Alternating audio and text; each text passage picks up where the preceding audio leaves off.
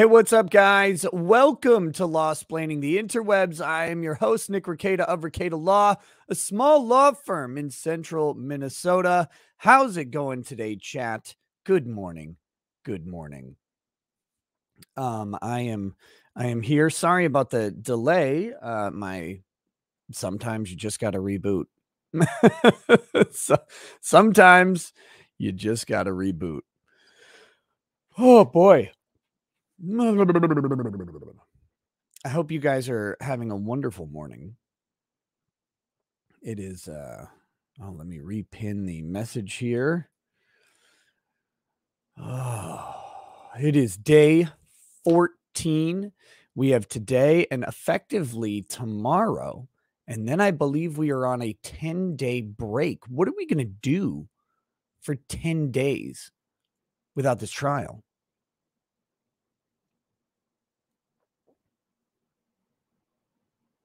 What what what should we do? What's up, Jamoon X? We're gonna sleep some. Yeah. Yeah, sleep sounds good. How do I function on such a low amount of sleep? Uh consistently for 30 years is the answer. That's I don't I don't know. Uh I don't know. Probably not effectively. Imagine if I had a full hours of sleep, full hour of sleep, what my or full night of sleep, what my um what my effectiveness would be. Mm, mm, mm, mm, yeah, the judge has a conference to attend. Tom L, I did install my video card. My video card processor and uh and M.2 hard drive have been installed. Uh, I get to, I can maybe try it out. That'll be fun. I have not played a single game with it since uh, since installing it. So we will whoo, get things going as soon as possible. I gotta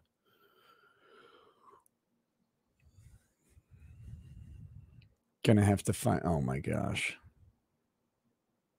Good logic. What is he doing? Joe, what are you doing? He's got his stream watching other people's streams. It's very, very weird. Very weird. Uh, okay. Johnny trial. Gotta get.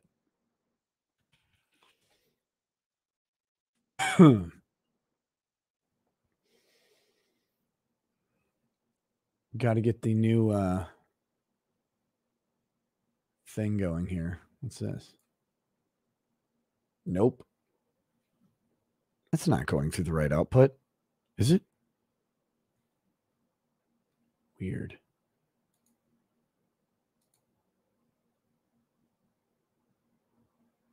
Okay, yeah, they are.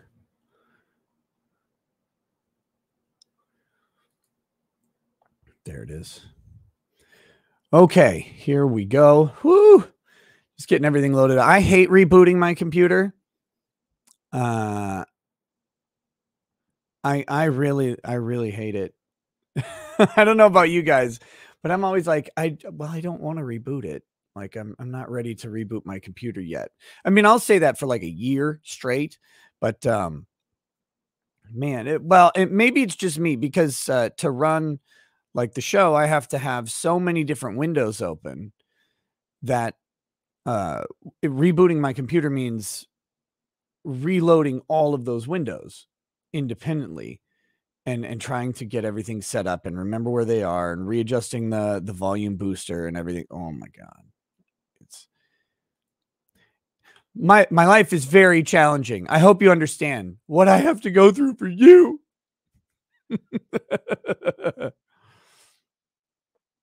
Oh my gosh uh, yeah, I know it's a good practice to shut it down frequently. It's just it's just a massive pain when you've got um I mean, right now I have one, two, three, four, five, six different windows of browsers open. And each one of those browsers has various tabs. I don't have any of my social media open yet. It's insane. Just set up a macro that launches everything. Well, but not everything uh not everything works that way cuz it's it's all different websites with different addresses. Uh but Chad is buying you a hot tub. I already have a hot tub. And some people keep asking about my sleep. Look, uh last night I got um little over 4 hours. I'll probably take a nap uh after this show show last night. But then I I decided to because it was uh you know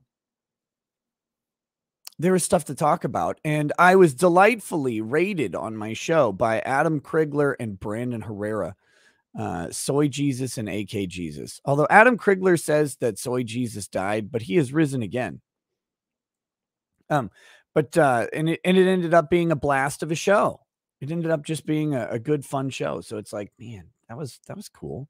That was good times.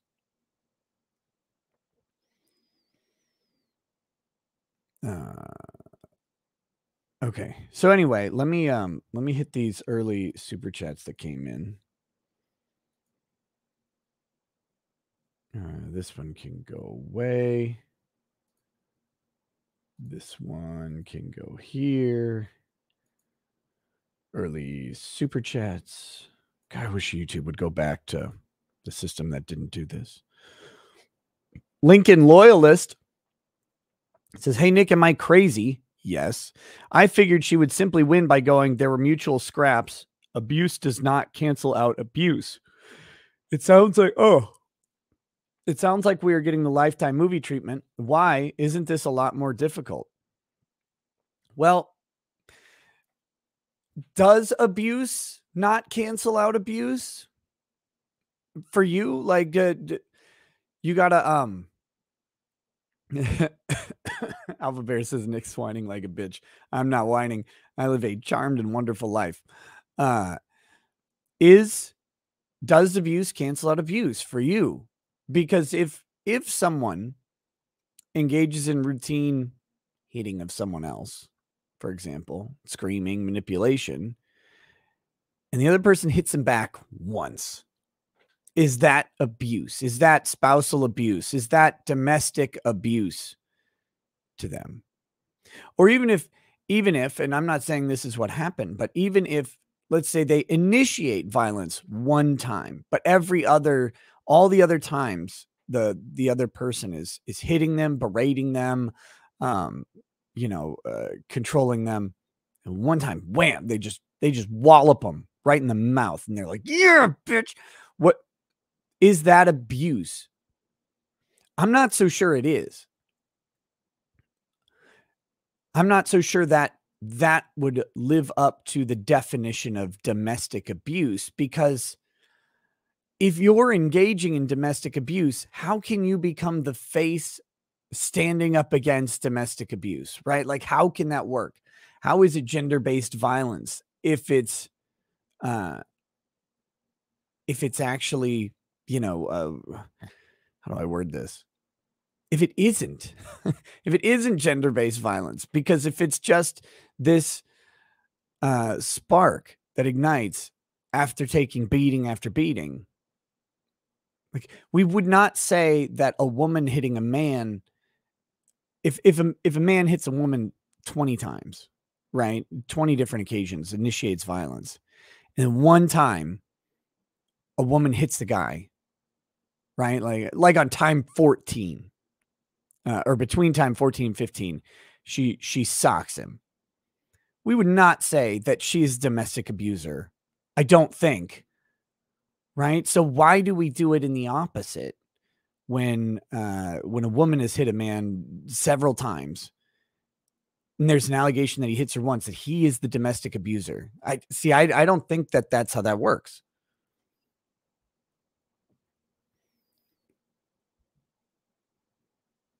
I don't think I, I don't think that's how that works. Just my opinion, of course. You didn't start your stream with a trigger warning like like Alita did, bigot. Trigger warning. Here's the trigger warning get offended.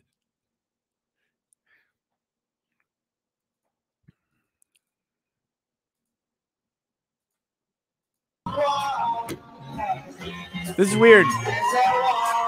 This is pre recorded because I actually just watched Johnny Depp walk into the courtroom and now I'm watching him get out of the get out of the car.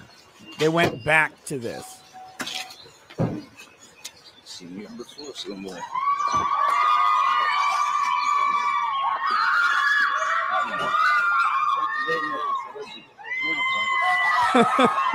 who's who's winning the trial?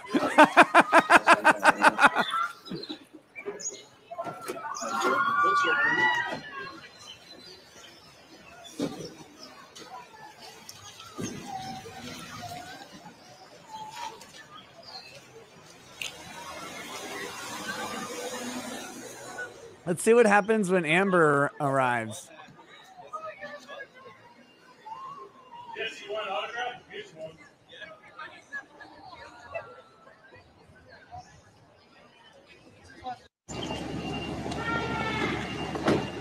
Good morning. How are you? Good morning. How are you? Hi.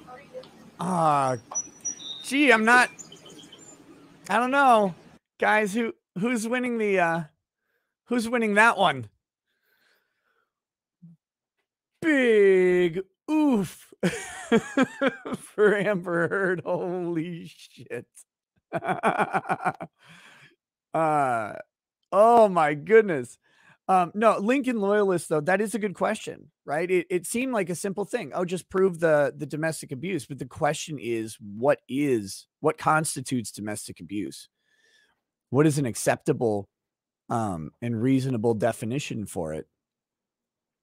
And and when is it? When does it become not a lie? And I, I don't know if there's an answer like that. There's not a simple answer. That's why a jury is actually appropriate for this type of thing. The jury gets to be a microcosm of society, deciding what is an acceptable way to state this. Um, I would consider what Amber Heard said a lie at this point. Even if Johnny Depp had hit her uh, on on the the like two occasions that she has claimed or whatever. Not now, Dr. Karen uh, came on and dropped like all of these different uh, allegations out of nowhere that aren't aren't corroborated in any way. But let let's go with the let's go with before yesterday with all the new claims of sexual violence uh, that that spring up conveniently at trial time to to try and engender support. Um, but the the like two times that were out there that that she claims she hit him or he hit her uh, i i would consider what she said a lie. I also don't believe the uh the other accusations at this point and that's going to color my opinion right? If you believe the uh uh accusations then well then you're going to think she's not lying guys I, am gonna i'm gonna share a dm even though i don't uh, do that very often but this one's just too good. Uh, mr andrew branca sent me a dm this morning and he says more irresponsible than leaking supreme court decision visiting Disney's Star Wars theme park without realizing it's May the 4th. oh no, that poor man. He's getting destroyed. Everybody, if you have thoughts and prayers to spare, make sure make sure you send them to Andrew Branca. He is uh he has his he's with the wife apparently in in uh Disney. It, it sounds like uh she's a big Disney fan, so um Oof. Oof.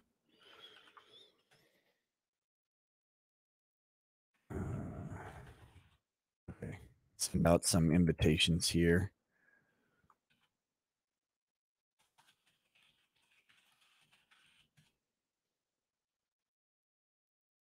Unfortunately, I think the lawyer you know uh, is in trial. I think he said he's got a hearing or something this morning, so he's not available.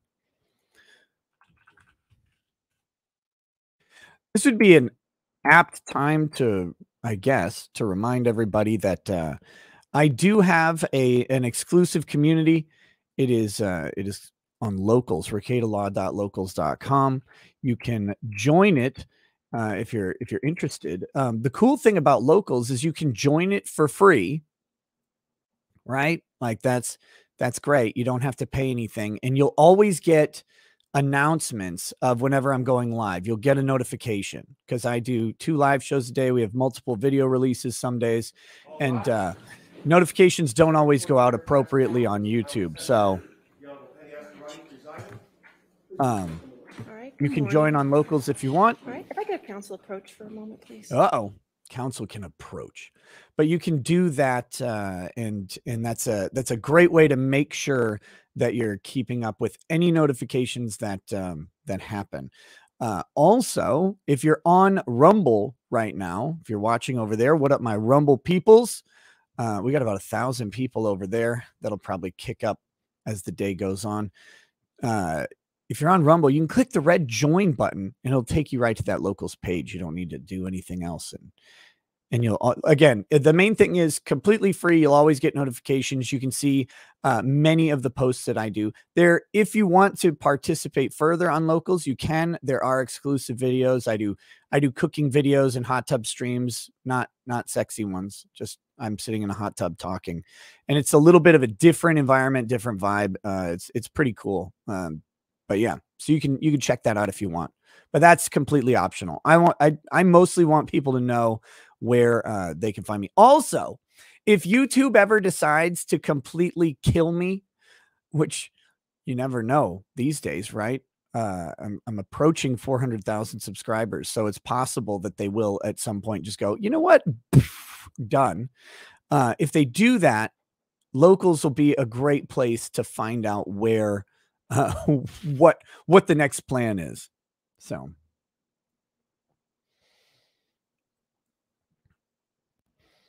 What do you think they're talking about? My hunch is whether or not past acts doors open, which it is. Um, I don't think the judge would call them to that unless they they may have filed overnight motions for it uh, or inform the judge by email. So they it could be, it could be, but they've only got uh, Depp's team only has one lawyer up there. It's Ben Chew, who's not doing cross examination. I would imagine it's something else. Look at the pretty duck. What pretty duck? I don't know what you're talking about. Um, okay, let me read a, another super chat here. Um, Mia Wall, morning. How do you manage both streams and sleep? Not effectively, but I take uh, I take nice breaks on the weekend. Um, I don't I don't stream a ton on the weekend, or I pop on someone else's show, and and you know I, I'm not as beholden to to the long streams. So that's that's one way. IFID. Hey Nick, did you hear about the robbers who stole all the Viagra from a pharmacy? Authorities are warning uh, uh, the public to be on the lookout for the hardened criminals. Anyway, I've lost 30 pounds in the past four months unbreaded. Um, your pun was terrible, and um, and you should feel bad about it. But I'm really glad for your weight loss journey, and I, I wish you much success as it goes on. Uh. Jeff, welcome to Paralegal Status. Lurkmore 101, welcome to Paralegal Status. And Superstitious Oblivious B, thank you for being a super lawyer. 17 months, man. That's awesome. Uh, Mist, Miss T Blue, uh, a huge thank you from across the border in Thunder Bay, Ontario, Canada. Hey, thank you, Misty Blue. I, I really appreciate you being here. Oh, one thing I do want to say. Uh if you have a crude and crass sense of humor and you like laughing at the world and you like making jokes, the nighttime show, the nighttime show every every weeknight at 11 p.m. Central is a good place for you. Uh if if you don't, if you do not like crude jokes, crass humor, uh, a little bit more political opinion, but uh, no, you know, no shaming of political opinions, just sharing of political opinions, more politicized stories. Uh, if you don't like that stuff, um, don't come to the night show. Don't do it ever. Save yourself. But if you want to remember what it's like to have fun talking and telling jokes and not being so worried that uh, that your life will be ruined for it, because the only person whose life is going to get ruined for it is me, because I'm the one telling them. Uh, the nighttime show is is where you can hang out. Do you guys remember the shock jock? Like, it's it's crazy because Howard Stern, like the the quintessential the the un, the Uber shock jock or whatever, he's a giant pile of garbage now. Like he's t- calling for censorship of speech and all of this stuff. It's like, wait a minute, what the hell? What happened to you? But there was a time in this country where you know you could appropriately uh, section out a place to have have jokes and have levity. I try and do that at 11 p.m. every every uh, weeknight, and we all I mean we cover serious topics all the time, but it's also fun. Remember when we used to do that? When we used to have fun, and it was like it was like, oh, I get get a little bit of spicy fun sometimes. That's great. Yeah, we we we do that every night. So come hang out sometime. Hyperbolic terroristic threat reenactments. That's correct. We have that too. Uh, it's it's beautiful. It's beautiful. It's it's a it's a it's a good time. It's a complete accident that that we built it, but man, it it feels good to. It, it's like hanging out and talking with your friends and not worrying, right? That that one of them is going to go, "Oh my god, that was that was too far. Like they might go, "Dude, that was that was uh, a bit much," right? Like that might happen. That, that could happen, but no one's going to like call your boss the next morning. Never uh, Nevar Elix to solve your issue of too many browser tabs Windows, Session Buddy for Chrome, Edge, or Tab Session Manager for Firefox allows you to save the exact tabs and Windows you have open so you can restore after restart. Yeah. I'd still have to go individually to all the different pages, right? Like, because I have different, there's a different browser or a different page created for StreamYard every day. Rumble has a different because I got to have the Rumble chat, the Odysee chat, the YouTube chat, and those ch- many of them change. The Odysee chat ch- doesn't change. That one's static, but all the other ones are are variable. But thank you. I'll, I can look into it. Thank you for the suggestion. Oxoa, Amber left a yellow notepad at the desk for her PR guy to pick up at the end of court. Yeah, I saw a lot of this yesterday. People talking about this. There generally shouldn't be any issue with Amber Heard giving a note to her PR guy the only issue might be that the judge has issued some order around uh, Amber Heard and Johnny Depp not speaking publicly about the trial. So the there okay. could be an issue if she's speaking through the PR firm directly about, you know, the trial. Which I don't know what extent the speaking publicly entails uh, right? Like, is is making a suggestion to a press person? Is that speaking to the public? I don't know, and how much of it's at her direction. But that that's the one thing I could see being a big problem. But otherwise, like, you can communicate with people in the gallery. That's that's okay. You can't disrupt court, and you can't uh, you can't you know send inappropriate stuff to witnesses who are called. But if he's not a witness, I mean, who cares? Uh, Des Decano says, "Let's be honest. While some luck is involved, you've been working your ass off. That's true. What I meant, what I meant with the the accidental thing was like I just I wasn't ever planning on building a a nighttime like schlock radio show. that was not in the cards for me. It just worked out that way. Now it's it's great, and yeah, I I work at it absolutely. And Thank you for uh, thank you for your acknowledgement of that. But, um, but yeah, the, it, just wasn't intentional. Good morning, ladies and gentlemen. All right. Dr. Burnt raw toast. Back to stand for me, please. Hey, Nick, thanks for the streams. Have you ever tried peanut butter and ketchup on a slice of toast? Don't knock it till you try it. That is horrifying. I'm going to turn me down. I think I'm probably going to be way louder in the court today. So let me, uh, let me good morning. Good morning. kick myself right, down to about here. Thank you, Your Honor morning, Dr. Hughes. I'm Wayne Dennis, and we haven't met before. No, good morning. Morning. You testified yesterday that you have to give uh, careful attention to gendered stereotypes. That is, correct? that is correct. Uh, Correct. uh, When you're talking about in- intimate partner violence, you have to pay attention to gendered stereotypes. And during your testimony, you in fact paid attention to gendered stereotypes. Can we- Correct? I'm not sure what you mean. Well, you said we were going to Fair. have to pay attention to gendered stereotypes. And then you testified at length where you referenced both men and women. You paid attention to those stereotypes during the course of your testimony, correct? Uh What. I was saying was you have to pay attention to gendered stereotypes when you're conducting these evaluations. You can't assume all the time that the male is the perpetrator and the female is the victim. You have to go. Oh, but into you the did, though. evaluation Understanding that the male also could be the victim of intimate partner violence. In fact, you're aware that there are large-scale studies that do say that IPV towards males does exist. Of course, Okay. And every time you referred to the characteristic of a I victim. I can't turn it up anymore. Of intimate partner I violence. can only turn me down more. You used the pronouns she or her, didn't you? I was using the she and her pronouns in this case because my determination was, as I stated, that Miss Heard was the victim of intimate partner violence. That is why I was using the she, her pronouns.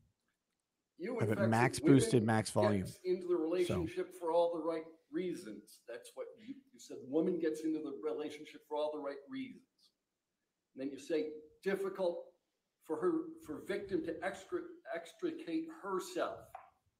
You go on to say that she can and she should. Over and over, you use she, right? I believe in this case I did because I was referencing this case where I found Miss Heard to be the victim of intimate partner violence. It doesn't mean that men don't get into the relationships for all the right reasons too. I believe they do.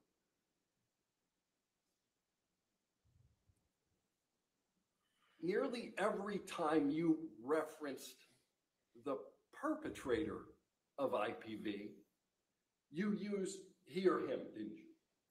And it goes back to the same reasoning as I'm describing my understanding and my evaluation in this matter. Of course, men can be perpetrators and victims of intimate partner violence. That's well established in the research and that's well established in my clinical practice as Keep well. railer Is on the this. reason that you used the pronouns that you did, that you almost always testify on behalf of a woman?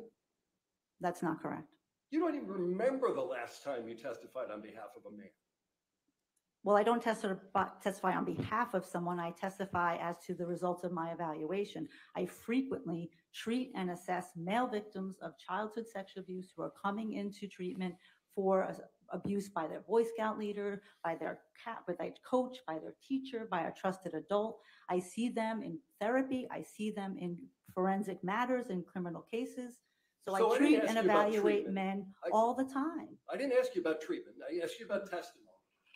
You talked, you broke out your practice between treatment and testimony. I'm not asking about treatment. When's the last time you testified on behalf of a man? I testified recently in a deposition on behalf of a man who was traumatized because he was wrongly convicted. At the time of your deposition six weeks ago, you couldn't remember a single time you had testified on behalf of a man. I testified in my deposition that uh, I testified in a case of a man who was wrongly convicted about 20 years and suffered physical and sexual violence in prison. And I detailed the traumatic effects of the, that that happened on that gentleman. In All right, prison. Why don't we take a look at your deposition? Sure. In prison, he suffered violence. So again, not in a not in an intimate partner relationship. He needs to sledgehammer this over and over. Speak to bias. Quote her. Qu- Yes. I would have built a list of quotes Thank you. every single time she said she, right? They could have gone back, they could have watched, you know, any any of the streams that are out there and just marked them all. All right. Transcript of the deposition that you gave March 28th, 2022, correct? Yes. All right. Let's go to page 77.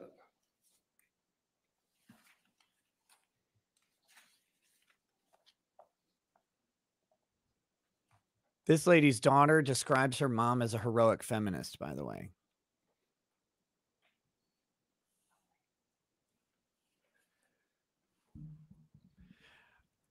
Let's look at.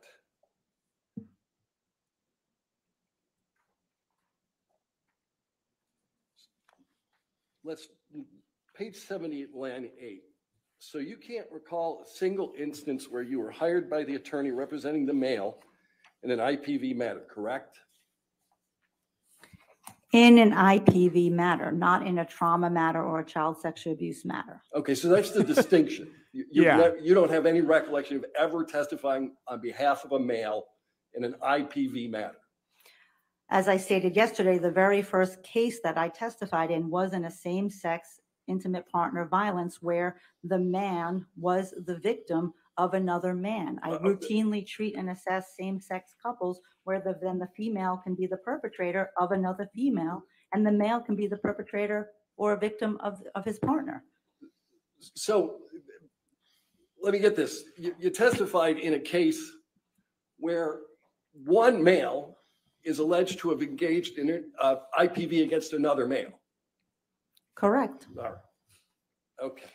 Still working on. That's the Uh, only one you remember. That's the only one you remember. You remember. Still working on No, the I've done this frequently. As you well know, most cases don't go to trial. I've worked on hundreds and hundreds of cases. You've limited to testimony. Many cases don't come to trial, but I've issued reports and worked on many cases of same-sex intimate partner violence where men are. Same victims. sex. But, but I did Always ask you about same sex.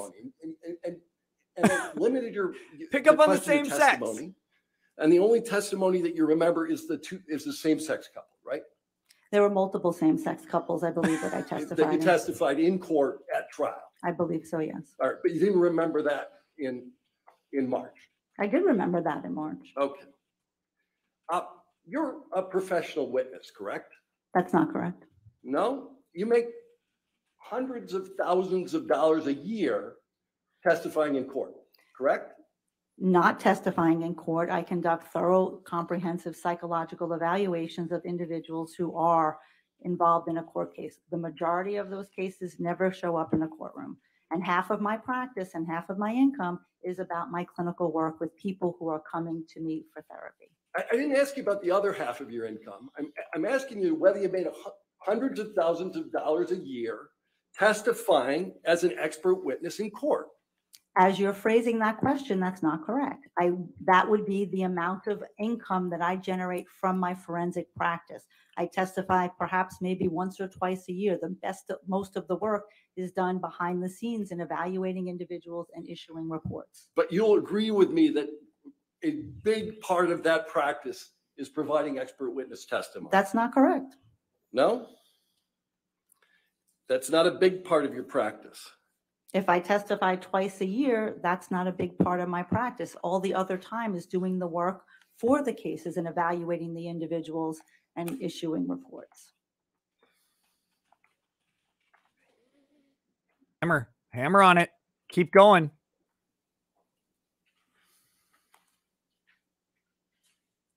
All right. What percentage of work do you devote to forensic psychology? As I stated yesterday, I, I say half and half clinical, half forensic, but I also have a substantial amount of time that I use in the professional activities and serving on uh, professional boards. So what portion of your practice do you provide expert witness services? I think you're using the expert witness services synonymous with the forensic psychology part of the practice. So the forensic psychology practice, what I do here today is one part of it, and it's a smaller part as opposed to all of the evaluations and individuals that I'm assessing. When do you do Your forensic psychology? Practice is Like, successful enough that you other maintain your time? offices on Madison Avenue in, in New York, correctly? Correct, I've had that office since 2005. Right. Um, and you're sufficiently successful at your uh, forensic work that you're able to perform unpaid work at a hospital, correct? Correct, and I also do pro bono work as well. There. Um, in fact, you actually instruct others on the use of expert testimony in court cases, correct? on the use and understanding trauma and violence abuse in the courtroom and how to, for advocates and people who could not have this level of training or experience, how to come into the courtroom and talk about very difficult issues of domestic violence. Yes. All right, can we pull up PX twelve forty-one? I wonder if they went through her literature at all. I mean, they, they need to just keep hammer smashing. You only testify. Uh, again, Do you when, recognize that when was the last time you Uh, testified looks that like a male was a victim of a page woman? PowerPoint presentation And it's a PowerPoint presentation given by whom? by myself and Mary Ann Dutton, who is a uh, very well-known and respected researcher and clinician in the area of domestic violence. And and what's the topic of the PowerPoint that you're giving? Expert witness testimony in cases involving domestic violence. Okay. And who did you give this uh, presentation to? That was to the National Clearinghouse for the Defense of Battered Women. Um, That is an organization that provides legal services to women who have assaulted or killed their partners in self-defense. And mostly people who, these individuals, the, the women who they've seen in treatment are through shelter-based programs or through advocates. And those are individuals who don't really know how to come into the courtroom and talk. And that's what, what this um, presentation and training was for. I'm going to move uh, PX 1241 into evidence. Any objection? All right, twelve forty-one in evidence. You can, do you want it published or? Yes, let's publish it to the jury. Thank you. Okay.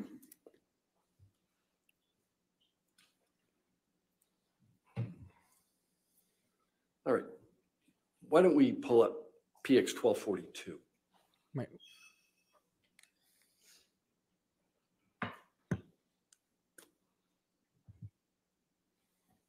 Do you recognize this document? Yes, this also looks like a PowerPoint presentation that I gave. All right, and what is the name of this PowerPoint presentation? This is called The Use of Psychological Experts in Cases of Domestic Violence. It was presented to the Kings County Bar Association, which is in Brooklyn. And what this presentation talked about was some of the things that I talked to you all about yesterday, the myths and misconceptions in intimate partner violence, when women use force, what happens if they drop protective orders, how they present in court. And that's what this presentation was to attorneys at the Bar Association. Okay, but this is another presentation that you gave uh, as to the use of psychological experts, and you gave it to a, to a bar association. Right, they were prosecutors and defense attorneys in attendance at that bar Alright. association. At your deposition, you testified that you were going to be paid $100 an hour for your time in this case. I did not testify to that. You did not? That's an error in the transcript. Oh, that's not, Oh. that's not right. That's correct. So, and you What are you corrected the getting paid? transcript? We did not do an errata in the transcript at this point. So you knew there was an error in the transcript, but you didn't fix it? There were several errors in the transcript. But And you didn't fix any- them. There was no time to fix them. That's correct. So you're not being paid $100 an hour. How much are you getting paid? I'm being paid $500 an hour. $500 an hour. And that's what, um, Dang it, I said and 400. that's the bill you sent for your deposition, right? $500 an hour. Correct. Uh, You submitted a number of uh, disclosures in this case. Um, You have not formed an opinion as to whether Mr. Depp committed intimate, intimate partner violence against Miss Heard, correct? Correct. I formed the opinion that Ms. Heard's report of the intimate partner violence is consistent with what we know in the literature about intimate partner violence. you have a limited role here comparing individual data to group data and then just determining whether it's consistent, right? I wouldn't say it's a limited role, but that's generally correct. You wouldn't use the word limited role? A limited role in terms of how we go about a- a forensic evaluation, you not know a whether- limited role in this case. Do you remember whether you used limited role in your deposition? I don't, if you have it in front of me, you probably think I did, but Yeah. sure. Uh, And you She's have getting no snippy. independent knowledge of the facts underlying the alleged abuse, Press, correct? press, press, press. I have the knowledge of the plethora of documents that I've reviewed in this case. No, I'm asking you your independent firsthand knowledge. You have none of that, right? You mean whether I was there? Yeah, you Of- weren't there. Of course not. Okay. Um, and you're not testifying to the veracity, the truthfulness of any of the allegations. Correct. I'm testifying to the consistency of the data points of all the different documents, including the psychological testing and the clinical evaluation that I conducted of Ms. Heard and how that comports with the therapy records and all the other documents and the photos and texts that I reviewed. She says and data no points, but she doesn't of actually have any. abuse. Correct, personally, correct. Right. And all you know is what Ms. Heard self-reported to you and others That's not correct. Because you did collateral interviews. And I reviewed medical records and I reviewed other witness statements of All of what those are they misheard witnessed and what statements they in saw. origin. And all of those statements that you reviewed, Or self-reporting by those are misheard. statements that started with Ms. Heard, correct? Not necessarily. Well, the medical records did, didn't they? Well, the medical records, if she's self-reporting what happened to her, sure. I mean, that's what we do Oh, when well, we go to a mm, physician. sure. We say, I have a headache. We're self-reporting our difficulties. Um, everything Ms. Heard reported directly to you was after she was sued by Mr. Depp in this case, correct? Correct. And you didn't meet Ms. Heard until, what, September 2019? That was the first evaluation appointment, correct. How'd you get engaged? Engaged? How'd you get hired to Oh. do this work? Um, I was contacted by the legal team. Or were you interviewed by her legal team as to whether you were going to testify here? I was not. You were not interviewed. I was not. They didn't You were even interview. contacted. Correct. Had you worked with that legal team before? I had. Yeah. So they already knew who you were, right? Correct. Right. And at any time that you were working with Miss Heard or assessing Miss Heard, she could have chose to fire you, correct? I suppose her legal team could have chose to fire her. I was not her. She is not my client. The legal team is the one who hires me. I am responsible to the legal team, not Miss Heard. And What'd you this say, the legal And the legal team that hired you already knew who you were because you worked together previously. And and clearly, they knew of my expertise in this area of intimate partner violence and traumatic stress, which is why mm-hmm. they contacted me to work on this matter. All right, several times yesterday, you used language about assessing Ms. Heard's relationship with Mr. Depp. Do you remember talking about that? Sure.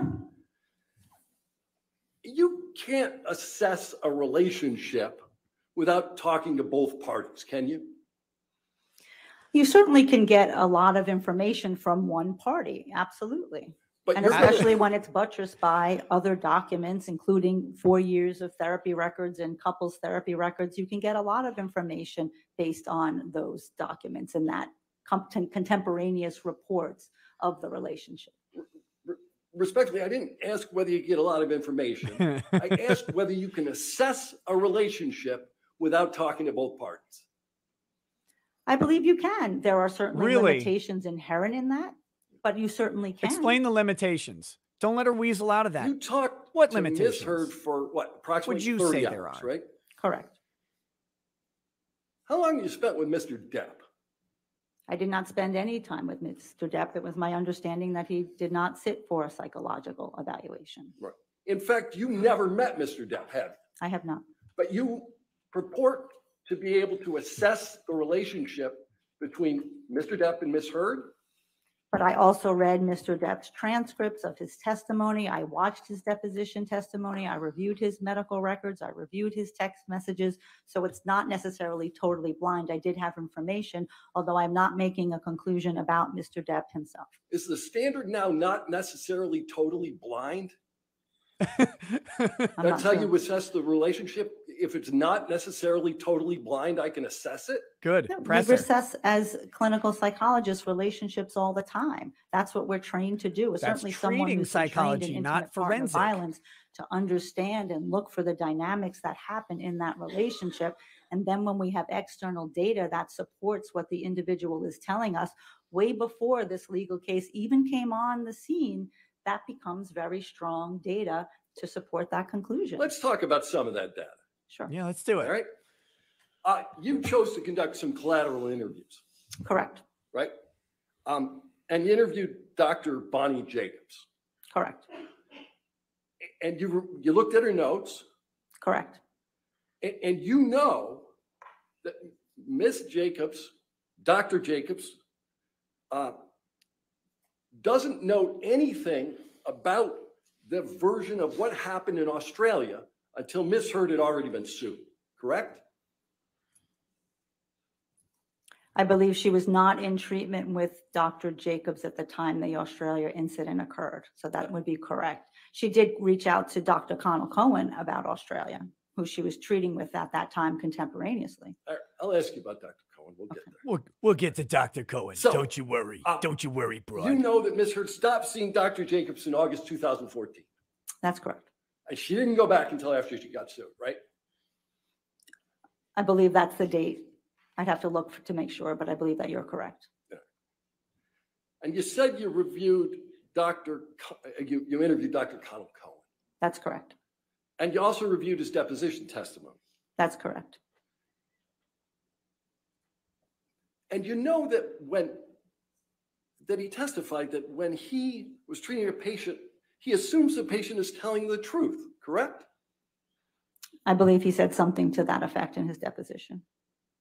And If He he has no reason to believe otherwise, if there's no other data to believe otherwise, that your patient's not being totally honest with you, then you believe what they're saying. uh, right, Ah, no other not how data that to works. believe otherwise.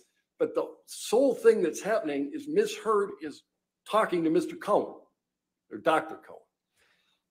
I I wouldn't say she's talking to him, she's going to him for therapy, and he's using his clinical psychological expertise to understand the connection between her symptoms and what she's reporting, what's going on in her life.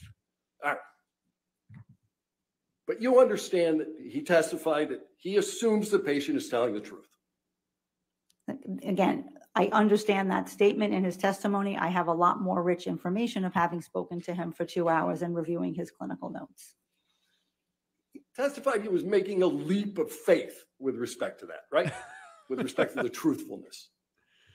Again, that was not my understanding of speaking with him and what he reviewing his said, notes. I'm aware right? he what testified he something said. to that effect.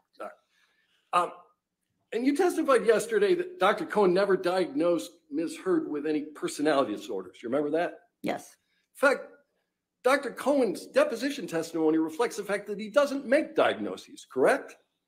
correct. And I asked him specifically, did he have any indications that even if he doesn't, as his practice, use them, does she meet criteria for a personality disorder? And he told me she did not. All right, She doesn't you diagnose asked him them, so he doesn't test for with them. respect to a topic that you haven't disclosed in your uh, expert report, and then uh, he made a conclusion that's reflected in no document. It's reflected in my notes. It's reflected In in my his notes. notes about what he's treating. He's treating the symptoms. He's not focusing on the diagnosis, but he is treating the symptoms. You talked about Dr. What Cohen's symptoms? concern for Ms. Heard's safety. Correct. He wasn't talking about her physical safety, was he? Yes, he was. No, he was talking about her emotional safety. Weren't- Wasn't that what he was talking about? He was concerned for both. Okay. Was he? Did Dr. Cohen testify that he never had the feeling that Johnny intended to hurt Ms. Heard? I, I believe he said that. I mean, he talked about Mr. Depp being very poorly controlled, and that's what made him, him, Dr. Cohen, concerned because in those moments when he was not controlled, that he could accidentally seriously hurt Ms. Heard. Let's do this again. Ms. Heard told Dr. Cohen that Mr. Depp was poorly controlled, correct? That's not correct. Okay. He determined that from the, in- the treatment he was providing Ms. Heard. And he also had a couple session with Mr. Depp, and he also had correspondence with Dr. Kipper. So he had other information as to Mr. Depp's functioning. All right, you talked about Dr. Banks. Correct. Dr. Banks was doing Dr. relationship Banks. consulting, right? Consultation and relationship. Correct, And Dr. Banks only met with them once. correct. And you did an interview, I think, with uh, Ms. Heard's mother, Paige. That's correct. You'd agree with me that a person's family member is not the most objective source of information? Sometimes you have to certainly uh, control for that, that the person may be How did you wanting to be protective of, um, of their daughter, of course. And you interviewed Ms. uh, Paige Heard after Mr. Depp had already been sued, uh, had already sued uh, Amber Heard. Right. The entirety of my work in this case happened obviously after the lawsuit.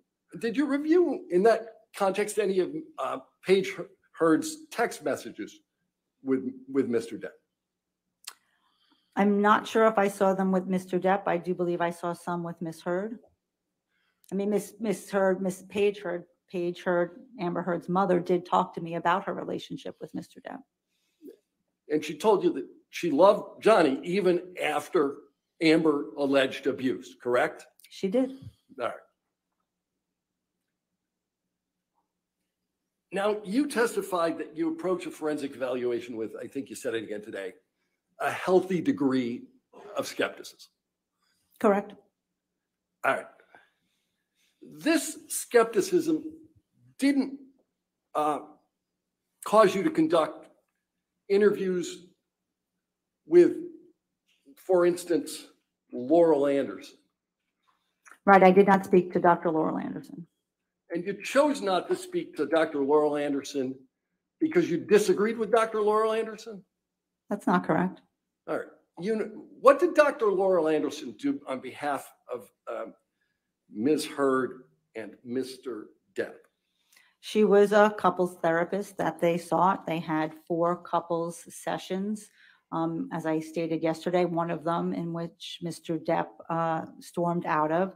She did have a long, I guess, evaluation or interview with Stormed Mr. out Depp of.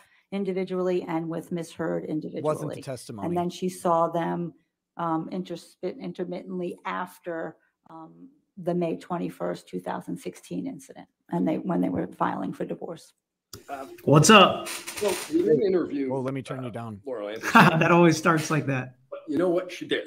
How'd you figure that out? Because we had her redacted notes and her deposition. All right. And you understood from her deposition that Dr. Anderson didn't believe Ms. Heard to be a victim of spousal abuse? I believe those were her words, yes. And you also understood from her deposition that Mr. Depp had not had a very long history of being violent with any of his wife or women. That, she said that as well. Yeah. But that's something about Ms. Heard sig- significantly triggered him. She talked about that as well. And Was it Dr. when she Anderson was thought beating him? that Mr. Depp had been, uh, her words, well. Interesting that controlled, Amber agrees I he think, has for no almost history. to Thirty years, correct? Up until this point, I believe she said. Um, I know that you testified that you reviewed medical records. Yes, All right.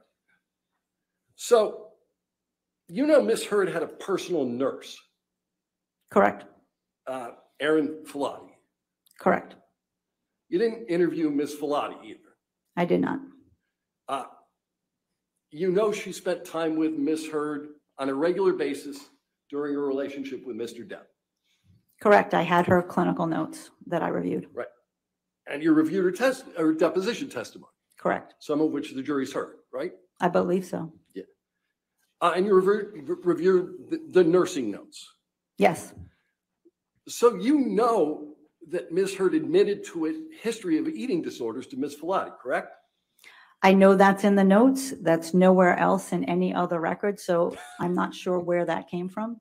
But you Ms. relied Heard, on it came from everybody Ms. else's Heard. notes. So she lied. The nurse lied in there are her some notes. things that I disagreed with, like I disagreed with Dr. Laurel Anderson about it being mutual abuse. Right.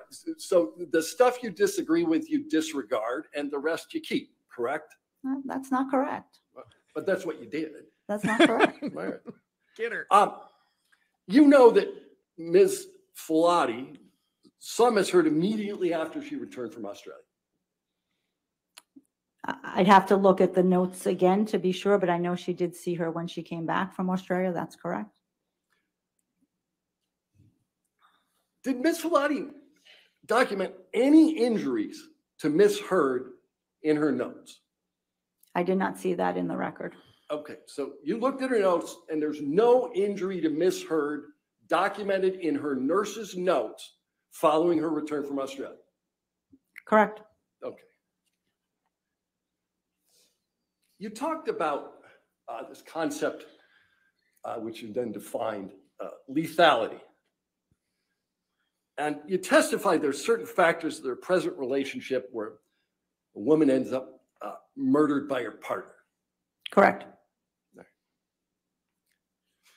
And that's one of the ways you look at, as to whether a woman is in a very dangerous situation.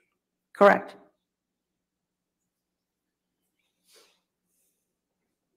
Can we pull up PX92?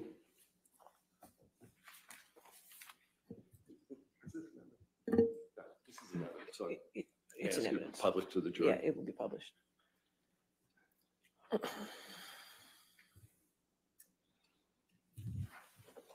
Do you know what this is? I believe this is the um, knife that Miss Heard gave to Mr. Depp as a gift. All right. And you speak Spanish? Un poquito? Do you know what it says? Yes, it says hasta la muerta, till death. So a woman you suggest has characteristics of being afraid for her life, gives her intimate partner a large knife, which she has inscribed until death. That's your testimony? Well, there's context. Oh, is there? Okay. We can do that later. Uh, So we talked about, you talked a little bit about uh, Mr. Depp purporting to demonstrate uh, jealousy with Ms. Heard. Do you recall that? Yes, I do. Uh, And you specifically talked about Mr. Depp displaying jealousy regarding uh, the actor James Franco. Correct. Now, the very first time you met with Ms. Heard, she talked to you about Ms. Franco, uh, Mr. Franco, James Franco, correct? I don't know if it was the first time, but I did ask about some other relationships. Okay, so why don't we do this? Let's go uh, PX 1246. I just want to go to the first page.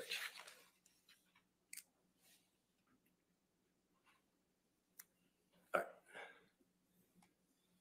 So do you recognize the document that's in front of you? Yes, All right. And what I would like to do, what is it? um, it's one, uh, a top sheet of a background information questionnaire that I use to help guide the evaluation. Okay. So What's No. on Johnny's desk on counsel table? This there? is- Is it who like a filled bunch it of out? gummy worms or I filled something? it out, whose form is it? my Don't form. know. And a bottle of urine? gonna That's what it looks move- like. Just the first page into evidence, because It- we're going to talk about other. Yeah, a portions. pile of candy, people Back say. out so she can see the fir- whole first page. Any objection? Okay, I can, All right, We will admit the whole thing into evidence. you want the whole thing in evidence? Sure. I have no objection whatsoever. All right, twelve forty-six in evidence in full. Okay. They must really, they must be Are happy there about any- that. Are there any on redirect. identifiers that need, or we just, we're just going, Yeah, I'm sure there's going to be some. All right. Probably. Okay, so uh, you owe me a redacted one, cor- correct? Don't know what the nature of the redactions are going to be, but Okay, well, you Yeah. can discuss We'll it. work, we'll work with Okay, them on that. thank you. but I- I'm All right. Positive there's identifiers. um, 1246 uh, has been moved into evidence. Can we blow up the bottom right-hand corner? All right, you want to publish to the jury? Yeah, let's publish it to the jury. not comfortable publishing to the jury if there's identifiers. I I don't, Yeah, I'm happy to do it at the break to make sure. that- Well, we can, if, well, why don't you, um, I don't see anything on the first if page. you want to look at that, a- any Have a objection look to at the that? first page. Well, that's what they're going to show. right That's now. what we're going to show. All right, publish then. All right, so this is the bottom, bottom corner, um, your notes. Um, and it's under the section of your notes that's entitled intimate relationships. Correct. James Franco And- friends got close, but really wanted One to of the be notes here on the right. That's what I thought it said too. JF, that's James, James Franco, right? Correct. Got close, but really wanted to, to be with Johnny. Well, it says JF friends. They were friends. All right. Said friends, but you put him under intimate relationship. Well, there's a line there because I was asking specifically about other things that were allegations in this matter. There's a line there because you did not believe that they sh- should go under intimate relationships, but it's on your form? She wasn't telling me that this was an intimate relationship. I queried as to what's going on with James Franco because that was something that was raised in this case. Uh, and there's a note for December 2015. Her, her data point of Amber's story did not more agree with this. Right. And that was a period of time in which Ms. Heard was married to Mr. Depp, correct? Correct. So she became close with Mr. Franco in December 2015. And uh, at least you put it under intimate relationships. With a line differentiating another part of this document. Okay. Did you provide another header, like a header that says friends? No, No. Well, let's look at the next one. Elon Musk. Nails The it. The next one says, I think it says Elon. correct, It's Elon Musk, right? correct, All right. May 2016, correct, Met, him- Met Ball. correct. That's a big fancy party in New York, right? Yes, it is. All right. Um, and she says she dated him after Johnny. Just Correct. happened. She met Elon Musk in May 2016 when she filed the TRO. Uh, the last answer was May 21st. I believe it was May 26th, 27th. I'm correct? When did she start dating Elon Musk? Sometime after that, All right, yeah, sometime after the TRO. I believe so, yes. Okay.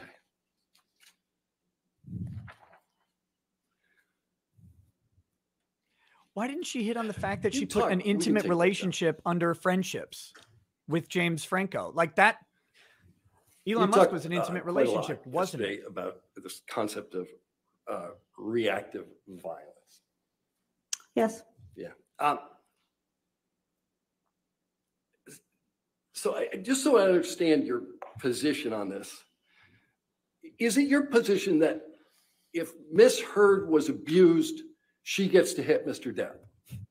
that's not my opinion. But you know she hits him, right? And I testified to that. Right. And how many times do you believe that she told you that she hit him? Do I believe that she told me or how many instances were there? Well, I don't know how you, how would you know other than her telling you? You weren't there, right? I was not there. That's correct. All right. How many times did she admit to hitting him? She indicated a number of times in a number of instances. Um, you indicated that you'd listen to audio recordings as part of the work you did in this case. That's correct. I'd like to play you a portion of one of those recordings.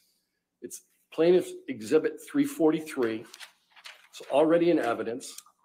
And for the record, the portion I want to play is two minutes 46, uh, 246.01 to 247, um, point two zero.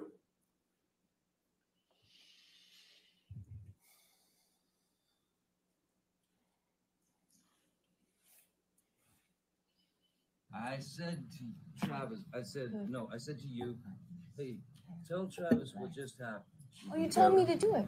You told me to. You said, go do that. I said, no, tell, tell him what just And I happened. And lied. that you punched me in the You're right. fucking thing. And you, You figured in it the out. face. And you said, no, fucking, I didn't. What the fuck are you talking about? And I, I watched you you. lie. And then I didn't s- punch you, by the way. You, I'm sorry that I didn't uh, uh, hit you across the face in a proper slap, but I was hitting you. It was not punching you. Babe, you're not punched. Don't tell me what it feels like to be punched. You know, you've been in a lot of fights. You've been around a long time. I know. Yeah. No, when you fucking have a close You face. didn't get punched. You got hit. I'm sorry I hit you like this, but I did not punch you.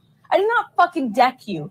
I fucking was hitting you. I mm-hmm. don't know what the motion of my actual hand was, but you're fine. I did not hurt you. I did not punch you. I was hitting you. How are you? How? What am I supposed to do? Do this? How are you? I, I'm not sitting here How about bitching about it, am I? You are. not That's the difference between me and you. You're a fucking baby. Because you started. You are such a baby. Grow the fuck up, Because you started Johnny. Physical fights. I did start a physical Yeah, fight. you did. So I had to Because- get the fuck out of there. Yes. This sounds like an you abuse did the right for sure. thing, the big thing. The, you know what? You are admirable. Ooh, You agree with Ms. Heard that it's admirable to retreat from a fight?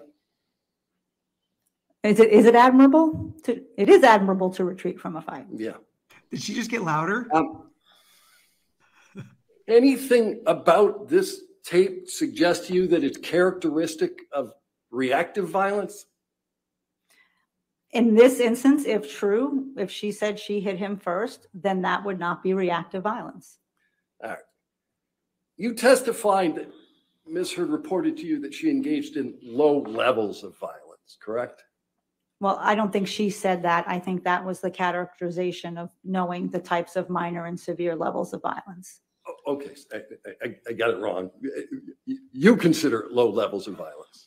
Well, I considered what the literature and the research talks about low levels of violence as opposed to severe um, levels of violence. And I, I think you, you suggested if you, that uh, Ms. Heard sustained more severe uh, injuries, correct? I think I said more frequent injuries. More frequent, but not more severe. Well, certainly uh, the incidents in Australia and the sexual violence and the incidents on December 15th, 2015 were quite severe. Um, I would have just taken that answer. You said you she said reviewed medical records. instead of in re-asking it. yeah. Correct, Uh, And you, re- you reviewed photographs. correct. Now, other than the reports to her therapists, which you call medical records, right? Yeah, I would call those medical records, Right. sure. Other than the reports to her therapist, there's not a single medical record that reflects any injury to Ms. Heard, is there? That's not correct. There is not a, other than what doctor reflected injuries to Ms. Heard? The note by Erin Boerum, uh, her married name, Falat, I'm not recalling her married name, indicated that she was headbutted by Mr. Depp and that she went for a concussion check and she had a busted lip. And then she went to Dr. Kipper's office in order to get checked. What, and there's a medical record other than that note that reflects it? There's a note that she showed up at Dr. Kipper's office. There's a note in the But there's similar two nothing from days Dr. that Dr. is there? Laurel Anderson saw the two bruises from that same incident as well. Um, You reviewed photographs. Yes. Um, I'd like to put up PX 144. Uh, It's been published to the jury brief, very briefly. That photograph doesn't reflect a low level of violence, does it? That reflects a severe injury, I would agree. Yeah. Why don't we go to PX 145?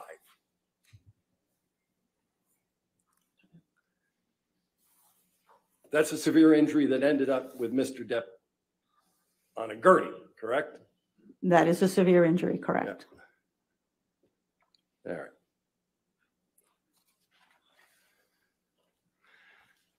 Is it your testimony that throwing a can of mineral spirits at your spouse is characteristic of reactive violence? If you are running away from your spouse who is trying to hurt you, yes. All right, Bad so- so question. You, you can throw a can of mineral spirits. What about if you throw a can of Red Bull? Again, it depends on what the incident I think that you're referring to, that was not necessarily reactive violence. That was in a state of frustration or anger. Oh, it's okay then. So when you throw a can of Red Bull in a state of frustration or anger, that's not reactive violence. No. Right. What about if What you is it? throw a bottle of vodka because your husband fell off the wagon? Is that reactive violence? Are you asking me hypothetically? I'm asking you, would that, would that be a characteristic of, of reactive violence? Throw a bottle of vodka because your husband fell off the wagon. If it's in the middle of an assault, Not a good question. If it's independent of that, no. Right. So for instance, if your husband was just having a couple of shots at the bar. Again, you would need more What? Finish information. the question. to Make that determination. All right. I- You don't think that's a, a reflection, reflective uh, uh, of reactive violence? And you'll agree with me that when you throw the second bottle, that's not reactive violence. If somebody's throwing multiple bottles, again, psychological violence and abuse is psychologically destabilizing, which destabilizes individuals' coping strategies. That is absolutely true. That's not at all related to this Lost question. Thank true. you. Um, Is it your testimony that once you've thrown one bottle and missed, when you throw the second one, now it's reactive violence? That's not what I'm saying. I don't think throwing bottles is acceptable in any context. That's a good Just admission. move on now, buddy. Move on. Leave That's that one there. Yeah.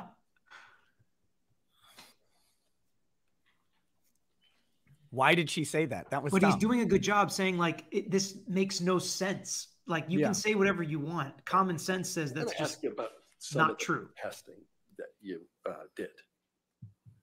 Um, One of the things that you uh, did was a, uh, was a form, looked like, uh, called a CTS2 Relationship Behaviors Form. Uh, the conflict tactic scale, correct. The- the- So CTS2 stands for Conflict Tactics Scale. That's correct. And this is one of the documents that um, you had with you on the, on the stand yesterday. I had all my testing with me and all my clinical notes from my evaluation with Ms. Heard.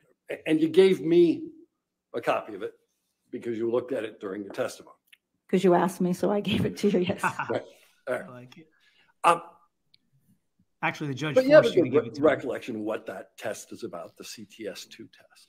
I have a very good memory and a very good recollection. I want to give the jury the most She's so mad. accurate and thorough information. I have You should done call her Dr. Curry a couple times. With so many questions, I wanted to just be as accurate as possible. The- I'm sure my memory would miss some things that might be relevant. All right, so let's talk about the CTS2. It's dated 9/26, 2019, uh, 2019. Correct. 9/26, 2019. And it goes through and it asks a whole series of questions about what you've done and what your partner has done. That's correct. There's tons of these questions. Correct. And every single one of those questions is preceded by the same question, right? How often did this happen in the past year? Correct. You knew that as, uh, as of 926, 2019, not a single one of the things that Ms. Heard identified happened to her in the last year. they've been Correct. broken up. She was years. oriented This to a different dumb. time frame to get a checklist of those behaviors. Okay. And one of the, one of the, the, uh, although it says, please, how often did this happen in the past year? One of the questions is, my partner used force to make me have oral or anal sex. Correct. She went with zero on that, right? I'd have to see if you'd like to show me. You have any recollection that she, she didn't go with zero on that? I have a recollection at that point in time, she was framing those type of acts as angry sex. She And you wasn't helped her- framing them as physical force, as most women don't on these measures. And you helped her to reframe it as something other than angry sex, didn't you, doctor? My job was not to do Wow. treatment. My job was to do an evaluation, and that's what I did. That's why it took 29 hours or whatever. Um, so you did an evaluation and one of the evaluations you did and one of the diagnoses that you ultimately made relates to PTSD. That is correct. All right.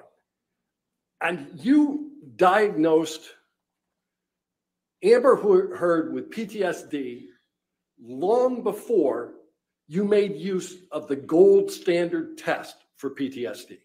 That is correct. All right.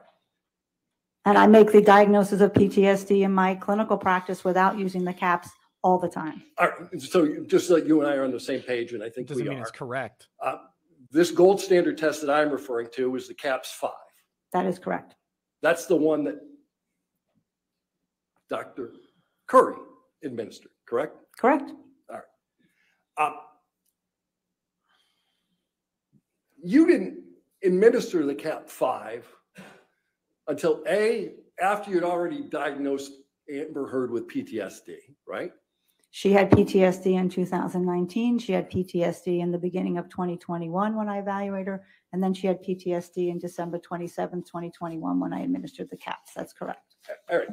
um, I think I asked a much more narrow question than that. You you- didn't diagnose, uh, um, you, you didn't give the CAPS five. Hold on, I'm going to strike that question altogether and start it again. You had already diagnosed her with PTSD before you did the gold standard, correct? Before I administered the CAPS five, there was enough data in the psychological testing and my. He's not evaluation controlling them enough. To establish that she met criteria for PTSD. That is correct. Um, you submitted a expert disclosure in this case on January 11th, 2022. I believe the attorney submitted that disclosure, yes. Uh, You participated in that? In the, in the January 11th, it was the same disclosure that went before. There were no changes on that. Did you reference the CAPS five in that at all? I don't believe I gave the results of the CAPS five to the attorneys at that point. All right. Um, You met with, oh, I, I got dates here. This time I'm using the cheat sheet. All right. Uh, You met with Amber Heard on September 26, 2019. I would love to have my cheat sheet, but I'll take your word for it. I'll share. Thank you. October 11th, 2019. When did you give the CAPS five? The CAPS five was administered the last time that I saw Miss Heard. I saw her over, as stated multiple times, over the past two and a half years, and having not seen her in about a year to get an accurate assessment of her current symptoms. Having had all the background information, the CAPS five is a great structured clinical interview to do that. All right, so you hadn't seen her for about a year before you, be- before you gave her that test. That is correct. Um, and you did it over Zoom. That is correct. All right. Um,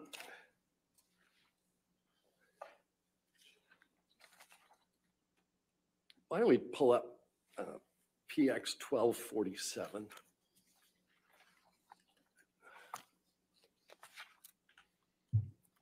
So no chat, you're really concerned about the lawyer stuttering. Um, smooth lawyer questioning and smooth testimony I'll get you. only happens in the movies. It's just to the witness right now. So, okay. This guy's directed or crossed like five experts already in this trial. It's it's not easy. It's not easy. Um, Being up there with all the pressure is not easy. Dr. Hughes, you can actually help with that question. This is like twenty. I like his personality. About Actually. I 20 think he comes across Right. very likable. All right.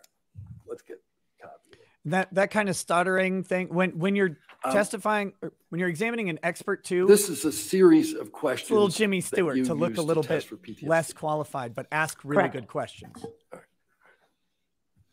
Um, And you recognize the first page, this is the first page that you, um, you filled out. That's your, your That- handwriting. That's correct.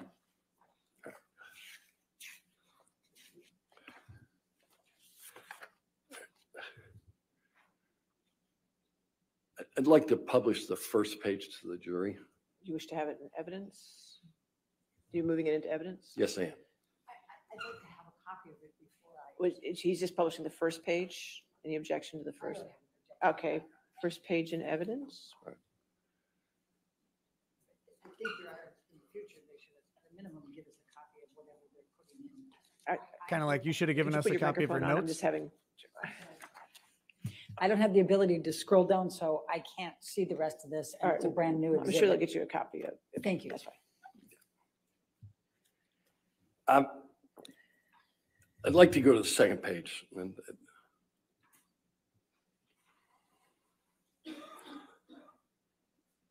Can- Can we put up the second page? Are you Second putting page is in second page blackface, very Not yet. offensive. Then I can't put it up. Oh, I'm sorry. Uh, I'd like the, I'd like the witness to see the The second. witness can see the second page. Thank you. This is the second page, this is instructions on how you do it. Correct. All right. And then we'll go to the third page. Let's let the witness see the third page.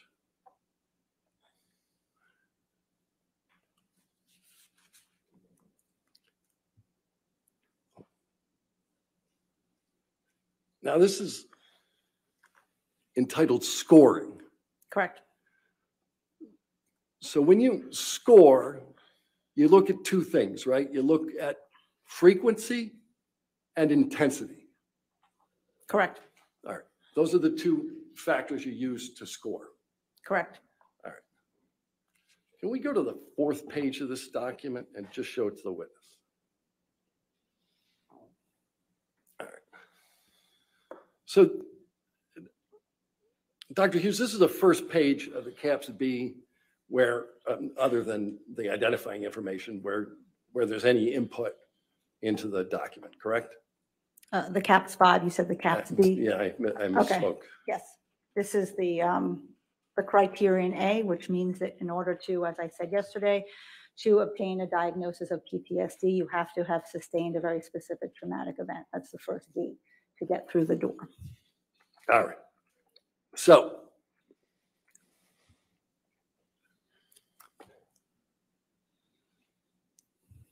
Your Honor, I'm gonna, um, I, I'd like to be able to get them a copy of this. Is it, is it too early to take the break or? A little bit if you. All can right, I can do move something. on. Okay. Um, We'll circle back. all right, so do you recognize the first page or the fourth page of this document? Yes, I do. A- And the, the handwriting on the fourth page is yours? It's all my handwriting. All right, the entirety of it is your, I'm going to move uh, this uh, document into evidence um, uh, along with the first page. Um, And that one is what number? I think it is Yeah, people are asking how this is going. It's going just fine. 1247. This is a professional witness. You have to be very careful. Yes, Have to be very careful with a professional witness. It's exhibit twelve forty-seven. Um, She If I feels were- a little different than a professional witness to me though, because she went Yeah, so far off the rails that it almost does feel like she, he does have to argue with her and quibble on some stuff she said that usually you'd stay away with, stay away from, uh, with an expert. Twelve forty-seven. Well, I would have stuck more on the bias that he opened up with. I think he could, or or and go back Oh, to it. it's defendants throughout. 1430. I would 'Cause I mention think- throughout little snarky comments, but well, that's only female victims, right? Something like that. Yeah. But other than that, I mean, he's eliciting good answers. Uh, she's gonna, she's going to take and run with things if he's not willing to actually shut her down, which he hasn't done really so far. She's done a But, good job um, kind of explaining context with her answers. Right. And this judge, we saw, she'll let you shut him down as the lawyer. So you got to do that in a nice way. Would you want to take a look at the court's copy? Would that be easier for you? It's a, it's fifty-nine pages. Um, I- Take a look at this real quick, Elaine. What is It's the moving in? 59 pages, I- I don't Judge. I think he's do a moving the, partial. en- are you moving the entire document in? Yeah, Yeah. I'm going to move the entire document. in evidence. Her They've entire seen this document. The don't test. I have an objection. Oh, the test. No okay. objection? No objection. Did you want to take a look at the court's copy or you're good? Uh, yeah, I would, thank you. It's, I mean, of course they're going to let it in. It's, or wait, are, no, we're not doing the test right now, right? Because she doesn't have a copy of that. This is something else. It's gonna show the evaluation too, right? No objection, no. All right, so even though I pulled it from um, defendants fourteen thirty-five, we want to make this twelve forty-seven plaintiffs, correct? Yes, Your Honor. Thank you. Okay. But yeah, How- you're a man. This lady doesn't I- like I- I men. kinda need it. Press her and press her and press her and get her to go you. crazy. We'll just change the number on it. All right. All right. So it's twelve forty-seven, I say, okay, twelve forty-seven in evidence, plaintiff's twelve forty-seven in evidence, and now it can be published to the jury. Thank you. Why don't we publish the fourth page where we're talking about? All right. Um, So wh- what this references is uh, the event you said was the worst. Um, And what you have filled in here is three words. IPV by Johnny, right? Correct. All right. And then what happened is the next box. And you've not written a, a single thing in the box, right? Because I've already spent 20 some odd hours with Ms. Heard, I know what goes in that box. If you oh. look at the top, it says administer the life of check checklist or an other structured trauma screen. That screen had already been conducted. Right, but there's a box on the gold standard test that asks what happened. And it says, how old were you? How were you involved? Who else was involved? Was anyone seriously injured or killed? Was anyone in life danger? And none of that information you provide in your um, analysis on the CAPS five. Your Honor, I- I hesitate to object, but that's very compact. It is. Okay, I- I'll sustain the objection if you want to rephrase. We can do it uh, Okay, the slow way. Do it the slow way.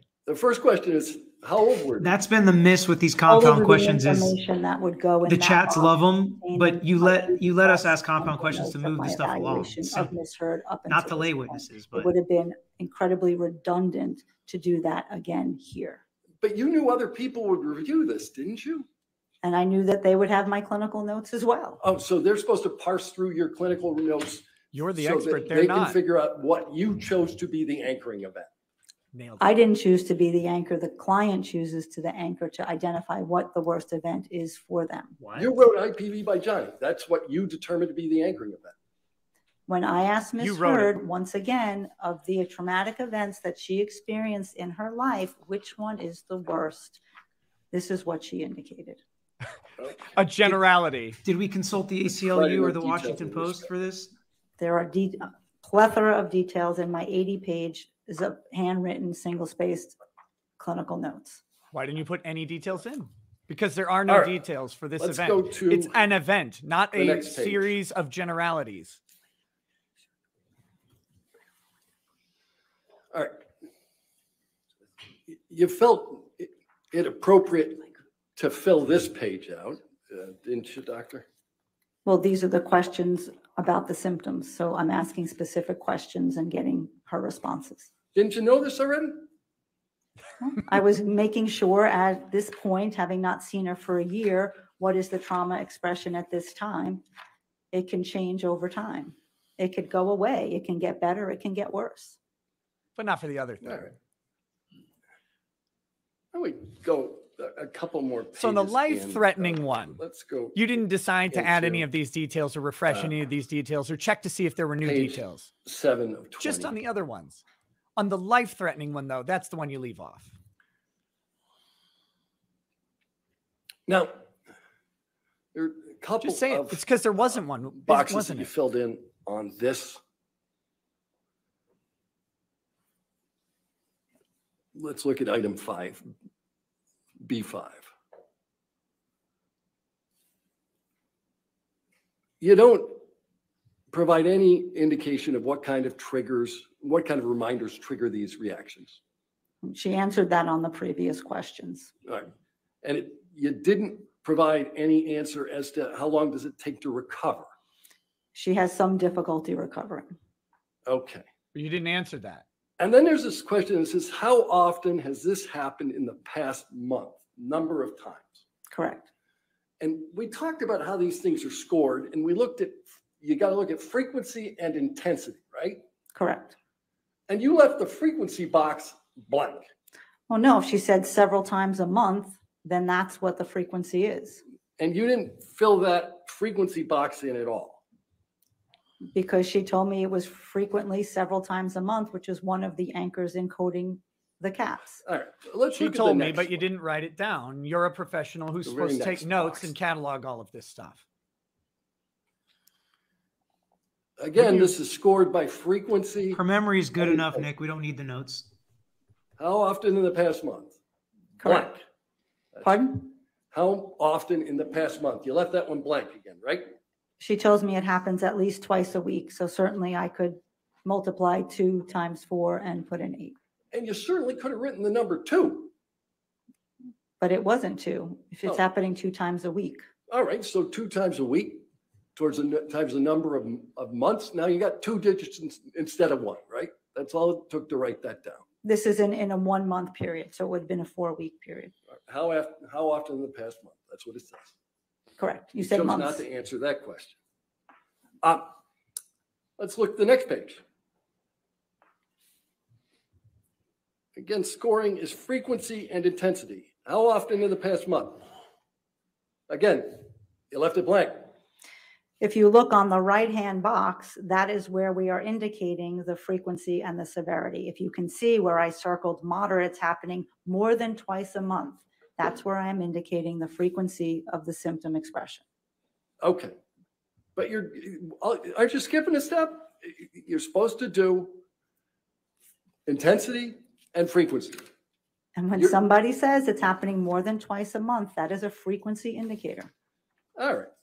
Um, Makes no sense. You wouldn't answer the question in bold go. right there. How many times a month? Right. to the next box. And again, for the Again, accuracy of the test and we for the have- benefit of the people reviewing the Past months, test How many of that the you know is important going to be parts of reviewed. Event it best have to be you difficulty remembering? Number of important aspects. And they're going to ask Curry if that moderate Well, I listed actually two means more than two times incidents a of month. where 'cause I she bet it indicates doesn't. she has important aspects that are missing.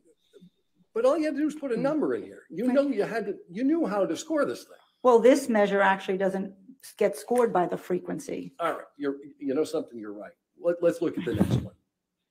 I know. No, that was keep keep hitting her. Her laughing, saying, I know I'm right. Yeah, do it. The next one gets scored by the frequency. That's blank, right? Well, I did not code it as a PTSD symptom. Okay, let's go to the next one.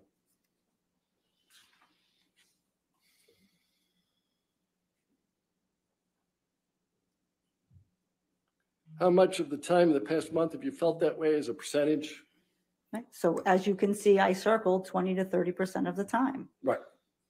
Yeah, but It's you didn't just as fill- it, just- I'm putting it on the right side in the box where I'm coding the instrument. We're, we're, we're gonna talk about the right side in a minute. Um, You took issue with the way that um, Dr. Curry did this test, didn't you? Correct. Right. But your test, in every instance where you're asked the number of times and to fill in the blank, you leave it blank. They're on the right side of the document. All right. So why isn't that where the question is then? Side of the document. Let's, The person that wrote the test did it wrong too, just like Dr. Curry? Exactly. Her answers After don't you make common did- sense. the CAPS five for the uh, anchoring, the three-word anchoring event, IPV by Johnny. You went back through again and said, you know, uh, maybe I should consider childhood trauma as well, right? I wanted to test for the limits and see at this point in time, um, Ms. Heard had had a child, and sometimes when people have children, their trauma gets evoked. Is she having those symptoms as well? She already had, based on this instrument, the PTSD from the interpersonal violence. I wanted to see if there were any additional symptoms. In And you every other question, had you added notes. severe child abuse as a young person. That is correct. She grew up in a home full of heroin addicts, right? Opiate abuse, yes, Yeah, and, uh, and there, there was IPV between her parents. correct. And so you wanted to make sure that there wasn't some impact with this childhood trauma in the diagnosis of PTSD. Yes. Right. And so you decided to give her the test again. Well, I didn't give it again, what's called testing the limits. I went back to some of the um, questions where she answered in the affirmative and said, and is this also happening vis-à-vis your childhood abuse? Are you also having intrusive thoughts and feelings about childhood? Are you avoiding thinking about things about childhood? Is that happening for you now as well? All right, so there are a series of notations on the right-hand side. Let's go to page um, five of 20 in the test. All right. Why don't we highlight the, the, the right-hand notations that start under the word childhood? All right. So the way you tested for childhood PTSD is to write a notation in the corner and answer a couple of questions. Same test. Well, I wasn't administering a whole CAPS again. What I was doing was seeing, as we know with people who have what we call polyvictimization or revictimization, someone could in fact meet criteria for the PTSD from the domestic violence, but then they're also experiencing some symptoms as a result of the childhood abuse. Both can occur. Right. But Mr. Depp isn't responsible for her childhood abuse. That is correct. And the way you tested this childhood abuse PTSD is you made notations on the right hand in the right hand column of a, of a form that you partially filled out for the IPV by Johnny, right? Well, I disagree with the partially filled out. The frequency was clearly filled out in the box where we score the caps. But yes, I did write about the childhood to the right of that box. Okay. What about the notes in the IPV by Johnny that isn't filled out at all? And that That's what you're is trying the to. pr- appropriate way that the gold standard test for PTSD for childhood trauma should be administered. If there were any affirmatives and I needed to go further, I could have administered another CAPS five. There were not. I did not need to do that. Okay. So you chose not to do a second CAPS five, although you knew that she had suffered from severe childhood trauma. No, because she wasn't suffering symptoms at that point in time, PTSD symptoms from the childhood trauma. All right.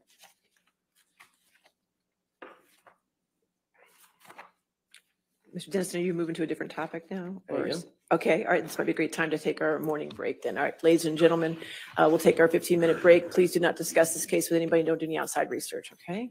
Thank you.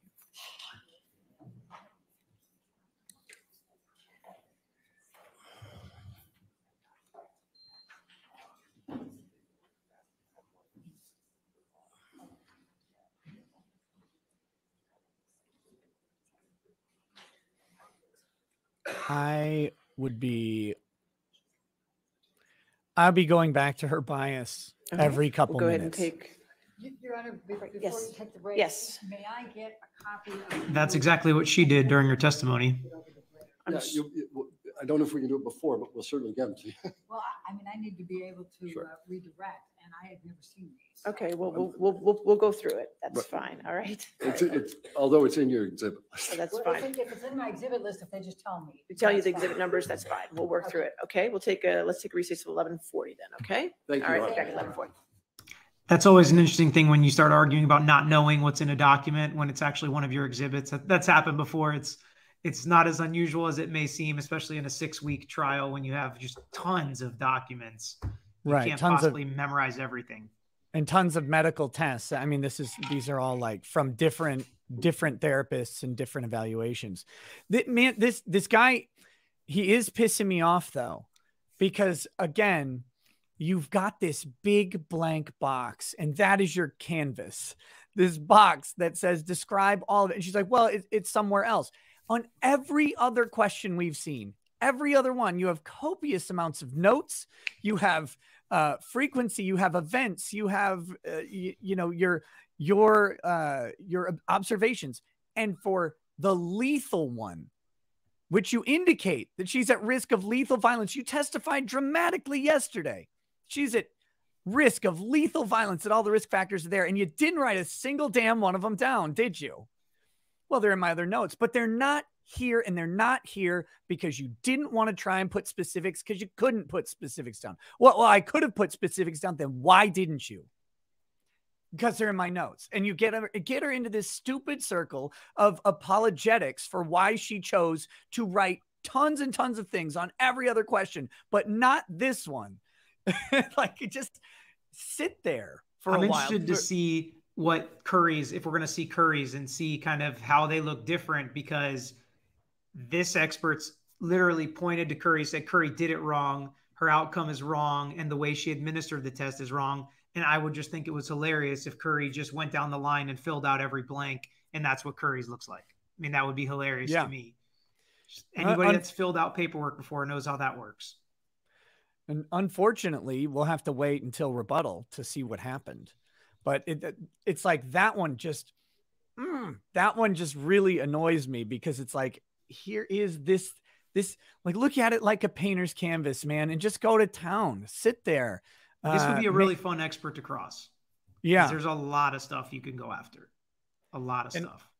and I would keep going back to the bias. I mean, she she gave him a gem and and he like kind of walked away from it. It's like so the only time you can remember testifying for a man is when it was another man committing the violence. That's that's the only time you remember doing it. Well, I've done work on other cases. Name one.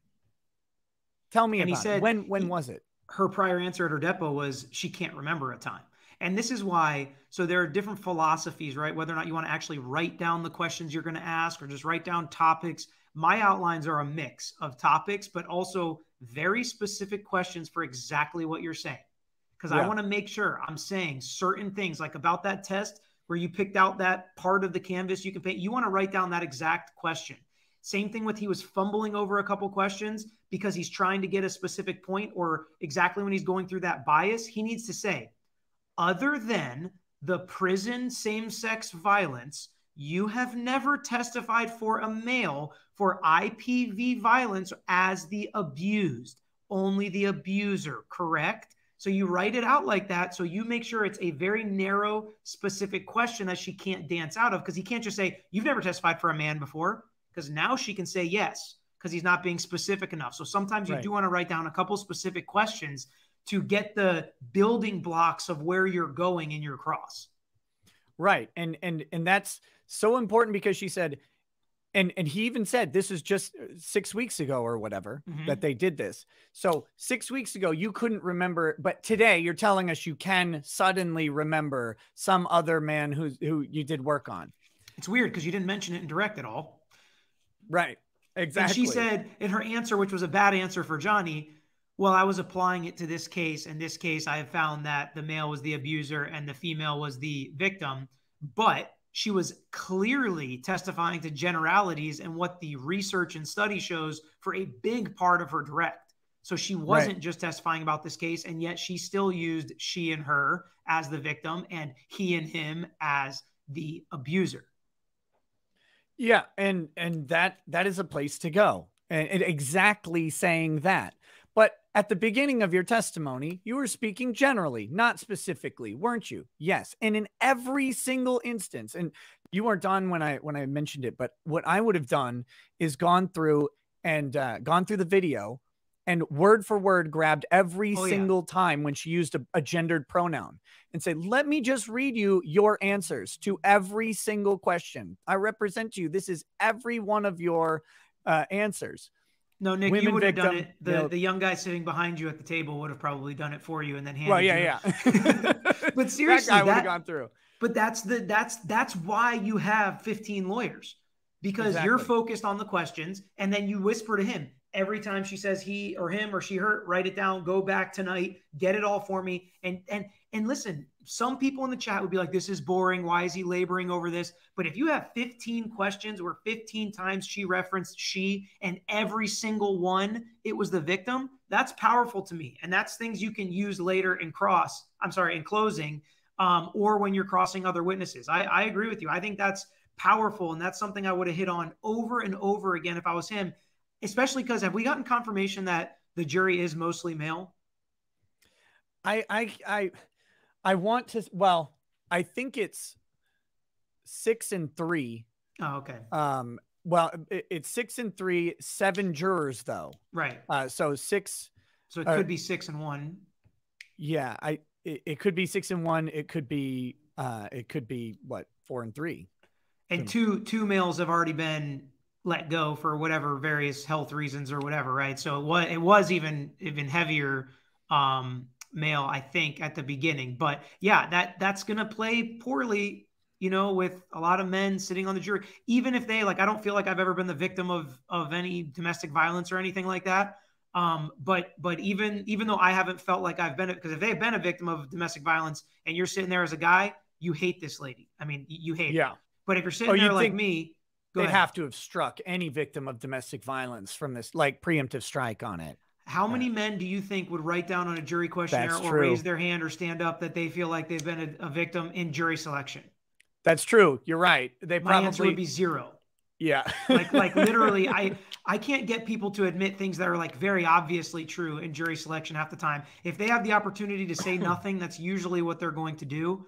Um, uh, but you're right. I mean, if somebody said, you know, yes, I feel like I'm the victim big time, I have all this, they probably would have been struck. But if somebody kind of thinks in the back of their head, maybe I was a victim, they hate this lady. But even if they don't ever feel like they were a victim in the past, being called the abuser over and over again is like, man, th- this sucks. Like I-, I can see myself in Johnny's shoes at this point.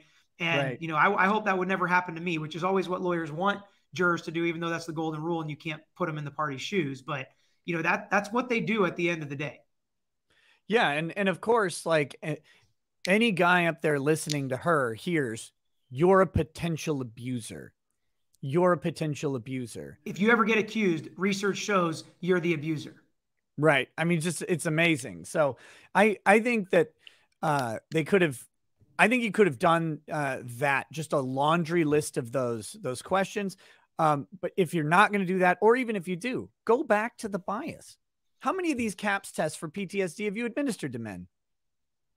How many times have you uh, diagnosed men as intimate partner uh, violence or, or as victims From that, From- getting yeah, PTSD. from- Right, getting PTSD from a female uh, perpetrator. How many times? and that's ever- a question you write down. And actually, what you say is you never have because you know that's the Right. answer. Yeah, I mean, you just you know that's the answer. And exactly, that's a question you write down because again, just listening to you and I talk about it off the top of our head, we're fumbling through it. But when you're sitting down, you're thinking, you write that one down and you just read it straight up, read it right off your notes. And then if she argues with something you said, no, no, no, I have this question written down. I've done that before. No, no, I have this question written down. I'll read it again for you. I've done that Right. because they can't argue with, because then the judge is not going to say, oh, no, that's not what he said. They'll be like, yep, answer the question he asked. So that's exactly why, because it's hard to get through all this IPV, PTSD, victim, abuser, male. It's hard to get all through all the language and verbiage. So sometimes writing it down really helps. And then like let her let her equivocate and say, well, but I, I primarily treat women because I work at women's shelters and blah blah blah blah. Let her say all that. Like that's fine. Oh, so you're not really that familiar with male victims of intimate partner violence, are you? You you your vast amount of your work experience is lensed through this very particular type of violence that you see with frequency. Wouldn't you say if someone only sees one particular characteristic of of someone, they might start to develop a bias? Said, "Oh no, I'm I'm very smart. I can avoid biases." Oh well, I it's great that you can avoid bias, but like not you, but like let's say somebody other than you saw only intimate partner violence from a man to a woman. You'd think maybe they could develop some generalized ideas about male female relationships. Wouldn't that wouldn't that be fair? Like wouldn't that be a nice psychological analysis? Just let her say no while the jury goes, "Well, obviously that's how this works." Yeah. It's like somebody who's only ever met bad cops, and every cop they've come into to contact with has been a bad cop and has wronged them. They're going to think cops are bad. Like that's what Of happens course. if you if you come into contact over and over and over and again with your life and your experience with one certain thing, like you're saying. As soon as you change the facts on her, she would be able to see it and be like, "Oh yeah, I guess that does make sense." It's like exactly, and that's what you're doing, because all Or you she'll ever de- see are female victims. or she'll deny it and it'll look completely flaccid because no Either my, my you win. education and training lets me eliminate bias i i, I do all this training because we you know you know we have to do this right we have to do continuing legal education on the elimination of bias every single year and we also know that in those trainings they basically say you can't eliminate bias. You can just try and guard against it because that's the whole bias narrative. It's very in vogue right now to say that it's impossible to eliminate those things. So yeah, press her on it. I mean, that Yeah, I, I, mean, I, it's like me saying that, like, if you talk about money for pain and suffering, I'm biased because I think that's fair. I think you should get money for pain and suffering. I have people that are very good friends of mine, and we align on a lot of other topics, and they're like, that makes no sense. Money's not going to make the pain go away. And I say, then you're never going to be on my jury. But you know, that's what it comes down to. It's like you have Right. biases with where, where you work. And even if you think you're helping people like I think I am, and she thinks she is, I believe that she can still be biased a certain way and probably not a very good expert for this case. Exactly. And I, he didn't, he kind of let it let the question just hover out there, but he says, "Did they interview you for this case?" And she said no. And it's like, isn't that like to me? They so knew what she was going to say. They yeah, they didn't interview you. They have uh, someone claiming to be a victim of domestic violence, and they didn't even need to interview you to hire you. Well, they they they knew my reputation. Yeah, I bet they did. I bet they They've- did. They've read your reports that all look the same. Like Right, we, we have experts, the same thing that the synopsis or diagnosis at the bottom is the same paragraph, copy and pasted on multiple cases. And guess what? I read them from other cases to him. I'm like, hey, look at that. Same exact verbiage. He's like, well, I do a lot of these. And when you start dictating this paragraph, you start to sound the same over and over. I'm like, exactly the same, like periods and commas in the same spot. like it literally, it's copy and pasted, dude. But Oh, yeah, I mean, you can use that stuff just like they're using her PowerPoint presentations. I mean, they're using those. That has nothing to do with necessarily the content of this case, but it shows this is what she does. And I bet those PowerPoint presentations use certain pronouns in certain situations. I was annoyed that he didn't go into it. Like he just brought up the first screen, then he's like, "Let's move to this thing." It's like, well, why did we just? He entered the whole thing into evidence too. Yeah, he got the whole thing into evidence, and then he avoided actually asking a, single question about the evidence. It was it, that was odd. It was like, did his brain skip like a record or something? I'm not sure what happened there. Um, they were happy to have that in evidence, though. They had no objection to it. Um, Well, exactly, because they can probably use it now as as research. Here's what the research shows. If you're going to put it in here, I'm going to say this is an evidence. Research shows 99.99% of the time when uh, Dr. Hughes looks at something, it's a it's a male abuser. But I think maybe what you've kind of already mentioned before is that she's done a pretty good job dancing around or giving context. Maybe they didn't want to bring up those other slides in front of her, but now that it's in evidence, they can do whatever they want with them in closing. So maybe they're that's just going to put their narrative on them in closing, not give her an opportunity to explain them, which if she needs explanation, redirect will probably hit some of those. So we'll see. Well, now it's an the actually here you go. Now she has uh admitted to the the presentation. They've accepted it as evidence. Rebuttal witness Dr. Curry can Mm. now come and talk about it as an expert without the opportunity for her to respond.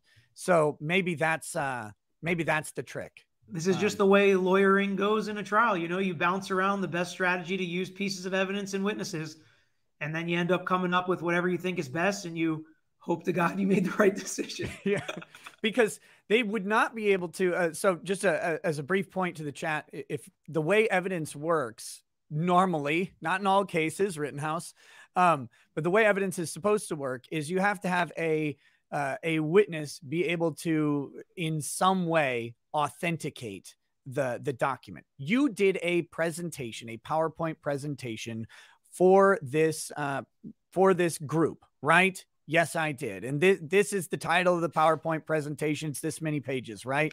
Yes, it is. You pull it up on screen. This is it. This is it. This is it, right? This is the first page. Yes, it is. Okay, we want to move this into evidence. No objection. Now you've got that whole thing in there. If they tried to do that with Dr. Curry, she would have had to even if she was a witness to it, it would be a hearsay objection at that point. Like this is someone else's statements. So unless Dr. Curry was co-author of it, she wouldn't be able to introduce that thing. Um, unless somehow she had reviewed it for her own notes or something. in but- rebuttal for to to uh, potentially impeach Dr. Hughes, maybe, but this is the best way to do it, no doubt. Exactly why you explained it. This is the cleanest, easiest, best way to get it in because she's not going to argue with her own PowerPoint, and and the, the her lawyers that chose her better not argue with her PowerPoint that she did to present to a bar association. Like, what what are they going to argue with there? Now, I have a question. What do you Yeah. think about so this whole this team didn't interview you to you that came up like a big point um, I understand the thought process, but I really only understand it from my own experience dealing with experts. But if I was a layperson, I'm not sure I would have cared that they didn't interview her versus drinks and dinner and muffins and a little starstruck potentially uh, with Johnny Depp. How would you kind of compare the two interviews of these experts um, as far as which one you would think was more positive or negative? Because I got to be honest, interviewing an expert and trying to get them to say what I say versus, okay, this guy's a board certified radiologist who's testified 100 times. He's really good. He knows his stuff. I'm going to hire him. I don't need to interview him. What do you think about that? Well, one, I think both were completely inappropriate. I think I think I'm with you. I think I'm with you.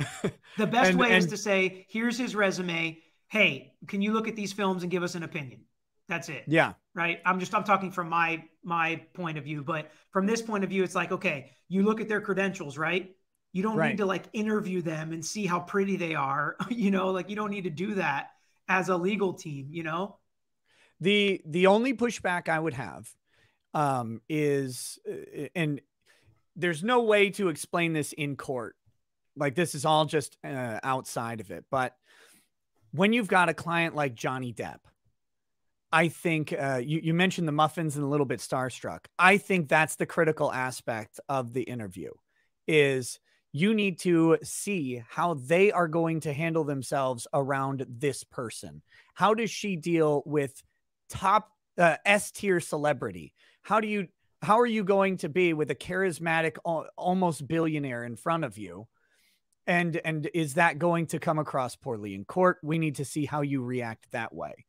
Um, and and I think that is the difference in this case versus other cases is you have celebrity clients um, who who are going to be uh, and they had to know they're going to be fighting for this thing in public because that was the whole purpose of this trial.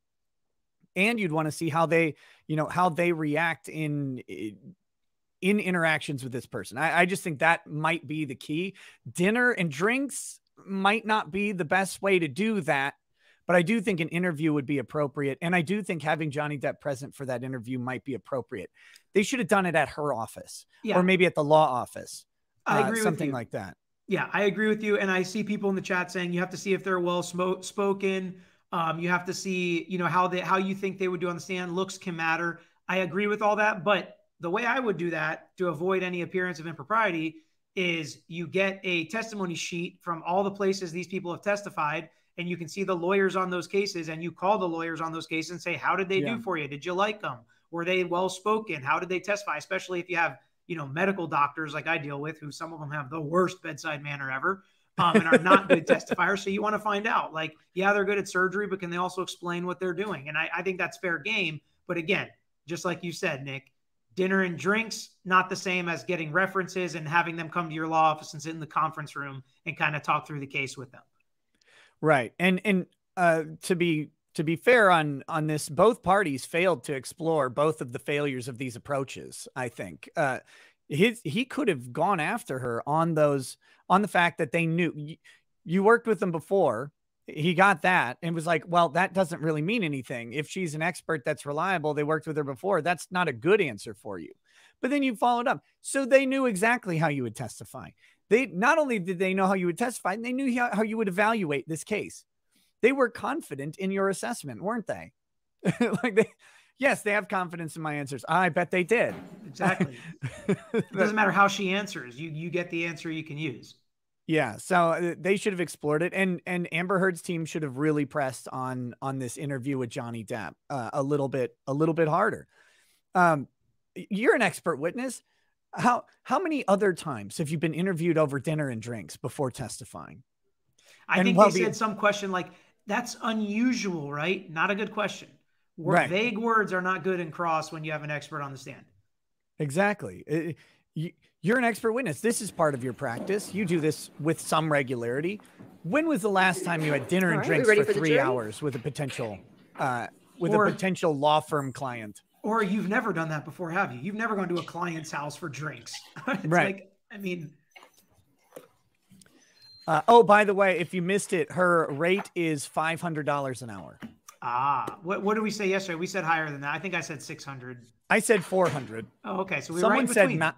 Someone said nine fi- nine fifty, which was I thought that was really high. Oh yeah, because she was in Manhattan or something. Yeah. Yeah. Yeah. No, I you can tell kind of a I feel like we're getting a gauge based on the other witnesses, and you could tell she definitely wasn't going to be the highest, but she I didn't think she was going to be the lowest. She was. I mean, her office is on uh, Madison Avenue or whatever. Uh, so Right. pretty pretty ritzy, but um, yeah, and, and I think I think it would have looked really improper if she would have charged four figures in a in this case. Oh, Uh, and, and there was something that he said like you charged a hundred dollars an hour. That must have been what she said in his in her depo. Well, the so yeah, she said that it was erroneous in the deposition. He said, so you didn't correct the, the errors in the you. deposition? See this? She said there were, question? there were numerous errors and you didn't correct them? Well, we didn't have errata time. sheet. Let's get into the errata Yeah. sheet. Why don't we put that uh, back up, plaintiff's uh, 1247? Um, Again, this is the caps five. Um, You didn't administer this until you already had Dr. Curry's scores, did you?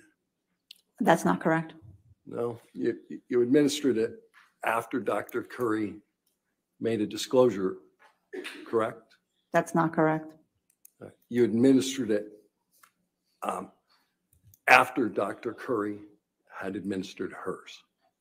I learned that in late February when she submitted her report, but I had no way of knowing that in December of 2021. And you didn't make any reference to this uh, in your disclosures until after Dr. Curry made reference to hers, right? I don't recall the date of the final disclosure or the fourth disclosure. So you don't know if the Can we go to the disclosure was made. You don't recall the date, so you don't know if it was made prior to you. Let's go Administering to your the top of the page, we'll blow that up.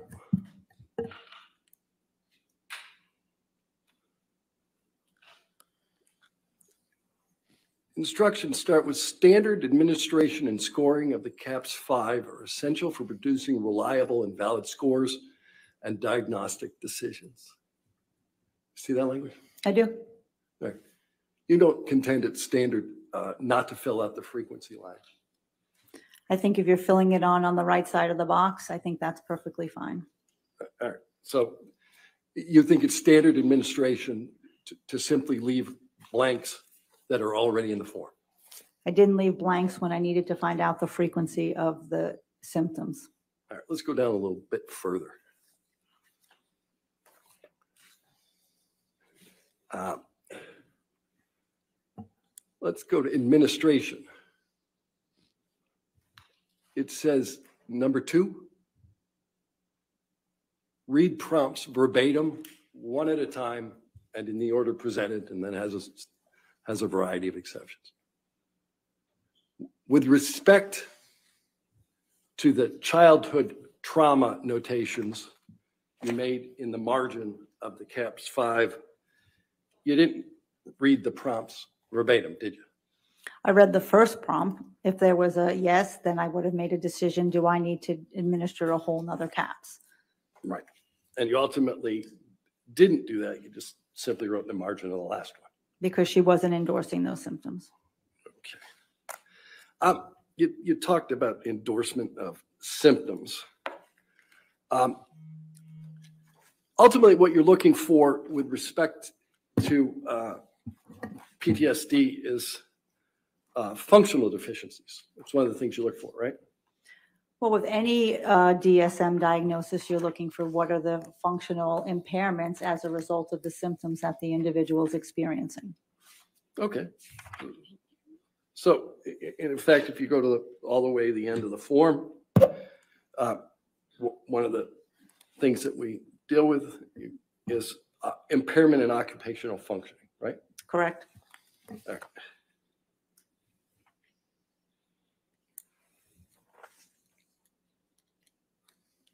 What's Ms. Heard's occupation? She's an actor. Right. And she's in, she had just wrapped a major motion picture, correct? That's correct. So you didn't determine that she had an impairment in occupational function.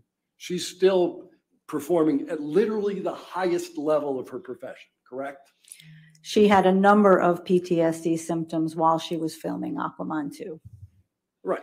that interfered with her ability Is to Aquaman like really chocolate? organize a lot of Yeah. resources for herself in order to go forward and film that. I, I asked you whether Production. she was performing at the highest level of her profession. Yes or no? I don't know if I'm qualified to answer that. Okay. Um, Really? but did she? Always fun when they say that. that She loves to cook, She loves to cook, yes. yeah, hike, I don't recall hiking, but read. Yep. spend time with friends. If she can, that has been significantly diminished as a result of her PTSD symptoms as a result of this case. Uh, she just had a baby. Unless Coachella is going on. Yeah, no exercises kidding. every day. The, the most that I can tell, she does. Uh, completed level three sommelier training.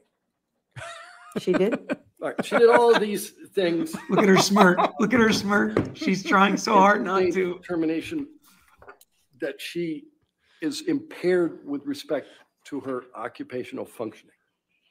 I made a determination that the symptoms interfere with her functioning. She does these things, but it's not like the symptoms aren't there. She has to continue to work even though she has a panic attack, even though she has an intrusive recollection of the trauma, even though she's having heart palpitations and sweaty Do we have records that show panic attacks? mind.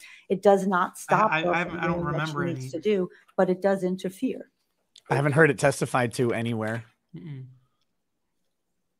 Um, so I'm, I'm going to ask you about. We also have no record of any testimony of any interference with any professional work. Um, She just that came out of was called nowhere. The PAI. Do you know that one? Yes, I do. Uh, that's, that's the personality uh, assessment inventory. That's correct.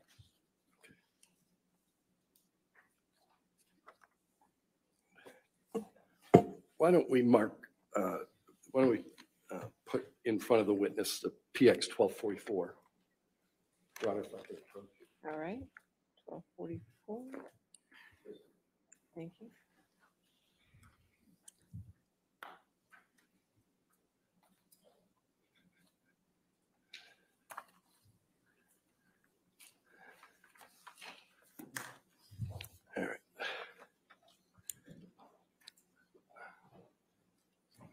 So, Dr. Hughes, do you uh, recognize uh, PX 1244?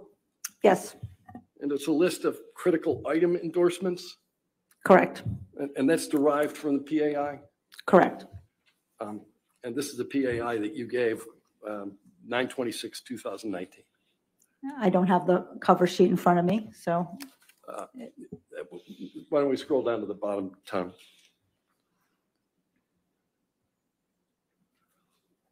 And there it is. Yep, There Thank it is you. down there. thank you. You bet. Okay. Um, Now, critical item in, why don't- I'm going to move uh, this document, uh, PX 1244 into evidence. Your Honor, I would uh, request that the entire document be put in the uh, piece of case. I'm only going to ask her about this piece. I I still would ask. for the Well, entire he- it's his, it's his exhibit. Do you have any objection to his exhibit, which is just the first page? No. All right. You can move it in on rebuttal or re- redirect. So critical item endorsement. This starts a total of 27 PA item, PAI items reflecting serious pathology have been very low endorsement rates, have very low endorsement rates in normal samples. These items have been termed critical items. You're, you're familiar with that concept? Yes, I am. All right. And I just want to ask you about a couple of the critical items. Uh, The first one is uh, potential for aggression. This was deemed, a- under your PAI, a critical item. It says, sometimes my temper explodes and I completely lose control. How did that uh, potential for uh, aggression bear on your analysis? Well, there's a few things. Number one, certainly uh, Ms. Heard eh, reported to me that in her relationship, that would happen. Her anger and her affect regulation would become impaired. Um, Number two, you have to look at the total scales where that scale is not elevated, so it would not be a major cause of clinical concern. Number three, she had four responses that she could say to this question. Mainly true, uh, very true, mainly true, sometimes true or false. She chose sometimes true. So she's answering honestly about her experience. So Sometimes. She's answering honestly, is she? It's sometimes you true that sometimes my temper explodes. That's what you're testifying. Correct. All right. So th- you've talked a little bit about this concept called malingering. And there's one here for potential malingering. It's one thing to say that what they're saying is true versus they're not And this is malingering. another one of That's the these point of critical item malingering. You're not supposed to say what they're saying is means true. that These are uh, serious pathology, right? Well, as you can see, it says endorsement of these critical items is not in and of itself diagnostic. No, So you I- need to review the content of the item. And that's how you make the determination, is this something of clinical concern that you need to do more understanding about? Okay, so this critical item endorsement, this one reads, under potential malingering, I think I have three or four completely different personalities inside of me. Correct, And she endorsed that as sometimes true. correct. Okay. And there's not one elevated malingering scale on the PAI.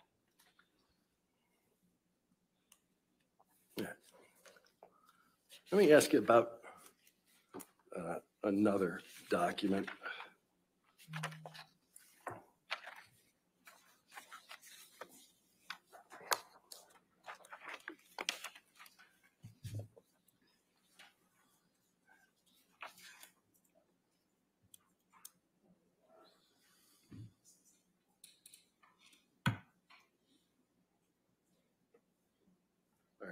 Mark the document as PX 1248.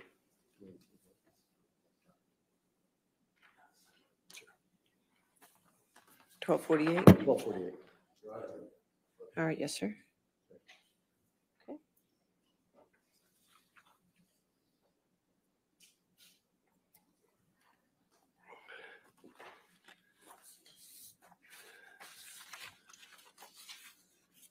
All right.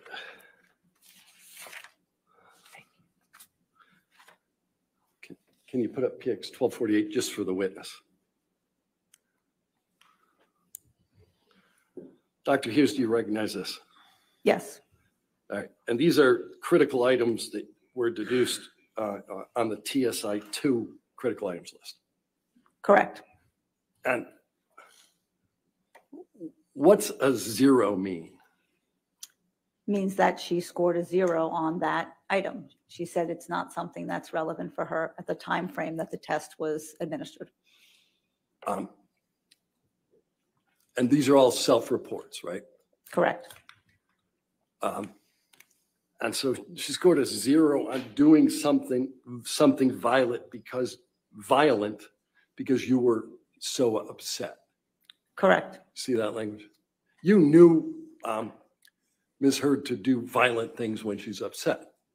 This test specifies how often have you had these symptoms in the last six months? just in the last six months. Correct, All right. So she hadn't had them in the last six months. correct. This test uh, also asks and inquires about intentionally hurting yourself. Ask about the framing of the time. In the last six months. Right. Is the prompt, All right, in the last six months. correct. On all the other tests, she Had framed it back to her Heard relationship in time. Previously Why not this indicated one? to your, to you that she cut herself. She indicated one time as a teenager in a reckless moment she did. It was stupid and I never did it again. Good memory there. Didn't need notes. Great memory.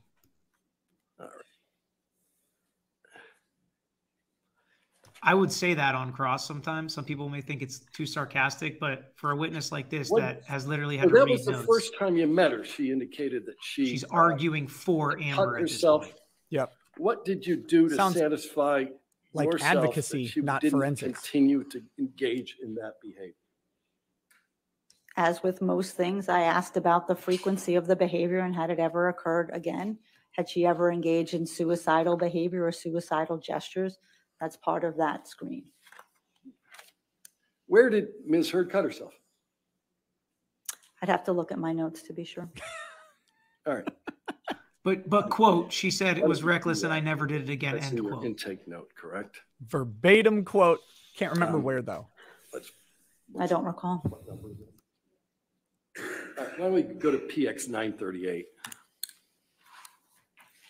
And again, that's one of those where you say you just quoted her exact wording on it. You can't remember what location. Like, so that seemed uh, like that was you put it important up to you. witness. It seems like it. that quote struck out, uh, go to the stuck out page. with you. So the subject seems important to you. Why don't you, you, you, and you can't remember where she cut herself? Oh, I'd have to check my notes. What about a general area? Because it was probably your arm, There we right? go. Like, Should be obvious. Where she Here, has the 938, scrapes. We're on the third, stuff. we're on the third page. Um, This background information uh, sheet has uh, already been, already been admitted into evidence. Um, And there's a discussion here, uh, we talked about earlier, uh, about intimate relationships. I'm, I'm sorry, the question? Yeah, let's go back to the first page.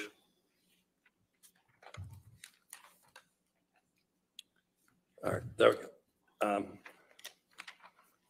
What number is this? This is in at twelve forty-six, so I, this page anyway, I'll ask that it be um, published to the jury. We're gonna do it again, What, what, so twelve forty-six? twelve forty-six. All right. Okay, it, it- it's in evidence. I, there's supposed to be redactions though, but. I think okay. those are all that's in medications on the 1246. table in front of Johnny, actually. Um, It almost Those looks are like a like- mix of pills and candy. Relationships. yeah.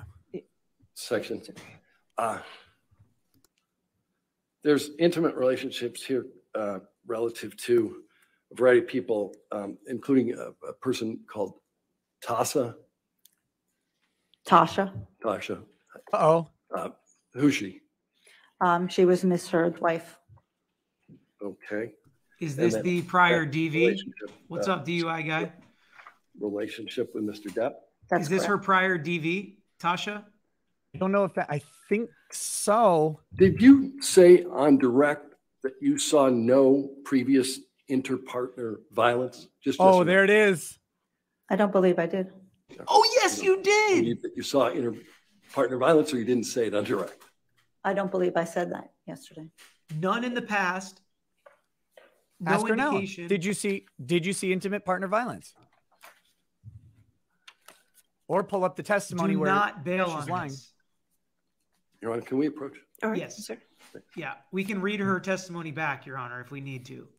Uh, Your Honor, I'd like to approach. Um, when he gets up, Your Honor, we're about to drill the fuck out of this lady. it's about to go down, Your Honor, so we just need to discuss how it's happening. Wow, Uh, she just said no, I didn't say that. But again, this is why I don't I don't think his question is actually perfect because I don't know if she said it exactly like that. She didn't say there was no inter whatever violence in the past. She said when in when looking at whether or not somebody is the abuser, you look at if they have any indications of, of violence against partners in the past, which she doesn't. It was something more along those lines, which is why you got to have, you know, buddy in the back, give me the quote from exactly what she said. And that's how you write down that exact question, as opposed to kind of a vague, similar question, which is what he went with. yeah. Well, we'll see how they handle it, but they're they're asking permission right now to. Yeah, well, it seems like the judge said they opened the door yesterday when they went to sidebar. She's like, you can deal with it on cross, is what it sounded like. Oh, this is fun. I mean, if they if they get this in, it's devastating. I agree. It's devastating. Oh, he's he's animated. He he's is. pointing. He's pointing. I've got the quote right here. He's using intimidation tactics, though. I don't know. This this psychiatrist or psychologist won't like it. he's Look at, committing the, look at sexual that power violence. stance. He's Yeah, committing uh, sexual violence against all the women in the courtroom according right to her now. definition.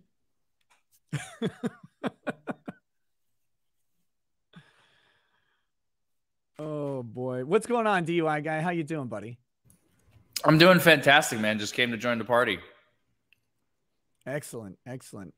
So far, this cross has been uh, a little wishy-washy, not terrible. Mhm. Uh, there've been there have been a few missed opportunities, but all of those go away if they can get this in. Like That's what I'm hearing. So I'm, I'm trying to catch up. it'll destroy this entire narrative of this lady if she just decided to omit the fact that there was domestic violence from Amber Heard and uh, and they they just skipped over it on direct and I all think of the that. best the best way this could play for the defense is if she didn't know about it. Not that if she lied or hid it, but if she didn't know about it yes, and she's like, "Crap, how did you guys not tell me about this?" And now it changes all of her opinions. That's the Yeah, best way it can go for defense. right because you you you'd say so so they she didn't report this to you. Now So- wouldn't you well, agree that that would be crucial to your evaluation. It, it So your sounds like the- evaluation's inaccurate. Sorry, go ahead. No, no, no. I was gonna say they, they put her on, and I remember like yesterday, three or four points during the direct examination. I was going in my head, and I think I even said a couple times out loud, "Where are you going with this? Like, where's the link to Amber Heard? Like, are you just here to talk about what domestic violence is generally? Like, who gives a shit? Give us the the meat, the beef, trim the fat, you know." And looks like they haven't gotten to the to the meat, even when with direct being I over. I don't think they're getting it Did in. you speak with Ms. Heard around the circumstances that gave rise to the um, TRO? They didn't get it in. With, um, on May 21st? Yes. The judge said you got to Uh, live with your it is. answer, basically. Okay. No way. Did Ms. Heard ever tell you that James Franco spent the night with her at the ECB Wow. between May 21 and May I'm 27? Shocked. I recall, I mean, again, it would be helpful to have my notes so I can tell you exactly what, but I do recall that she did see him at some point. I do not know if he spent the night. Do you know if Elon Musk spent the night during that period? I don't know. You can get her transcript. He should have gotten her transcript. Get the video. Play a video for her. Impeach her. Play this stream from yesterday. I mean, come on. You cannot let that slide. I'm shocked. Yeah. She's up there going, thank Christ. Well, the people are saying the judge is biased, but that's not. He, she did give an answer, and her answer was a lie. So if he can't figure out, I don't know why he has to approach. I would have just impeached the answer that she gave. I don't need to ask the judge anymore. If the judge already said I could do this, I will. I will fight with this witness right now and play her own testimony back for her. Make him make the objection at least. Yeah, Why don't they want to talk about this relationship? Cannot testify wow. that Johnny Depp was not abused, can you? I, I can testify that he had physical acts of violence perpetrated on him as well as psychological aggressive acts perpetrated upon him. No further questions. All right. redirect. Oh, fucking hell.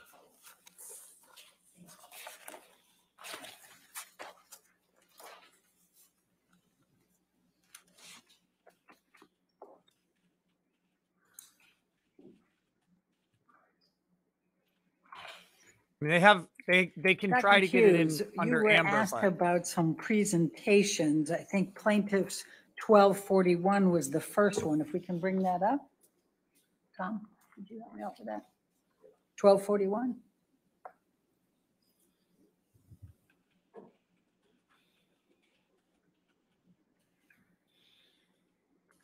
Yes, And if you can scroll down, what was the significance of this presentation? And, and can you, can you give her control or do you have to have control? Of the document? It's just one page? Oh, it's not the entire presentation? Okay. Can you please tell the jury what you provided in this presentation? Um, to the best of my recollection, it was what I spoke to you about before of how people who are not trained in forensic psychology, but who are working with victims of domestic violence can go into court and navigate with the court system and present and talk about domestic violence in a, a legal setting. Okay, thank you. And that's been moved into admission, that's been moved That's in, it, correct? yes. Okay, well, let's go to the one that I don't think was 1242, please. Tom, if you could bring that up. Oh, I'm still annoyed. All That's right, a is that just that's a one page too? big How many big pages is that loss. one? Okay. Um, Do you recall this presentation, Dr. Hughes? Yes, I do. Okay. Um, Could you please just, well, let's, I'm going to move the admission of plaintiff's exhibit 1242 first of all. Any objection? All right, 1242? And um, could we publish it to the jury, please? Yeah. And Dr. Hughes, could you please tell the jury, explain to the jury what this presentation entailed? Um, so I was asked by the head of the Kings County Bar Association to give a presentation about uh, intimate partner violence, domestic violence, and how psychological experts can be of assistance. Um, This was um, just because of how Brooklyn is, a a bar association that was attended by many of the prosecutors from the Kings County uh, District Attorney's Office, as well as defense attorneys. And as I stated before, this presentation was about how to really understand cases of domestic violence, how to understand what if she drops the restraining order? What if she doesn't call the police? What are the myths and misconceptions about intimate partner violence? Um, and when she uses force, what does that mean? How do we understand that? How do we evaluate for that? Um, so again, without seeing the rest of the presentation, I believe that was the thrust of this presentation. Okay, great. Thank you. Now, uh, you testified about the notes you took and the notes you reviewed, um, and you were asked about some limited questions on testing. I'm going to ask for Defendant's Exhibit 1434.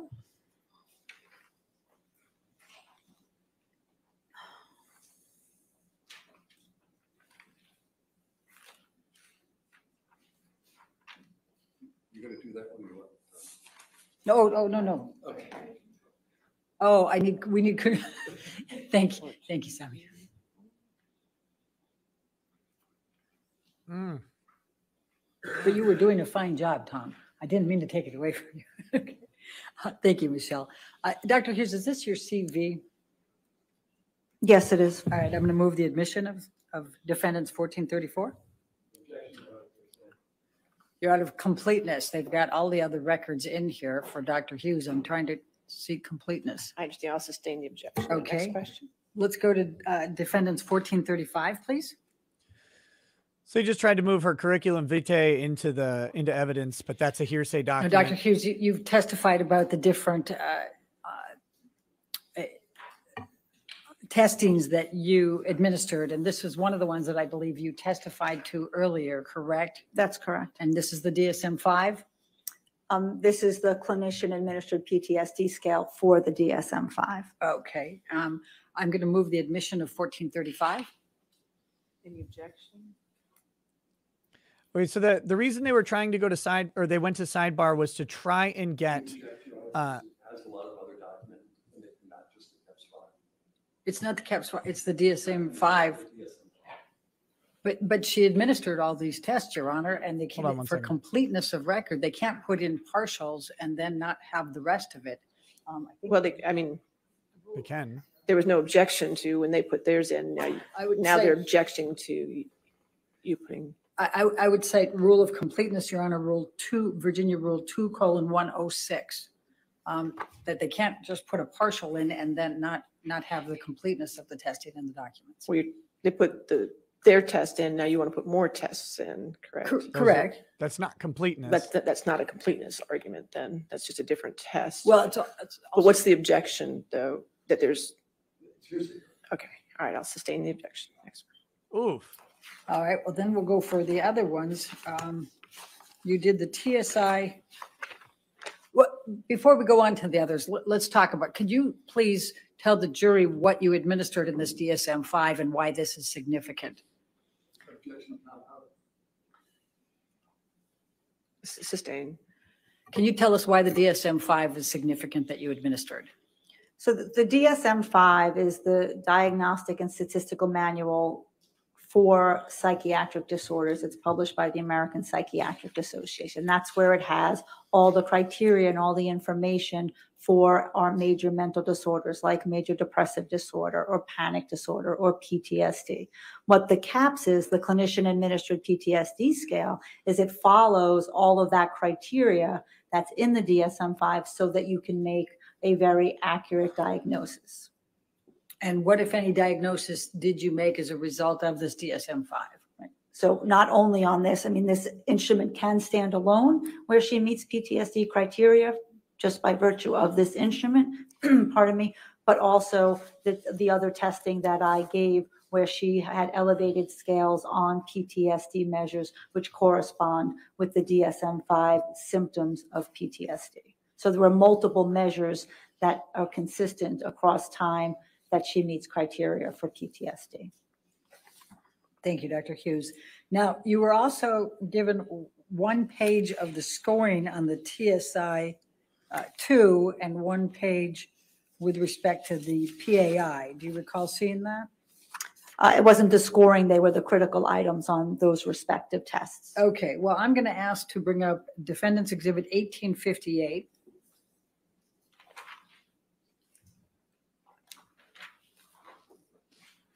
Which is the full PAI. Um, And was this the actual testing and scoring? Um, yes, this is the, the profile, um, the scores that are generated from the 344 questions that Ms. Heard uh, answered on this test. A- And what did you, what were the results? What, what did you determine based on the testing of this PAI? Well, that the results were valid and reportable. Um, there was no evidence of exaggeration or malingering on this test. And there were significant symptoms, um, that correspond with traumatic stress and post-traumatic stress disorder symptomatology. And I, I believe you said again that there was, um, that there was no elevated scores. Can you explain to the jury what you meant by that? Objection leading. O- Overruled out. Go ahead.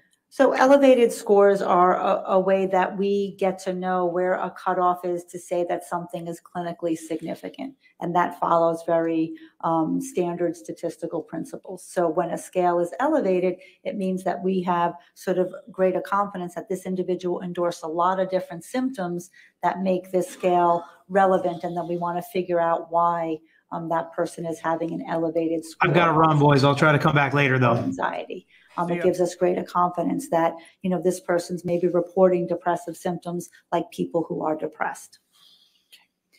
And what, what would constitute an elevated score? Well, on different tests, it's different things. Um, certainly on the PAI, um, it, it doesn't follow linear T-scores. It's a little different statistically, so you have to look at it differently. Um, but certainly, uh, you know, it's usually about a T-score of a 65, and on some it's a T-score of a 70, which is a, a T-score is a normative curve, is a way of allowing us to compare people's scores, comparing your scores to the normative group of scores. And would it be at all helpful to have the entire uh, test as opposed to a, uh, one piece of paper or one page? Well, certainly you cannot tell the entirety of how um, the symptoms that Ms. Heard endorsed and the scales were elevated just by the critical items. All right, I'm going to move the admission of plaintiff's, ex- or den- defendant's exhibit 1858. Objection hearsay. And this is the completeness, Your Honor. I'll sustain the objection. Next question. Let's bring up 1859. How'd you lose that one?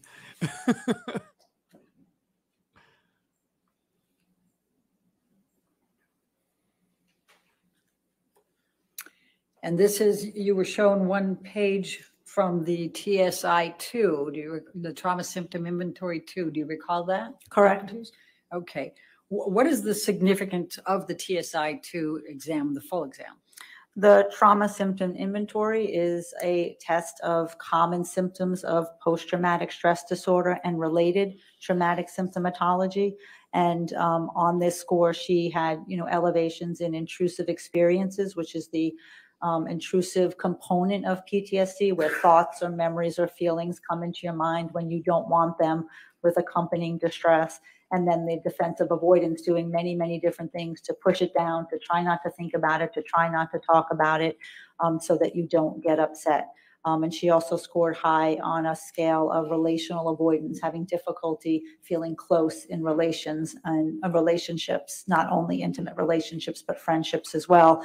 And um, that's a related trauma symptom that individuals have after having sustained um, an interpersonal trauma like domestic violence. Okay. And would it be helpful to have the full exam as opposed to one page out of it? Are you just gonna hearsay? As with anything, one too? seeing a- an entire uh, profile gives one more information. Your Honor, I'd move the admission of Defendant's Exhibit 15 for 1859, Objection Objection hearsay. hearsay. and I would argue the If we could rule approach again. for this. Well, the judge just sustained the exact same objection with the exact same arguments for another document. So I would I would think by logic she needs to sustain this one.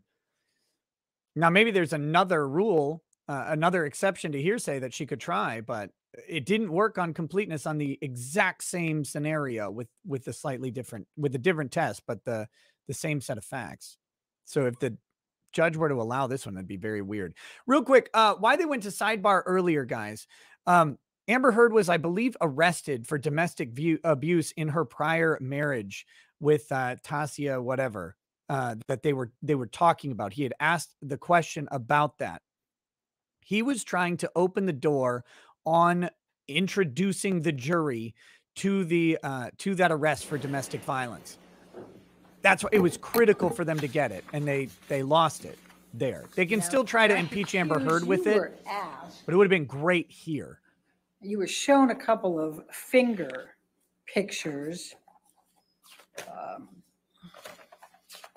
of Mr. Depp, That objection was sustained, by the way. and I believe you indicated th- those were shown to you, and I think you were asked uh, if you were, uh, if these were severe injuries, correct? Correct. All right. Did you have any understanding of the cause of those injuries by Mr. Depp? I do understand that there's competing accounts of what happened, for All sure. right. Let's bring up Defendants Exhibits 373. Gates of Above says if two gay guys in a relationship get into a fight, is it domestic violence or just a fight? also, here's to your fund for getting that new license for YouTube. Thanks. Your Honor, I think this is already admitted. I according to it. this one, they would both be the doesn't have it, so perpetrators of domestic violence, I can mark and there it, would be no victim. But it's not admitted yet. I think there was Unless a version of that. If I Well, may, I don't know that. Your I can just tell you that I'm three sorry. seventy-three has not been admitted into evidence. Your Honor, it's not redacted and I don't believe it's been it- admitted. it- the, the part I'm trying to admit is in another exhibit, so let's, let's go in a different way. We'll take that one down. Let's go with 398. Three ninety-eight redacted is in evidence. That's, that might be the one. That might be the one. well, is it? All right. If you could blow that up.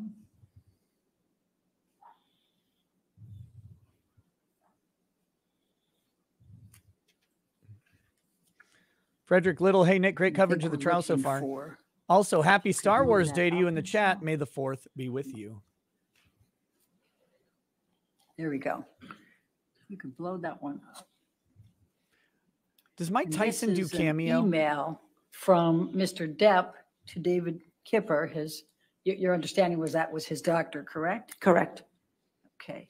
And then I'm going to draw your attention to the last part of this. This is on 3/19/2015.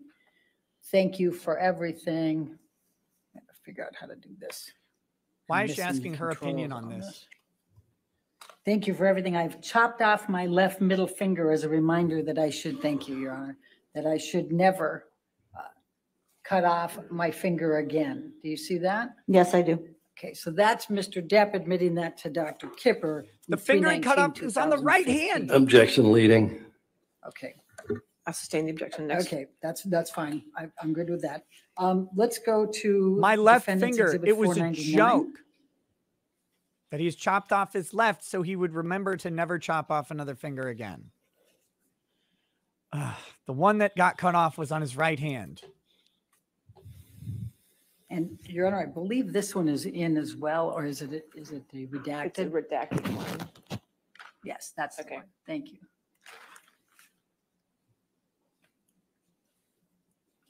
Uh, And then if I could draw your attention, this is a, a text message from Mr. Depp to Erin Falati. We talked about her earlier on 10/31/2015.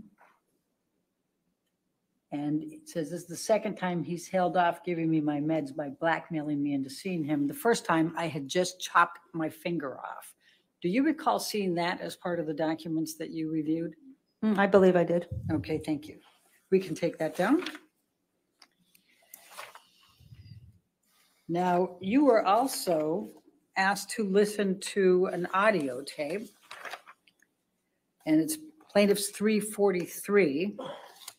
I'm going to, and, and, and do you recall here, listening to that audio tape at some point as part of your review? Uh, yes, I do. Okay, I'm going to now pull up that same audio tape from the same date, and I believe that's June 2016. And if we could go to, and we're going to have a few different ones, so, so hold in there with us. We're going to start with two minutes, 40 seconds, zero, zero, going to two minutes, 40 seconds and 21.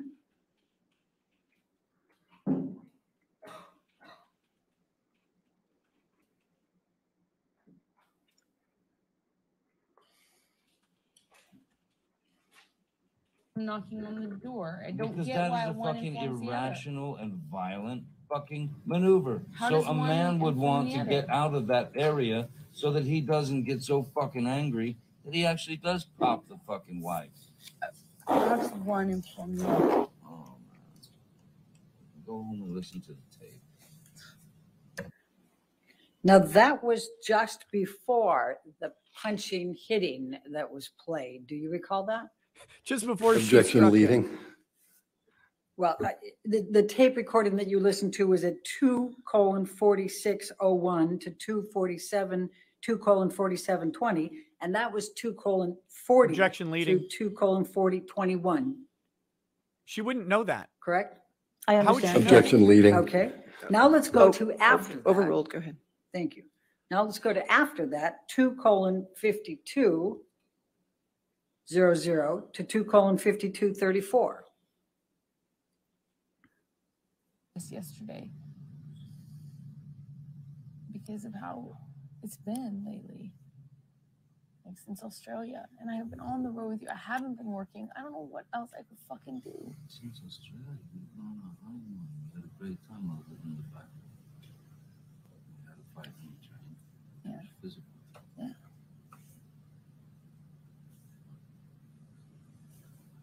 Then we had a fight in San Francisco. But I thought everything else was great. There's some boundary since Australia. No. And then let's go to three colon twenty. twenty zero zero. Can we not to just three play the colon 21 three minutes of audio? We gotta we gotta bounce between 20 second clips. Like what what's between them? This is where you could object on the rule of getting that, completeness and uh, have them I'll just play Ask you the the question, Dr. thing Hughes, straight do you through if you wanted. recall that Mr. Depp said that they had fights in the places that he listed on that audio tape? Objection leading. Sustained. All right. What do you recall Mr. Depp saying about fights that they'd had on that audio tape? Um, I, Objection, no foundation. She just listened to O- it. Overruled, go. I've, um, I think it was hard to hear in this one. I had listened to it previously, um, just acknowledging that there are fights previously. Okay. Thank you.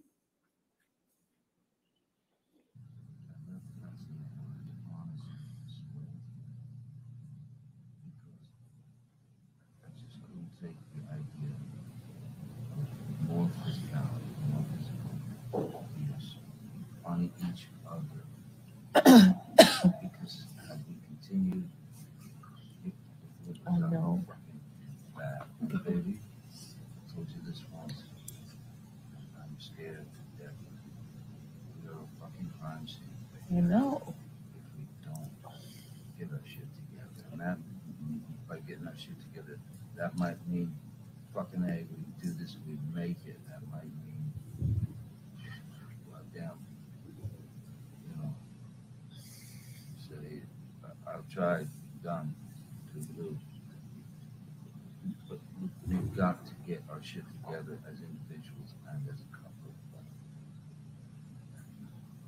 Because I love you. And I do not want to leave you. I don't want to divorce. I don't want you out of my life.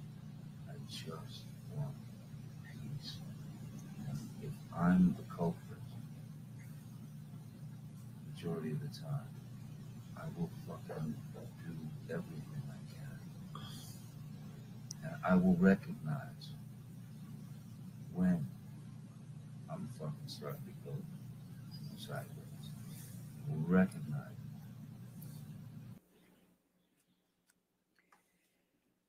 Do you recall listening to that part of the tape, the audio tape? Yes, I do. And, and what do you recall from that portion? Again, I know it's hard to hear, but I- It's hard to hear, but um, what I recall from hearing that was the, the, the negotiation that the couple is trying to do and, and trying to say, you know, I'm, I'm going to do my part. I'm going to do better. Okay. Is it possible to turn that up anymore or is it, I have one more. I'm just.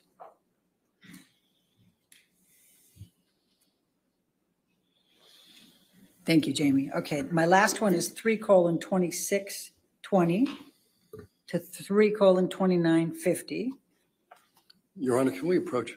Okay, yes, sir.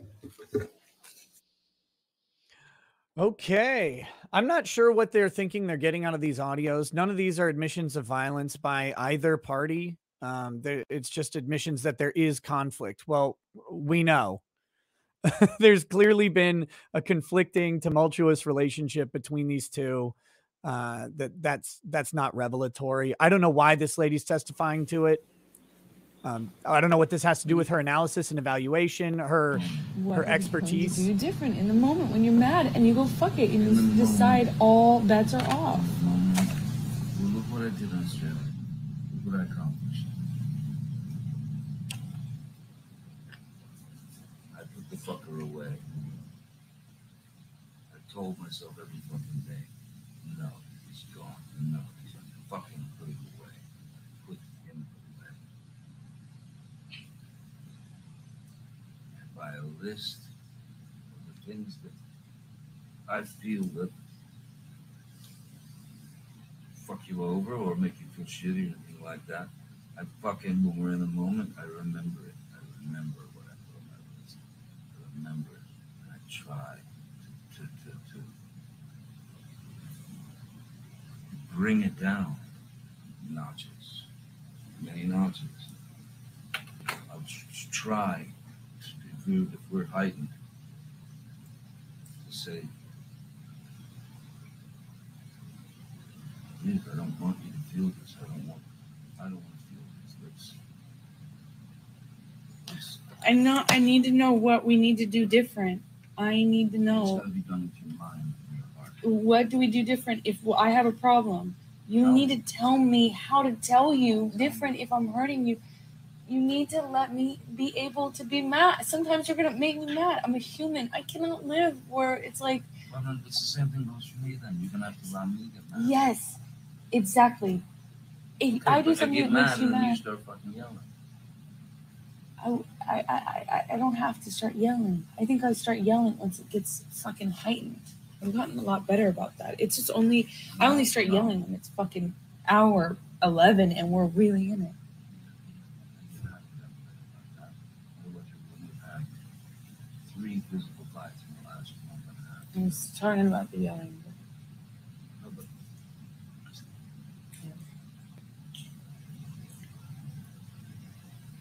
We, we, you witnessed it. You're the one that brought it up. Australia was fucking great. Just argued. Let's go back there. Let's go back there in our fucking heads and on our hearts. Go back there. And know on your Is the monster gone? Did you put him away? It's been so when you get on that train, you get angry, you stay on it for so long and you won't come down, you won't talk to the person That's that is not- you. That's not always. That's not always. Doesn't have to always be the monster. But what is it? Can you put that away? Can you remember the bigger picture? You don't want to spend your life. I've asked you this so many times in fights. You want to spend your time like this. No, you don't. But I ask you because this is something you're choosing. I'm saying to you, olive branch. And you don't take my olive branches. You made me feel humiliated for offering them. You asked me to stay in Australia. I stayed, and then you walk out on me all the time. You've got to take some olive branches from me. You've got to offer them too. You've got to be bigger than what you feel at that moment. And so do I. So do I. But if I call you on it, will you hear it? You call me out on it if I'm doing it. Wait a second.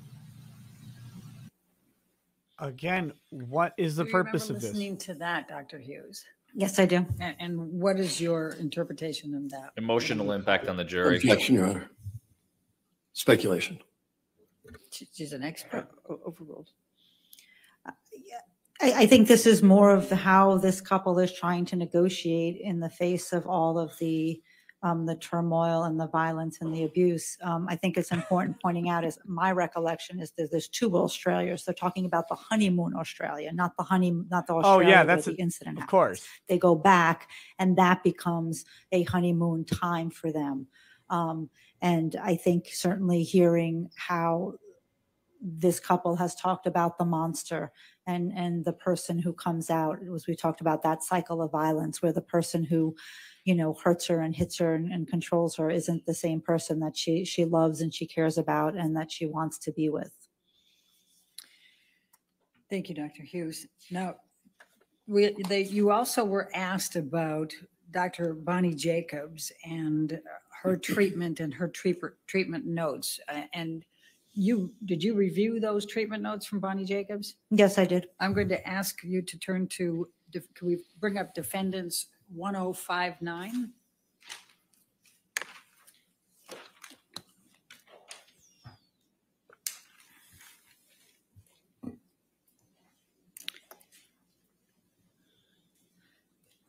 And do you recognize these, this document? yes Okay. And what is it? um, this looks like the first of dr bonnie jacobs uh, treatment notes starting in october 17th 2011 Okay. And do you recall whether Ms. Heard was already in a relationship with Mr. Depp at that time? um, yes she was Okay. And you testified quite extensively yesterday about Bonnie Jacobs' notes and, and entries there. Uh, Were those reflected in these notes? these were the notes that i Objection leading, Your Honor. I'm sorry. I- I can ask it differently. And what, if any, uh, of those uh, citations that you gave to the jury were in these notes? Objection compound. Overruled. Um, these were the notes that I was referring to yesterday. A- And what was the significance of these notes to you? You were asked again about them on cross. I, again, I found the, the treatment notes very significant because they had contemporaneous reports of what Miss Heard was going through, not only what she was reporting in her relationship with Mr. Depp, but her accompanying symptomatology. Um, what the notes revealed was there's a significant amount. Well, we see it unfold in time. We see where the violence starts and we see how it unfolds. We see at least three indications of, of sexual assaults. We see constant um, pleadings and, and, and upset about his substance abuse and trying to find ways to get him help. And she joins Al-Anon to get herself help as a family member of someone who struggles with substance abuse. We see how she's reporting a lot of controlling behavior and obsessive behavior. Um, we see that there's two instances where the police were going to be called and when in her apartment in Orange um, because of the fighting um, at that time. Once they actually were called and once they weren't, from what I could amass from the notes. So what it does is it really shows how this relationship is unfolding over time and actually getting worse. And then you indicated that Amber Heard moved from Bonnie Jacobs to uh, Dr. Cowan, and that was in 2014. Is that correct? Correct. Okay. And what is your understanding of the relationship between Dr. Cowan and Dr. Kipper? Um, they were professional colleagues and they were friends. And um, Dr. I mean, well, it's it's understanding why Miss Heard left the relationship with Bonnie Jacobs. It was it became a tumultuous relationship for her there because she was doing a lot to um, protect Johnny, and Bonnie Jacobs had concerns. Objection, Your Honor. What's the objection? No foundation. I established the foundation. She, she reviewed the notes and she interviewed Bonnie Jacobs. I'll- I'll overrule the foundation objection. Go ahead. Objection non-responsive. I'll overrule non-responsive. Please continue, Dr. Hughes. Um, the reason that Should have led um, with that. Ms. Heard left her treatment with Bonnie Jacobs were one that Mr. Depp continued to denigrate that relationship, her therapeutic therapeutic relationship. But number two, really more importantly, is that she wanted to protect Mr. Depp because she didn't want Ms. Dr. Jacobs had some concerns about perhaps his substance using in front of his children and that she would be a mandated reporter. Um, so Ms. Heard did not want to do anything and talk more about what was going on with Mr. Um, about Mr. Depp with her therapist for fear that um, something might happen. So she left that treatment really to protect uh, Mr. Depp. Really, Chair, I'd like was- to move the yeah. admission of uh, Defendant's Exhibit 1059, the treatment notes. Objection to hearsay, Your Honor. This is what we dealt with yesterday. Your Honor, I, I think that the, for completeness here, she's, has relied upon these and they reflect the present sense impressions. I'll sustain the objection to hearsay. All right, let's go to Defendant's Exhibit 1057, please. Defense is getting their ass kicked on these hearsay objections. And Not that Dr. it's Hughes, that you big of a also deal, indicated but- that you relied on the treatment notes of Dr. uh, Co- Conan, correct? Cowan, Co- Connell Cowan, Cowan, yes, That's it. Okay, and, and you also interviewed him as well? correct. Okay, and, and, on what, what was the significance of what he reported to you that related to your opinions? Well, this was a continuation of her treatment and the treatment here where it seemed like Dr. Connell Cowan was going was a harm reduction model, really trying to um, help Amber stay safe in the relationship by not talking back, by leaving, by not engaging. Um, and those are very sort of short-term strategies when you're in uh, a relationship mired with interpersonal violence. Um, what we also see is what I uh, mentioned yesterday is um, I mean, her psychological status and functioning continues to deteriorate. She continues to have more anxiety, more affect dysregulation, sort of feelings are coming up and down all the time. Um, she's having more sleep problems. She's going on more medication. Um, and this sort of the conceptualization and understanding of that is, you know, sort of exposure to repeated trauma causes psychological disequilibrium and destabilization. Um, and that's, we're sort of, again, seeing the trauma unfold over time. And also in these notes, I mean, certainly there are those contemporaneous reports um, that correspond to specific incidents, like I was speaking with you yesterday about the Boston plane incident. There are actual notes where she called him after. a Objection, Your fall. She Honor. called Yes, him. what's the Yeah. Beyond the scope of the question. I- I- All right, I think I'll that- sustain the objection. Next question. Okay. Um, What, if any, uh, additional information did you get from Dr. Cowan that assisted you in your opinions? Um, well, certainly from the notes, as I was stating, that, you know, there were times where right after an incident, you know, Ms. Heard wrote, um, she contacted Dr. Cowan either by text or by email and saying, you know, Johnny did a number on me tonight. I really need to see you. Um, I'm safe. I'm hurt. but Objection I'm to safe." Hearsay. I, I, I think she can rely on hearsay. Your Honor. Sustain the objection. It looks like Amber has not slept at all. Well, Your Honor, I'm, I'm going to uh, move. Does have some the bags admission under her of, eyes. uh, The notes, uh, defendants 1057. Get some cucumbers on those, Objection to hearsay, Your Honor. Sus- sustain the obje- objection. Thank you. Move to strike the hearsay testimony as well. No, we'll continue on. Go ahead. Thank you. Um, You were asked about a knife. You were shown plaintiff's exhibit 92 and a knife that's, uh, I think is till death. What is your understanding of the significance of that knife and that phrase as it related to Amber Heard? Objection, Your Honor, no foundation. Uh, He was, he showed it in cross-examination. I'm, I'm able to ask about it and what her understanding was. He cut her off when she was trying to talk. I'm just letting her go back in. Her understanding of a knife? It's it's irrelevant. Let's pull up plaintiff's 92. Tom, can I get you to do that, please? Can we get a ruling on the objection first before we pull up the exhibit? Like, Judge, where are you on this? Like, what's the ruling? I believe you respond, in response to the questions asked by counsel for Mr. Depp, you said it depends upon what the context is. What did you mean by that? Well, if first I believe that this is the knife that has a turquoise end. Um, and this was when a time when uh, Mr. Depp was filming The Lone Ranger and he was in a, a turquoise phase. Um, and she purchased him that because she thought it would be um, a kind gift. Um, the phraseology is that Mr. Depp told her the only way out of this relationship is death. And Objection to hearsay.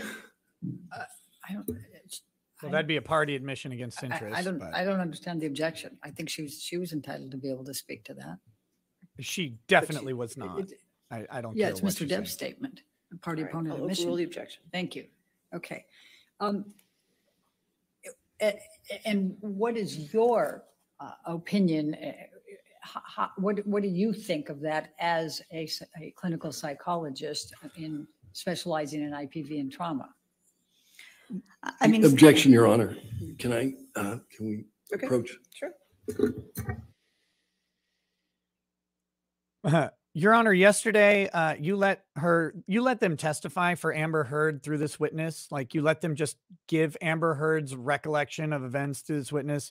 Can we be done with that today, Your Honor? This is- um, what what her understanding of the significance of the knife? Like th- this isn't relevant to any of this. Um, it, it I don't think it's particularly damaging. But her getting to say, well, she wanted to do something nice for Johnny. Oh, Is that in your notes? Like, where are you drawing this conclusion from? As an expert, you're you're allowed to draw, uh, you know, Dr. Hughes, clinical do you inferences. think that but the this is mind phraseology reading. on the knife uh, bears any relationship or significance to the opinions you've had in this case? Objection, Your Honor. Leading. Sustain the objection. What, if any, significance does the phraseology on the knife It's the same question. have in, to the opinions you have provided in this case? Objection, Your Honor, beyond the scope of the disclosure. That's, Ooh. that- he brought it up in I'll cross, Your overrule the objection. Thank you. Um, so there are several things. I, I certainly am aware that at this time that, um, Ms. Heard purchased this knife for, um, Mr. Depp.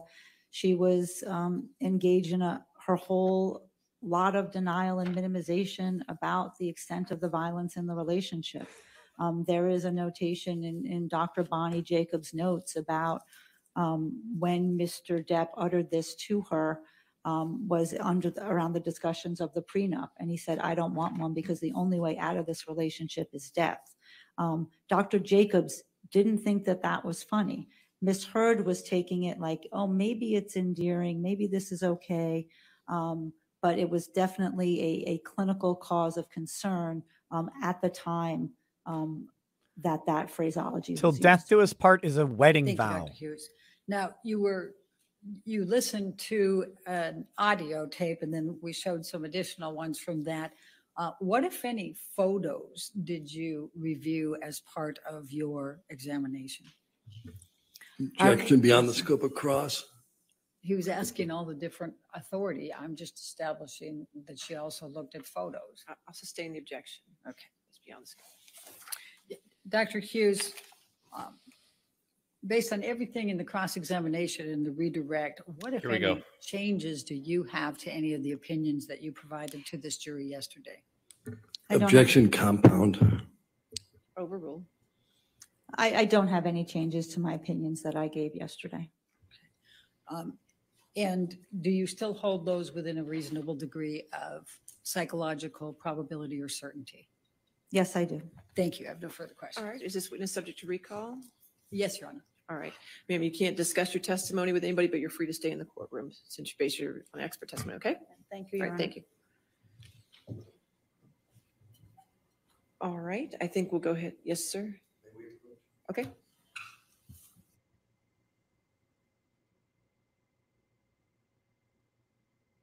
They're gonna take a lunch break. Um, likely, likely. I think the judge was about ready to say that, and then they asked to approach. Yeah. Uh, and I think they may be calling Amber Heard next. That's what I'm thinking. That'll that'll be big. That man that that redirect was uh kind of pointless. I I don't know. I, they had to rehabilitate a little bit. They didn't really hit any of the points I would have thought they would want to hit on redirect. I would think they'd want to speak to her elimination of bias. I mean that that's part of the the best some of the best part of cross was up at the beginning unfortunately. I'm still reeling from the fact that they lost that domestic violence uh, entry. Like, how do you not get that with her testimony? And and Peter was very correct. Like, why don't you have the the exact answer to the question that she gave yesterday? Going up before the judge and saying, "Here's what she said. We get to impeach it." Impeach her and and then just move on. this one impeachment can discredit all of her testimony, like in in eh, the drop of a hat, basically. Yeah. I think I, I I saw a video or like a, a piece or something that originally they wanted to put Amber Heard on first, but the overwhelming like public opinion was put on the psychologist first because that's going to make Amber Heard's testimony more impactful. Like Let's go ahead and take our lunch break now. Um, just to not do any outside research and uh, don't talk to anybody about the case, okay? We'll see you back here too, okay? so like having this this underlying cloud of smoke of the the psychologist is going to make Amber's words more meaningful was basically Yes. the overwhelming opinion. That's why she testified first. That's why they didn't put Amber Heard on first, is my understanding. All right. I think that's the right then. move for the defense thank too. I agree. I thought putting Amber Heard on first would be a a, a terrible plan. Um, even putting her on second is a little bit weird. Uh, I agree. But um, I- I think they may be concerned that she will end up being um, awful as a witness. Uh, that they need the facts from her testimony, but that she will be unlikable. And so what they need to do is get those in early, then have the you know the jury drown that out over the next couple weeks, um, and and forget that she's kind of unlikable, Mm, and then use the facts on on uh, close. it's not a bad strategy. Yeah, it, it all depends on if she's an effective witness, and if they've determined she's not, then get it out of the way Mhm. uh, quickly. But man, that that domestic violence thing, you that's the that's the time where we really want to hear what happened at sidebar. Like what was what were those questions that you were asking? What what was the advocacy going on there? because I feel like the door had been opened. I Yeah. feel like that had happened. But um, you know, it, it all depends on what was said, you know, and and this judge might just still say no, it's too prejudicial and it's not probative. Yeah. Uh, but but they'll have to look for it on Amber's testimony on her cross exam. If she says anything in regards to her stances on domestic violence or her, you know, like her uh, belief in uh, domestic violence or intimate partner violence, then then they've got another opportunity. So we'll we'll see how that goes. But Yeah, I mean, Mm. at, at this point, if if she's up next, um, like you said yesterday, I think Nick, you alluded to the fact that she can, the door is going to be wide open. She can literally talk about anything and everything from her own personal experiences, whether it's going to be the truth, whether it's going to be a lie, whether it's going to be a 50 50. She can literally make shit up and people will have to to listen and take it in and unless there's a way to impeach her on it because nobody else was there when the two of them were having these fights some Right. of them are recorded some of them have photos some of them have maybe video whatever but at the end of the day she can she can literally say anything and get away with it uh, is the follow up. And, you know, I'm sure Chad is going to explode about, well, get her on perjury, get her on perjury. Perjury is actually one of the hardest things to get a person on if you don't have two contradicting sworn statements. Now, you can catch her in a lie, maybe that's not perjury, doesn't rise to the level of perjury, but rises to the level of impeachment to show the lack of credibility and therefore the statements and claims she's making are not as credible and discredit her as a witness, which is going to bolster Johnny's case. But to get her on perjury, depending on what she says, is going to be extremely difficult. near impossible. Like Mhm. uh the the amount of people who intentionally lie on the witness stand and get charged with perjury is an almost zero number. Mhm. like it's it's it's it's frequent uh and and the way you handle it is with impeachment. I mean the but if the the the converse side of that is if we were charging everyone who lied on a witness stand with perjury and prosecuting, then people would just be extremely evasive witnesses.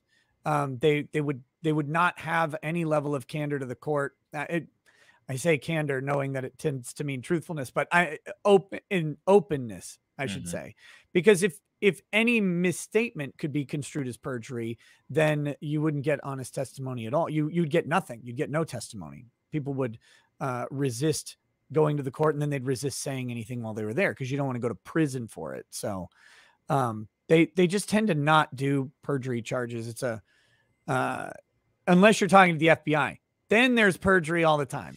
like don't don't talk the to one the except the FBI. FBI exception to the perjury rule. Exactly. Yeah.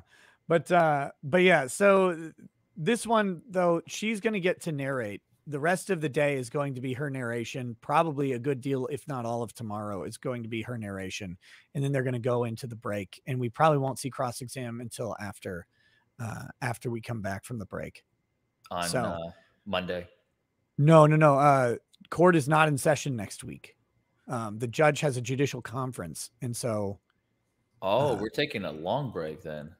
it'll like be 10 May days. 16th? Oh, Yeah. Longer. Wow. It'll be the it'll be the next Monday. The next I Monday, believe. the 16th. Yeah. Gotcha. Okay. Interesting. That's Tomorrow my is understanding. Tomorrow is my birthday, so I'm super excited today and tomorrow. Uh, Amber Heard's going to be testifying right on my birthday. That, that's you can't beat that, man. Like that's the best birthday present I think anybody uh, could ever receive. So I'm excited. It's going to be a good one. It'll be again, it'll be really interesting to see how this plays out cuz like you you're just uh, elaborating. There's a ton of room for her to say whatever she wants. And the defense is going to or the plaintiffs are going to have to sit there and grit their teeth through it. And uh, this Johnny got to do it. This will be her chance to tell her life story. To talk about how she was a victim of intimate partner or of uh, domestic violence from her parents or whatever. Uh, to talk about how you know her tumultuous upbringing, but how she's strong and and she she was able to secure her modeling jobs and and her acting jobs and build a career out of nothing, et cetera, until Johnny came in and suppressed it and ruined it with his psychological violence. Right, like that's that's going to be the story. the The question is, will she gloss that previous marriage with the domestic violence uh, charges and and stuff like that, and and will she open the door to anything juicy on cross exam? But just a warning to the chat: you're probably going to be pissed off for the next day and a half if you're on Johnny Depp's side. If you're on Amber Heard's side, uh, first of all, welcome. You are welcome here as well. Um, if you're on Amber Heard's side, you're going to really be waiting for this. Like, tell me why I should believe you because right now there's some there's some questions to your story. So give me give me everything you got. And this is her shot to do it. hmm And I think how she plays out on the stand determines who wins and loses this. Personally, I that's that's my opinion. Um, Oh, I, I wholeheartedly agree. I mean, you know, I try, as, as you know, Nick and chat probably knows by now who know me, I try criminal cases. So th- this is a civil case. It's a little bit different. But uh, in a lot of even criminal cases, when you, you know, you have a right not to take the stand, you have a right not to testify against yourself, you have a right to take the fifth, plead the fifth, and just not provide any testimony that could potentially be incriminating used against you. But I can tell you from experience, jurors love hearing the defendant speak. And that is just, even though we don't have to, you know, constitutionally, blah, blah, blah, rules of we don't have to present any evidence. The burden is on the prosecution. You can you can talk about that all day long, but nothing beats your client actually going up there, taking the stand, taking the oath, and telling their side of the story, even though they don't have to. It- you know, obviously, you can't do it in all cases, but in the cases that you can, I, I mean, I urge uh, up and coming attorneys to absolutely consider that um, because, and li- like you already alluded to, having Amber Heard take the stand and testify after Johnny has already put basically his balls in a vice. He exposed himself to potential ruthless cross examination. And Yeah. if Amber Heard does not follow suit, I am a firm believer that this it, it- would be heading towards chaos and disaster for Amber Heard's uh, case in, in chief uh, for the defense if she does not testify because Johnny did it, and now everybody's expecting Amber to do it. And if she doesn't, then it's it's destructive. It's more than just hurting. It is at that point, I think, destructive to the case. Yeah, and and so, uh, and and she has to be. She has to come across as not crazy and not evil, because Johnny didn't come across as crazy or evil, in my opinion. He came across as troubled, Uh, he came across as, um, you know, a, a an addict who struggled with addiction. Uh, he came across as um, very like oddly introspective and maybe a little eccentric. But I don't think from his testimony, people got the idea that he was a hothead who was prone to violence. It just didn't really come across. Um, and and so if Amber comes across as like jittery, excitable, angerable, if she comes across in that way that's prone to violence, I mean, it, it's crippling for her for her credibility in this thing because he came across calm and collected and and you can you can show all kinds of uh, pictures and tell all kinds of secondhand accounts of of what may have happened somewhere. But if someone's on the stand, you're like, wait, this guy's supposed to be a violent monster, but he doesn't seem like a violent monster. No one around him uh, saw violence. Only this person is saying it, and when they're on the stand, they're coming across as the instigator or the violent one. That's going to be really bad uh, Yeah. if that happens. And and her her other appearances have not gone great. So uh, I'll it'll be it'll be something. I'm I'm looking forward to it. Same. I'm looking forward to it. Very excited. A uh, couple quick housekeeping things. Chat. Uh, DUI guy and the lawyer you know's links are in the description.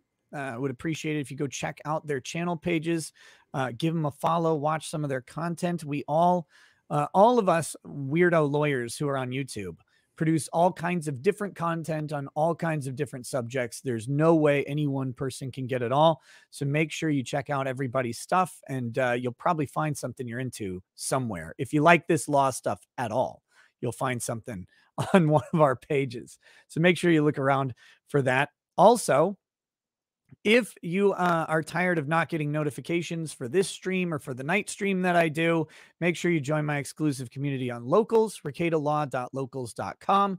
You can go ahead, follow there for free. No, no, anything other than, you know, just signing up with an email address or something. And you will always get a notification when I am going live because I post on there. It's not like YouTube that determines when it's going to send a notification. They send one whenever you, whenever I make a post. So uh, you'll get one. Um, if you want to participate further, you can. That's that's like participating in the community. That that does cost a little bit of money per month, but that's completely optional. Go there for the notifications. Also, if I ever get tossed off of YouTube, that's uh, the place where I'll be easily able to communicate with people who want to follow my content. So some of the stuff I say is a little bit edgy from time to time, and there's always the uh, the sword of Damocles that is the YouTube ban hammer hanging over my head. So that's a that's a great way to follow along if something weird like that happens, or if I ever get a strike or something and I'm down for a couple days. That being said, we're going to start catching up on these super chats. Uh, I know there were a lot of them that came in this morning, but I, I try not to go over the speak over the testimony too much because I know people want to hear what what is happening in court, and so do I. That's the the key thing. Uh, Lancelot says, I watched Emily and Legal Bytes opinion on Dr. Karen, and no one likes her or thought she was a good witness. Also, I'd send thoughts to Branka, but he's married. Um, I didn't think she was a good witness yesterday. Today, she wasn't a great witness today either, but I think the cross was weaker than it than it needed. It needed to be stronger. I mean, ultimately it did. And and really uh without being at the sidebar, we can't know, but it sure seems like there could have there should have been more advocacy in getting that that prior. And your honor, this is critical. It's not listed in any of her notes anywhere that this domestic abuse thing happened and it's integral to someone's opinion. I think that and who knows what was said.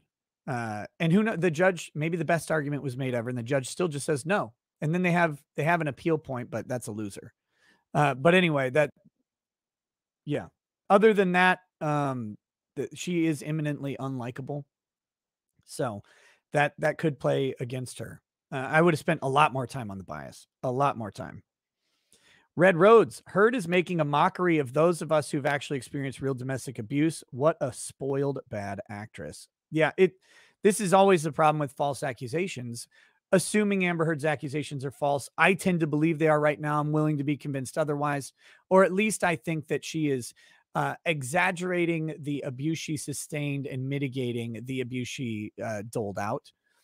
Um, That's my personal opinion. But uh, again, I I don't think that Amber Heard is is what people expect when they think of domestic abuse.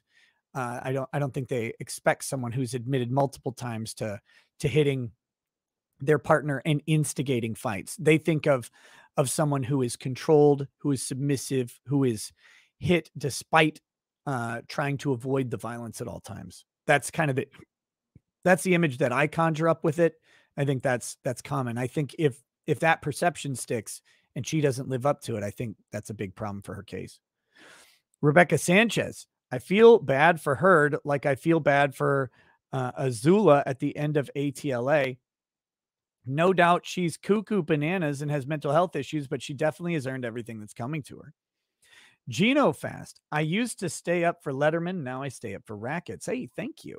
Jared Holbrook, Chris, Corey, and Jeremy are all uh, Arrowwoods, and I'm paying the rack to announce this pub- uh, publicly. What a waste of money.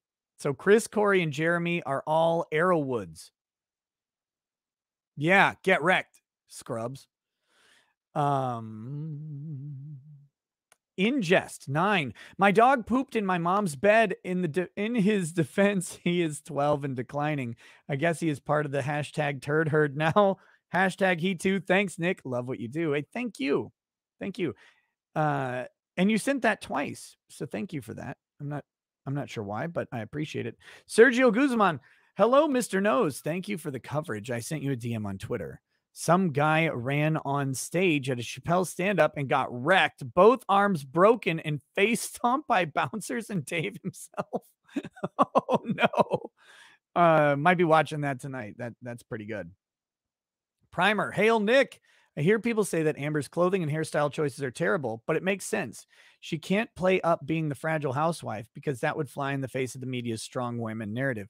But she's not dressing like a strong woman she's dressing like a like an effeminate man. In my like it, she's not she's not coming across as a strong confident woman in her dress to me. That's my opinion. I mean maybe i'm wrong. I'm not a fashion person. All of my lay fashion commentary is is exactly that but uh, to me she just doesn't come across that way. She is uh, for you know for whatever it is she's a pretty lady and i think she could play that up without coming in like she should not come in a full length ball gown or anything every day. She shouldn't look like a red carpet appearance, but uh, a professional, you know, uh, dress of some sort, uh, you know, a long skirt with a suit top could could look really nice, you know, things like that. She has just not been pulling it off lately. I haven't looked at her too closely today, but yesterday like she's in this weird tuxedo top that was super awkward it's like I don't know. Um anyway, uh moving on. That again, this is just me rambling on. I I have no expertise uh in in this at all. It's just literally my my impressions of it.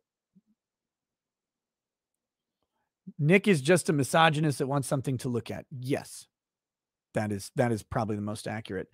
Uh no, uh, like assuming that's a joke, but but taking that joke and running with it. Yeah. yes. Like you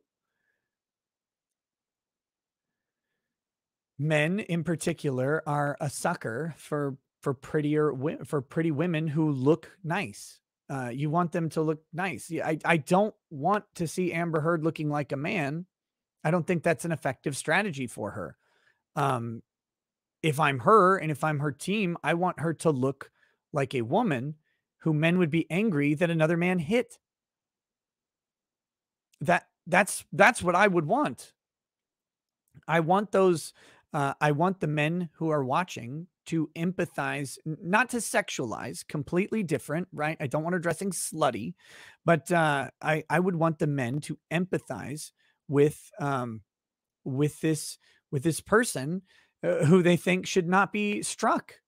And and I don't think she's pulling that off at all. It's it's weird to me. But hey, that's me. That's me. Mirnam, uh, if he hits the hammer too hard, you know, media will call him sexist and Heard team will object, badgering the witness.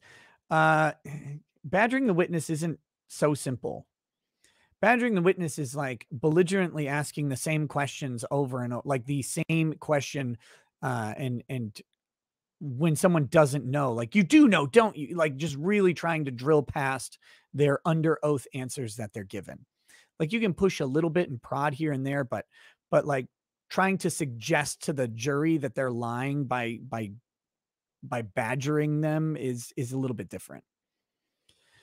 Uh, AWM Fishing and Gaming coworker question: What happens if Depp or her dies during the ten day break? Is the trial over? Uh, their estates would likely take over, uh, would continue the case.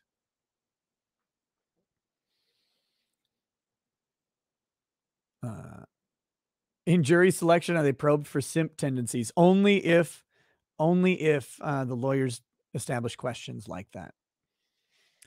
Uh, Registoge, notice how Chew's, Chu let cross-examine witnesses talk at length for rehabilitation, while Rottenborn and his cronies shut down when a witness is saying stuff they don't like. Speaks to the confidence of the plaintiff and the defense maybe I, I do think they should have shut this witness down more this expert witness on her cross-examination that she got to ramble on for long periods of time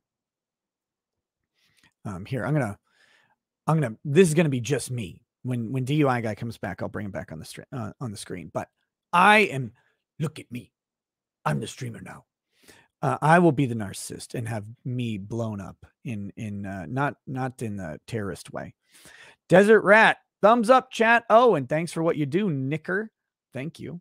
Brian Miller. Why is she facing Johnny's team today? Yesterday she was facing the jury. It's it's subtle, subtle sort of thing, right? She doesn't want to be uh, to the jury. She this is my amateur psychology. To the jury, she probably wants to um, provide the positive answers while looking at them. Positivity towards you and me. We're positive, positive, yes and no. My camera goes on. And while I'm doing it, the positivity wants to be there. Yes, you and me. When you're saying no a whole lot and being contradictory, don't be contradictory with the jury. To me, that's that's good amateur psychology. She maybe has better psychology. Uh, who is hotter, Dr. Muffins or the lawyer chick who's always sitting next to Depp? Make a poll. Well, that that seems a little misogynist. Let's definitely do that. Uh, most attractive person in courtroom.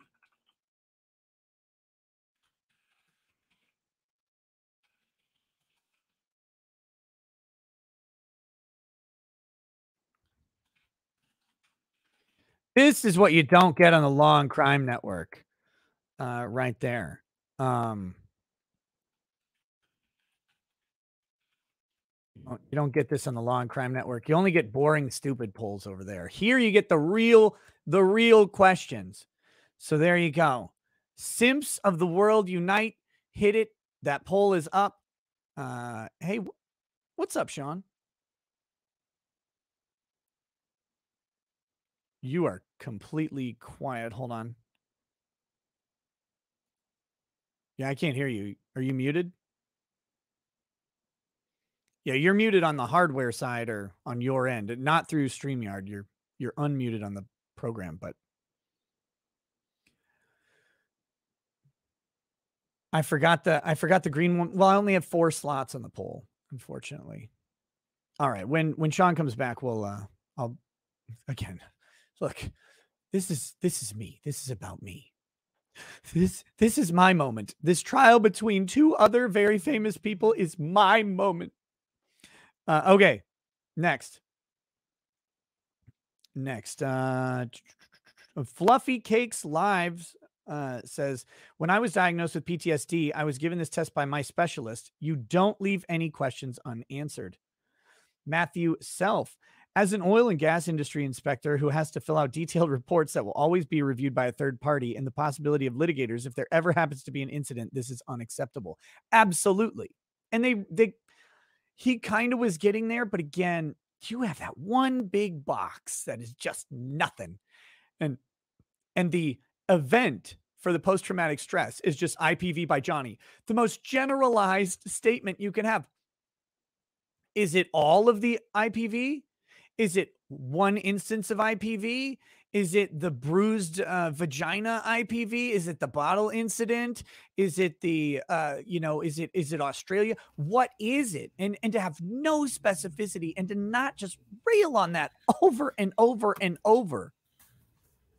Like, oh wait, hey Sean, I think I hear you.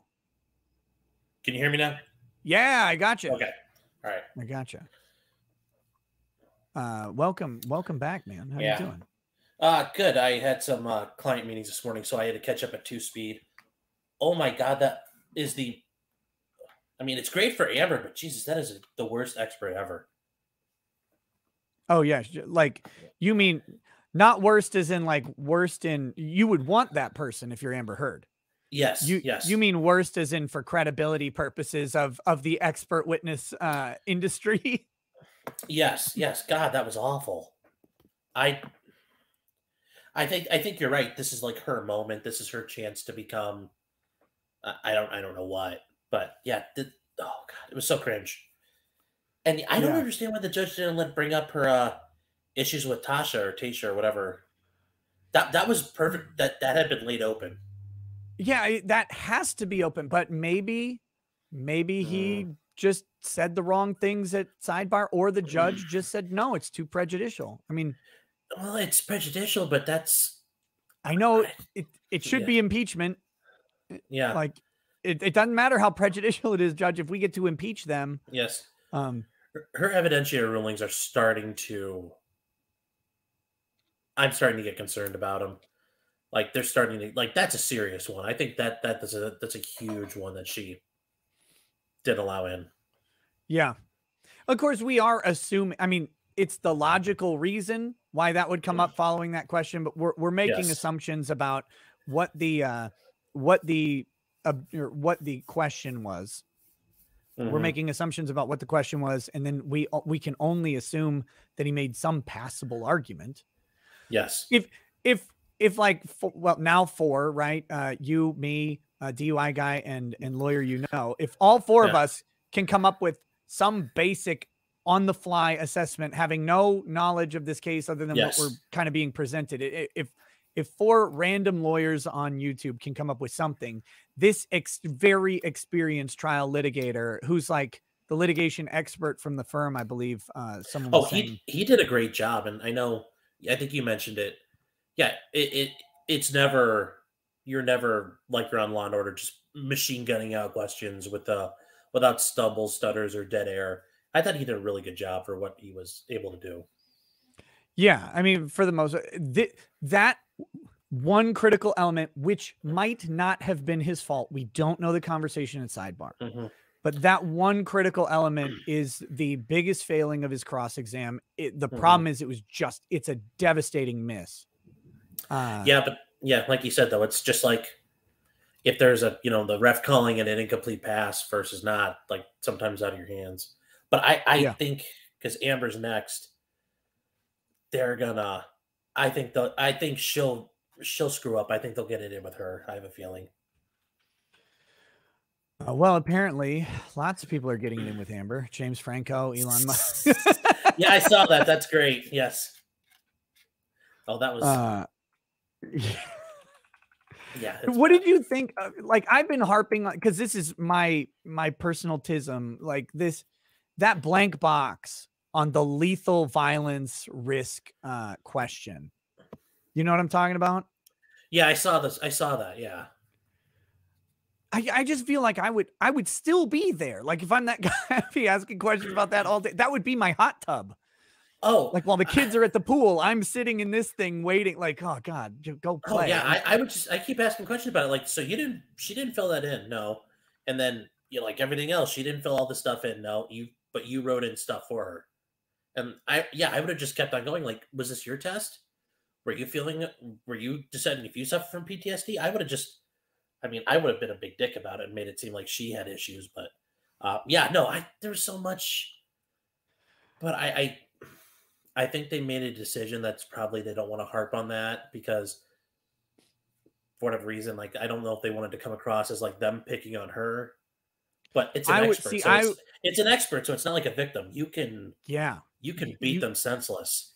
and and you they opened. I was I was encouraged because they opened with the bias, like they're they're Mhm. right there, bias, bias, Yeah. bias, and of course. You know what? What's crazy about how witness testimony goes in front of a jury is Yeah. the jury may only remember those first couple questions about bias, and they may have tuned out Yeah. after that. We, we'll never know. But Mhm. uh, they hit the bias. I, I would have liked to see him go back to it a couple times. But uh, that being said, you're establishing her as a biased, motivated person who cannot Mhm. see men as uh, as victims of domestic abuse, and is is Mhm. treating people in ways that are uh, uh, purportedly consistent with that opinion. She's a monster. Like that's that's a monstrous approach to to psychology. Oh, that uh, yeah, to, and, tr- and to I, treat her like a monster. yeah, and I ended up watching bits and pieces of her direct yesterday where she said, "Oh, I just out disregarded outright, um, Dr. Curry." You know, I I, I would have gone down that road. Like, do you just you completely disregarded? You found nothing informative or redeeming in her work because if she says, "Oh yeah, it was complete garbage," that makes her look bad because even on a jury, they're not experts. They're like, "Wait, nothing was right," and they're going to say, "I find that hard to believe," especially if the court picked this attorney, this this psychiatrist. Um, Well, and then you introduce into evidence, you, you judge. I'd like to Yeah. introduce into ev- evidence exhibit Z, and it's just a picture of of the uh the other doctor.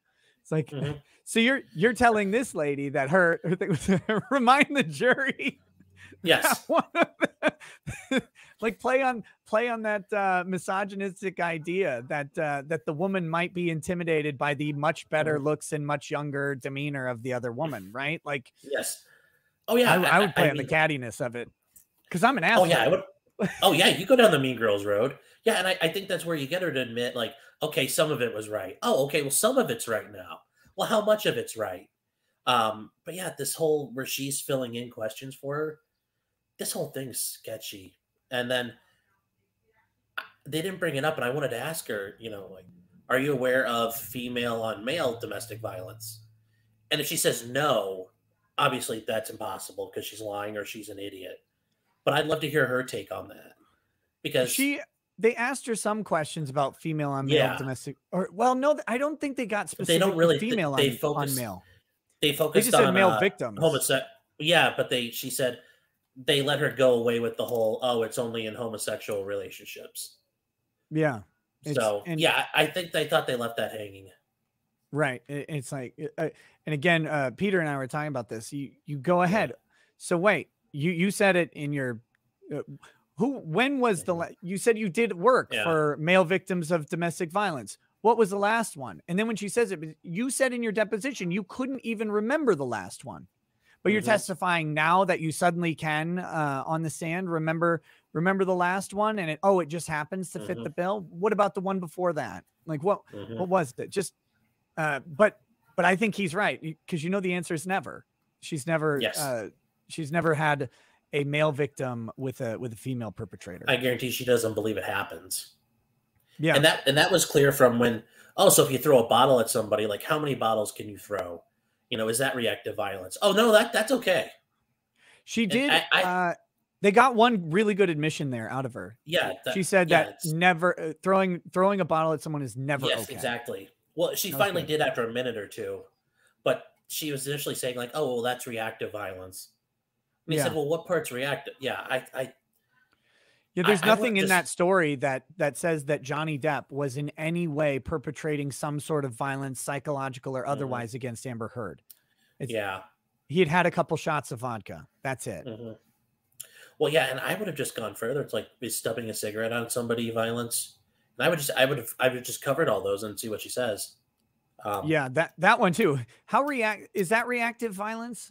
Yes. Is that a war crime? Are you familiar with war crimes? Yes. Putting out cigarettes on someone's face? Because you, you can't do that in Guantanamo, ladies and gentlemen. No. You can only do that in the fun black sites in Finland and Sweden and um, yeah, but I, I, I- I'll give him them credit, especially Johnny's team.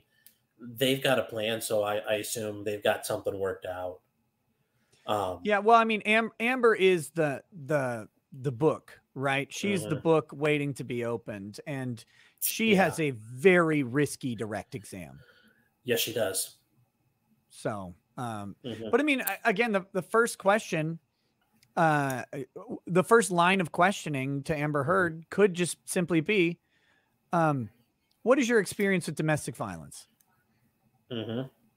On cross, let her openly talk about it. Like, because she's already Yeah. going to say all this shit against Johnny Depp you know, on direct. Uh-huh. So she's not going to introduce anything new. She said, What is your experience with domestic violence? And then when she gets done telling her story about how she grew up with all of the abuse and, and Johnny Depp, say, Is that your only experience with domestic violence? And then when she says yes, then you go, Mhm. Okay, Automatically go. open. Yep. what about Oh, I think there's, yeah, I think there's so many ways. And if she says no, it's not my only experience. Even then, the jury's going to say, "Whoa, what's going on here?" You know. So yeah, if she's if she's smart, she answers no. That still hurts her, but yeah, it's far better than her saying, you know, "Yep, this is all I've ever had dealt with."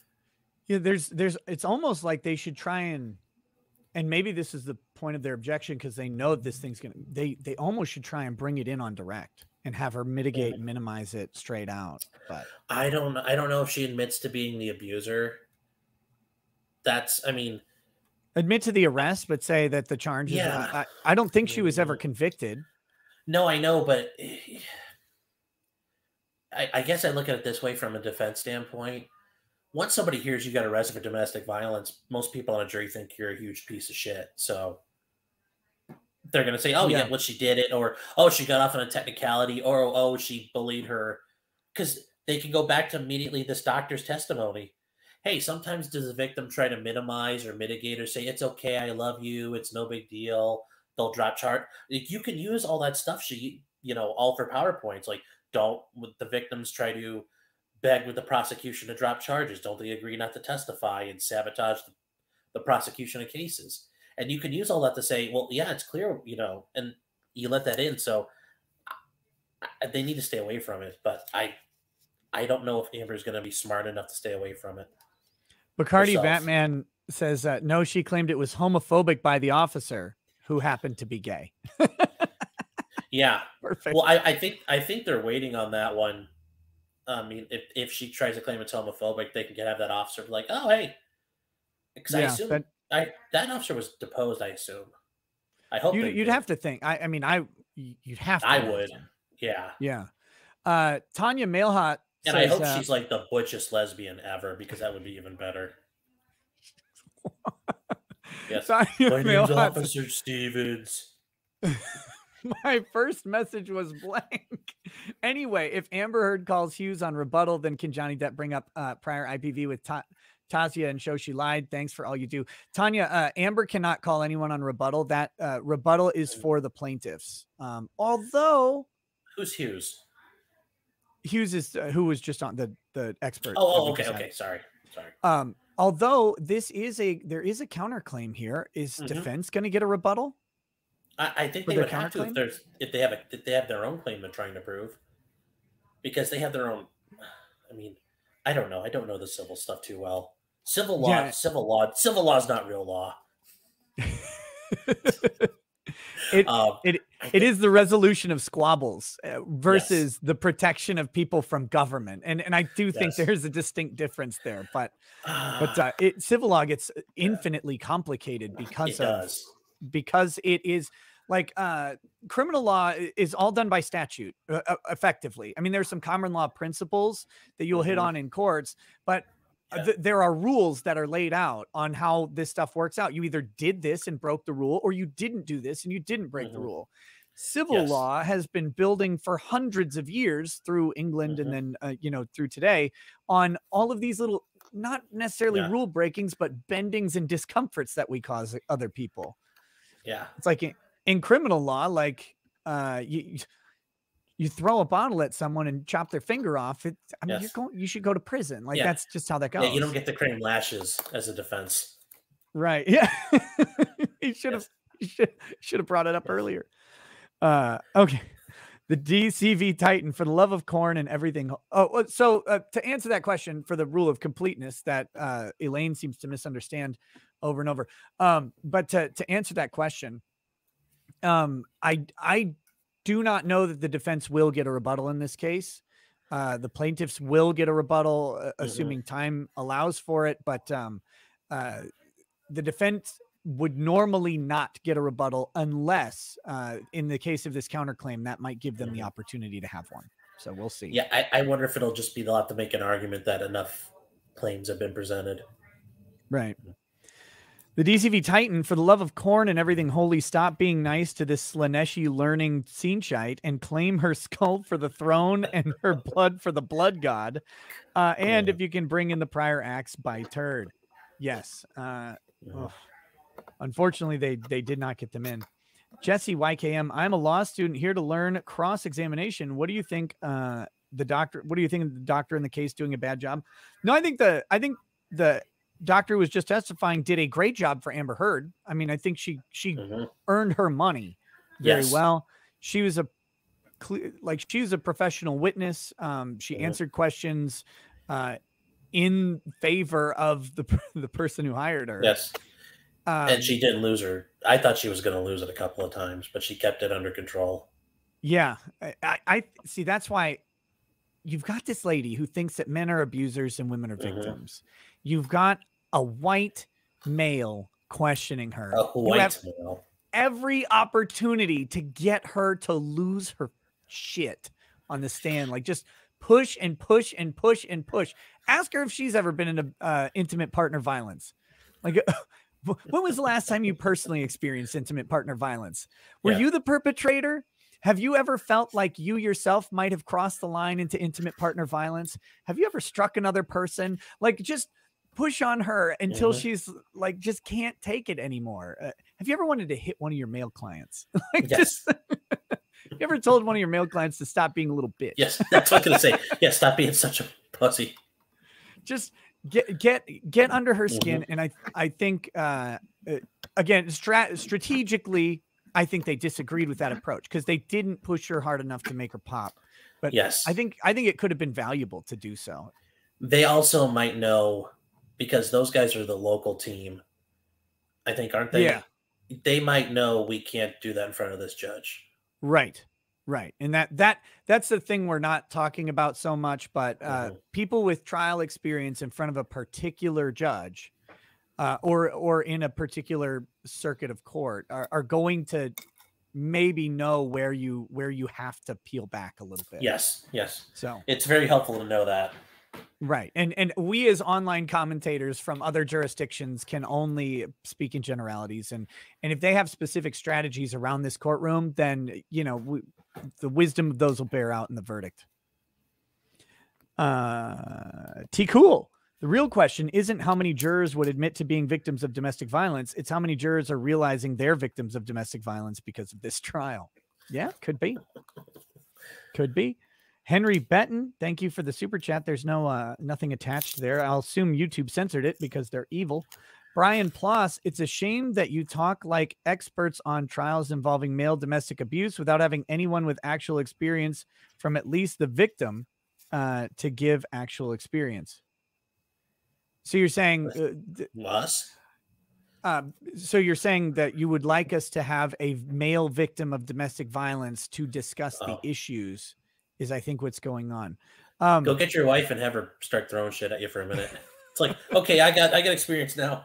yeah no i i typically during trial streams i try to keep it to just lawyers because that's kind of the areas we know and i, I don't i value expertise and input uh, on these subjects however i think there's a risk of having like expert analysis of what's going on outside of the legal portions because that expert analysis isn't available to the jury at all.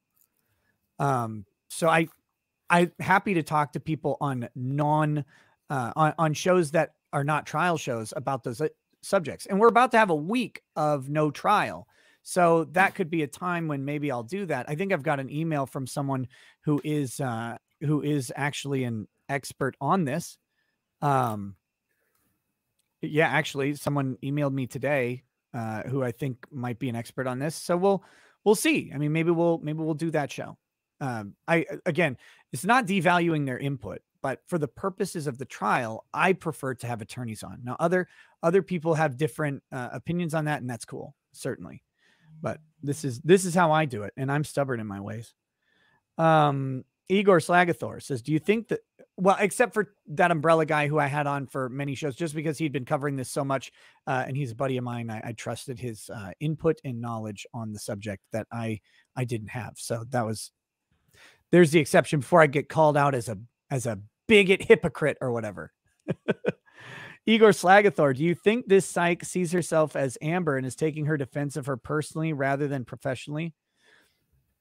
I think the psychologist saw herself as a feminist, uh, defending women. I, I think Oh, yeah. that's that seemed to Yeah. be pretty clear. I don't I don't think She's it matters if it was it could have been Amber Heard, it could have been any any other woman on that stand. And I think she Mhm. and let me be clear on one thing.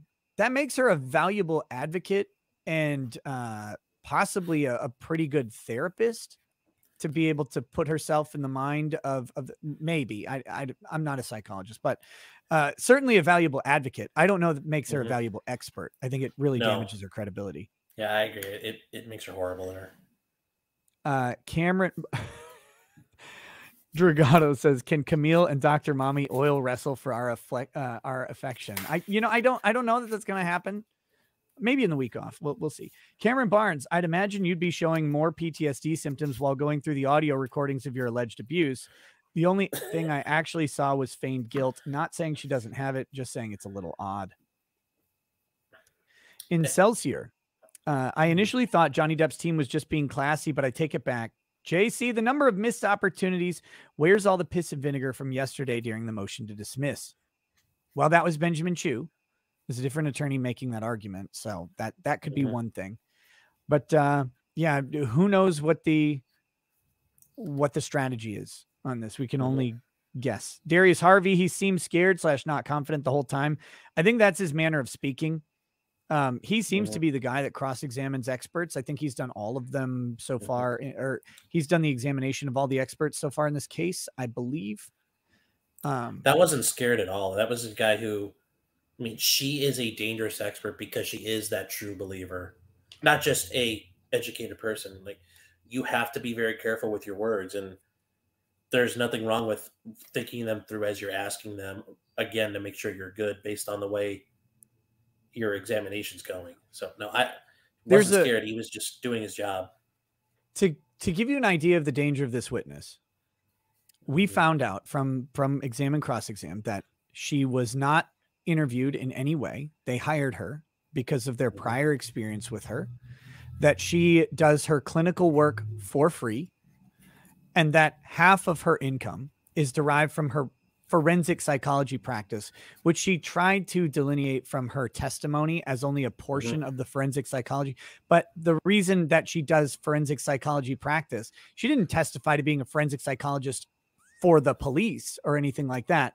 She's Mhm. doing it for the purposes of uh, of litigation primarily, and so this is a person. And and she also they they also she didn't admit to it, but they also got in that she makes hundreds of thousands of dollars a year just doing this part of it. Yes.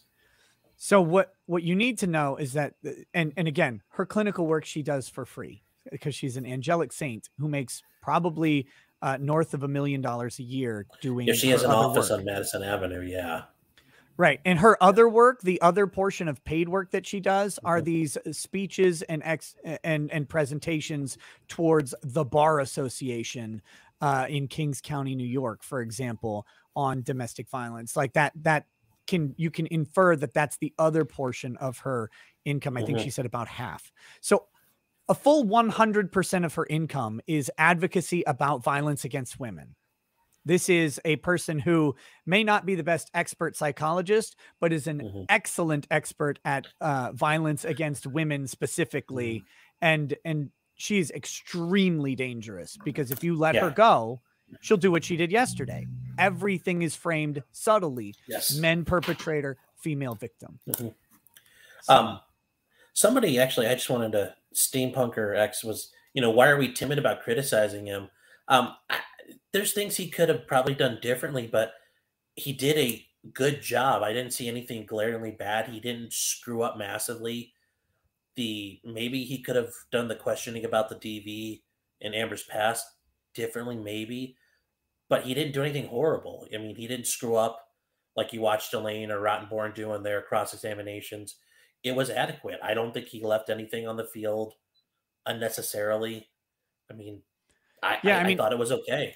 Him him losing that that uh, prior domestic violence thing Yeah. could it be entirely not his fault again he could have gone up Yeah. and made a perfect argument and the judge could just make a bad ruling we won't we we Mhm. don't know we can't know uh, i think the other Yeah. reason we might be hesitant to to be too critical of him is because uh, uh, i've i've done exam and cross of witnesses before and like Yeah. you you you never you're not perfect like you just you Mhm. you you do your damnedest and you uh you you try and get the right Mhm. result but you know you, when you're done with it you look back and you're like shit i, I could have done this maybe might might have missed Mhm. something here could i have prodded there so uh Mhm.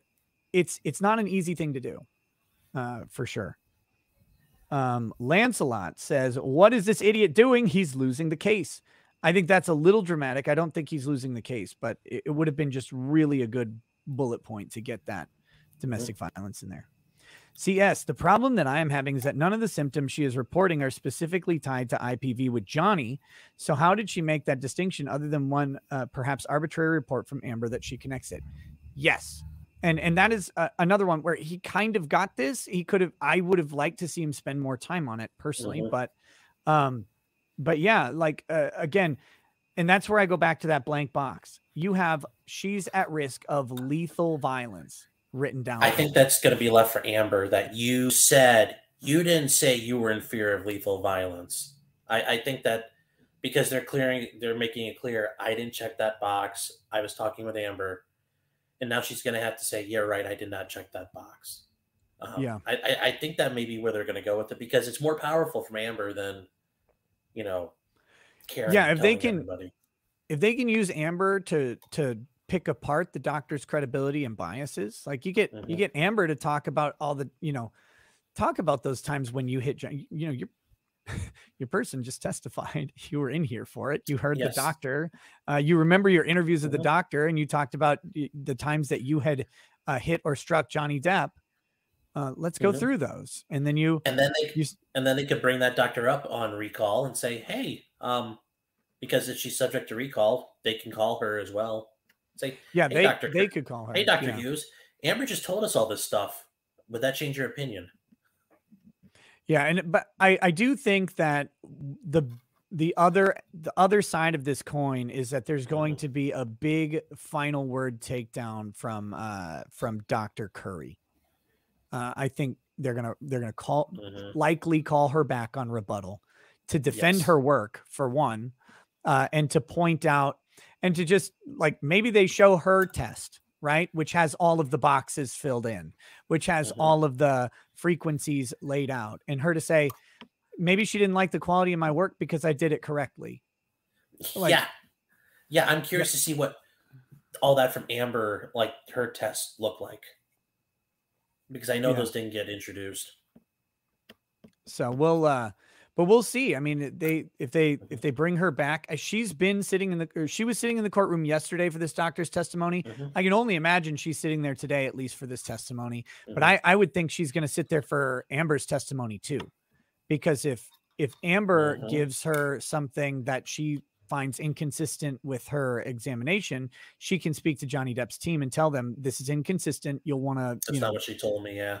Right. You'll want to review the notes. So you'll want to review this. We can point out dishonesty here. Um, you know, those those types of things. So all of those experts are being paid to sit there. Everybody who's subject to recall is still getting their per diem. And I'm I'm sure hers is a couple grand a day. Yes. So uh It's good to be an Aldrich expert. it's it's a sweet gig if you can do it. Aldrich Xavier, I could really see the bias on this judge not calling bull on this witness acting beyond her scope and using three syllabled words to draw the jury. Uh, Lancelot 652 should find the coin the judge used to rule on objections. Mo, why didn't they have her exact quote ready before asking the Tasha question? Literally, quote from yesterday's transcript. Come on, he had to know he was going to ask that. I'm sorry, but this team is pretty average for the money. Oh, like, uh, yes. Again, going back to my before this trial started uh, statement of this, you are about to see some of the highest paid lawyers uh, in the industry, some of the best representation you can buy. Prepare to be underwhelmed. That that Eh. my quote for a reason. And somebody who was complaining that we're not critiquing him, yes, that was a big fuck up. That should have been prepared. He should have had that ready, tabbed up, and like, oh, here, here you go. Um, yes, there are things they didn't do right, but that is not a that's not a critical failure. Yeah. Uh, and and again, he might have gone up to sidebar and said, "Here's the quote. Here's the quote, Your Honor." And the the judge could have said, "I don't agree that that's an impeachment. It's not a proper impeachment. Go sit down." Mhm. And you can disagree with the judge all day, but you're not. If they make that ruling, you're not winning on it. Yeah, yeah. It's like a few good men. I strenuously object, Judge. Oh, oh, strenuously objecting. Oh well, now I changed my mind. Yeah, yeah. Now, no, now you convince me. Uh, but yes, it, it is it is a big mistake to not have the exact quote because the precision of the question could have changed the outcome, or it could not have. We'll we'll, we'll never know. Uh, Mikkel Ninau, is the door still open for Amber's past abuse? Yeah, just not with this witness. Uh, can they ask It's Dr. Curry about it? over. Uh, can they ask Dr. Curry about it since Dr. Quack said there was no evidence of past violence? I think they'd have a hard time asking Dr. Curry about it. Yeah, I, because this is excluded. Yeah, This is excluded pre-trial. Um, the defense needs to be the ones to open the door. Now, the defense, in theory, could ask on, on rebuttal, could ask Dr. Curry a bad question somehow, uh, or something like that. That that's a possibility, but it'd be really tough to introduce it through her. Oh, I was gonna say this earlier when um when the crazy cat lady was trying to get evidence in, and then uh, and it, and it didn't work. For example, um, and and also using the evidence of them bringing in PowerPoint, but not intro, not actually using it, but surmising that maybe they want to save that and have Dr. Curry talk about it so that it'd be a more friendly environment. Uh, but they have to get it into evidence first. I learned this in my advocacy class in law school that if you do not get evidence in through your witness, you are you're ham boned if the other witness has any savvy at all. And so um that that's that's part of the problem that they they're facing. You you need to get someone who can uh lay the foundation for the evidence to come in. And if you don't do that and you're trying to do it on cross it's it's going to be really really difficult. All she i mean especially in this situation she could say i did not do this research. I don't know her methodology. She you know she as an expert she's going to say it'd be foolish for me to comment on a powerpoint slide like with what? That just on that alone? Yeah. Yeah we the jury. When a witness is starting to answer a question and an objection is stated is the answer automatically stricken from the record? No.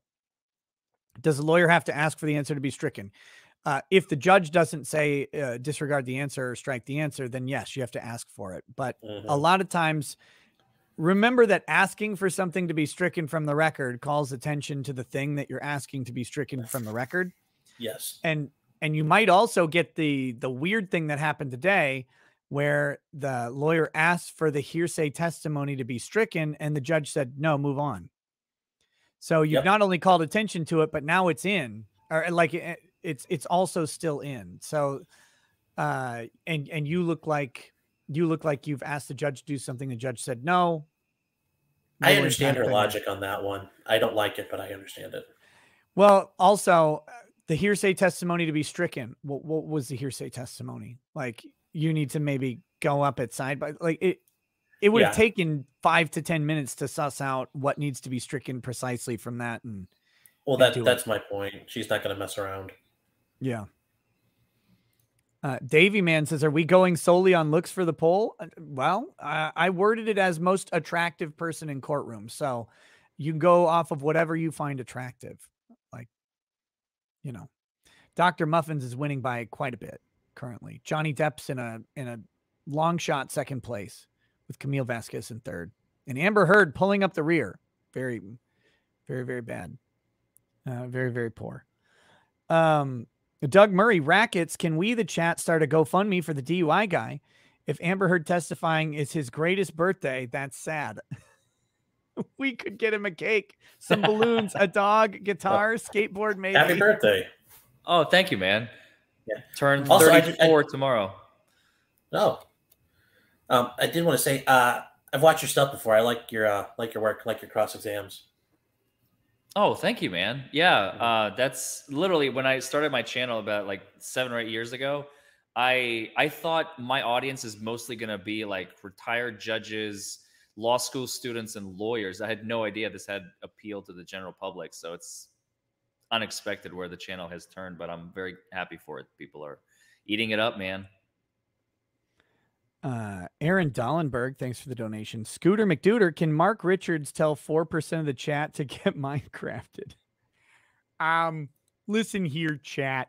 I know there's about 4% of you out there who think that maybe Amber Heard is the most attractive person in the courtroom. I'm going to have to disagree. And I would tell you to Minecraft yourself if you get my drift. But I think if you ended up in a relationship with her, she would take care of that for you. Okay. Uh, James Trammell, Amber claimed her nose was broken. There's no sign of a break. Who said it for her? Why are there no records, and why is no one asking for them? Um, they, they, the defense attorney, uh, the plaintiff's attorney did get there a little bit. He's like, so there's a note Amber reported that Johnny Depp hit her and broke her nose, basically, and that she Mhm. went to Doctor uh, Kipper for something, but there's no medical record that this actually happened. Mhm. that that's there. Um and and they've got that to use on close remember that we are this is one thing that's hard to remember with ongoing commentary in this trial. We're three weeks away or two and a half no uh, over three calendar weeks away from closing arguments at this point um Mhm. they might be able to make a big stink about something here, but the critical element of exam and cross exam is to get the facts that will you will use on closing to punctuate your argument. And they've got the fact now that there's no medical note, there's no medical record of this injury or any injury of Amber Heard. And they can just go up and flat out say that on close, despite Amber Heard claiming to be a victim of domestic violence, of frequent domestic violence. There is mm-hmm. not a single medical record that she was injured at all mm-hmm. by domestic violence or otherwise, despite the fact that she has a private nurse in attendance with her at all, effectively 24 hours a day, seven days a week. You or I might have to wait to go into a doctor to you might have to wait a week to get in to get an appointment maybe two weeks. Amber heard had ready access to excellent professional medical care at any point in any day anywhere in the world. Her doctor went with her and still not a single medical record of injury much less injury relating from domestic violence. Like that that fact is in the court right now and they don't need to say Mhm. anything about it. They have it. They can say that on close. So uh that that uh that's there and that's the important part getting those facts in. Um principal potato nbc article at 1000 today. Webmd profile of amber heard expert witness flooded with negative reviews amid trial. Apparently others agreed that she isn't a great expert witness. I mean the the whole trick uh, this this just what this should tell you is that johnny depp is winning the war in public Mhm. and he, he very clearly is. Uh, that that is evident in every chat room that you can visit, uh, including the like presumptively neutral ones like Law and Crime or whatever. You go over there, and you're going to see overwhelming support for Johnny Depp. Uh, the clips that do best on uh, on YouTube, the little little short clips that are getting millions of views, those are all primarily Johnny Depp clips. Not really seeing a bunch of anti Johnny. I haven't seen any anti Johnny Depp clips going around. Um, so uh, he's he's winning the war in public. He's accomplishing a big part of his goals through that. So that's and that's what that review bombing, which I do not condone or endorse uh, personally, but um, No. that- that's what that should tell you. Don't do that stuff, guys. That's something Amber would do. Uh, pretty sure that's something Amber did do. Well, yeah. they and they tried to get Yes. permission from the court to to do it more, and the court said, Yes. "Yeah, no, no, you Mm. can't keep doing that." So Yeah. that's great.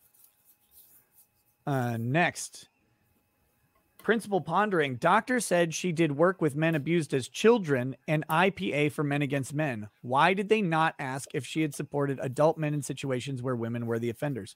Again, a place where they they could have gone farther towards her bias. Um, personally, I would have liked to see him return to the bias uh, between every line of questioning.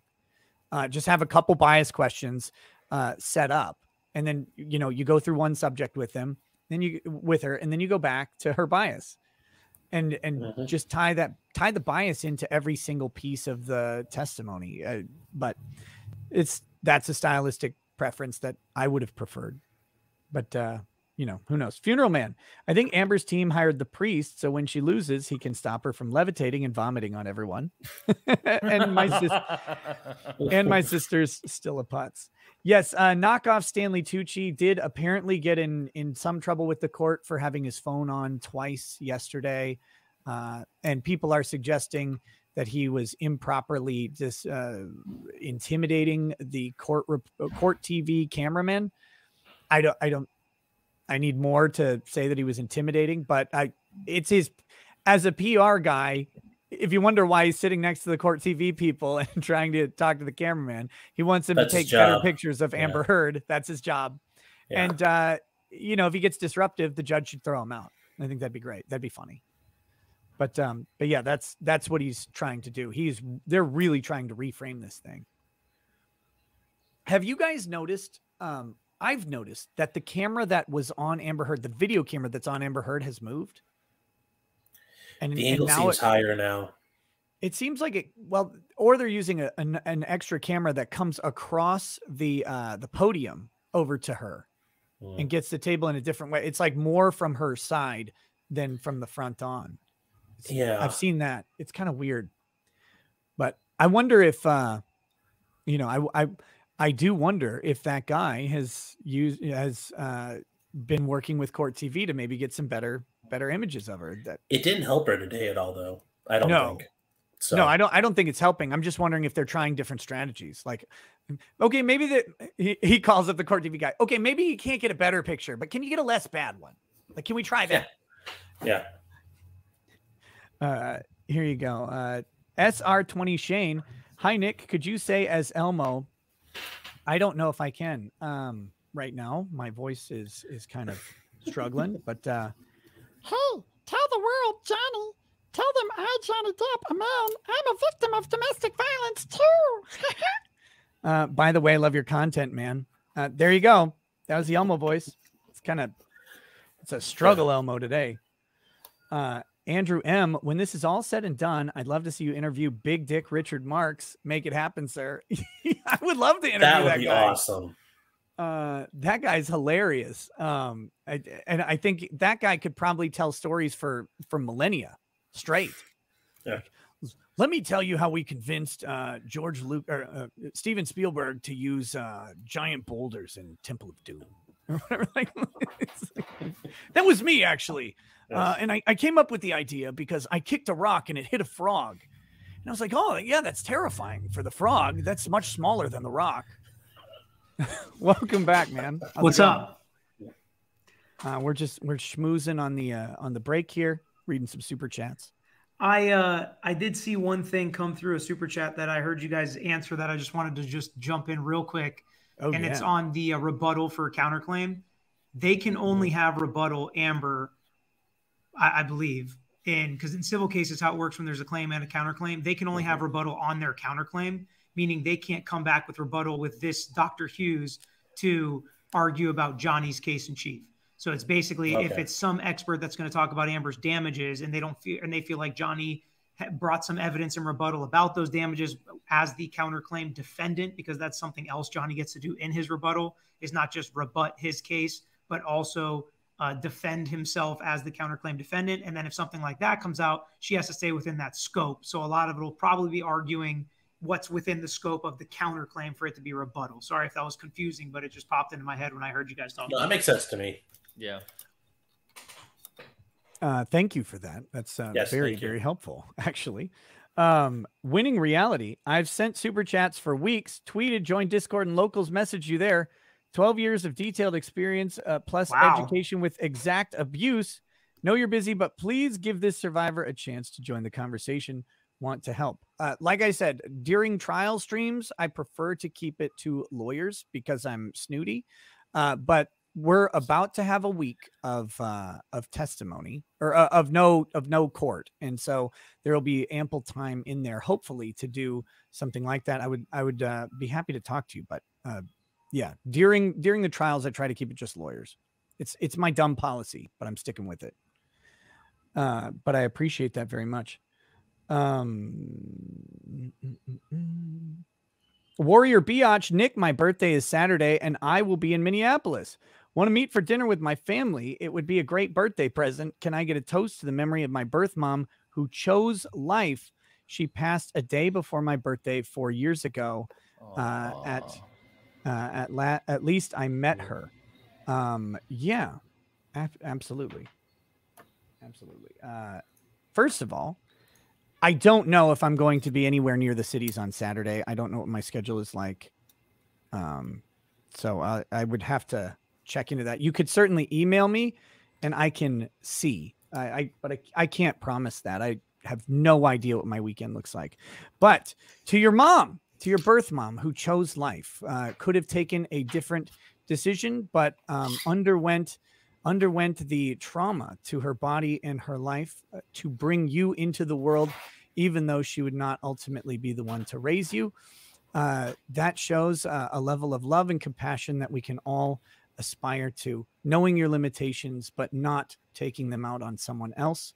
I'm glad you got to meet her, uh, and cheers to her peaceful passing. Here, here. Okay. Blaze of Ice. Uh, and by the way, if anybody in the chat thinks that's weird, um, I, I'm happy to meet with people all the time. Usually, I do that around my home because that's where I am. But if people like, if if you guys want to meet up with me, and you're ever in the area of Willmar or Spicer, Minnesota, I mean, shoot me an email. I'm happy to go to a bar, grab a drink, grab a sandwich with people, complain about the sandwich. Um, that's uh that's that's perfectly acceptable to me. I'm I'm not one of these people who's like, oh, I I, I don't talk to anyone. No, I, I love meeting with people. I love uh, hanging out and having discussions and hearing your stories. So, um, but uh, Minneapolis is is a couple hours away from me, so that that one's a little bit harder to to do. But who knows?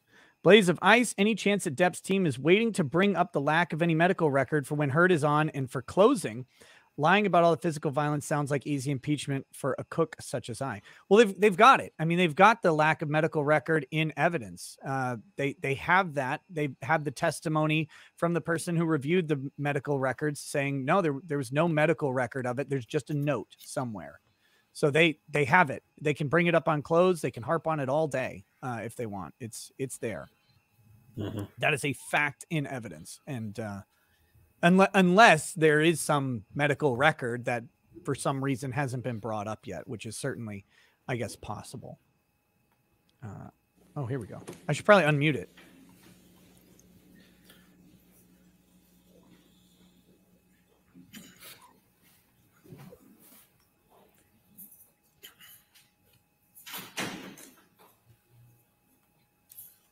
All right, thank you, ladies and gentlemen. Be seated. All right, your next witness. Your Honor, we'd like to call Laura Amber Heard to the stand. All right. Amber, Oh, Here excellent. we go. I'll be right back, gentlemen. Seriously? Nick's out. He's like, I don't want to hear. No, no, no. He's probably We'll just posting run a it. tweet or something right now. Oh, I'm telling yeah. you. He's like, he's going nuclear on this bitch. Here Just we gonna go go. grab the good stuff. Here we go. Holy shit. God Laura can't save you now, Amber. Amber Heard is hmm. taking the stand. The turd with the most. This actually, All right, thank you.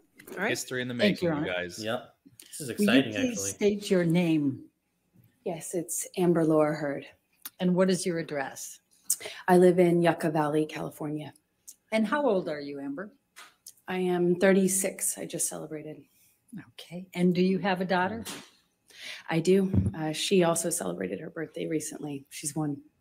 Do you beat that daughter? What is your profession? I am an actor. Uh, I don't like her mostly. face, like her smile. Now, Mm-hmm. why are you here? I am here because my ex husband is suing me uh, for an op ed I wrote. And how do you feel about that? I um, I s- struggle to have the words, I have PTSD from struggle this to find words to describe how uh, painful this is. Um, this is horrible for me to sit here uh, for weeks and um, relive everything. Um, hear people that I knew, um, some well, some here? not. My ex-husband, with whom I shared a I don't know why this is relevant to defamation. Yeah. She's got to start crying right away. Um, Immediately. about our lives in the way Like that William we. Shatner style delivery. Um, this has been one of the, this is the most painful and difficult thing I've ever gone through, for sure. So the abuse wasn't that bad, I guess. Yeah, I was gonna say yes. Exactly. Compared to getting bent over a table. July of Yeah. 2020, where Mr. Depp had sued the Sun newspaper and Dan Wootton. I don't know why her hair's you covering her that? face. Yes, uh, And what was your level of participation in that lawsuit, in that trial? well, I was uh, not party to that lawsuit. I was um, a witness. Um, I, I suppose the primary witness, since it dealt with the truth of the relationship um, that I shared with Johnny. Objection, legal conclusion. Ooh. And what, if any, role did you have to play with respect to, for example, witness statements and testifying? Objection, compound. Why So, would they For just- example, Overruled. Are they gonna let her talk about the Sun case? I had to write, um, I think I gave seven witness statements um, under oath testimony. Oh my I goodness. sat on the stand um, for four days um, under mostly cross examination. And up until this point, it was the hardest thing I had ever had to do. You can't sue someone for damages for being sued. thank you, Amber. That, that's what she's explaining right now. I'm going to take you back. Yes, and you can okay. Just Yeah. tell the jury a I little was bit wondering where the about hell they your were going with this, but- background. But you Tell us can't. where You can't. That up. can't be. That's not Yeah. damages in the case. I No, I know. Austin, Texas. I assume they're gonna talk a about her small town damages. outside of Austin that you probably haven't heard of. No one has. Um, called Manor. And uh, I was raised by my mother and my father. And I grew up with a little sister, although I have a big sister as well. And your little sister's name is, Uh, her name is Whit, Whit Hurd. and how, how much of an age difference is there between the two of you? Whitney and I are about one year, I think we're 16 months apart. So right next to each other. And what did your father do for a living? Uh, My father um, broke horses and did construction. Had um, he painted houses, um, and uh, hunted and fished. But that was for fun. And what did your mom do? She worked for the state of Texas. Um, Let me just, since you talked about the breaking horses, can you just tell the jury what your role is in assisting your dad on that and what is involved in breaking horses? Objection leading. Objection leading. Can you just tell me about? Overruled. I mean, this is super foundational, though. Um, I don't care if it's leading Just gotta there. Once stay again, on, who basically. cares about Yeah. breaking horses? I would help him. I don't know why with you, I, more of I a- wouldn't have objected. Trying to paint A her as a human. test dummy, you know, because when you until train a this horse, point, she's been. Yes. It's like an Wild animal ethereal doesn't necessarily being. like to be, The horses saw my face and we Um, were retreating to the barn. And uh, She's an animal lover, therefore she's there, likable. um, Bullshit. I who are. Yeah. crazy enough But like my dad to pick that as a profession, I guess. And he was really good with horses, and um, I was the son he never had, so it was my job to, you know, stay on. How does that affect What, Dr. anything, Hughes' you learn from assessment? your father about Yeah. how to react to the horses? Yep. well, with training horses, um, I guess the key, the the key things are to not show fear, there it is. Mm, not, This is why I fear, throw- not show fear, be tough and calm. Fight back. Tell the jury a little bit about your educational background during those growing up years and your work experience. Uh, I, I worked uh, any job that I could from the time I was really young. I wanted to get out of Texas and do something with my life and see things and do things. Um, so I was in school and really pushed myself to. I, I just always pushed myself to um, be able to accelerate the process. I wanted to, you know, get out of school as fast as I could, and I wanted to do I wanted to do more things with my life than stay in Texas. So what types of things, so where did you go to school when you were Uh, younger?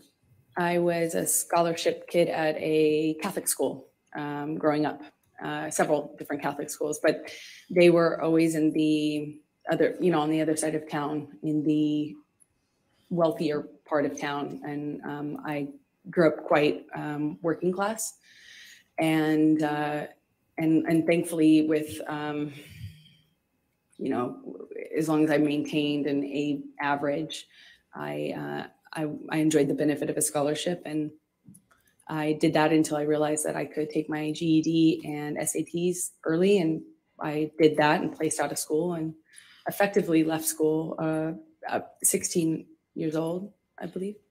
And what did you do for work during those younger years? I took any job that I could. I worked at my father's construction company, sometimes, um, you know, just administrative stuff. I mean, it was a small company. Um, Was on the lookout for but which I actors. answered phones and I uh, worked at a, like a modeling agency that was also, you know, um, offered photography classes, makeup classes, hair, hair and makeup classes for people that were pursuing a career in entertainment. I'd entertainment like to qualify her as a makeup and expert. Jennifer. I uh, started taking why do you um, this classes that I paid for by working there effectively as a trade.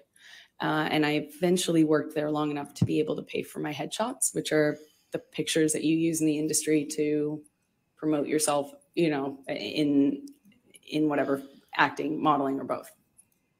Okay. And what, if any, charitable work did you do when you were still young? it started off as a, a requirement for the school I went to, and then I liked it so much. I think because it it meant I wasn't at home, and that was important to me. It's just to not spend time at home, uh, and I um, I really I really loved meeting people. So I worked at the soup kitchen every morning before school um, during Oh, the school year uh, for about four years. She's now a homeless volunteer. were, I didn't go on weekends, um, but on weekends I would do um, various things. Worked at children's, um, like at children's uh, museums, typically because they would work with younger volunteers, um, and mostly soup kitchens and things involving children. I worked at the um, with deaf kids for a while, and uh, yeah, I really don't want to scoff and roll my And when eyes You worked with. because you know this is all good stuff, but it feels do tough. To learn. to Yeah. Uh-huh. she taught blind penguins how to read reading and Sanskrit. And relevance, Your Honor.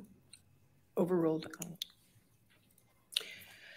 Um, well, I I taught myself how to sign The basic. female lawyer that's been sign sitting next to Johnny is going to do cross. Then I um, I pursued it. I audited a uh, a translate um, a course at the community college, which I ended up going to um, to get out of high school early um, later on. But I would audit classes. The teachers never wanted to kick the you know random 12 year old out of their class i suppose. So i remarkably was able to audit uh, um, i think the majority of two semesters and that's also helped helped me learn. So how did you end up in Los Angeles?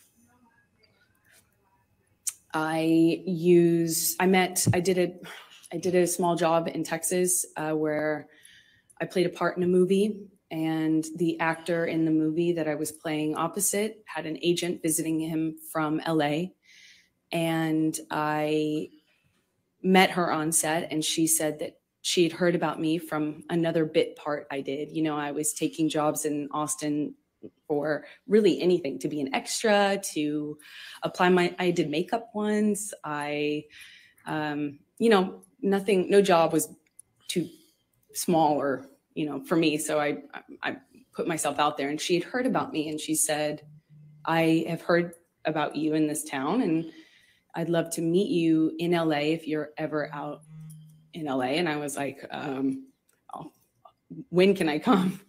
Uh, and she made an appointment with me for the following week. And I used all but $180 or something um, to get out there. And that's, I landed. I didn't know anyone. Uh, I was 17.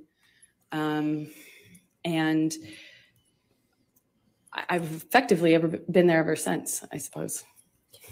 So when you arrived in Hollywood, please tell the jury what you did to get moving there, get going. I beat the first man I, saw. Uh, went to every audition, every casting, every meeting, every appointment that I could. I I put myself out there. I didn't have a car um, because those were expensive, um, so I took the bus around LA. It was before smartphones. I had a, a Thomas guide in my bag and a change of tank tops. Um, not that it mattered, but I went to about 10 auditions sometimes a day and would change clothes if I needed to in the back of, you know, the bus I was taking. And I just hustled from one audition to the other.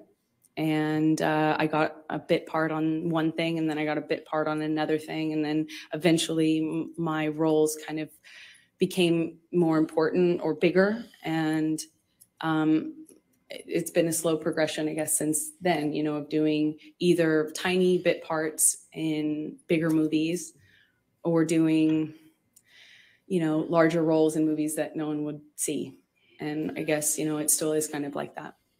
So going to ask you to go from 2002 to 2009. If you could just describe for the jury a little bit what types of parts you had. Um, I think they've indicated they didn't, you, you have not been well known here uh, in this courtroom compared to Mr. Depp. So perhaps just take them through a little bit of that. Yeah, that's fair. Um, I did small roles in big films like you know, Zombieland and um, Pineapple Express and uh, movies that were well known. Um, my first one was Friday Night Lights. Uh, but again, I had small roles in those bigger films. And then I would do larger roles in um, kind of smaller films. Like I brought, um, I did a project where I was the lead in a John Carpenter film and he came out of retirement to do that. And that's kind of the, how it was in terms of my career for those initial, that, that first initial 10 years or so. It was just going from slightly bigger role to slightly bigger role and just working my butt off. So I'm going to take you up to 2008. Did there come a time that you auditioned for The Rum Diary? Yes, I um, I auditioned for that in about 2008, I believe. Please describe for the jury your experience in auditioning for The Rum Diary. Well, I auditioned a few times, which is common in my work. You know, um, you get a call back, as they say. And I think I had um, at least one, maybe two callbacks with the director. And then I got a call saying that Johnny, who at the time was, I think I knew that he was producing it as well, um, was doing a project that was something very personal to him. He was reprising his role as his late friend, Hunter S. Thompson, and it was a very important project to him, and that he wanted to meet me in person. Um, I thought I would be going for maybe an audition, um, but it was just a meeting. I went to his office um, and, and met with him for a few hours. And what did you talk about during that, those few hours? we talked about books and music, poetry. Um, we like a lot of the same. We liked a lot of the same stuff, you know, obscure writers and you know, interesting books and pieces of poetry that I haven't heard anybody else reference or know or like. And he, um, Notice how she still has pleasant well-read memories when she's remembering. and sh- you know, I think I left the office with a few books that he gave me, and we spent the whole time just Pay attention that she still has a things that we positive care about. And I was- memory about Johnny. I was so general. surprised that somebody, you know, I knew who he was. I wasn't familiar, you know, I wasn't a fan of his work. I wasn't familiar with him, but I knew who he was. You know, he's mo- one of the most famous people in the world. So it was al- already a weird thing to go and get called into his office. And, you know, I'm a no name actor. I was 22, I think. And I thought it was unusual. It was weird because he's, he was twice my age and he's this world famous actor. And here we are getting along about obscure books and weird you know old blues. And we just it, it was Mm. i thought it was remarkable. You know i just hadn't really i thought it was unusual and remarkable. I left there just feeling like wow So did there come a time that you learned that you were going to be cast for the role in the Rum Diary? yes, a few days later, my agent um, said that Johnny's going to call you. We gave him your phone number. I was like, oh, okay. And shortly after, I my phone rings. I pick it up, and I hear, you know, this like deep voice on the other line, and he said, "You got the, you know, you, you're it, kid. You're the, you're the dream." Hunter wrote this part, and you're the dream. You're it, kid. Like, And amazed. please describe for the jury what that means. What what was the Rum Diary and this Hunter Thompson? What what was the concept here and what role were you playing? Um, well, it was my understanding that he was bringing to life a, his late friend. And what he told me was that this character is supposed to be the dream woman, like the dream, American dream. And um, so I knew what he meant. He indicated to me when he told me I got the role that I was I was that, you know, that he I was the dream kid. That's what he said. So did there come a time that you started filming the Rum Diary? Yes, I'm not quite sure how much. I think we started filming in maybe March of 2009. And where did you film the Rum Diary? We shot it in Puerto Rico.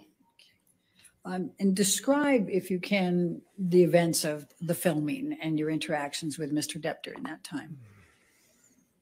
It was a bit surreal, you know, uh, filming in a place like Puerto Rico. It was beautiful. Um, it takes place in the 50s, so everything really looked beautiful. And you know, cars and clothing, the music. It was just, it was a very colorful um, shoot in general. I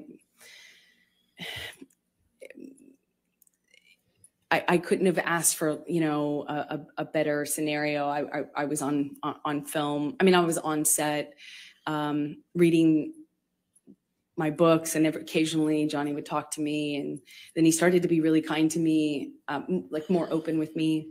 Uh, when we'd have hot days filming, it- you know, there'd be this big SUV pull up, and a security guard would kind of usher me into this car and it would have the AC blasting and I'd be sitting in the back of the SUV just thinking what a strange experience the whole thing was and you know we didn't really have a whole lot of interaction on set until um, until we did a scene that involved um, kissing. We, we had a kissing scene and it didn't feel like a normal it didn't feel like a normal scene anymore. It felt a, it felt more real. Eh, there are certain things that you do in the job to um, be professional like when you have to do that sort of scene and you don't like you you don't use your tongue if you can't if you can avoid it there's certain things that you do to just maintain a certain line and it just felt like those lines were blurred i mean he grabbed my face and pulled me into him and really kissed me but we were filming a scene Did he use his tongue? yes. Did your birthday, did you celebrate your birthday while you were in Puerto Rico? Sexual abuse has started already. I did. I celebrated, I think, maybe my 23rd birthday there. And what, if anything, did Mr. Depp do for your birthday? Well, we were already kind of talking about books and poetry and things like that. He gave me a few really beautiful poetry books. And uh, he gave me a bicycle, uh, like a vintage bicycle, because at the time I was riding around in, on a bike and, and I had a lot of time off since I was a smaller role in the movie. And um, yeah, I think that was it. Okay. Now, did there come a time that um, you ended up uh, visiting him in his trailer? Yes, um, I think there was a we would hang out if you know after or in between scenes or in between setups. We often were, you know, talking about things and would continue the conversation into the trailer. Um, often with the director, Bruce Robinson was his name. Um, and then at one point we, we talk about wine. It's another thing that Johnny and I shared in common, a love for uh, wine, red wine. Uh, and we were talking about um, a kind of wine that I enjoyed, and I was, you know, going on about how great this bargain wine was, and I didn't understand, you know, how much more sophisticated Johnny's taste in wine was. Um, so I was going on about the virtues of Malbec or something, and I brought him a bottle of this wine, and I set it down, and at some point, I'm I'm I'm going back to get back to set, and he kind of kicked his like you know foot up in the air and basically kind of lifted the back of my bathrobe up and Can I just stop you there? Why were you wearing a bathrobe?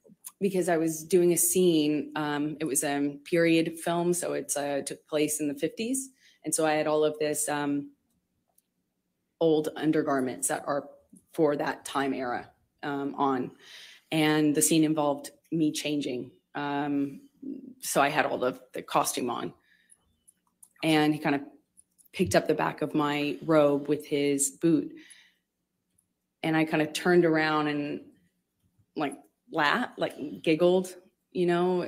Um it i wasn't i didn't feel i just didn't like i didn't know what to make of it at the time and it just kind of i just kind of giggled and batted it away playfully and uh he he kind of playfully kind of pushed me down on this like bed sofa uh that was in his trailer just playful. Um and flirtatious and he said uh yum and he kind of like lifted up his eyebrows like that and i just giggled l- laughed it off kind of batted him away and you know moved on went back to set And were you in a relationship at that time? i was Okay. And was Mr. Depp in a relationship at that time? that was my understanding yeah Uh, and did anything else of significant happen during that that time period while you were filming with Mr. Depp, other than what you've told us? we just had this you know it, it was a friendship flirtatious thing we i felt chemistry i felt this other thing that was that went beyond the pale of my job for sure uh johnny clearly felt that way about me had indicated to me that that's how he felt in many different ways and but at the same time that's eh, it, you know we were both in relationships and it is a job and you know I, it was intimidating and I, I just remember feeling kind of intimidated and a little nervous about that and i also was in a relationship so we went our separate ways and we didn't hear i didn't hear from him for a long time And, and that's so approximately how long were you filming in Puerto Rico for the Rum Diary? a few months is my best All right. guess. And when you left Puerto Rico in the filming, when is the next time that you had any contact from Mr. Depp? And contact could include a- a- anything, uh, uh, communications, written communications, uh, as well as uh, telephone or otherwise. Uh, we had no contact until uh, Johnny called me on the phone one day, and I was driving, and he invited me over to his home in in California, in Beverly Hills, and I um, I was out of the blue. I didn't even have his phone number, um, so I was it was quite unexpected. Uh, he called me a second time, but I I don't think we actually connected or we didn't stay on the phone um, because we did well yeah we didn't really speak but the first time was the only time i actually spoke to him and he invited me over to his house uh, under kind of the he said that you know we could get bruce who was the director uh, to come over something about the movie but it was clearly not about the movie if you know what i mean. It was so i said um, I, I said my friends are in town uh, and I'm, I'm i'm busy with that and kind of hung up feeling really startled, you know, that didn't know what else to do. What if any gifts did Mr. Depp send you during that time period after you filmed the Rum Diary? Uh, he sent me several gifts. He sent me a beautiful dress, uh, one that I wore in the movie, uh, with a beautiful handwritten note. said, So this is to make him look like a cheater, I assume. And um, And a groomer. made a reference to the dress being wrapping paper. Uh, he sent me a few gorgeous, expensive, what I can only assume are expensive um, collectible books, uh, items. Uh, and then when I was away filming on a different, you know, a different job, he uh, attempted, or he did send me um, some guitars. Uh, I know one delivery I was informed about one delivery, um, and I, my partner at the time uh, intercepted the the the attempt to to deliver and called me immediately and said, "What should I do?" And I said, "Well, send." I said, "Send it back," and she did, and sh- she indicated that there was at the time that there was another one that had already previously attempted delivery, and it was also rejected. We sent it. I sent it back because I wasn't there, and I wouldn't have accepted it anyway. Did there come a time that you ended up having to go on a press tour for the Rum Diary?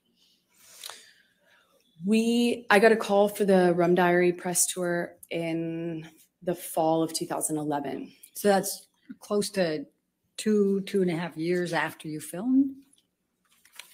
Um, I'm an actress, not a mathematician for a reason. but Roughly, yes. Okay. And um, could you please describe for the jury what a press tour is? Just explain it to them. Well, you take a, a movie once it's completed, and uh, if it doesn't have distribution, you, as part of the promotion of that movie, you go to these. I gotta go. You kids have fun. Places, normally cities um, like London or New York, and you do press events in those cities to kind of promote the film. And you go to place to place talking about the film.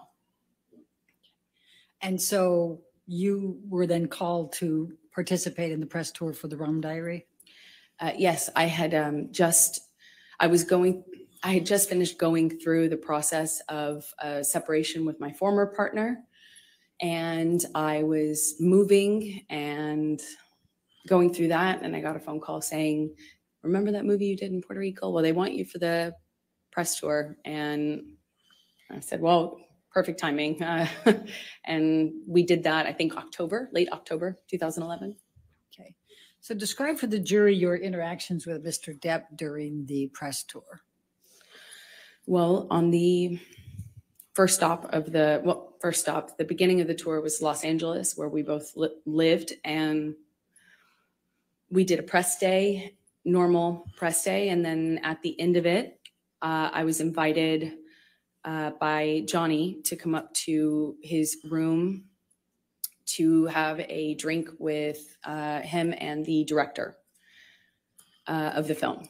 And I went up to the room um, to see both him and Bruce. Um, but as soon as I got there, Johnny said Bruce wasn't going to make it.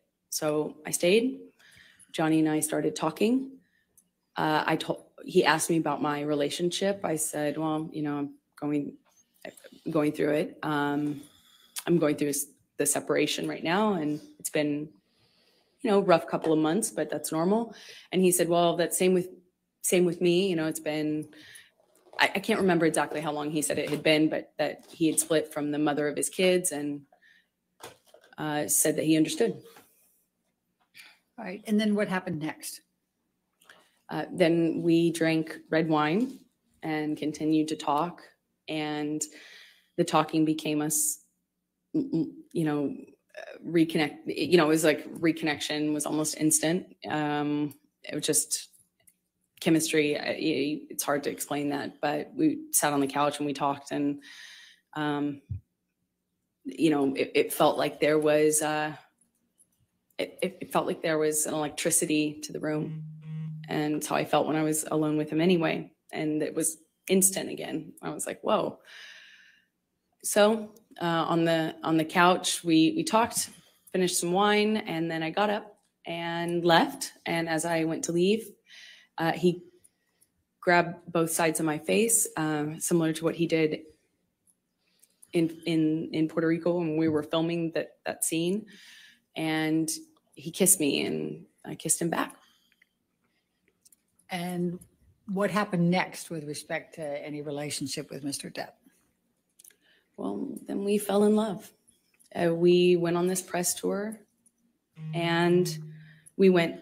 It, it was it was a beautiful and strange time. You know, we went from we are flying from one not together, but you know, going from one city to the next, Europe, um, New York, Los Angeles, as I said, and we're just traveling around talking about this movie that we did together, that we participated in together, and we were falling in love. I mean, it was just, you know, at the first dinner in London, he sat me next to me. You know, he produced the film and was a part of controlling the film and was responsible for different things. And I was as a small, as an actor, having a small part in it. And um, we went on this press tour. And I think in London, he sat, had me sat next to him at this, at a dinner. And then we ended up spending the night together in my hotel room. And for the rest of the press tour, we were, it, it was on. I, I'll put it that way. All right. And how long approximately did the press tour go?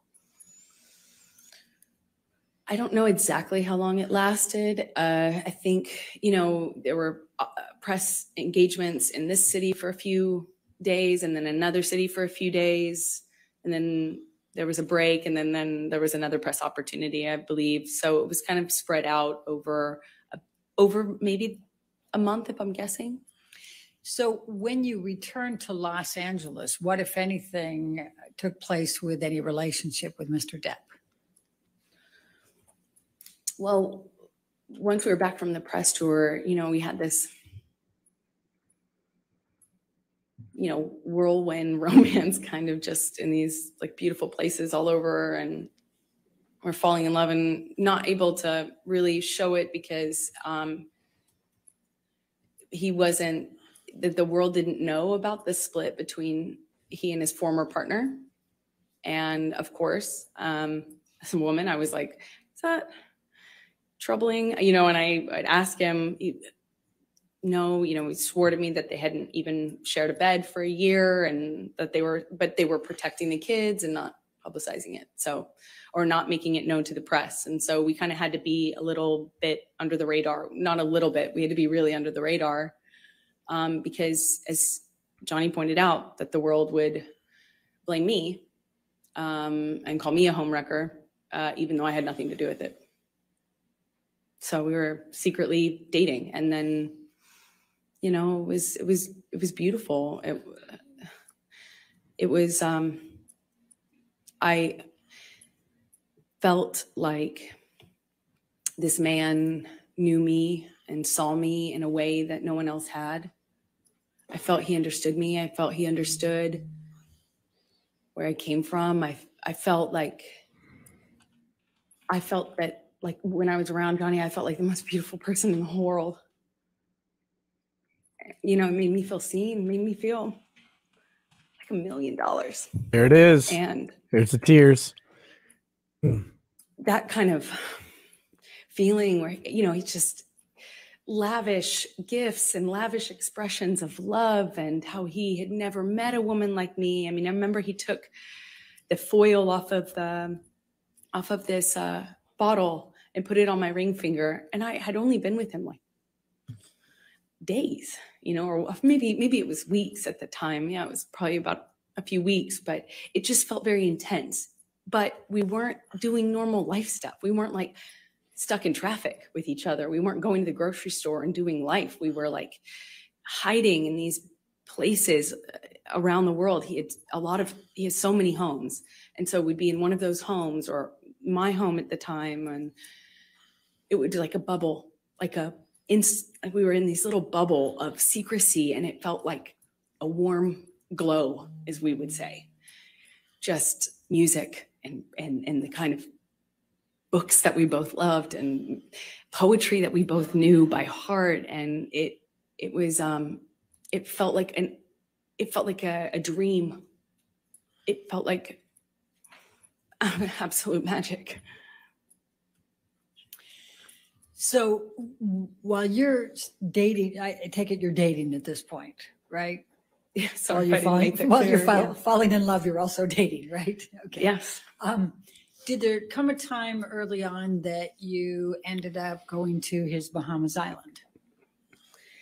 Yes. Uh, so shortly after, you know, we I think started dating October of 2011, and um, the, you know, as I mentioned, this bubble, you know, where he'd come over to my house and not leave for like three or four days, you know, just smoking cigarettes and playing music and reading poetry to me or painting me or you know just talking um, and then he would disappear. And there'd be just no way to get a hold of him, no way to contact him. At, at, first, I didn't really think anything about it, but um, he disappeared uh, at one point, uh, and then came back and said he was dealing with something, some health issue, and uh, would I join him in the Bahamas?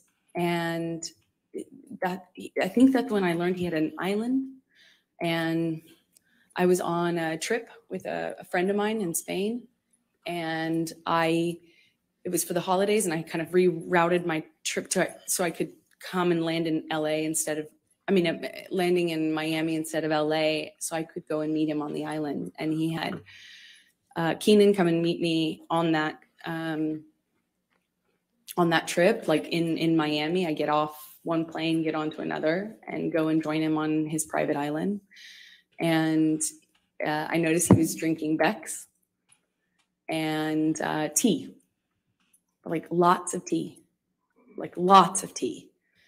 Uh, and I, I didn't foolishly think anything of it. Um, I just, you know, thought the man really seriously, I missed it before, but really, really loves tea. And we had this beautiful, I don't know, less than a week probably, um, trip in, in the Bahamas, a private island, beautiful sandy beaches. Scene, it's a scene that uh, you just don't. I had never experienced anything like that.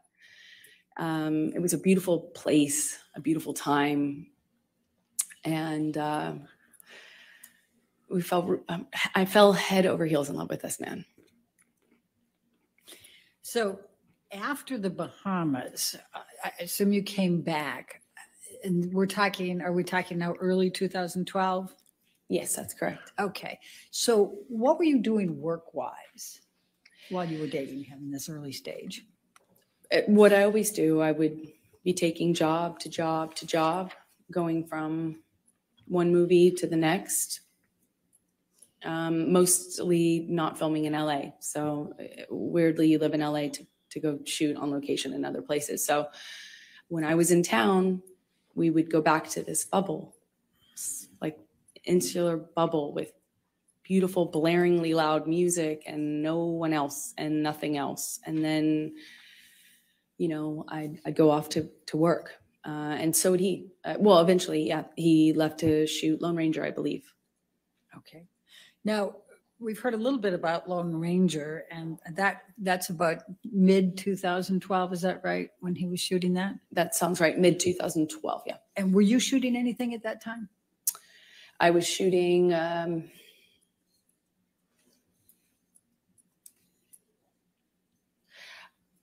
Machete I, I believe I was shooting Machete Kills in Austin. Let me help you. Robert Rodriguez film that shot in Austin. Machete Uh, kills. but uh, you know, I think Johnny was shooting and then having some time off, and there was just a lot of travel, a lot of movement. So And, and so what, if any, visiting did you do with Johnny while he was on his set for Lone Ranger and where was he? Well, he was filming all over the Southwest, and at some point I came to visit him and uh, on one of his locations, and I would stay in the house because I couldn't really, you know, occasionally I would leave with his security guards, but I, I didn't really have anything to do but visit him for a few days. So I'd cook and um, kind of stay at home and paint or whatever and wait for him to come home and have dinner ready and Line. um, it, it was we would have these little bubbles but kind of scattered throughout the southwest and as he was filming and at the time um, johnny had you know when i first arrived at one of these locations it was the first time that johnny told me that he had had a health issue um, something with his liver and that he wasn't um, it, that's why he was not drinking um, he was drinking a lot of tea like a lot of tea Okay. And so I- we've heard a little testimony about boots. What, if anything, did you do to help Johnny with his boots? Well, I mean, I um, I suppose that I took off his boots uh, and it made an impression on him, and I would I was happy to you know anything I can do to to show love. Um, certainly, how I felt about him. But if he wanted to take off his own boots, he, he certainly could. Well, we have testimony that says Depp any otherwise, but- Knives during that time period? Objection leading. Sustained. What if any, uh, what if any? What if any knives did you buy? With respect to knives during the time period you were with him in the Lone Ranger? Objection leading. What if anything? Overruled. This is so I- bad. That's not a rule had of evidence. for turquoise, and uh, that eventually, you know, being in the Southwest, it happens really. It can happen really quickly. I also too really love turquoise, and he has a. Um, he loved knives. He loves a lot of things. When Johnny loves things, he does it a lot, and lots of it. Uh, so he had these daggers that he had given me that really they were beautiful in design. Um, and uh, they're you know long curved daggers uh, and he just talked a lot about knives had a knife and gun collection uh, and was quite proud of it and at some point i i don't really remember exactly when it was but I, at some point i picked up a what i thought was a really beautiful turquoise handled um, knife and i uh, had it engraved with a saying um, that johnny would say to me all the time uh, which i you know, thought was romantic. As funny as that is to say now. Oh yes, yes, and all right. Because it was romantic, you dope. Uh, until death, uh, um, hasta la muerte in Spanish. Now, by the time that you're visiting Mr. Depp in, at- during his shooting of uh, Lone Ranger in the June through August 2012 timeframe, uh, what, if any, relationship has he developed with your family? Oh, well, starting really early on, Johnny was so kind, so generous to my family, uh, but especially, especially my mom and dad. He just really, he met my dad, and um, my dad's a big personality. Uh, he's a he's a rowdy guy, and uh, Johnny just all of a sudden, I had never noticed, you know, Johnny have a southern. All of a sudden, Johnny had the southern accent and was really like buddy buddies with him, and they really seemed to get along very well. They're, you know, just like instantly, he was giving my dad gifts. He gave him guns. He gave him knives. They had this. I mean, Johnny just really just showered my dad, and my dad's a, a working man, you know, um, salt of the earth guy, and he was just like, you know, floored. He's getting all these amazing gifts and being invited to come on to these locations and you know johnny's this big movie star and my dad was just like you know i think my dad would have married him, him himself not if i hadn't and he just instantly he gave my mom jewelry brought her out to come and see me while i was visiting johnny uh, on on Lone Ranger in, in some part of the Southwest. I think it was Colorado. She was like beautiful turquoise necklace, and I mean, that yeah, they were they were definitely um, taken by him. And what, if any, uh, relationship had Mr. Depp forged with Whitney by this time, your sister? I believe the relationship came a little bit later as they got to know each other, but he did the same thing with my sister and just really found um, a bond with with them that you know f- was it, it was you know he he tried to do anything and everything he could for to make them feel like special and they did you know my mom my dad and my sister What a And jerk. what, if any, relationships did Mr. Depp form with your friends? Well, Johnny's so generous and can be this really like overly generous almost, you know, like showering you with Mm. gifts and compliments and just, I mean, like, you know, and he has access and means to really, you know, we're not talking about giving you a card.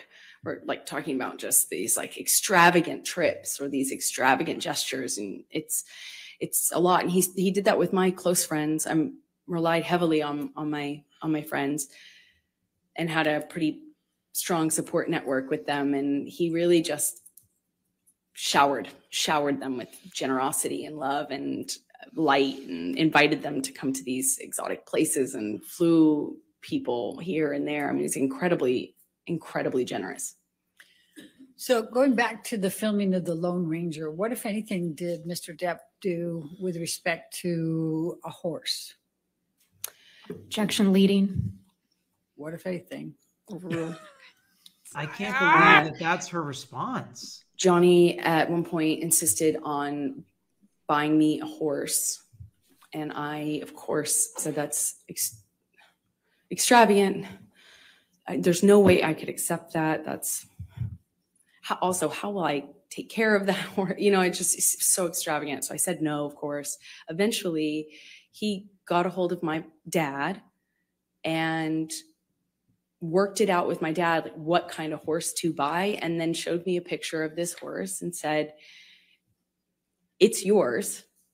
It's it's it's coming here. I think it was being transported and he said you know that he had my dad's help on it picking out. And you know i grew up on on my dad's horses. You know, i grew up riding with my dad. So you know i i went i had i had um, resisted for i think about like a month and a half or something of him kind of bringing up the idea and me saying that's a crazy gift no thank you no that's incredibly generous but i couldn't accept to all of a sudden i had a cult So, um, so let's, let's take you through 2012 and your relationship. Could you just describe for the jury a little bit about how that relationship evolved through 2012?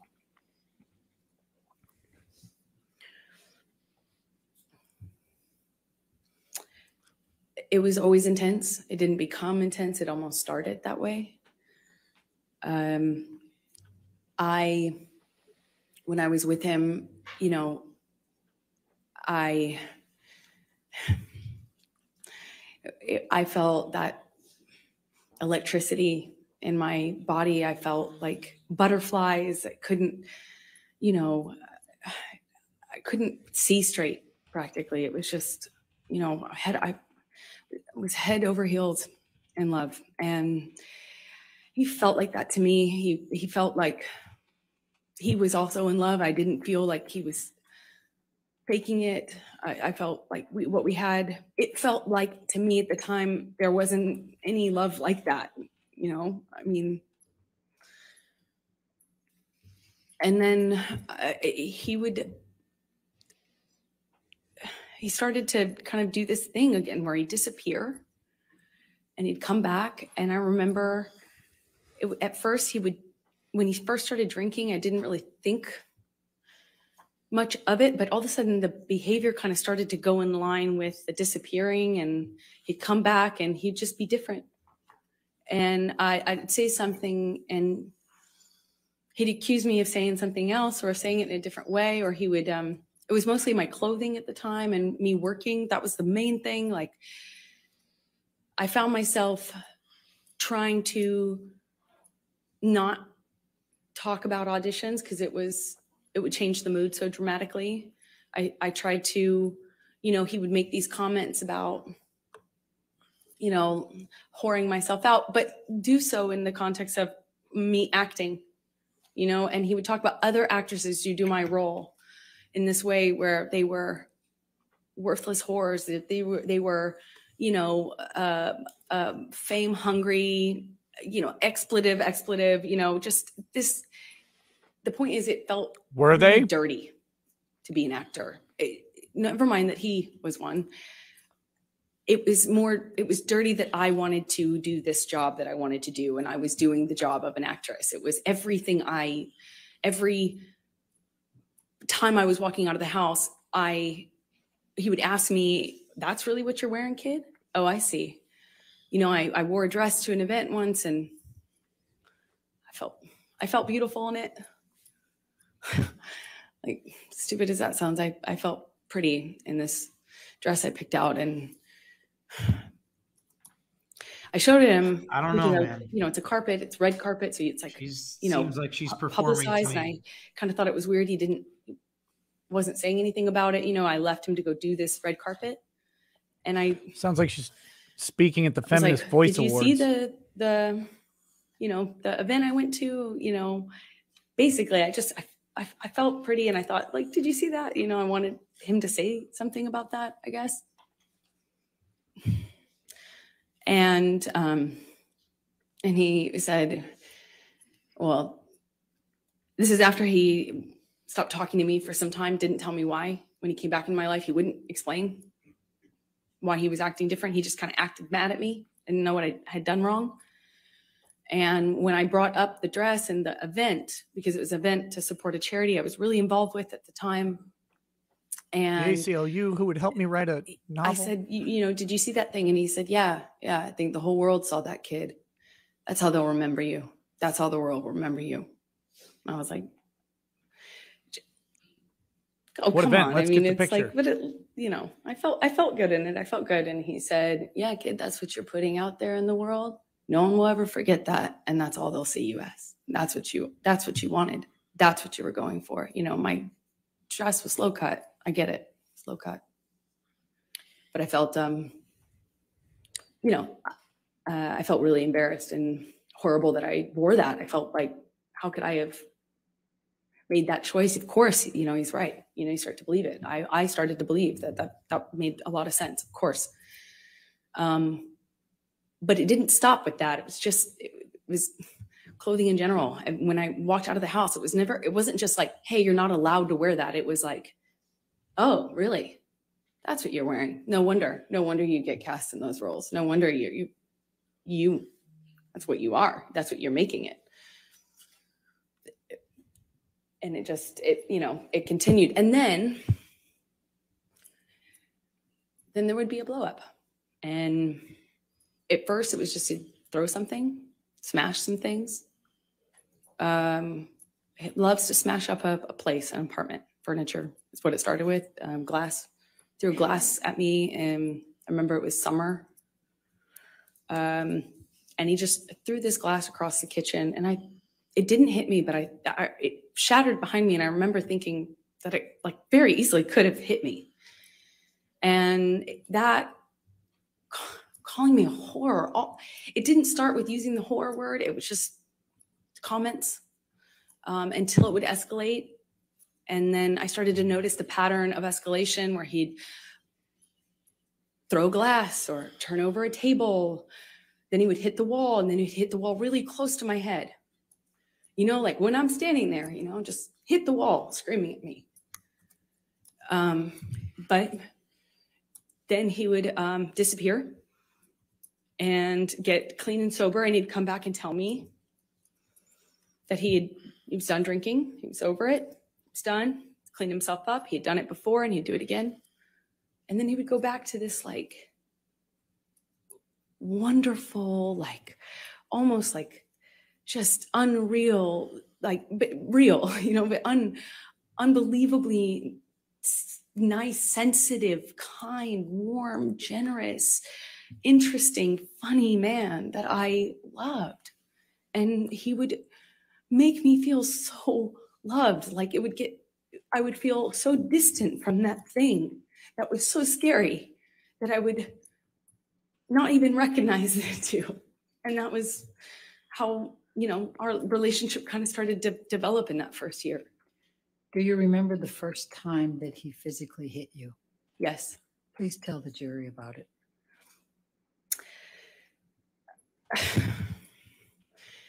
We're so, it's seemingly so stupid, so in, like insignificant. I will never forget it. It changed, it changed my life. I I was sitting on the couch and we were talking, we were having a, like a normal conversation, you know, just, there was no fighting, no argument, nothing. And um, he was drinking and um, I didn't realize at the time, but I think he was using cocaine because it was like there was a jar, a jar of cocaine out on the table. I, real I realize that sounds weird, but it's like a, an actual vintage jar of it. But I didn't see him use it at the time, so I, I didn't really factor that in. I just, you know, he's drinking and we're talking, and it's there's music playing, and he's smoking cigarettes, and we're sitting next to each other on the couch. And I asked him about the tattoo he has on his arm. And to me, it just looked like um, black marks. It, like I didn't know, I didn't know what it said. It just looked like muddled, faded tattoo that was hard to read. And I said, "What does it? What does it say?" And he um, said, "It says wino." It says wino, and I, um, I didn't see that. I thought he was joking uh, because it didn't look like it said that at all, and I laughed. It was that simple. Um, I, I just laughed because I thought he was joking, and slapped me across the face, and I laughed. I b- because I I didn't know what else to do. I thought this must be a joke. This must be a joke because I'm I didn't know what was going on. I just stared at him, kind of laughing still, thinking that he was going to start laughing too to tell me it was a joke, but he didn't. He said, You think it's so funny? You think it's funny, bitch. You think you're a funny bitch. And he slapped me again. Like, it was clear it wasn't a joke anymore. And I stopped laughing, but I didn't know what else to do.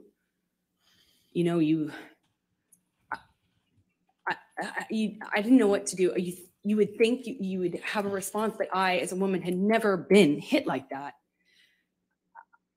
I'm an adult and I'm sitting next to the man I love, and he slapped he slapped me for no reason. It seemed like, and I missed the point. It was that stupid.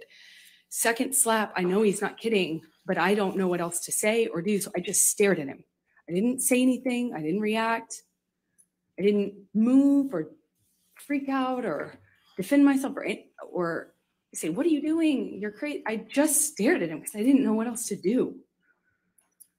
And he slaps me one more time. Hard.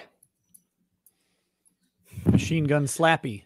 I lose my balance. Um, at this point, we're sitting next to each other at the, on the edge of the couch, or I was on the edge of the couch. And I'm all of a sudden realizing that the worst thing has just happened to me that could possibly happen to you. I realized that I, I wish so much he had said he was joking because it didn't hurt didn't physically hurt me. I was just sitting there on this on, on this carpet, looking at the dirty carpet, wondering how I wound up on this carpet and why I was never why I never noticed that the carpet was so filthy before. And I just didn't know what else to do. I didn't know what to say. I didn't know how to react.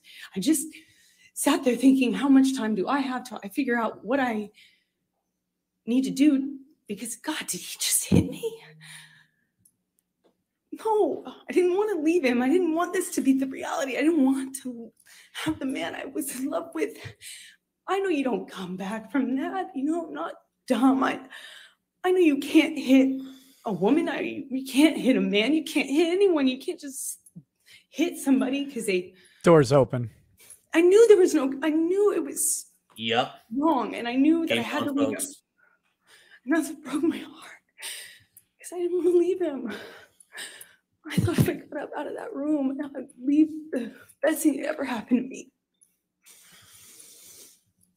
And I wish I could sit here and say I stood up and I walked out of that house and I drew a line and I stood up for myself. I was just looking at the dirty carpet trying to will myself to get up to walk out the door because I knew I needed to. And I really slowly I stood up and I remember looking at him in the eye and just looking at him, frankly, because I didn't know what else to do. And before I know it, he starts crying. And you know, like I, I had never seen an adult man cry. Um, I didn't even really see my dad cry at my grandma's funeral. You know, it just it's weird, and he's crying, uh, tears. I mean, just falling out of his eyes. He gets down on his knees and he grabs my hands and he's touching my hands and he's saying to me, "I will never do that again. I'm so sorry, baby. I I put the fucker away. I thought I killed it, and it's it's done. I I I, I, I thought I put the monster away, and I've done it before. It's done." But on his knees, and I. I, I I didn't have words. I didn't know what to say. I just remember thinking that it was just, he was crying. He seemed so sorry, but I knew I couldn't just forgive him because I, right? That, I mean, it will happen again, no? You know, like I've seen the health class videos, like everyone else. And I got up in my car, I walked to the car. I didn't say anything. I made a point to not say, oh, it's okay or anything like that. I just didn't say anything. I got up, I went to the car, I sat in my car, and I felt like I sat there forever. I didn't want to turn the key. I just leaned my head up against the window. And I remember just seeing my breath on the on the windshield, you know, on the the glass of the uh, of the window of the door, just seeing my breath and trying to will myself to have the strength to know what I should do in this moment because I was heartbroken. The dirty carpet and the breath sat on the there for a window are long like time, and details eventually- from a book. Like if you're Yes, were I writing was gonna say that. put people there. Yep. This is an actor trying to be a writer. Yes. I was going to talk What about this on break. that? I don't know. I, I don't remember what I did when I got home. I don't remember. Um, I went to my Chew's expression is hilarious. I told her Objection, hearsay. I I'll sustain it as to what she may have told her. I um, went home and I, um, Good a few catch, days Camille. later, uh, started getting, I actually don't know how many days later, but I started getting calls and texts from Johnny, um, you know, apologizing profusely. I mean, just, you know, he was, he said, I'd rather cut my hand off than ever lay it on you or lay it upon you, you know, and he had that way of talking. It felt like poetry and uh, he showed up to talk like with the understanding that you know he understood i could never forgive him and it was done. So i felt kind of safe and saying okay let's have a talk or you know yeah we'll talk. I i i think i you know i i know i just wanted to see him and he comes over brings me gifts. He brought me a couple cases actually of that Vega Sicilia wine that we've heard about um, which is a really nice, expensive wine that I could never at that time dream of affording, you know. Um, and we talk and he tells me that he had put this thing away that i could trust him that it would never happen again. Of course it would never happen again. That he put this thing away. He killed the fucker is what he said to me over and over again i put that fucker away i killed that monster i'll kill it again it's done i'll never lay a hand on you again and I wanted to believe him. So I chose to. Chose Then to the stay in next time, though. relationship.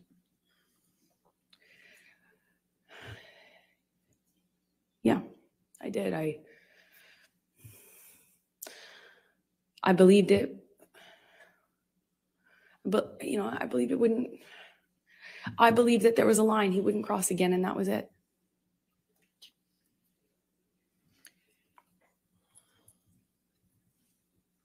And so you stayed, correct? You stayed in the relationship? Yes. Okay. So just, is this a good time? You're No, going you- you to can keep going a little- little longer, please. Okay. Thank you. But we really So want the could you dramatic pause. please Describe for the jury Is now a good time, Your Honor? the evolution of your relationship after that time with Johnny. Um, I don't, I don't know how long it was until things got bad again.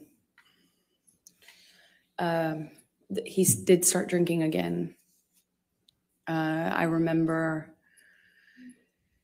the, it was, it was almost, you know, he'd start drinking again, the disappearing thing, the coming back. He'd come back at like in the middle of the night to my house. Um, and he, it would be unclear to me, you know, drunk, often really drunk, and uh, kind of accusing me, but not directly. It was nothing was very direct. It was a lot of accusations, but they were veiled. Um, you know what I was wearing, who I was with, why didn't I text him back? I didn't text him back right away. Um, when I this is when I was at my place in Orange. Sometimes he would show up to catch me. I- like that was a pretext for coming over, and by the time by the time we were done talking, would be I, I would have thought I had convinced him that I loved him, that I only loved him, there was no one else, and then that we were back in an upswing and would go back to good, loving, like sick, romantic love, like kind, sweet, velvety love. and then it would be something I said, why did you say it that way? Um, you know, if I had to leave for an audition, I could guarantee that when I not couldn't guarantee, but uh, uh, two of those in a row. And when I came back, he was angry at me, you know, and I wouldn't necessarily know why. And then he started accusing me of things. Probably like at first it was indirect, and then it became really direct. Then the punching uh, of the walls next to my head was, which is a constant at the at, at that time in 2012 when he was drinking. Um, eventually, that became. Uh, you know, him accusing me of cheating, I'd defend myself. I'd say, you know, that's crazy. You're wrong. I would never, the normal things. And uh, it would escalate to the point where he would push me or shove me down, and then I'd get back up. And this happened several times. That's why it's not more specific, I suppose. It- when I get back up, I'd, I'd, I'd look him in the eye. I made a point of getting up and looking him in the eye. It's my way of defending myself at that time. And I'd look at him and he'd ask me if I wanted to go again and shove me back down. Eventually, it just hit me. Uh, remember, he hit me in the face when I denied having an affair with my ex wife, my ex partner at the time. Um, and he said he had proof. I denied it. And I was walking out of the bedroom, slapped me across the face. I turned to look at him and I said, Johnny, you hit me. You just hit me. I'm going to ask you, Michelle, can you bring up 1783, please?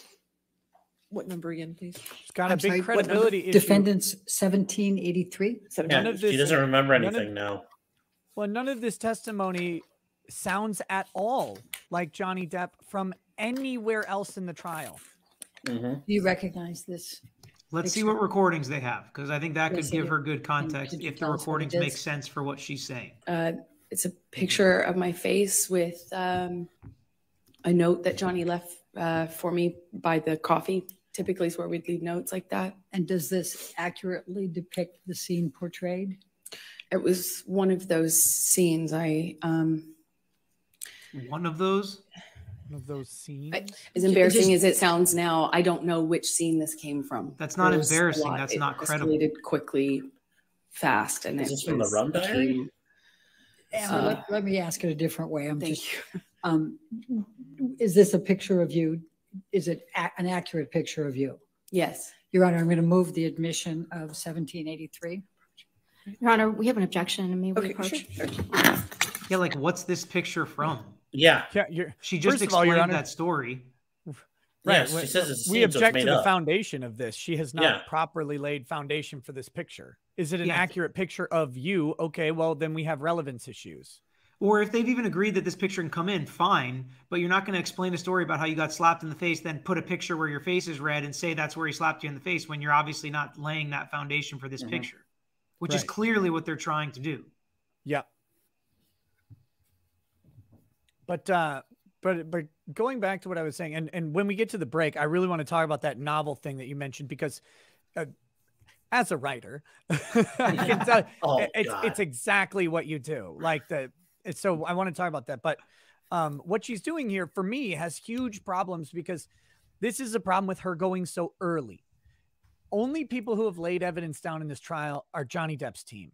Now she's Yeah. testifying to something that is completely atypical of the character that's been built over the over the entire testimony and they haven't had anyone else come on and break that down. They haven't had anyone else come in and say, "Yeah, Johnny could lose his temper. Yeah, Johnny could do this." Yeah, but if she Will doesn't get out in front of this, I think it's bad For the later in the jury, uh, some of the cycles you had with They Mr. lost in the Depp picture. through 2012. Ooh, So good. At least for now. in 2012, the violence Yeah. was pretty, you know, relative to what it became, pretty, you know, slapping, uh, backhanding. Well, it went from, it went from this eggshell kind of, you're walking on eggshells, nothing you're doing is kind of right, but you don't know what you're doing wrong. Uh, and then I was doing something wrong clearly, but they were, it was unclear within the scope of an argument what I was defending myself against. So it would shift from uh, a rumor he had heard that I was with um, my a friend, or I had been photographed standing too close to a male person. That was a person I'd have a, an, I had had something with, and I was lying to him about, and the it would be egg, it would be eggshells, accusations, accusations, and then he would explode. Um, it started with throwing things, um, uh, destroying the property, and screaming at me. I remember the screaming at me was the worst because I kind of always felt like I had done, you know, I had to defend myself. I had to tell him I, so he didn't think these things were true. And sometimes, you know, I he would shift accusations while I'm trying to dispel one accusation. He'd start another one, and um, nothing I could do to calm him down. It seemed like uh, I'd walk away, and that would make it worse. Um, I remember he, in my apartment in Orange, it would he would grab me by the hair or he'd grab me by the arm, face, pull me into him, scream at me that way. He'd smash things around me, then he would smash things very close to me, and then he would just hit me. And it started with slapping, um, and it got to be like repetitive slaps where he'd hold me um, in a position and slap me multiple times um, in a row.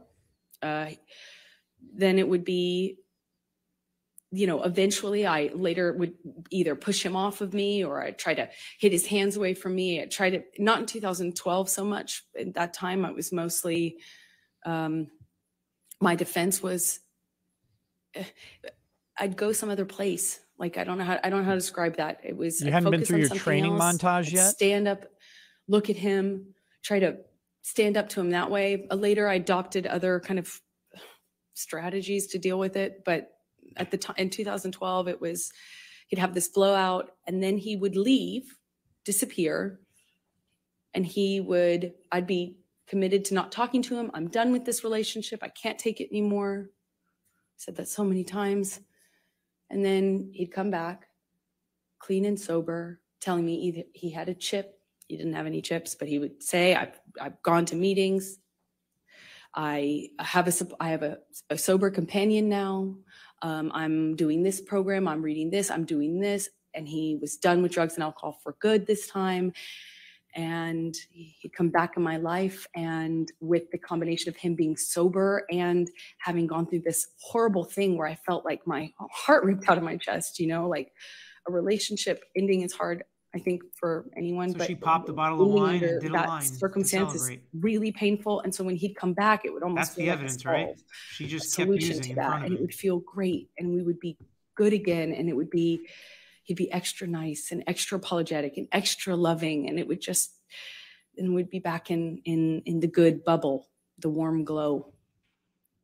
And eventually it'd get bored and then i'd see him drinking again um, when i started to get upset noticing the pattern um, of the violence going with the, the drinking and drugs then i then he started sneaking it. So it became less clear and i'd have to look for clues as to what he was on. So i just knew how to react you know? Uh, johnny on speed is very different from johnny on opiates. Uh, johnny on opiates very different from adderall and and and and cocaine johnny which is very different from quaaludes johnny but i i had to get good at paying attention to the different versions of him uh, She's the one who 2012 i was in um, multiple I was personalities in the beginning of stages of this, just learning these patterns. I was just learning that drinking kind of correlated with the violence. I've never heard of him doing PCP in this you trial. Confide in anyone about these issues you were having? I I think she. can Objection, say if she- hearsay. I, I think she can say if she told anybody. As long as she doesn't say what she. Yeah, she can. Right, right. not a s- Did, yeah. did you? con- What did you say? Yeah. Tell anyone? Yes, I did. Who did you tell? I told my therapist. I told, I eventually told my mom. And let's, uh, let's go ahead and take a look at uh, Defendant's Exhibit 150. 150, 150.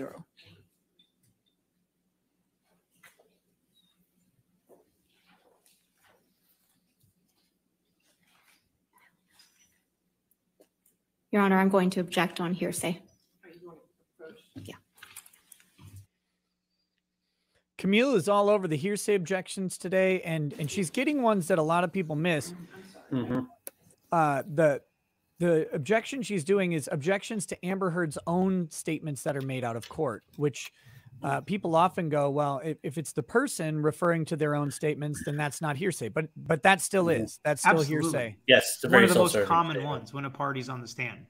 Yeah, Mhm. and Right. and you have to keep those out because it's basically bolstering her own testimony to say contemporaneously, I told this person or I said this to Johnny Mhm. or you know whatever. But I mean this this is always a funny thing, right? A lawyer objects to hearsay. No, no, no, no, no. Just did she tell anyone? Well, yes, I did tell someone. I told my therapist. Okay, now we're going to get to the statements that you told them. It's like, well, this Yeah. was my objection, Judge. This these are the Mhm. statements now. Right. And I mean, I uh, I know the the fact of her telling someone is is not effectively hearsay, but I mean the the what she told the person is implied in the fact that she told someone, right? Like Yes. if did you tell someone that you were being beat? Uh, Well, yes, I did. Right. And also, she she indicated what she was saying beforehand. All this stuff happened, and she told somebody that. Yeah, I mean, and, and honestly, you don't really need it. Like, okay, I saw Johnny do speed. I saw him do open. You, she doesn't need to say, I told my Mhm. sister that I saw him do. Like, I mean, I think it's a little excessive, except for the fact that they're just trying to get out the fact that what she is going to say she told her therapist is true, and it proves it's true because she told her therapist. That's what you Yeah. can't get into because that is hearsay, in my opinion. Welcome, Andrea. What up? Uh, your mic's muted on your end. I, I love the whole issue of uh, PCP now being introduced into the story. Well, that's why I think they were specific on Johnny's side as to what drugs they were going to admit to. Mhm. Um, and I also think you admit to all these drugs. If you did a little PCP, I, you probably would admit that too. I, I don't know. Yeah. I'm, I'm probably a prude when it comes to drugs, but they're just they're just massive uh, leaps in this story for me and and i think the defense needed to build the bridge to these to these little islands of johnny depp because the story is not consistent with him slapping her multiple times uh, in this way uh, the, there's there's no consistency of, of of her going or him having uh, any of these sobriety meetings like i don't remember that being testified to at all now suddenly he's going to sobriety meetings. It's like either the either the plaintiffs or Cross would want that in earlier. she's creating a burden for herself. She is just Uh-huh. creating this bigger burden to prove Johnny is the monster from the texts when we've just heard four weeks of what a great guy he is. And we saw him on the stand for four days to make our own assessment, which to me is night and day with how it's starting for her, in my opinion. Anyway, hi Andrea, how are you? Hi, Nick. My Welcome. defaults don't like your channel, I guess. No. Did you decide to confide in your mother about the issues you were having with Mr. Depp?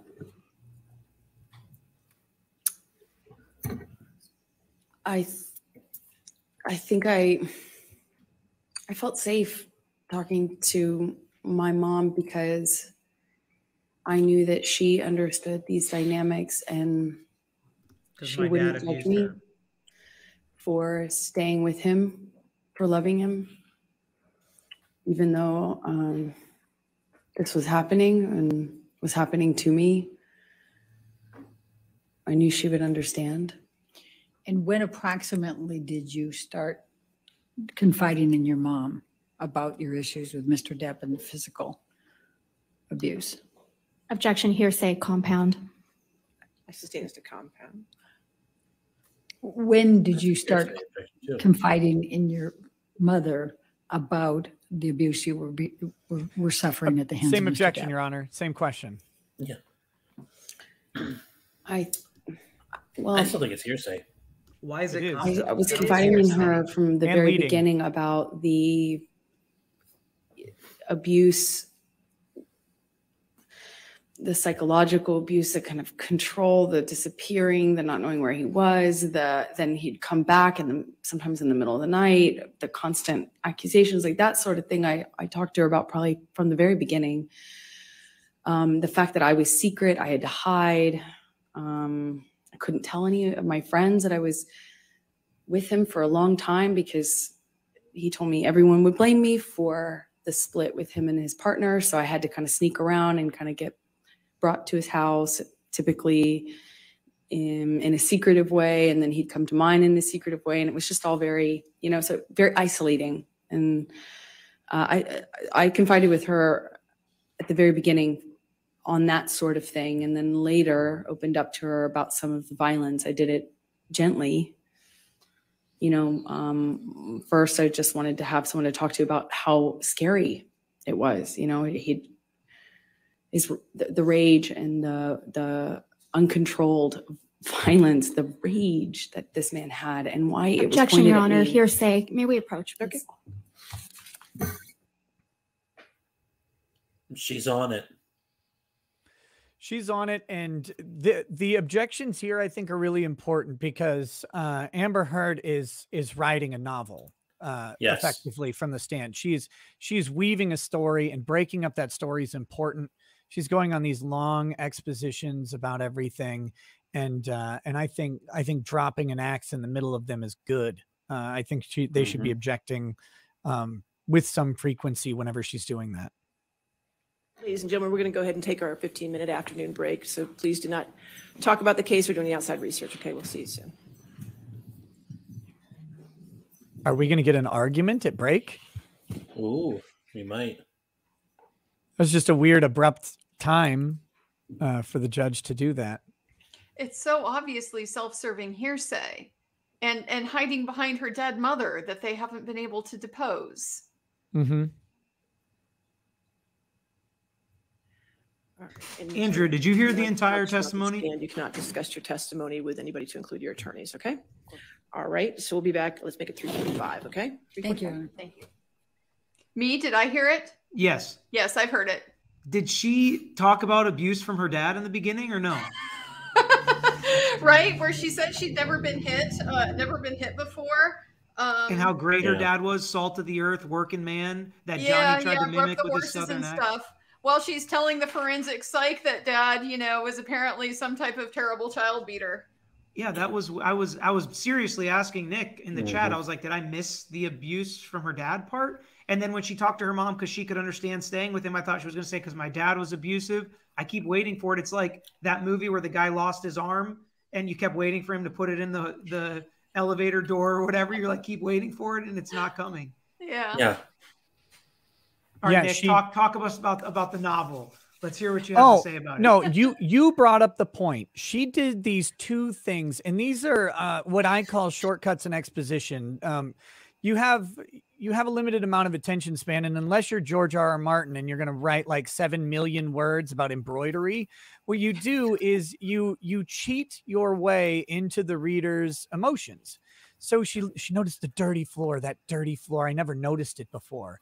Well, suddenly Johnny goes from this pristine, uh, very very wealthy, refined man talking about uh, old novels and poetry and blues to he's got a dirty floor, more like what you would picture in a in a wife beater's house, right? Disheveled, disassociated, uh, not on top of his life, and disorganized. She did that, and the other one was that I could see my breath on the window Mhm. Right? Like it's it's cold. It's not actually cold. We have no. Where do they live? Fucking They're in Los, Los Angeles. Angeles. Like, you know what gives it away? I'm sitting on the floor thinking, am I going to get out of here? I'm sitting in my car and I see the my breath and I'm thinking, what am I going to do next? It has nothing to do with the breath on the window. It has nothing to do with the details Mhm. that she's adding, but these are unimpeachable details. Right? Nobody's Yes. going to be able to prove that the floor is not dirty. But if she would have said, he hit me with that lion ring and I had an imprint of a lion on my cheek and I took a picture of it, those details you can confirm. And it's Mhm. like, those are damning. When you give those kind of details, you're screwed if somebody can impeach you with those. But when you say the floor is dirty, Yeah, these these are narrative devices that you use when you when you have, uh, especially in a short story, a poem, uh, a, a they do this in commercials all the time. You take little things that bring people to a spot in their own memory, so you don't have to explain where the person is, where the actor Mhm. is in in the scene. And and she did that to me. That that's like again, that's my own personal thing, but it is destroying her credibility for me. I believe none of those stories that involve those cheap details. Also, I mean, to me, this is, uh, I mentioned it sounds like an actor trying to do writing. She's smarter and a little more creative than Jussie Smollett, because I will give her credit. That's a lot more of a scripted picture. But she's trying to paint this in a way that she thinks a domestic violence victim would describe stuff. And it's never like that when any of the trials I have ever had, you know, on either side of the aisle, the victims never talk about like, oh, the floor was so dirty. They talk about, oh my god, I thought he was going to kill me and I was in fear of my life, and he just kept hitting me. There's never this artistic uh, monologue that goes on. It's like the- a commercial for a domestic violence shelter that Mhm. runs on TV. Like you Yes. can you can get help, right? Like that's how it feels to me. the the condemnation from her entire side on drug and alcohol abuse is mind-boggling to me. Yeah. Did they not hear all the testimony and evidence that she spent tens of thousands of dollars a month on wine and did cocaine and she admits to her therapist of mixing MDMA and mushrooms and her medication and alcohol and puking because she was so wasted and laughing when her therapist warned her against that? Like that's that's objectively an evidence and to condemn it like that's when the monster would come out is a miss to me. But I, I don't know how the jury's viewing it, obviously. But to me, all I'm thinking about is, are you really going to condemn cocaine and alcohol? Mm-hmm. And Yeah, she's going to mock him for uh, going to meetings. And, oh, he, he never got a chip. Well, did you ever go to AA or NA? Yeah. It sounds like you like using drugs or alcohol. And she'd probably say, oh, no, I'm fine. I'm not addicted. I know when to stop. I just Well, do he it to get her. over my abuse when I party with my friends to try to feel better. Yeah, well, that too. He he asked her. He's like, "Will you quit with me? Will you help me?" And she said, Yeah. "No." Yeah, why would I do that? Why would I do that? She says. It's really Yeah. not uncommon. I've had friends try to quit, and you Mhm. know their wives are like, "Well, I don't want to stop drinking wine. I don't have a problem." Which again, their own prerogative. But I mean, I, I just don't think that she should be so condemning of something that she also partakes in. Obviously, she's going to say to a much lesser extent. Yes. Um, but I'm sorry, but sommelier level three is not to Yeah. a lesser extent. It's so funny. It's like, so wait, as you're traumatized and suffering PTSD over the rabid alcoholism of your partner, yeah. you go you go become a sommelier. Yeah. Yeah, I'm gonna go to bartender school. that was that was a glorious little detail uh, from Mhm. there. Um, Andrew, what what did you think of the uh, cross of uh, Dr. Karen? Oh God, what a shit show! What an absolute shit show! I'm disgusted at the the the quality of the lawyering that was on display there. Um, just completely un- underperformed in in every every way imaginable. Um, did nothing to undermine the basis of her opinion, despite having abundant evidence to be able to do that. Um, did nothing to try to flip the script on her. You know, she she described all these categories of abuse. There's so much opportunity to present the evidence of Amber Heard engaging in these activities, in the audio recordings, in the text messages, all of that type of thing. Perfect opportunity to square that with Amber as being the abuser. Never went down that road. I was disgusted by this performance. he used one and it was really effective the one that he used. So i don't know why he didn't use other ones. I actually i liked his personality. I think he's kind of Mhm. calm with the witness but you can see how that can flip the other way in a trial and everybody's complaining about rottenborn and elaine for cutting off witnesses. This judge lets you cut off witnesses. So these Yeah. out-of-town lawyers need to get with it and say you know cut these witnesses off. This is not how you do it wherever you're from? Cut these witnesses off. Get the answer you want. Say that's not the question you asked. Um, I don't know if I would be quite as harsh as you were, but I do agree that he missed tons of opportunities. Tons of opportunities I thought he missed.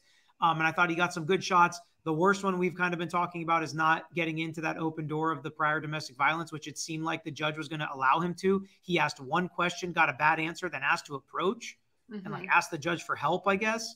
That that was the biggest miss for me. That was a big miss and there were just there are other things that he left on the table given that she had indicated she reviewed all of these audios she reviewed the text messages she reviewed the emails. Johnny has text messages with amber heard's mother talking about her abusing him. He's got text messages with her sister talking about amber heard abusing him. He's got text messages with his security where he's begging them to come and get him because she won't stop hitting him. All of these things could have been on the table and he just left them there. It's almost like sometimes they don't want it to take too long or something. I, I- like I would, you could take two days with that witness going through all these things because she said she, her, uh, Amber is always the victim, and he, him, Johnny Yeah. is always the abuser. So you, you th- she opened the door to all of that. Exactly what you just said. He, they could have gone through the entire trial with her based on her testimony. and i'm sympathetic to the use of time but when you're prioritizing her freaking powerpoint presentation over this actual substantive evidence you know that that undermines her opinion um that to me you can't justify that you just can't justify that Well, and, and remember that they they prioritize the PowerPoint presentation only for admission and then no follow up, which like I've I've speculated maybe they're gonna have uh, Dr. Curry talk about it or something on rebuttal, but still it was it was awkward and it took ten minutes uh, of of time to get this thing in for for nothing. Yeah, and Like- I mean, and that's also really setting up a, a, a big a big hurdle for them in terms of just getting to rebuttal at all. You know, we have a limited time frame here. We don't know how much he's going to have left to be able to both, you know, effectively cross-examine Amber Heard's witnesses and still be able to put on rebuttal rebuttal evidence.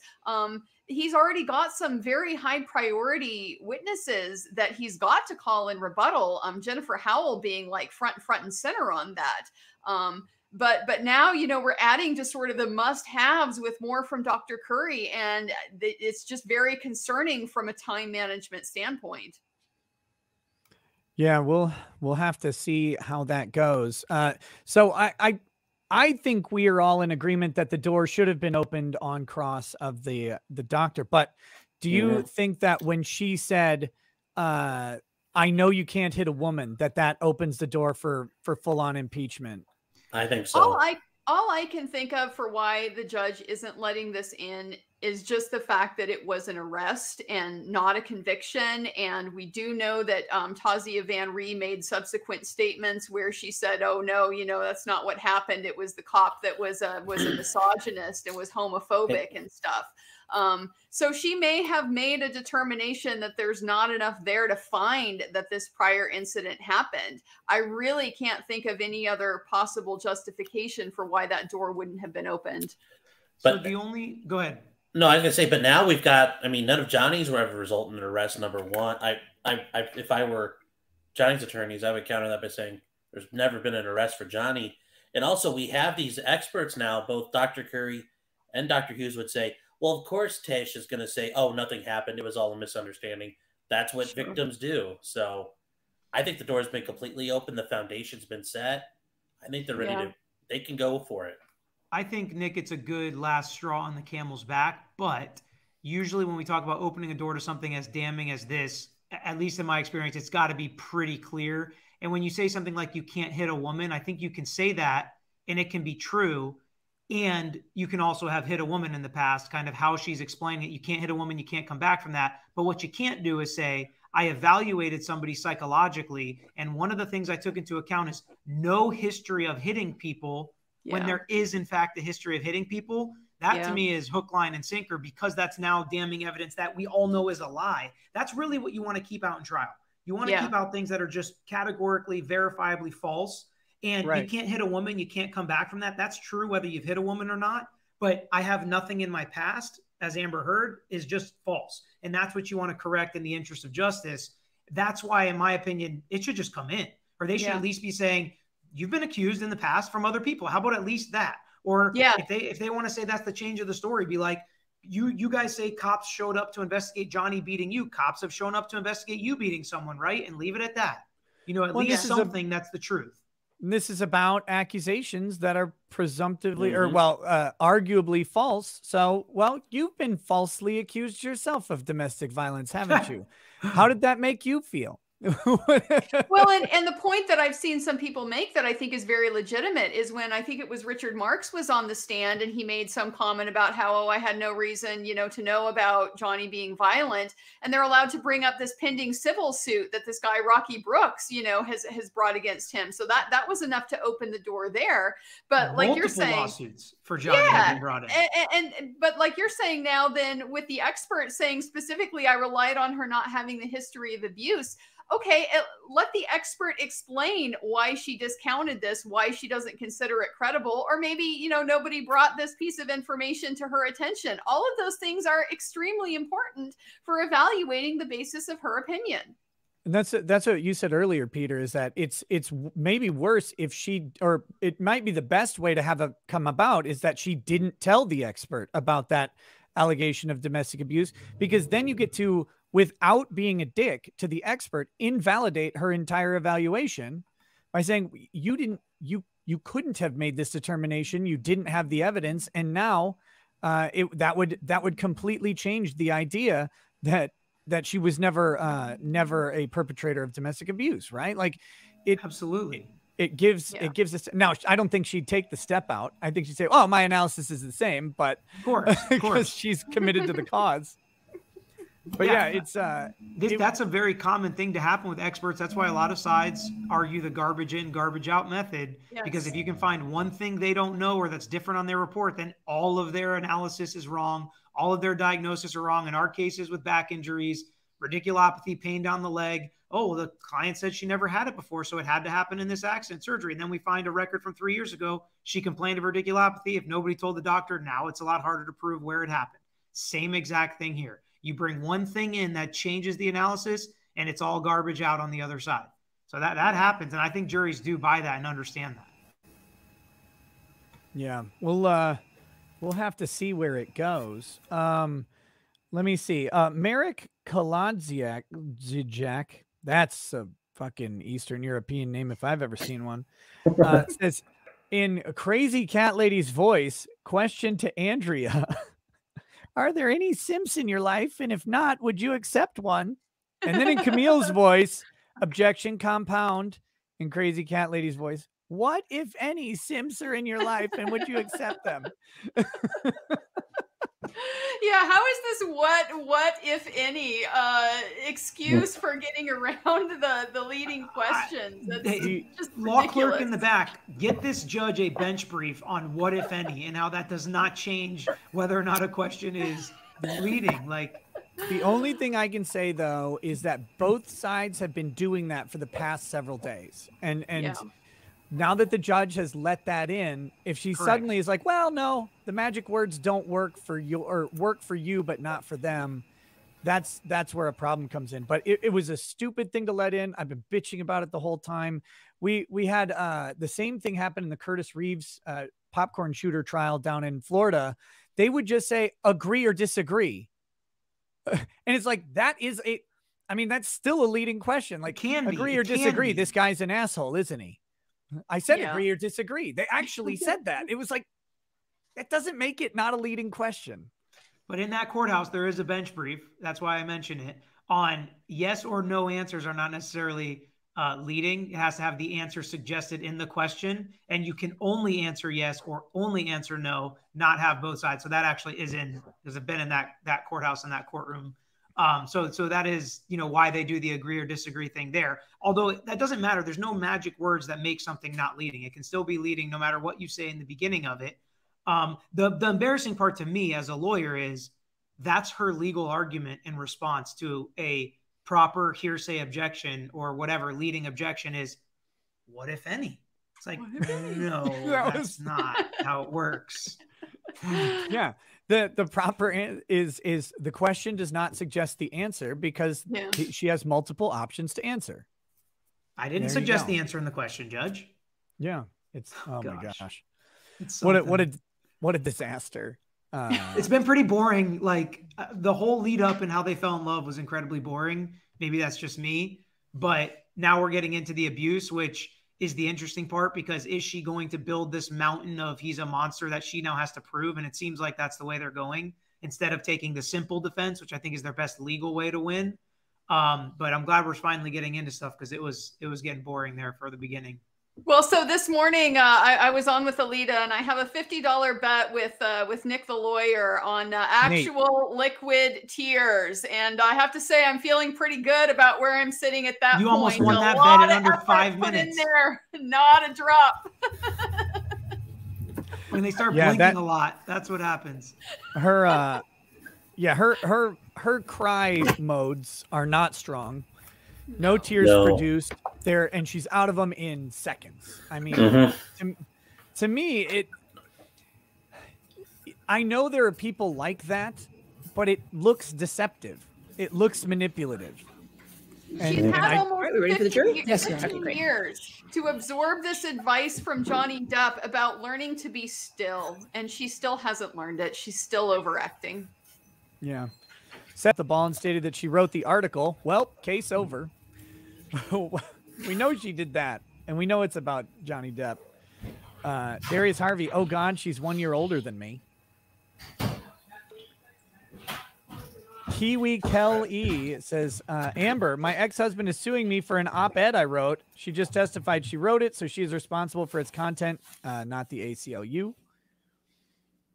Um, next, Carts. Three minutes into her being on the stand, and she slipped up in the to saying the op ed I wrote. A lot of people are are are latching onto that. I mean, that's going to come out either way. An It- important thing is she's definitely going hard into the sexual violence, so I think the jury's more likely to believe and connect that headline to her now based on this testimony. Yeah. All right. Thank you. Please be seated. Your next question. Thank you, Your Honor. Amber, I'm going to take you up to March of 2013. Um, Can you describe your relationship with Mr. Depp during that month? And we'll start there. I remember um, that was after a period of, of really some. It was after a period of some peace, and then he- um, he and sobriety. Johnny was sober, um, drinking Beck's, and my uh, dad, uh, who was struggling with alcohol um, and drug addiction at the time, had fallen off the wagon, and and I remember he- he said, "Why don't we send a? I want to send a picture to you to your dad of support." Because uh, yeah, my sister was upset with my dad, um, and so uh, he poured a shot and um, and and and kind of said, "Let's take a picture." Uh, I don't I don't drink spirits, but I I I know that you know I kind of held up in that picture. It's kind of eerie because I just think it's bizarre. He had broken this long period of sob- sobriety that I thought was going to be the the end of him drinking forever. I sounds foolish now, but I, you know, held up this kind of glass with him and we sent the picture to my dad because, it, you know, I didn't know what else to do. And I remember thinking it was weird that he was drinking. And, um, and then the month got really crazy from that point on. It was um, a bit of um, a revolving door of accusations. Uh, he was accusing me of having affairs with, um, well, frankly, just one person. I had an, I was an acquaint, I had an acquaintance with somebody, and he was accusing me of, of, um, of, of being with them, and then he was accusing me of being with my friend, the one I had seen in Spain. Uh, I, I'm, you know, in these kind of arguments, nothing I do is working. I've uh, walking out of the room is me leaving him, walking away from me. You The know, hey, where are you going? I'm talking room. to Other you. dudes? That it, it, it went from that to um, pulling me in by by my arm, um, still shouting at the about the accusations. Um, I'm trying to diffuse, diffuse the situation by trying to tell him I'm not sleeping with this person and I'm not sleeping with that person. And it was kind of as soon as it seemed as though I had convinced him of one, there was somebody else he was sure I was sleeping with. Um, and he, it was a revolving door at that time. Um, a painting I had hanging on the wall, done by my ex, who's an artist. That was one day he he was convinced that that was proof I was sleeping with her or having an affair with her. I didn't really love him, and all the while I'm madly in love with him and trying to convince him. So March started with this picture of him doing a shot and he's kind of saying let's send it to your dad to show support and what i remember of march is just uh, like an almost ne- it's almost like it was a never ending fight. It was just there were breaks in it. What kept me in it is because because i kept waiting for the other shoe to drop you know the sobriety shoe if you will. I kept waiting for him to get to the point where it's not supportable or anymore and he's done with it and he's ready to get clean and sober again because there commences a period of like pure joy and So let's pick It the time when he's hanging out with right after the other march So let me start with the painting incident. Please tell the jury what happened on that particular incident with the painting. uh, as i mentioned She just did. painting which Objection been asked and hanging answered. for uh, months. Uh, one day he he kind of stayed up doing cocaine, just drinking, doing cocaine, music, which is un- not in and of itself that weird in my relationship with Johnny at this point. You know, like he stays up and keeps weird hours and smokes and stuff. But the the he was drinking um, brown liquor and doing a lot of cocaine, and it was like it became clear to me in that argument, if you will, that it was he wasn't making sense. He had effectively just taken it seemed like a turn and had decided that the painting was the big an offense that he could not forgive me for. It meant I was having an affair with my ex partner, whom I had already split with whom I had already split, and it made no sense to me. So I'm I'm trying to kind of quell the accusations by saying, you know, it's been there, and what are you talking about? And it's like that doesn't mean anything. And you know, he was demanding I take it down. He eventually takes it down and tries to burn it, but it was unsuccessful, luckily, because he was not he he didn't he wasn't with a uh, one of those normal what do you call them, lighters. He wasn't very successful at doing it while drinking. um, to the extent he was. But I remember it was this kind of ridiculous fight. Like, didn't feel like it needed to be an argument, but it seemed like nothing I could do, nothing I could say. I uh, tried leaving. I um, left the room. I left the house. I eventually came back. It was it was like a whole night, uh, an evening, a night, and then a morning of this. So this morning in particular, I think it was the like 22nd of, of March. There were several incidents in March though.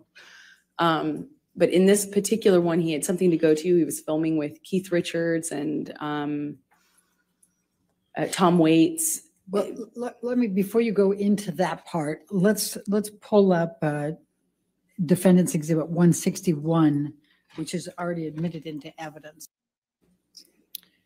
And I'm going to show you Defendant's Exhibit 161. And the date on this is 3/12/2013, and it's a text exchange between you and Mr. Depp. Do you see that? I do. Okay. Um, And the first one is from you to Mr. Depp. Just thought you should know there exists a book. I- Is that to you, is it to Mr. Depp from you, or it's vice versa? isn't it? Um, it's Johnny texting me. just thought you should know there exists a book titled Disco Bloodbath. And then you say, we need that book. And you say, is this about last Friday night by any chance? And he says, how can you make me smile about such a hideous moment? Uh, And I'm not going to repeat the rest of it. Um, Could you tell the jury what happened on that Friday night? Um, Um, there were, like I said, there was a few different the answer is no. incidents in March. Um, I believe this one happened in the Eastern Columbia building, which are one of Johnny's speculation. penthouses. They're in downtown, so a different part of Los Angeles. And we'd sometimes go there. Uh, I remember he was accusing me again of um, sleeping with this artist, this musician who I'd never slept with. Um, I was denying it. I, I barely knew the person. Uh, and then he was accusing me of, of, of sleeping with my friend in, in Spain. Um, and I, I remember nothing I could do. He like called this person on the phone and screamed at screamed at him. Um, he didn't speak English, so he was really confused as to what he was being yelled at by Johnny. Um, but I remember those were the accusations. That that was the fight. That, it, but it was one to the next accusation. And I remember I was kind of doing that juggling act. I was in his one of these fights. I believe it's this one in his downtown ECB. We call it um, loft. And we're in the kitchen living room area, and he backhands me, and you know, it was um you know, he wears a lot of rings. Uh, I remember kind of just feeling like the, my lip went into my teeth and uh, it got a little blood on the wall. It, just that simple, a little bit of blood on the wall. As hard as it is, as hard as it is to explain this, Why is it hard? I, I was so caught up in the relationship and also very occupied in defending what I only as could assume he believed these accusations. Um, that you know I didn't I didn't internalize like I didn't make that big of a deal of it. I'm you know I kind of pride myself on being tough and you know I don't make a big deal out of I'm not you know, dramatic. smaller injuries and i know that sounds horrible because it and hard maybe to understand but um i mean my best way to cope with it is i kind of you know minimize it make make make sure no one make sure he knows that i'm i'm tough and can't knock me down and make a joke of it clearly. Make light I'm going to, uh, Michelle, if you can take this one down and um, bring up 170A. Did there come a time in March? I don't make big Amber, deals out of you little sent a things. So picture therefore, to what I'm saying mom? now is very important. Uh, yes, this is um, sometime in March, uh, 2013. I just I I sent it to her because I had been texting about some of the craziness, and I Objection hearsay. I'll sustain as to what she may have texted. All right, next question. It- Without saying what you said in the text, explain why you were sending it to your mom. Objection hearsay. I was reaching out. Um, I was very lonely in what I was living in, and I wanted help. I wanted advice, help. It's some I Splatter blood from wanted her to face talk to across the wall, but wait to see the bruised arm. and figure out how I can make this stop. And, and is this a picture that you took of yourself in March of 2013? I did. Your Honor, I'm going to move the admission of Defendant's Exhibit 170A. Any objection? I gotta run, but. I'll keep listening. the A and It was fun. See you guys later.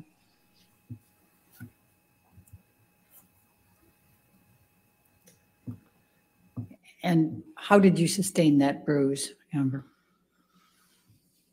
Um, I was, I had thrown a, um, well, I- Johnny slapped me. I walked away from him, and that made it worse. We got into like a, a shouting match. Um, and he kind of did this thing with his body where I could tell he was going to hit me again. Um, I picked up um, like a, I remember it kind of like a um, like a little pot, not a pot, but um, like a vase. And uh, I I remember um, I got away from him enough as he reels back. I threw it in his direction, and got, actually managed to get away before he got before he got me. Um, he grabbed me by the arm, um, and he kind of just held me on the floor, screaming. You at said you got away. um, I don't know how many times he hit me in the face, but uh, I, rem- I remember being on the floor in my apartment. You Got a bruise on your arm, but not from the And multiple. Yeah, what, what, what are you worried about your arm? I remember Yeah. thinking, how could this happen to me again? Can you bring up 170? Was the floor dirty? How dirty was the floor, Amber? Oh my God, she's trying so mm. hard to cry. Mm. just Could they run a can't shark on the floor tears to out. clean it? Thank you, Michelle. And Her hair is That's not. why you don't get the good in rolls, way. lady. we can, Yeah. and just for, to to start, it's at 323, 2013. And if we can scroll, scroll up. Worst screen test ever, This is a text message exchange with your mom, correct? Yes, it is. Okay, let's go, I mean, scroll down and then.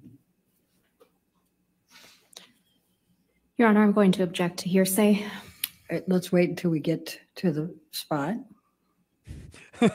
no, I know where I know where you're going. We're gonna object to it. All right, and is this the picture that you sent to your mom on 323, 2013? Yes, it is. Your Honor, I'm going to move the admission of 170, just that, partic- that picture that's on the text. She's trying to get those tears Hold out. No, with no words? Uh, without Well, it comments? says from two weeks ago on it. Your Honor. I'll sustain the objection. Camille's like, If we redact the from two weeks ago, can we admit it then? just And then keep just saying have it. the, showing that it- she sent it No. to her May mom. we for the approach No. Okay, Nothing. Good job, Camille. Be hard nosed about this. Yeah. And Your Honor, she's she's saying what the hearsay is right now. This is Mhm. the objection. Her saying it in open court doesn't somehow make it not hearsay. It's it's extra double secret Yes. hearsay or whatever. Yes. Uh, For whoever is interested in the preview of cross examination, uh, obviously a really good source is going to be Amber Heard's witness statements from the UK. Her first witness statement does go through all these events um, pretty systematically. These March ones that she's talking about are ones that she's had to change repeatedly because um, she got the time frame wrong when she uh, first wrote it. So she had to go back and you know revise her recollections of of when things occurred in order to make them add up with things like this disco bloodbath text and photo Hey, evidence. Andrea.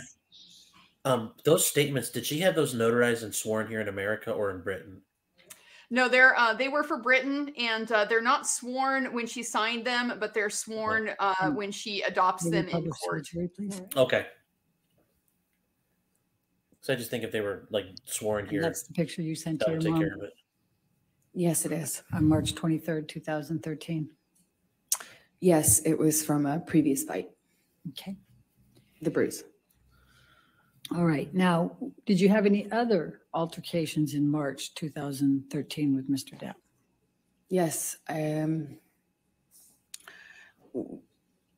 we had um, we had a couple of these fights in Orange that were around this time. One of which I started to tell you about the painting. You know, and I know I've interrupted you now twice on that, but I realize the jury doesn't. Can you tell them what you mean by orange at orange? Sorry, Orange was my apartment that I kept in Los Angeles at the time. And it was an apartment. What type of an apartment? I rented the top of a duplex. So it was a house um, with the landlord living on the bottom floor. I rented the top floor. Okay. Thank you. Now, please continue with the painting. I'm sorry. Um,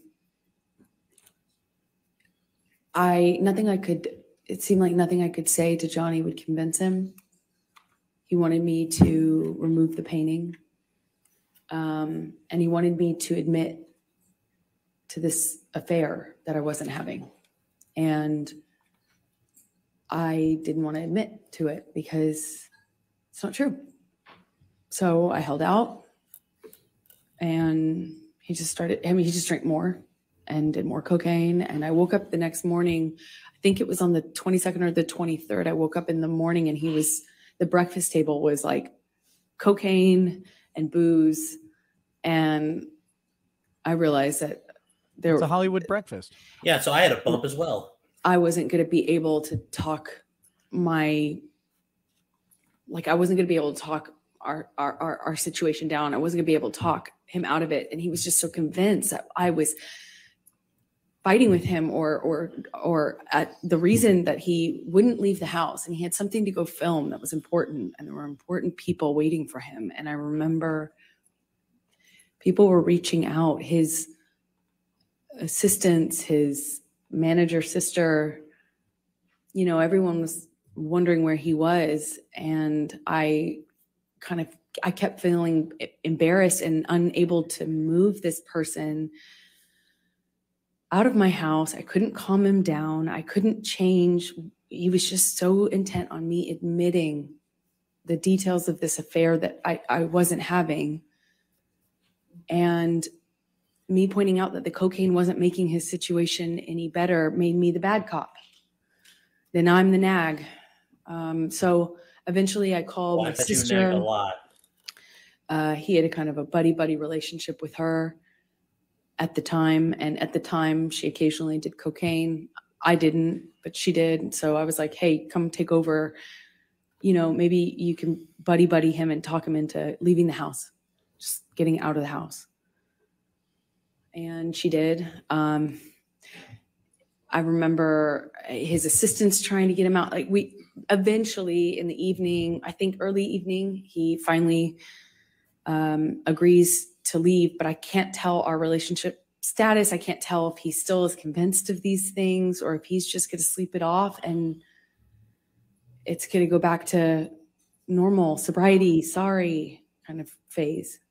And uh, he was still upset, but uh, like seemingly calming down. So I, I agreed to go with him. He wanted me to go to the to the the shoot. Um, I had plans, so I kind of reluctantly agreed, but didn't want to set anything off. I didn't want to engage anymore. I didn't want to do anything that could be perceived as antagonizing him or engaging more. So I went with him. We grab the dogs, we get in the car, we're on the way there. We're headed up S- Sweetzer is the street. It's a major street that um, leads up to Johnny's houses. Um, he effectively owns the end of the street. It's like a cul-de-sac. Um, so we're nowhere near his home, but we were driving up this street and uh, he has the window down. He's smoking. Um, it wasn't all the way down, but you know he's constantly smoking. And at some point, he starts howling out of the window and then grabs two small dogs. Well, one was Johnny's dog and one was my dog, but he grabs. If I if I remember correctly, Boo the the his his dog, um, slightly chunkier um, teacup So he- Yorkie. is he gonna have and he beaten the grabs dogs? this teacup they poop in Yorkie your and bed, holds Boo out of the window of the moving car, and he's howling like like an animal while holding the dog out of the window. And everyone in the car, I'll never forget it. Everyone just froze. No one did anything. And I, I too was like torn as to what I should do because I didn't want to do anything to cause him to react, drop the dog. You know, it was just this eerie moment where he's howling and holding this animal outside of the, the car window. And um, more than that weird memory is the that I have a, more than that weird memory. I have a memory of everyone just kind of not really reacting to him, like no one really kind of did anything. They, I eventually kind of pulled his arms gently back into the to the vehicle, and kind of got the dog back on the seat, and we continued driving, but no one reacted it just kind of avoided dealing with it. We get to the place, the house where he was filming this thing that he was late for, I suppose, for the day. And we walk in.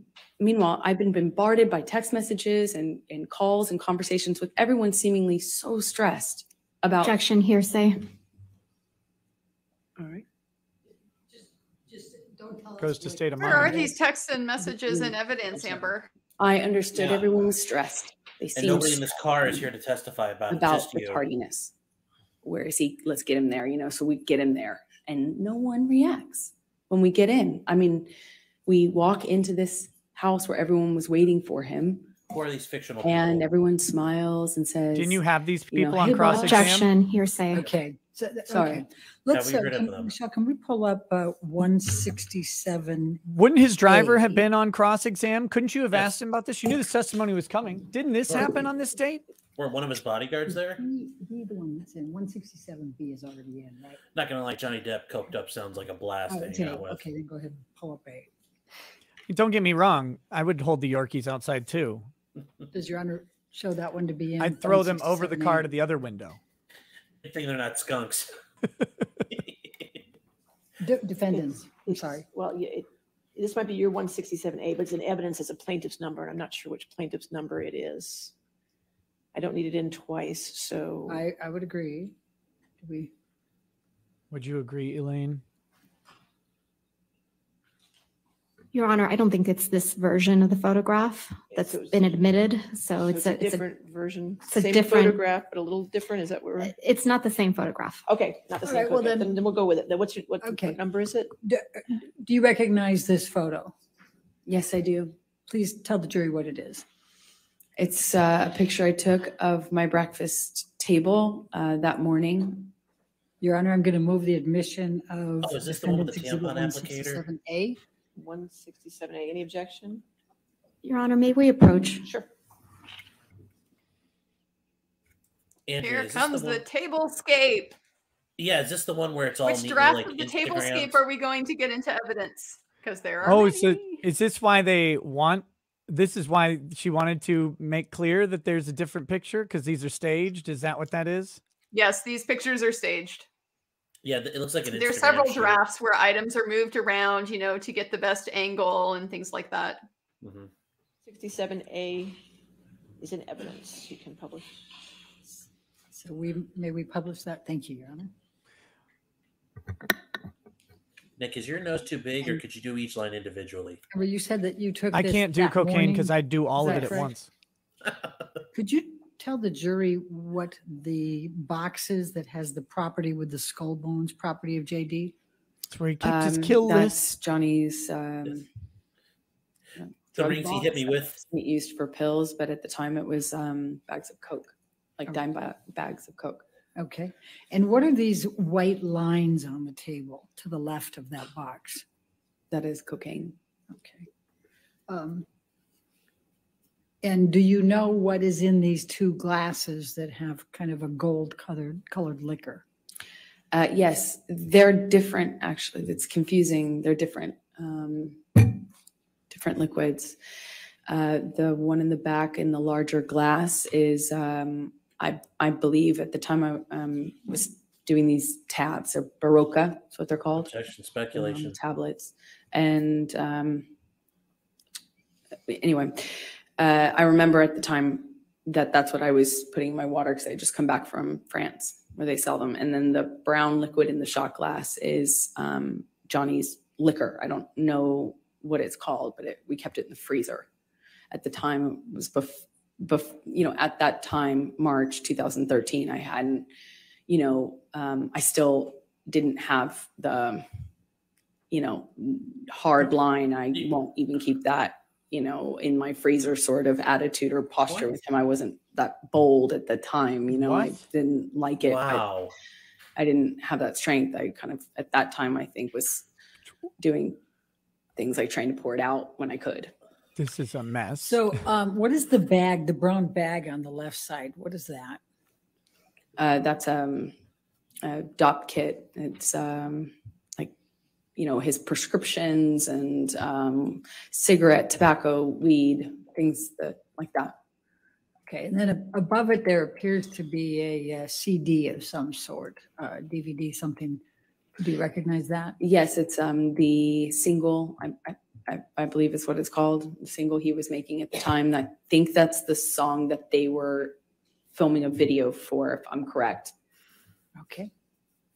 All right. Now, did you end up sending a copy of this picture to Rocky Pennington that day? I did. I sent it to my best friend at the time and, you know, it was like, look at my Wasn't morning. your friend Objection. Hearsay. Okay, you can't say what you said, but you sent it to your friend, Mhm. correct? I Let's sent go it to to my friend. 167, please.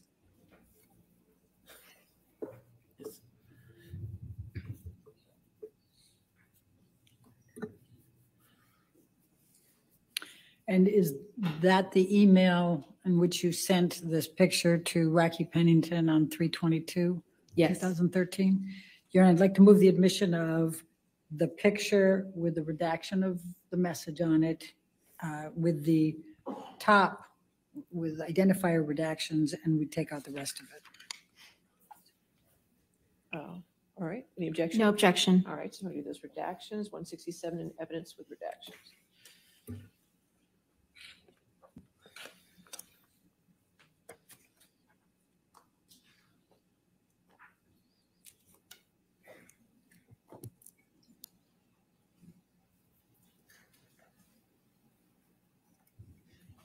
All right. And may we publish, please?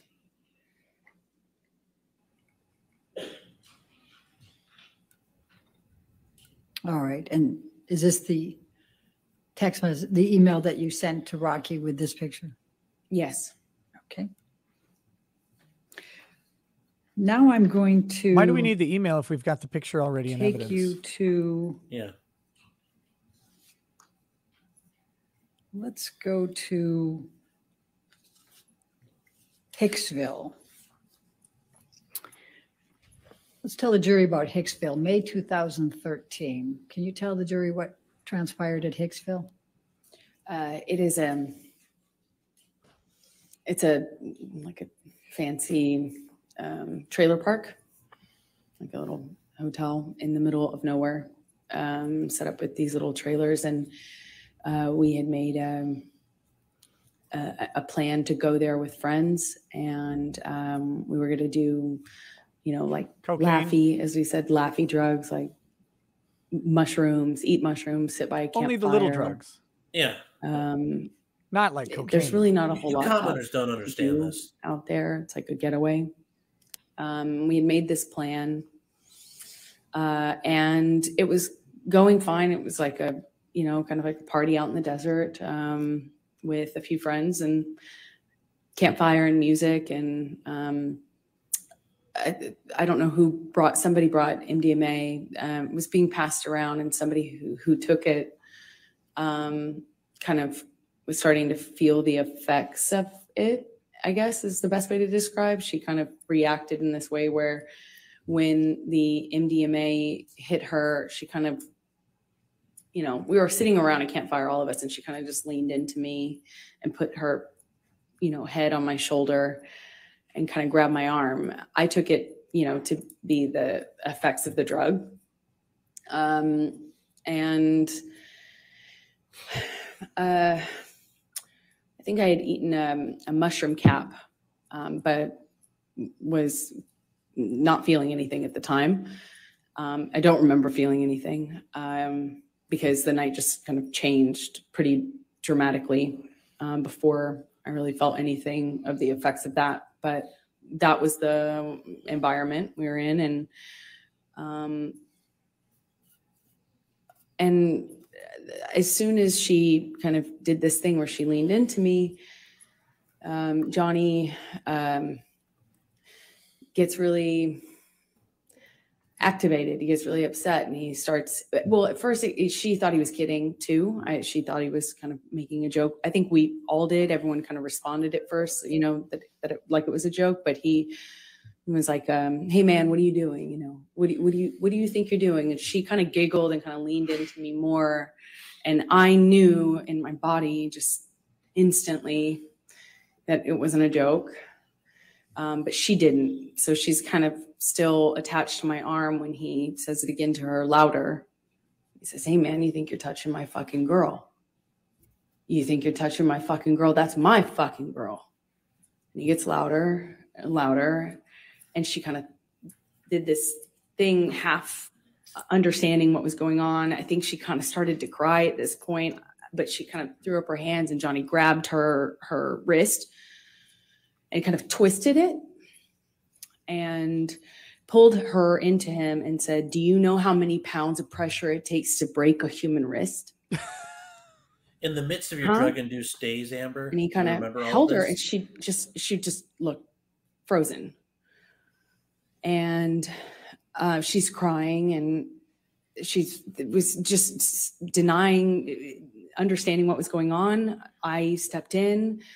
I kind of take Johnny's arm around, kind of take Johnny's hand. All and the kind of- witnesses around the campfire, start and not a one of them communicating. I don't this. remember if Yeah, he immediately they're was accusing stoned out of me their or if minds, it too. was sometime after. I wish I remembered, but Any of them remembers. called? we agreed Yeah, that we'd no, go and talk about it in the trailer.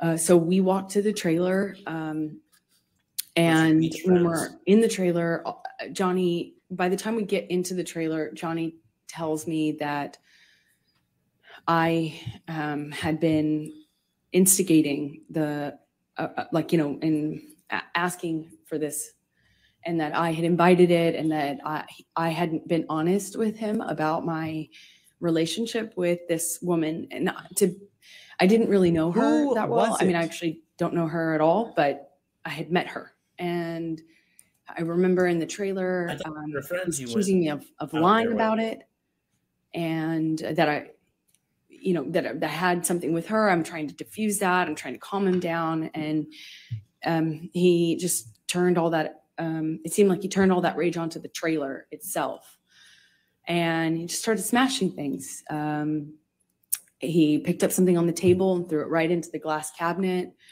Um, he hit with his hand um, a, a, a wall sconce. Um, he cleared the tabletop on the little fold down Oh yeah, um, like kitchen dining room area in this trailer. I mean, it's a Put trailer. that narrative together. There's only so much you can do.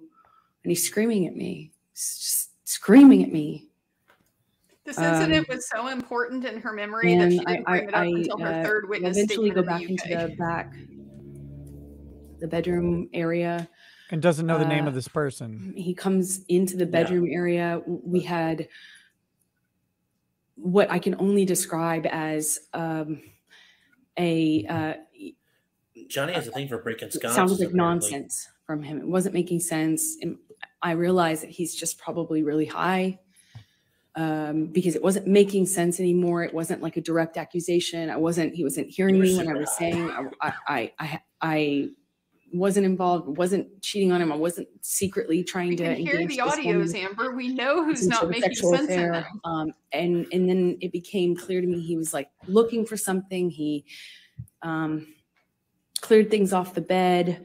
I went into the bathroom, and as I come out, um, he's he asked me where it is and how long I've been hiding it. And I was, I was like, "What are you talking about?"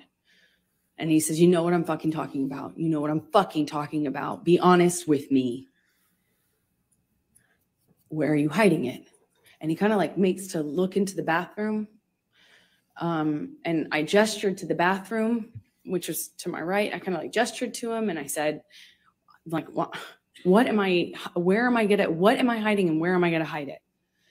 And, and we're standing in this little hallway area talent. outside of the bathroom and he starts you know pat, pat what it feels like patting me down or saying he's patting me down i can't recall but he ripped my dress the uh, strap top part of my dress i had just dyed this thing um, myself Where's the ripped and I- dress, Amber?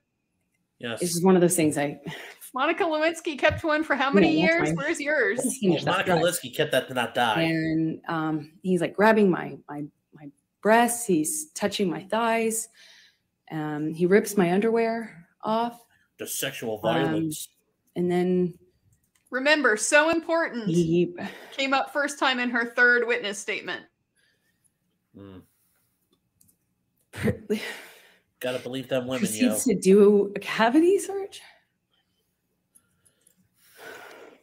Where's the wetness? Any wetness? No wetness. He, he said he was looking. That cuts drugs. both ways. Literally, yeah. I was about to say. Yeah, I was wondering how I, somebody who didn't do cocaine and was against it, that was in and of itself causing problems in our relationship. So you don't How could do I cocaine. hide? Why would I hide his drugs from oh. like I- like he was insinuating that I was doing Tell it? me you've never had a cavity sense. search without telling me you've never had a cavity And search. Yeah. he was telling me we're doing we're gonna we're gonna conduct a cavity search, shall we? Like just shoved his fingers inside me. Is this why you were super high on mushrooms still? I- I- Still haven't produced a tear yet. just, just, just stood there staring at the stupid light. I didn't know what, you know, I didn't know what to do. I just stood, at- just stood there. While he did that, he t- twisted his fingers Didn't around. move your hips a half inch to the left, maybe? He didn't, yeah. I don't. I didn't say like stop or anything. I just.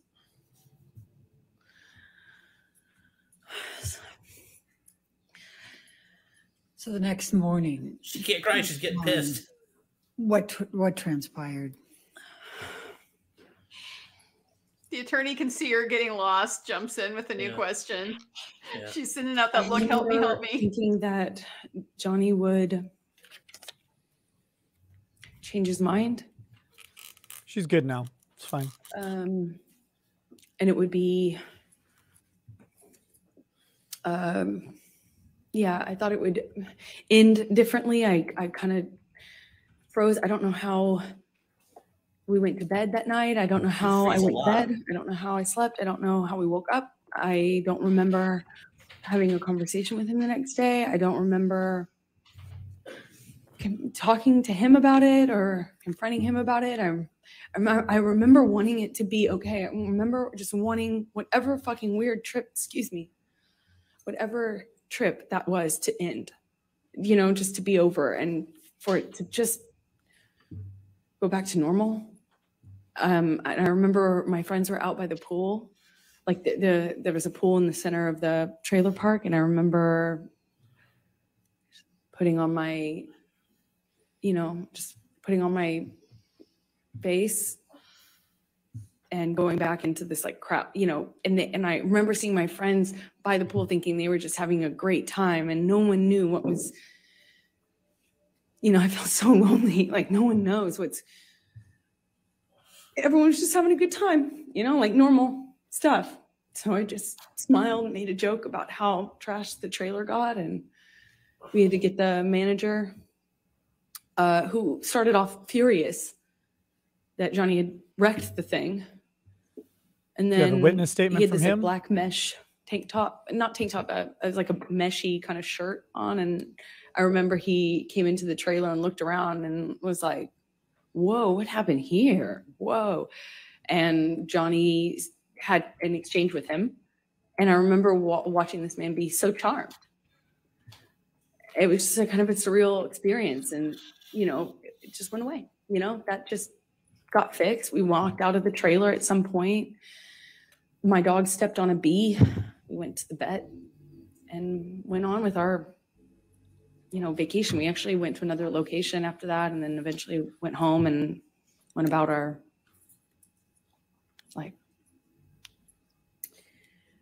I'm going to ask you to take a look. Michelle, can you bring up Defendant's Exhibit 176?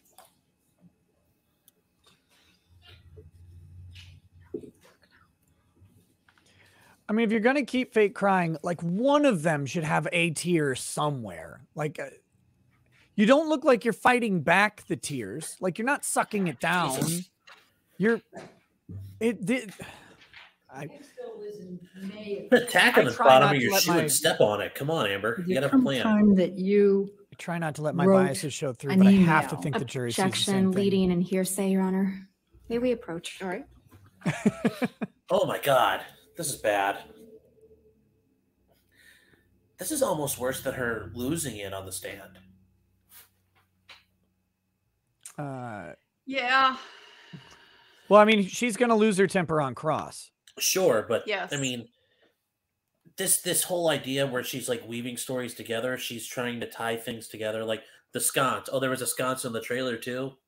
You know, that this is how you can tell somebody's doing a shitty job of lying. They're trying to weave little threads together they can rely on and try to point together. But God, it's awful.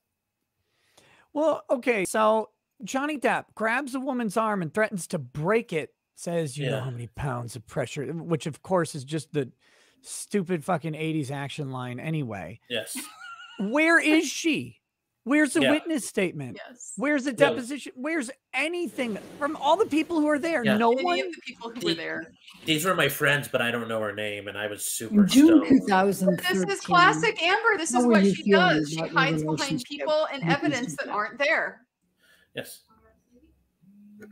May we have the exhibit taken away Okay, from, sure. thank you. i um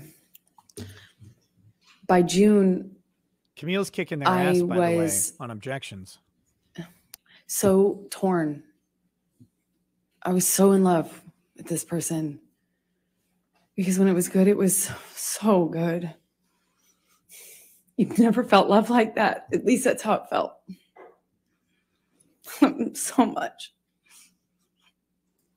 The mouth is bad. felt like he recognized me and I recognized him, and there was just something there that that is the love of my life. Squeeze it out. Squeeze one out on the bed. Squeeze one out on the stand. And he was, You can't do it.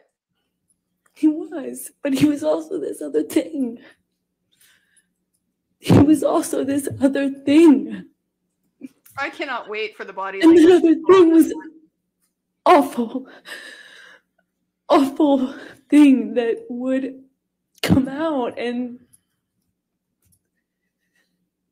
take over. And it was, you couldn't see the Johnny I loved underneath it. It was this other thing.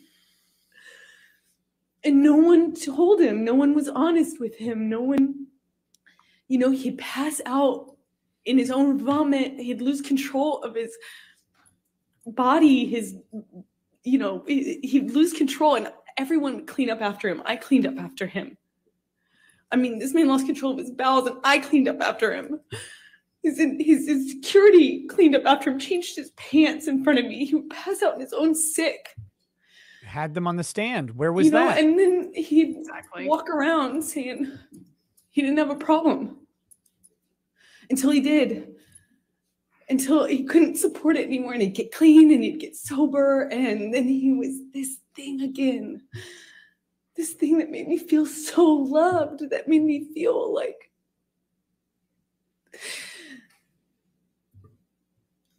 Look at the light. It helps. It helps with the tear. like my soulmate, as cheesy as that sounds, I just felt like he knew me. And I recognized something in him, either some part of my makeup and my background or something that I just got it. And I loved him and understood him. It, it just got so scary, the other part of him. And uh, in June, I wanted, I wanted to leave him.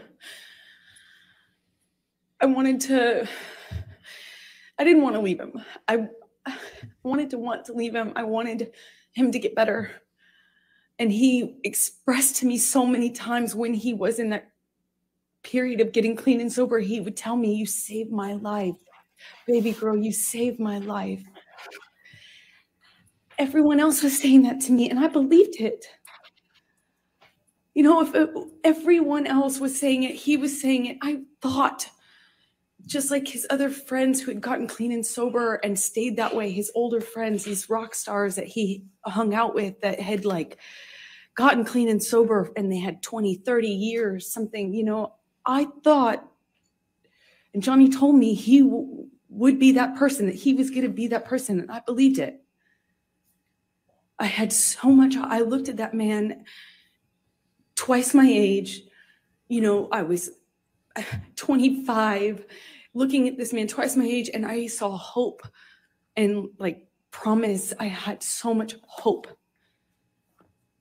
You know, the whole thing. Kids and growing old together, sort of hope. If it was just for Just this fucking one thing that he narrating could to do, the jury here. It's great. Yes. which would save his life, which would be Like to get clean and sober. I love that they're just letting this I go. Believed it. Let it go. And I wrote this letter to myself, uh, among many letters to myself. Objection, because I hearsay. thought- Writing letters She to yourself. refer to that she wrote it. She isn't saying. Amber loves to corroborate herself. Yes. I wrote that letter because I I notarized it. thought it would be read to him. I could read it to him. I could say it to him in intervention, you know, in help, and he would he would later thank me for as he did, as he used to thank me all the time for saving his life. Just I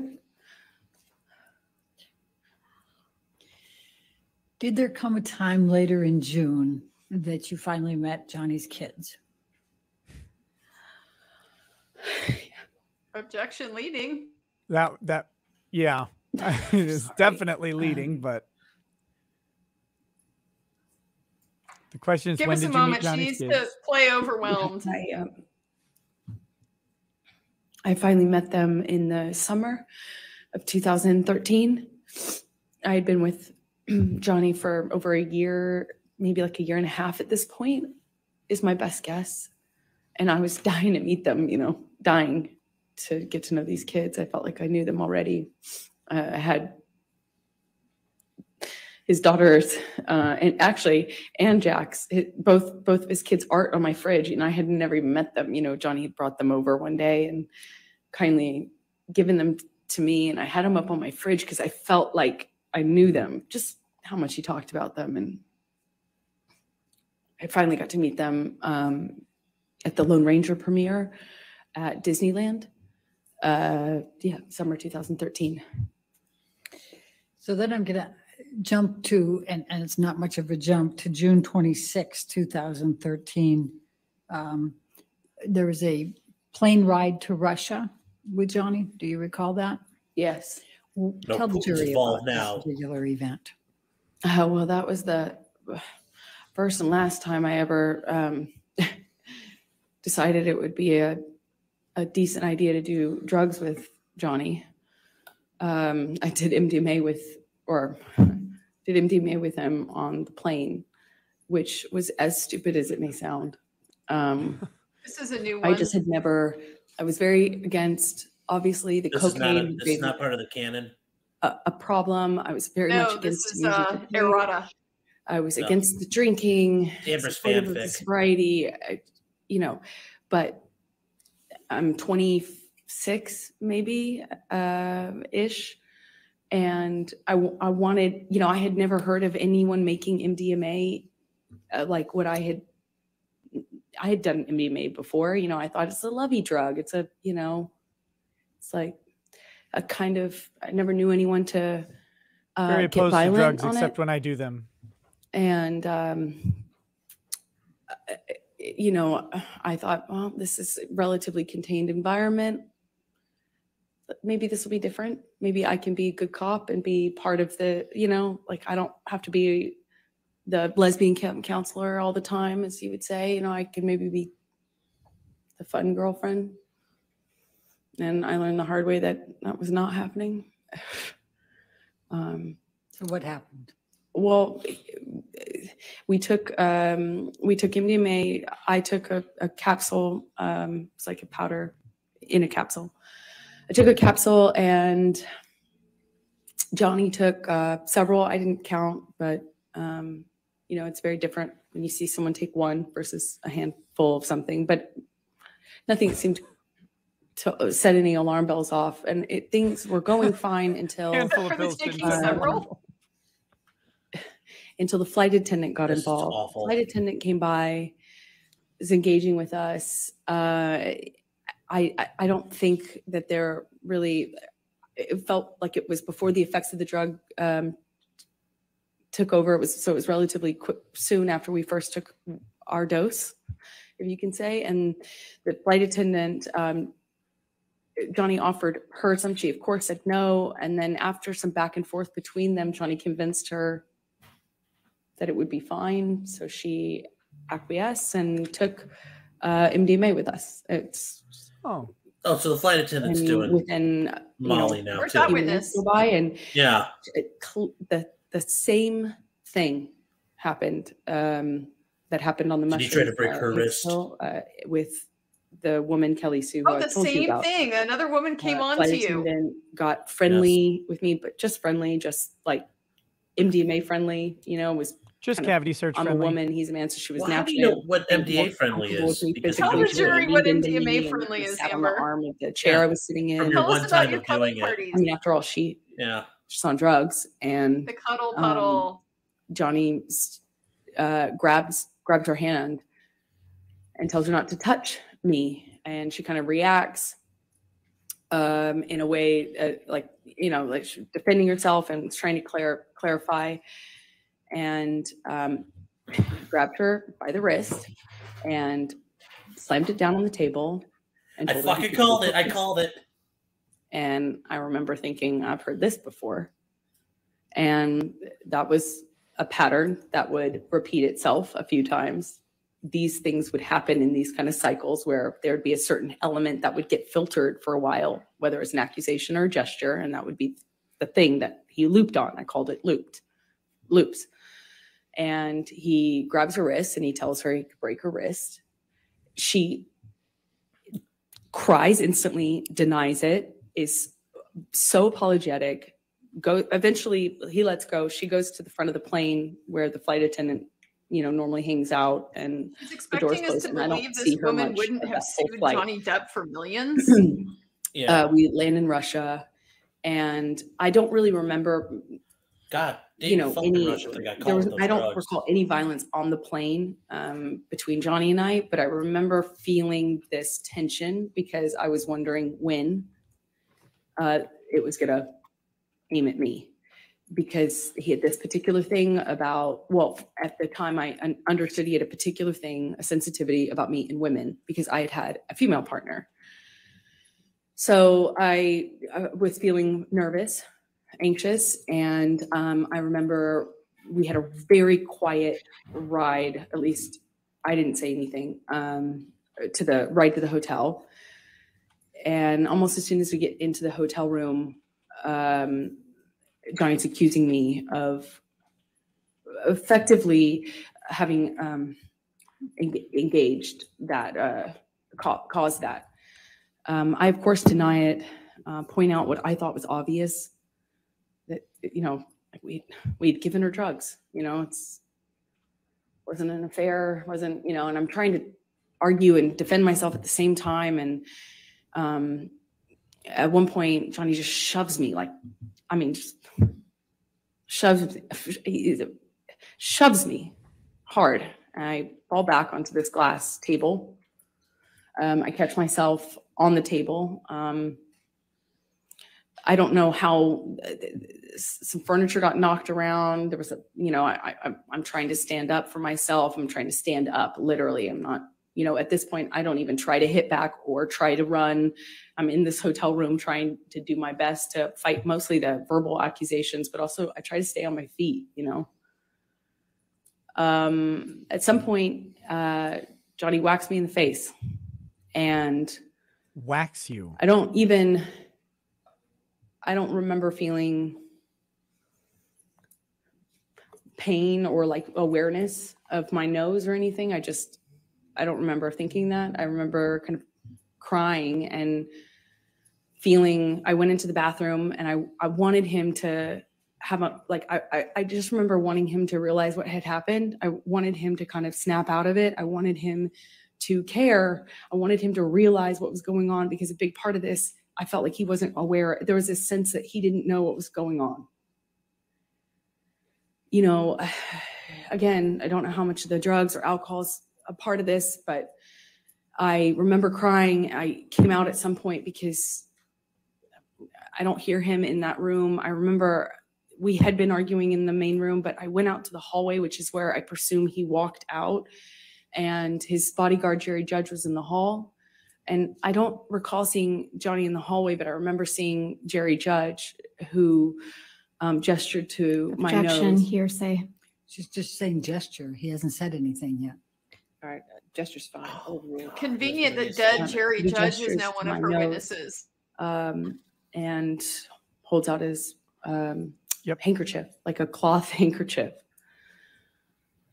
Uh, and I instantly felt, just felt really embarrassed. Do I felt like I felt uh, ashamed. I, I don't know how else to describe it. I just felt like just really embarrassing. And I went inside the, the room. What, if any, in- injury did you have? I had a little blood coming out of my nose. Uh, I didn't know it. I didn't feel it at the time until Jerry gave me the. and Jerry let me know, Is this a broken and nose? And I went inside the um, No, this isn't the hotel broken room, nose. and okay, uh, it is So far. embarrassing. As a Come on, Nick. This is, time. this is extended universe. This is I, outside. the cross it, maybe a broken remember, nose. uh, just wanting. I remember just wanting Johnny to say sorry. I wanted him to realize it. It's so stupid, but I like the emotional part. You know, I just wanted him to acknowledge that this was um that he like he could hurt me, you know, and I wanted it to be okay. I didn't want him to think I was interested in this flight attendant. I didn't want him to think that I would capable of cheating on him. I was in love with him. I wanted, you know, I just wanted things to be okay. Let's take you to July 9, 2013. Did there come a time that you went for a ride on, you went to the Bahamas and went on a ride, the yacht with Johnny and his kids? Well, it's less like a. We flew out to the Bahamas to his island. Um, he was selling the yacht to J.K. Rowling, and he wanted to kind of have a goodbye trip on the yacht. So it was docked uh, off the island, and I went with him and his uh, kids, who I had quickly developed a bond with and loved. And we brought a friend uh, along with us, I think, to kind of help. And Okay. T- Tell, tell the jury what happened on that trip. Johnny was uh, upset. Tell the that jury is he a had weird sell way the to phrase a question. Yeah. Uh, and he was Tell a uh, off story, the wagon Tony. again, but he didn't want to tell his kids, so he was hiding it from them. How Uh, was he was on the wagon in, at any um, point if cups something is happening every week in drinking, And 2013? the behavior just kind of like he was upset, he was emotional, and it just, he just, you know, that's how he dealt with it. Just drink, but there's just no off button with Johnny. So he just kept drinking, and the behavior kept getting more obviously drunk. And Lily Rose, his daughter at the time, was young, just like maybe 14, and she started to um, get panicky and asked started to ask me questions about his drinking. Objection hearsay. Objection hearsay, yeah. Without saying what Lily Rose was saying, please continue on. Sustain the objection. Thank you. So she was asking me questions about the drinking um, and was very upset. Sustain the objection. Yeah, you, you Yeah. can't say what Lily Rose said. Oh, But yeah. you can, you can tell gestures, Sorry. you can tell, and you can say what you and Mr. Depp said, okay?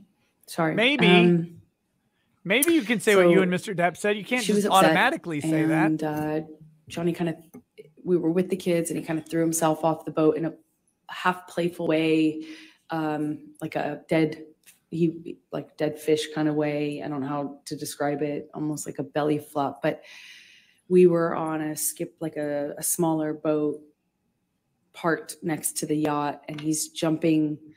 Well, he jumped off the front of it, but kind of in a, a face chest forward way, like it- it looked a little scary, like not something somebody would do if they're completely okay. You know, it was it, it was started off all of us kind of No, Amber, we don't know. edge of the yacht uh, into the water, and then he at one point kind of throws himself over, and it looked a, a little scary.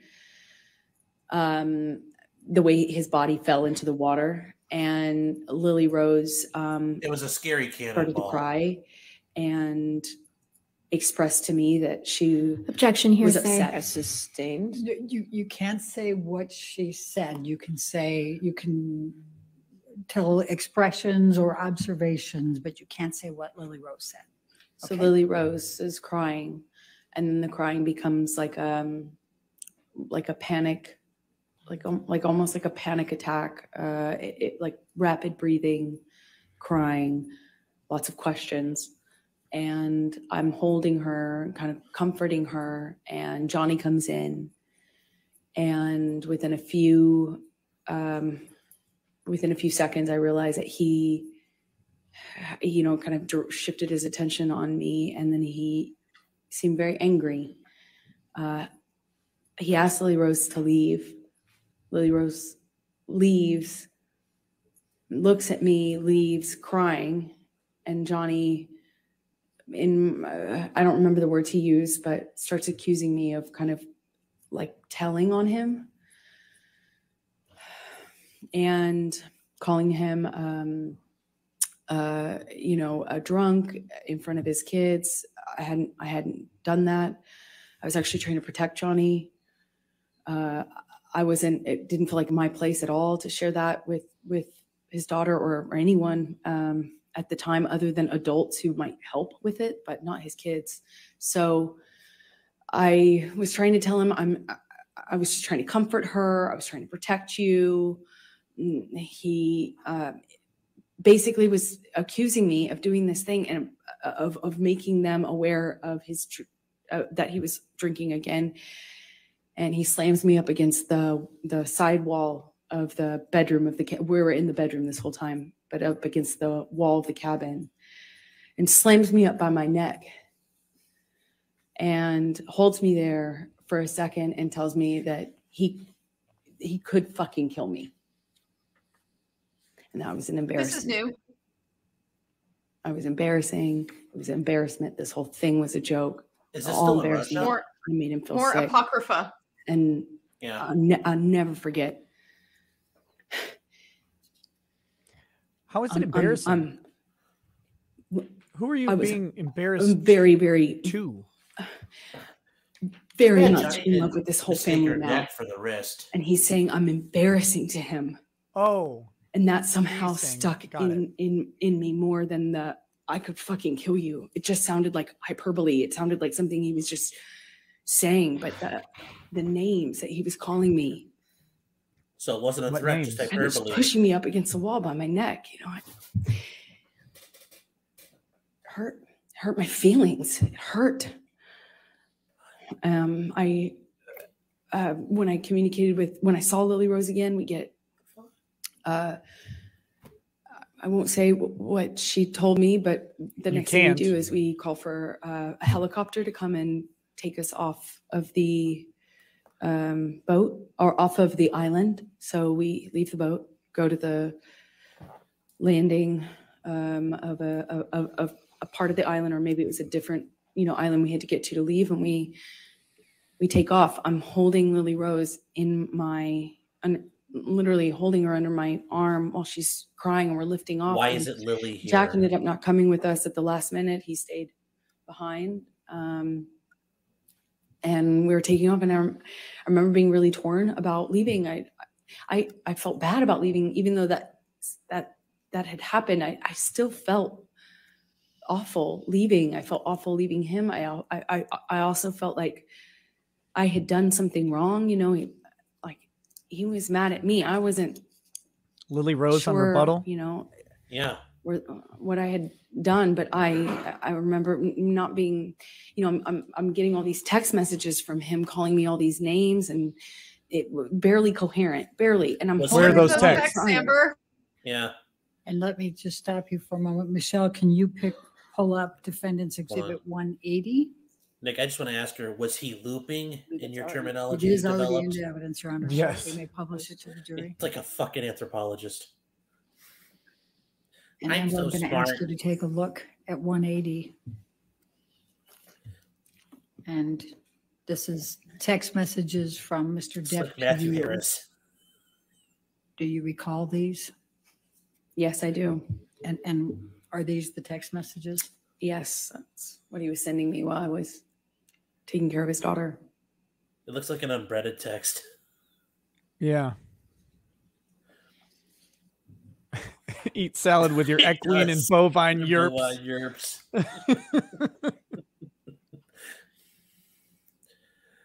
Leave me, leave me be Officer Squarehead. Oh, there's lesbian camp counselor thing. There we go.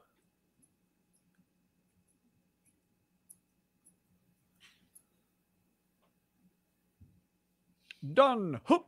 Done. Pulley.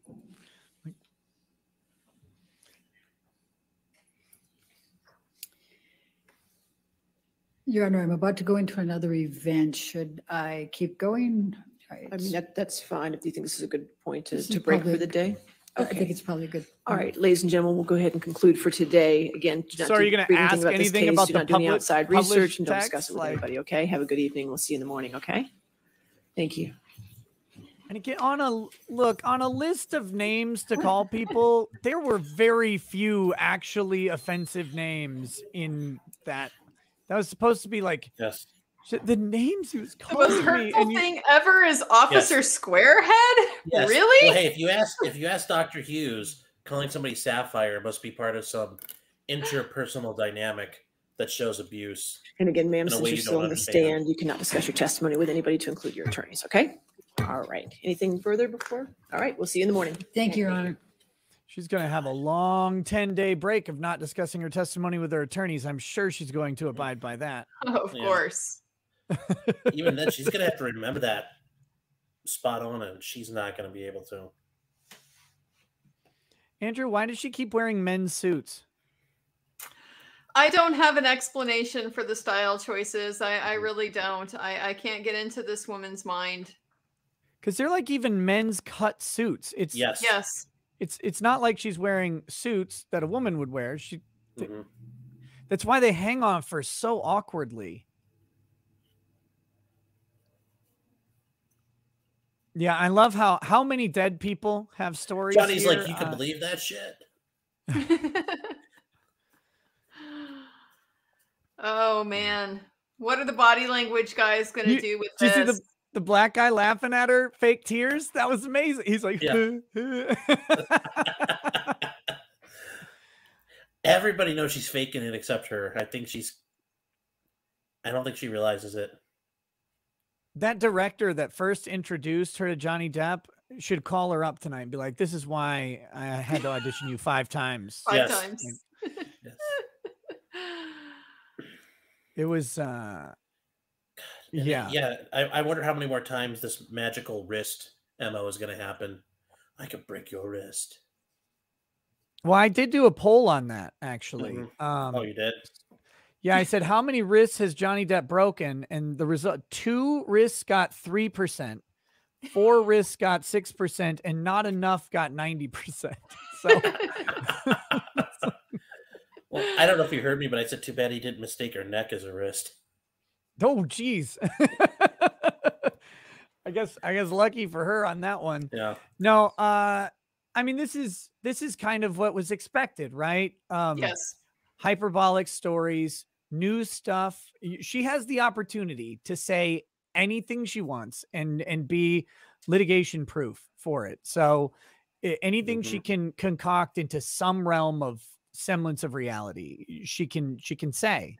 And all of this stuff happens behind closed doors at various locations. So sure, he body cavity searched her uh, as if that's how body cavity searches are done, but um he's he's just digging for cocaine in her lady bits i guess um that because that's again And what- guys, what I a just- story I can't I can't overstate this enough, right? This is the first allegation of sexual violence. She submitted a 39-page witness statement in the UK where she gave detailed accounts of all of these other incidents and neglected to mention the sexual assault until the third witness statement. It's just it's just mind-boggling um, how she ups the ante, you know, when when she gets called on, on her bullshit. Yeah it's uh it's really wild and and and these stories you've got other people involved the, a, like you said there's a johnny depp gives drugs to a flight attendant and then pins her wrist down and threatens to break her arm and she doesn't sue johnny like he would settle that thing with an nda for hundreds of thousands of dollars the next day I- I mean, without without a thought, Disney may Yeah. pay the bill, right? Like th- this is insane. Where's the think- flight something like- attendant? Where's the pilot? Where's the assistant pilot? Oh, Where's all exactly. the people that would have had knowledge of this? Mhm. Yeah, that's something Richard Marks would be in charge of, like helping take care of. He'd be paying out people left and right. No, really, he would. Seriously. Yeah, and where's where's his bodyguards? Mhm, Like we're on that plane. he's he he's in that. Uh, presumably, the bodyguards are flying with him on the plane. Uh, he's he's having to defend himself ostensibly. Like uh, you've got bodyguards. You're not enforcing on someone else because your bodyguards are going to move people away from you if there's any tension. That's their job. Whoa, little close here. Even if it's you causing it, they're gonna be like, yeah, yep, we need that because you know the lady scratches his face or something. That could be could be huge. Paparazzi takes a picture. Johnny Depp claw marks on his. Well, kind of like when Elon Musk was walking with Amber Heard, right? The big the big red mark on his face that we all want to know where that came from. But it, this is not the uh, this is not the way that people with bodyguards and personal security behave. They they don't get the opportunity to do that. Yeah. So I- so where are they on this plane? This plane ride to Russia? I mean, they've got to be somewhere. Mhm. But uh anyway, well, uh like I said, it's it's kind of what we expected. Hyperbolic testimony. Um a lot of a lot of cry whether there's six or seven crying episodes with no tears, but Crying. hey, hey, Andrea, was the thing with the trailer park they went to? Is that part of the canon that we know about? That is, that's the one that got added in the third witness statement. Um, that Okay. did come out in the UK. The details have not previously be, come out because she was allowed to testify behind closed doors uh, in the UK about God, I that love this. specific incident. About anything that alleged, you know, some type of sexual assault. She did not have to do that in open Mm-hmm. court in the UK. Yeah. They tried to do that. Speaking of her being the face of the Violence Against Women's Act, uh, that's what they have tried to do through the Violence Against Women's Act is is offer various levels of protection um, when when able to. Because the- the you know the tactic used to be if there was a sexual assault charge, you just bring up all the times that person had sex with anyone ever in their life, and uh, and so they've they've tried to limit that type of testimony. I think it's interesting that now, of course, uh, maybe the ACLU will will use her again. Look what she had to go through uh, Yeah. on the stand. But I I did not find I did not find her credible at all. And I know I am firmly biased against her, but I I mean, come on. That this thing, like turning towards the jury is good. Turning towards a jur- jury and like stoking up a campfire and telling them a story is a completely different thing. And when Elaine's like, "Why don't you tell the jury this?" I'm like, I I think with this type when you've got a credibility issue here and the whole case is about lying. Like that's the whole case. I don't phrase it that way. I ask questions, it- it- you know, kind of the way you're supposed to, but but yeah. Uh well, any other thoughts before I, I I've got a bunch of chats to read and I I will address all of them, but um I wanted to give the opportunity for thoughts before I do. Just oof. That's all I can say. yeah, we see why Amber's acting career has never taken off. I mean, Yes. it's it's on display. She's Russian she's meddling. not yeah, she is not compelling or convincing from the stand. Uh it it's it's a mess. Um Okay, here we go. Let me Oh my gosh. My stupid window got reset, so I got to find the First we have to find the the super chats and then we will read the super chats. But uh, okay, so uh, is this I'm still confused on this. This is confirmed that tomorrow is the last day for 10 for approximately 10 days until the 16th. Yes. Is that correct? Mhm. Okay. Yes. The, okay, the judge is at a judicial conference. Yes. They loved it. They love their conferences. And Get to Shouldn't the judge be like, why don't all you judges come hang out in the courtroom, watch me do the biggest trial in the entire century? Oh, you know those judges all want to be there. Yeah. Oh, Yeah. sh- they're gonna be talking her up and down as soon as she gets there. Yes. Uh, okay. So here we go. Uh, Hopefully, someone teaches her what a leading question is. yeah, someone call her out on it. That'd be good. Yeah. because that was that was bad. Um, all right, almost at it. Finding where I left off is is always tough, especially when I have to redo reload everything. Okay, here we go. Uh, Pina, uh Pinnacle Principal pondering. Doctor said she did work with men abuses children. Oh no, I read that one. Damn it. Um, Amber's team hired a priest. Correct. Uh, Elmo voice. You did that one. Yep. Okay, I did that one. Did that one. Fine. Oh gosh. Uh, that's the last one I read. Okay. Um, where's the next one to read then? Seth Hagler. No, I read that one too.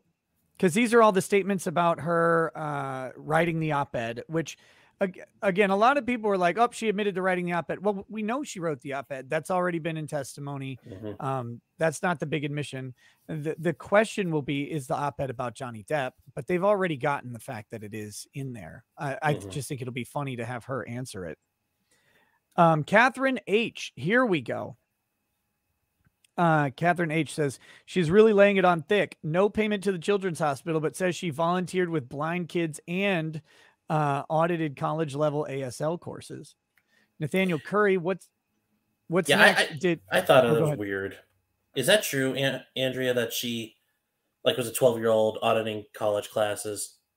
You know? I don't know that we have any confirmation of that. Okay, She I'm she not a- was she, you know she was she was a high school dropout. There she has um she has some juvenile criminal history that is a little bit opaque because uh, Texas is one of these states that will seal that and uh, only unseal it under limited circumstances. Um, but there's evidence of you know uh, certainly a mugshot that is out in the public domain from when she was quite young. Um, there's a very lengthy uh, license suspension and um, a couple different records of uh, of different types of you know cases that she had. They actually were on warrant status for quite a long period of time, and I believe it was not until right before um, she was. Uh, I, I don't remember if it was filming the Rum Diaries or going on the press tour, um, but that she went back and and actually dealt with dealt with those warrants. Um, so yeah, there's a whole shit show going on with uh, with Amber's past in in Texas that has been uh, very glossed over. Okay, yeah, because she's almost sounding like an astronaut cowboy with this, like, oh, I got my GED at 12 or whatever the hell it was. Yeah, Yeah. yeah. Uh, and then everyone clapped. Pedro Cigar, thank you for the donation. did. Uh, Lancelot says, "Someone get a spray bottle for the cat lady. Hearing her ask if he used his tongue makes my skin crawl." yeah, I like I like the she's trying to weave a subtle grooming narrative uh, there early on. Oh, you know he's doing all these things uh, again, setting up the the history of what her doctor described as sexual violence, but you know she just passed it off as flirting or whatever. Uh, that that was nice. That was nice. Um, here we go. Single. Where'd it go? Single malt killer. Every when treating a man, every time she's treating a man, she is listing all the, or even when treating a man, she's listing all male perpetrators. Yep. Ogonzo, this Depp guy sounds like a real sociopath, giving people gifts and being respectful to them. Uh, what if anything? This judge is fucking retard. It's not. Ogonzo's not happy with the judge. Uh, Ju- uh, says, imagine if they use pictures of the carpet to impeach her. Malik Fox, and she's spending a lot of time having to preface her testimony with variations of I'm having a hard time expressing this, or it's a little hazy. I'm biased heavily, but I imagine at least one man in the jury is like, Yeah, you're lying. Well, yeah. The the other one that is really like the nightmare answer in most situations is well, I know this sounds a little crazy. It sounds so crazy now. This sounds so silly now. But yes, it does sound crazy and silly. Thank you. Yes, it does. Um, and it and it did then also. That that's the other. Well, it would You know have then else if you would have said crazy? anything. Those fucking audios, Amber. yeah. Yeah, you you sound absolutely unhinged in them. Um, well, that that was that blew my mind, and, and I I thought about this as she was saying it. Uh, she described like leaving. Well, she wanted to leave the conflicts all the time. It's like, wait, no, we have audio where you specifically say that that's bad, that's weak, that's cowardly. Mhm. And I, I think it plays right into her the the diagnosis from the doctor of the borderline personality, where they she will adopt the uh, the mannerisms of someone else. She's she's just taking Johnny Depp's story. When he's getting hit, he leaves. Now Yes. she's suddenly leaving all the time. Yes, and I, I do hope this is one thing. If they if they do get Dr. Curry uh, on for rebuttal, I really hope they ask her about Darvo. Okay, I mean you're just you're almost never going to see a better example of, uh, of of this phenomenon. Accuse accuse your accuse your victim of the things that you did, you know, to to get something over on him. Yeah. We'll see. I man, I I hope I hope Dr. Curry gets to come back and well, one because the chat loves her, but two because I think it'd be I think it'd be really good if she just took her apart. Squeeze Louise, High Lord of something. Remember when Dr. Muffins was talking about using very flowery lang- lang- flowery language while saying nothing? I think I'm seeing it. Yes. Uh, Johnny Arbor, Turd's testimony is a love affair from a delusional mind. Who wrote this sucks and was fired from Harlequin Romance. Uh, tears. Bingo, you called it. Uh, next. Oh gosh, I hate when this happens. Billy Witch Doctor, what if anything equals agree or disagree for this judge? Obviously, do all judges have a magic set of words like this? Uh, yeah. I mean, kind of, I guess. Uh, When you find the thing, you just keep using the thing, though. I mean, that's that's why they become like this. And and I think the judge has painted herself into a corner. She can't suddenly start taking these objections uh, on it, but it it really was a, mis- a a bad a bad way to set this up. Really now says explicit. Really, did she forget she's reading a script? Um, next, Corpus Delecti Rackets. Watching this with my wife is one of many reasons I love being married to a psych major finishing her doctorate. She's just sitting here picking apart and destroying everything, single thing that Turd says. It's hilarious. Well, that's the only advantage of being married to a psych major, I think. the rest of it's just horrifying. Uh, I'm King Xerxes. I'm going out on a limb, but this sounds like an actress reading for a part. Yeah. It it reminded me of PSAs uh, Mhm. about domestic violence. Like I, I expected, like the dark lighting with the one strip of light, uh, her looking off camera the Yes. whole time. Yeah. Sarah McLachlan's playing in the background. Yeah. Cyrenia Sakari, her, her cheeks are sweating, not tears. She couldn't even get that. She couldn't get any moisture on her face. Uh, Caligula, if I'm laughing at Amber's acting shenanigans on the stand, how does the jury feel? Oof. Uh, who knows? T. Odom, can you please call Johnny's attorneys and let them know the door is open? Not sure they'll know. No, they know. yeah. They know. Like the guy clearly tried to get that domestic violence Yes. in. Uh, he was just shut down for whatever reason. Matt H. So either her or Johnny is flat out lying under oath. One is calm and collected, the other is animated and uncanny. Compare Amber's testimony to that of Christy Mack in the War Machine case. This is not believable. Well, look, anybody who got their ass kicked by War Machine uh, knows not like there was no doubt that she got tore up by him. Like, it, it- Yeah. she looked like the aftermath of an MMA fight. It was bad. Not so pro Kitty. I don't know if, uh, if I just think she's a bad actress, so it just sounds like she's lying, or if she's become so unlikable, everything sounds like a lie. Joy Mace. She's way over dramatic. When I testified in my custody trial, I didn't add all these weird details she adds. I didn't want to talk about it, so I just stuck to facts. Well, she didn't want to talk about it either, Joy. That's Clearly, this she- is the hardest thing she's ever done. the hardest thing she's ever done. Uh, I mean, she just did this over in the UK, but this is the this is the hardest. That was the hardest until now. Uh, Not getting beat was hard. It's talking Yeah. about it. None, none of the abuse was hard. It's reliving the abuse. Uh, Igor Slagathor says she acts like Will Smith slaps. Paul Wolf, Miss Heard, could you please tell the court which of the four personalities on record are in court with us today? I love how the doctor's just like, yeah, that's not a big deal. It's not. Oh, okay. Yeah. Okay, Sybil. She feels like she has different people warring inside of her. It's like, oh, but yeah, I mean, but who doesn't really when you think about it? Uh, the redneck ram. What if any cat boys get you all hot and bothered, Nick? Objection leading. I'm just asking, what if any, Your Honor? Uh, oh my gosh, Jeff K. I hope they ask who was the op-ed about and hammer home the line about not being okay to hit anyone, uh, i.e., her charges of domestic violence. Love the stream. Hashtag unbreaded. Thank you, Dylan Tyson. Amber's testimony could make a great ad for Johnson's baby shampoo. No tears. John, she remembers precise details about events with Johnny Depp like she is reading a script, but she doesn't remember things about her personal life like the movie she was in during certain years. I'm not convinced she's a victim. Um, Johnny B. I have some mild PTSD from my time in Iraq, and when I try to recall stories, my voice gets all shaky, body gets chills, and starts shaking. It's hard for me to talk because I can't control it. Her testimony seems different to me. Yeah, and I, I think when you when you look at what like a PTSD panic attack looks like, it, you got to look at Kyle Rittenhouse. I mean, he was he was unable to continue his testimony, Mhm. broke down on the stand. Uh, the media ripped him apart as as faking it. It didn't look fake to me. It didn't sound fake. Th- Like you have to have a level of willingness to enter into indignity that I'm not sure that like a random 19 year old has. And and and Amber Heard's uh she doesn't look like like she's not she's not acting without dignity. Like she's Yeah, not she- broken. She has too much self image. Yes. Yes.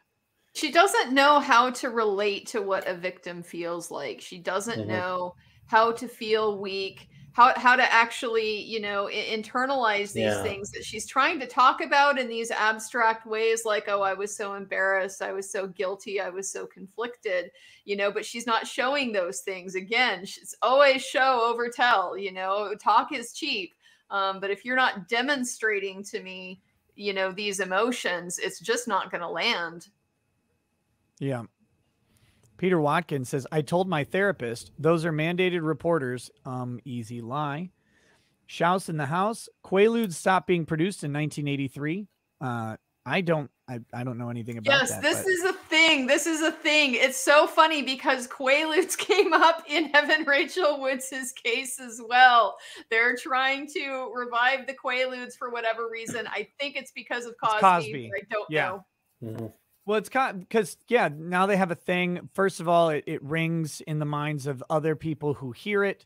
So you go, oh yeah, Quaaludes, big problem, and and two because because they're li- like that kind of looks like they're lying, and so if you're lying and you don't actually have facts, you just go to some other story. Mhm. Uh, that's that's why I didn't know they had actually stopped manufacturing them. That's great. But maybe they just borrowed Cosby's stash because Yeah, he had a lot. Might have had a lot. He's like, oh, these are going out, like he does the fire sale thing. He bought futures. Yeah. Rocket surgeon. It's like she is speaking in buzzwords, but it doesn't feel like there's any emotions or attachment to what she's saying. Yes. Agree. Um, uh, read that one when it came through. Here we go. Uh, Tarkina Meyer. Amber was writing the script to a chicken to a chicken flick. If the jury is mostly male, fail. I think it's supposed to be a chick flick. Uh, yeah, kind of. I, I don't know. It just felt like again, it felt like one of those infomercial testimonial things. It was it's weird. Mike the dad Crosby, I'm behind catching up on one and a half speed. Amber sounds like she is portraying herself as a heroine, wondering if the cross going into her drug use, drinking, uh, abuse will get her to snap. No, apparently she doesn't do drugs except for a little bit of. MDA and some mushrooms from time to Yes. time. With the men in her apartment that she doesn't tell her husband about that she's definitely not cheating with. She's not Right. capable of that. Mm-hmm. So you were doing ecstasy in an apartment with a man that's not your husband and you weren't cheating on him. Yeah, it's just two friends getting together in a dark place doing ecstasy. What? Very weird. DCV Titan. Didn't Johnny have a story about Turd coming at him, knocking him off the couch, and him wondering how he was on the floor? All of Turd's accusations always seem familiar from other sources. Personality disorder, much. Penelope, when my ex choked me in front of our then 18 month old son, the last thought I had before I passed out was for my baby and my daughters coming home from school and finding out their mother is dead. Amber Turd is a garbage human being. Damn. Uh, top yeah, muffin. that's the that's the type of stuff at trials. I'm sure Andrea knows too. That's what victims talk about, not like, oh my god, the floor was so dirty or anything like that. They're like, I'm going to die and I don't want Yes. to die right now. Yes. No, they go through existential thoughts while looking at their breath in yes. cars. Yes. What is the meaning of my next move? Uh, top of muffin says she said she used Quaaludes extremely rare in the US. He could have obtained them, but it would have been very difficult. And every other drug we know he used is common in the US. Doubt he used those. Possible impeachment. You can't impeach it because there's you. So impeachment needs a prior inconsistent statement uh, to to go against it. So unless she said well, I've never actually used Quaaludes, uh, or or I've never seen Quaaludes or something somewhere else, then you Yeah. could. But And also, Uh, they might just be being told these are Quaaludes. Whatever they were is some type of downer or something that knocks people out. David Hayter, Amber claims she got smacked so hard blood splattered on the wall, but will ha- but have no pics of the busted lip. Got a pic of the arm bruise though. Yep. Yep. That will be a theme. Speaking of looping, wait for the looping on the injuries that don't match the uh the accounts. Yes. Or the She came up with that concept while she was auditing college classes. Like, look, if you are grabbing someone hard enough to leave a bruise, it doesn't look like a a A large impact round. mark right there. Mhm. It goes around. There's- It's the it's the Yeah. space between the fingers that that gets Mm-hmm. pinched and swells Yeah. like that. It, it doesn't look like that. I've Mm-hmm. seen uh, as as a foster parent, we had to look at all kinds of abuse uh, pictures and images, and, and that's not what a grab looks like at all. Mm-hmm. And she's dainty enough, you would see the individual finger marks. You would think. Yeah. Yeah. Mike, the dad Crosby, Amber Heard. I kept trying to leave every Amber Heard Johnny Depp recording. Why do you keep trying to leave, Johnny? Yeah. Uh, married four. I, Jack Sparrow, testify under penalty of perjury that I have, in fact, not drunk any of the rum. Uh, ne- next, we've got Rick Nikita says, because I believe the testimony of someone tripping on mushrooms and MDMA. You, you- she did have very vivid memories of her mushroom and MDMA trips. Um, I look, I've never done MDMA or ecstasy, but I've been to a couple raves in my day, and I have seen people who are on significant amounts of ecstasy. And I mean, they are a they are a heap. Like just it's like they they gas up and then they and they're done, and and they're useless for until they're down or sleep it off or whatever. Johnny taking a handful of them, I cannot imagine that he's like uh turns into the Hulk there. But it's weird. And where was any of the cross exam of of his security who allegedly changed his pants in front of Amber Heard? Where is this stuff? So do you Yeah. remember when he got so so uh intoxicated that he shit his pants and you had to change them in front of Amber Heard? Isn't that embarrassing? How often had you have, have you had to wipe shit off a man's ass? Like ask those questions. But of course it didn't happen. That's the problem. They know the answer. That never happened. Yeah. Doug Murray, Rackets, when are they going to ask her about the first time she and Johnny Depp went to the drum circle at Bohemian Grove? Johnny Depp playing a guitar that looked like a hippie sandwich, offering rum and pulls to Jobu. I, I don't know. Is that is that real or is that? That's I even- apocryphal. I was gonna say I can't even tell if that's a joke anymore. Uh, Gates of above. I don't think Amber is the right person to talk about cleaning up bowels. Correct. but again, she's bringing like a the the borderline personality. She's bringing something else. It like it, it's a mimicry. It- mm-hmm. Tom the stories Bamore. have to grow. They must grow. Yes. We all had a kid in middle school who told stories just like this. So much BS. She is obviously a sociopath, desperate to make others feel emotions she doesn't understand because she's never felt them. Mechanical Elizabeth in Richard's voice, Your Honor, the Oscar for Best on the Stand performance goes to not this woman. It's clear she's just as terrible as an actress as she is a person. Um, Guy says, I just want to point out the obvious difference between Amber and Kyle Rittenhouse crying on the stand. What does PTSD actually look like? Hmm. Hey, I had the Mhm. same thought. Uh, all right. Ray Marshall. We just saw an example of why it took Johnny Johnny's intervention for her to get a job in Hollywood. She couldn't succeed if she did interpretive dance for the blind with how painful it was to watch. Uh, Lancelot, convenient that a lot of dead people know her details. Yep. Mm-hmm. Very simple. I'm surprised they didn't use the unavailable unavailability of the witness due to death as an exception to the hearsay rule to try and get in a whole bunch of shit. it only lets them get in the prior deposition. And so Jerry Judge was deposed, but I believe it was in the Sun case. And so Amber was a party. She didn't participate. And so I don't believe they're going to be able to use that. Good. Diesel HRT. Did she have Johnny saved in her phones as another name, like a nickname? Yes. Because in screenshot of the text entered into evidence at the end of her testimony, it said Steve. Yeah. So he was Steve and she was Slim. Johnny Depp had testified to that. That was their pet names based on some old movie. I don't remember. Uh, Wolfram says so after the yacht trip, he assaulted her in the cabin. What happened to he was passed out face down on the beach? hmm That's a good question. Yeah. Also, I'm I'm confused. Okay, can one of you piece this together for me? So he does this weird thing on the boat where he jumps dangerously, I guess. Mm-hmm. Yeah. So Lily a Ro- strange, dangerous belly flop.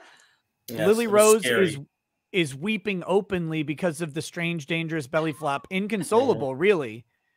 And then Panicking. Mm-hmm. Almost a panic attack.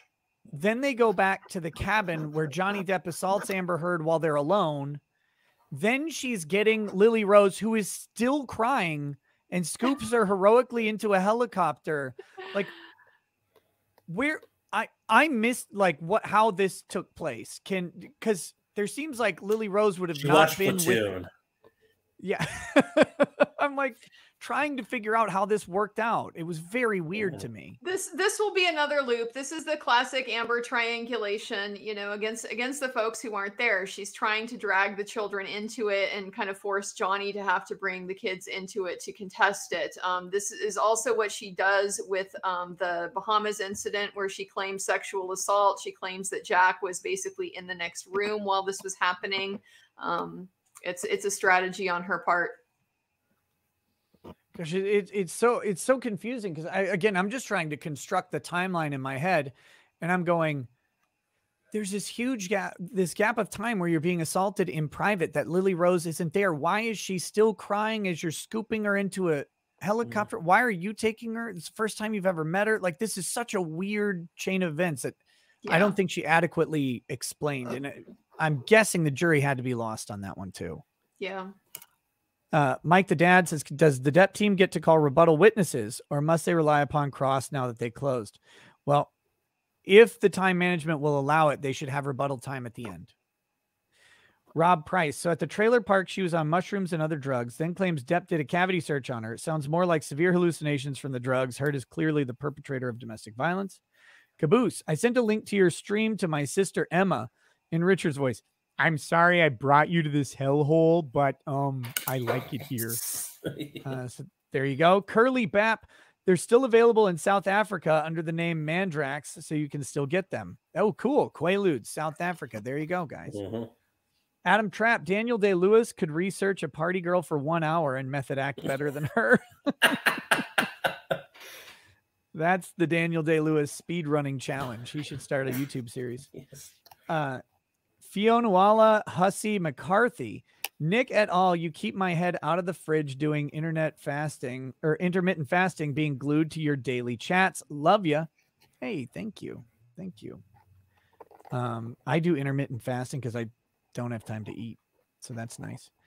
Um, okay, that is the those are the big chats. I'm gonna do the rest of them, but of course I, I want to respect y'all's time. You're welcome to stay, but if you need to go at any time, please feel feel feel free. Uh, unlike Amber Heard, who was shackled to her relationship with Johnny Depp.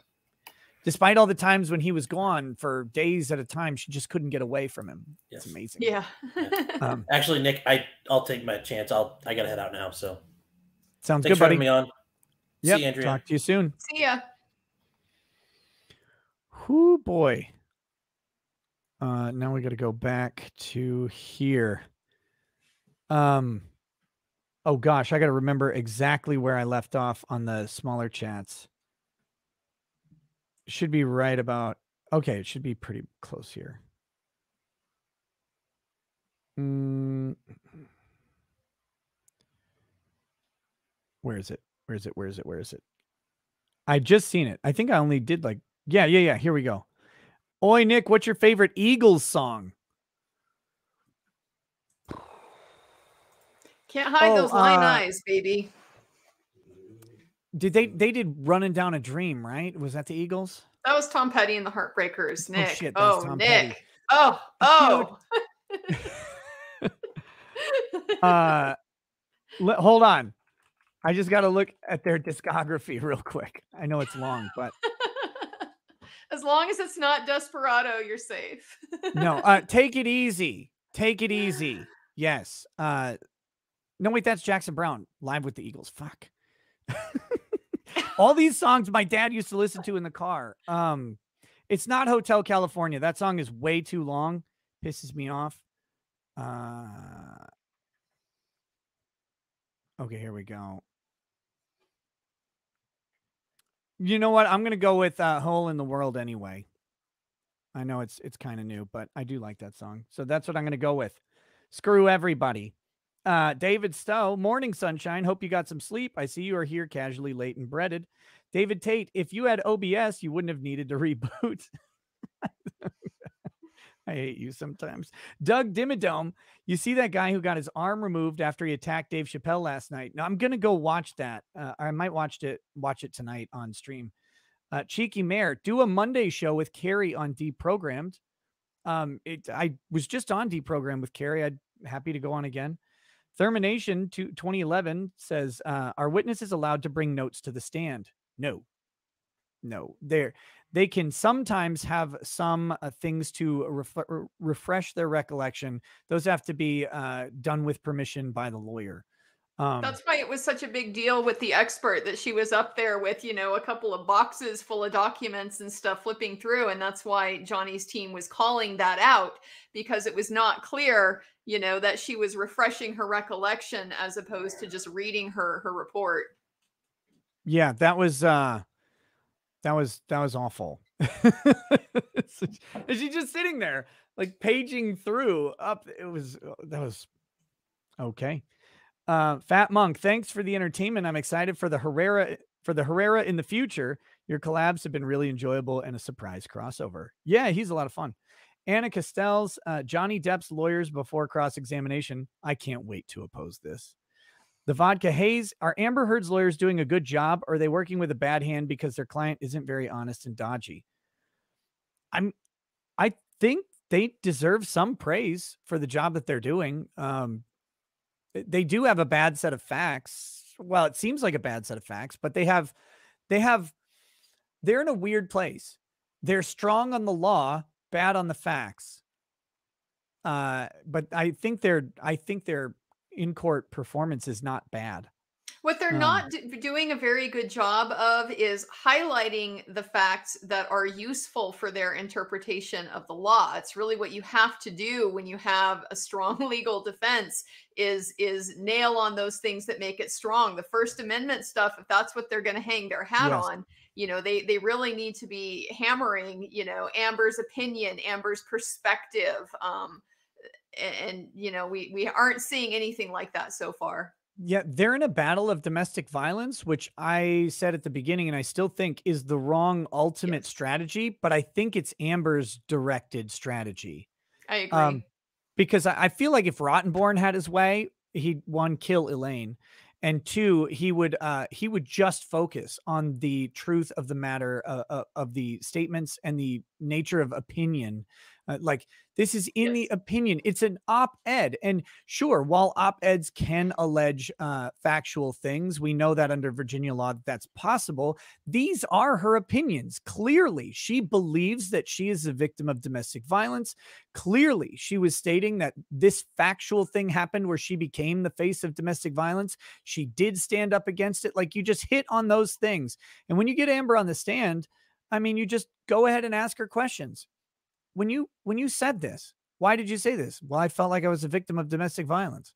Mhm. Why? Well, because you know Johnny hit me on several occasions and and treated me in an unacceptable way and made me feel like a prisoner in my own home. So when you said these things, uh, you you're well, you that that's too leading, but but effectively you elicit the testimony that she was speaking the truth or giving her opinion, and that uh, that actually they tried to remove Johnny Depp's name from it, not to hide from defamation, but to avoid publicly shaming him. They hoped Yeah. that they could they could avoid bringing him into it because they didn't want to taint the article with Johnny Depp. The articles about Amber Heard and her heroic stand. Like Yeah. that's what you want to elicit from these people and and they're they're not going that way. But I mean, when you have a client who wants you to do a certain thing, you're beholden to them uh to some extent and and that to me that seems like that's the issue. Jen Smith, Nick, will you be covering the Nikolas Cruz trial here in South Florida? I, whenever, whenever that is, that's going to be interesting because isn't the only question in that trial whether or not he gets the death penalty? I'm not 'Cause he's- sure. He's pled mean- guilty to the shooting. I, I don't know how you would beat the charge anyway, Yeah. but uh, yeah, I. It depends on the timing. It depends on the timing. I don't know if I could take the chat simping for the judge in the Nic- Nikolas Cruz trial, though. Oh my gosh, that would be Is she a hottie? Yeah, have you ever seen her? No, I haven't seen her. Here, I'll pull her up real quick. Oh boy. So if I type Nikolas Cruz and then space into Google, the first recommended is Judge. Uh, so here we go. So chat's already done its work then. Yeah, chat's chat's already they're they're getting ready for this SEO primed. So here we go. So this is the judge and the Nikolas Cruz oh trial. yeah. Oh shit. Yeah. Yeah, your your chat's your chat's going wild on that one. I know. I don't know if I could deal with it for like weeks of trial. the thirst is real. Uh, but we'll we'll see. It it really does depend on timing. I think it's interesting. I really want to cover uh, Ethan Crumbley's trial. That's a little bit later this year. Um, dis, distro and his parents. Oh, that's the one to watch, though. I think that's more interesting than his trial. Is his parents? I think there are really valid legal questions there. Distro 32. Depp's team needs to utterly destroy this expert to the point where she will never be called as an expert witness ever again. Oh, Well, that's not obviously that didn't happen. Yeah. And it wasn't anyway. I mean, this expert, she's she's mentioned she's testified in hundreds of cases because they know exactly who they're hiring. Yes. You're you're hiring the woman's advocate. And and Yes. if that's what you need, that's who you pick. Uh I, I gotta give her credit. She's good at it. I mean, Mhm. she's very good at what she did. Uniflare, yo, try setting CPU affinity on your audio uh, DG.exe process and task manager to a single core, uncheck all but one. Uh, okay, I'll give that a shot. Isaac Kazic says Joe is basically monetizing other people's content, contributing to the stereotype uh, a little bit.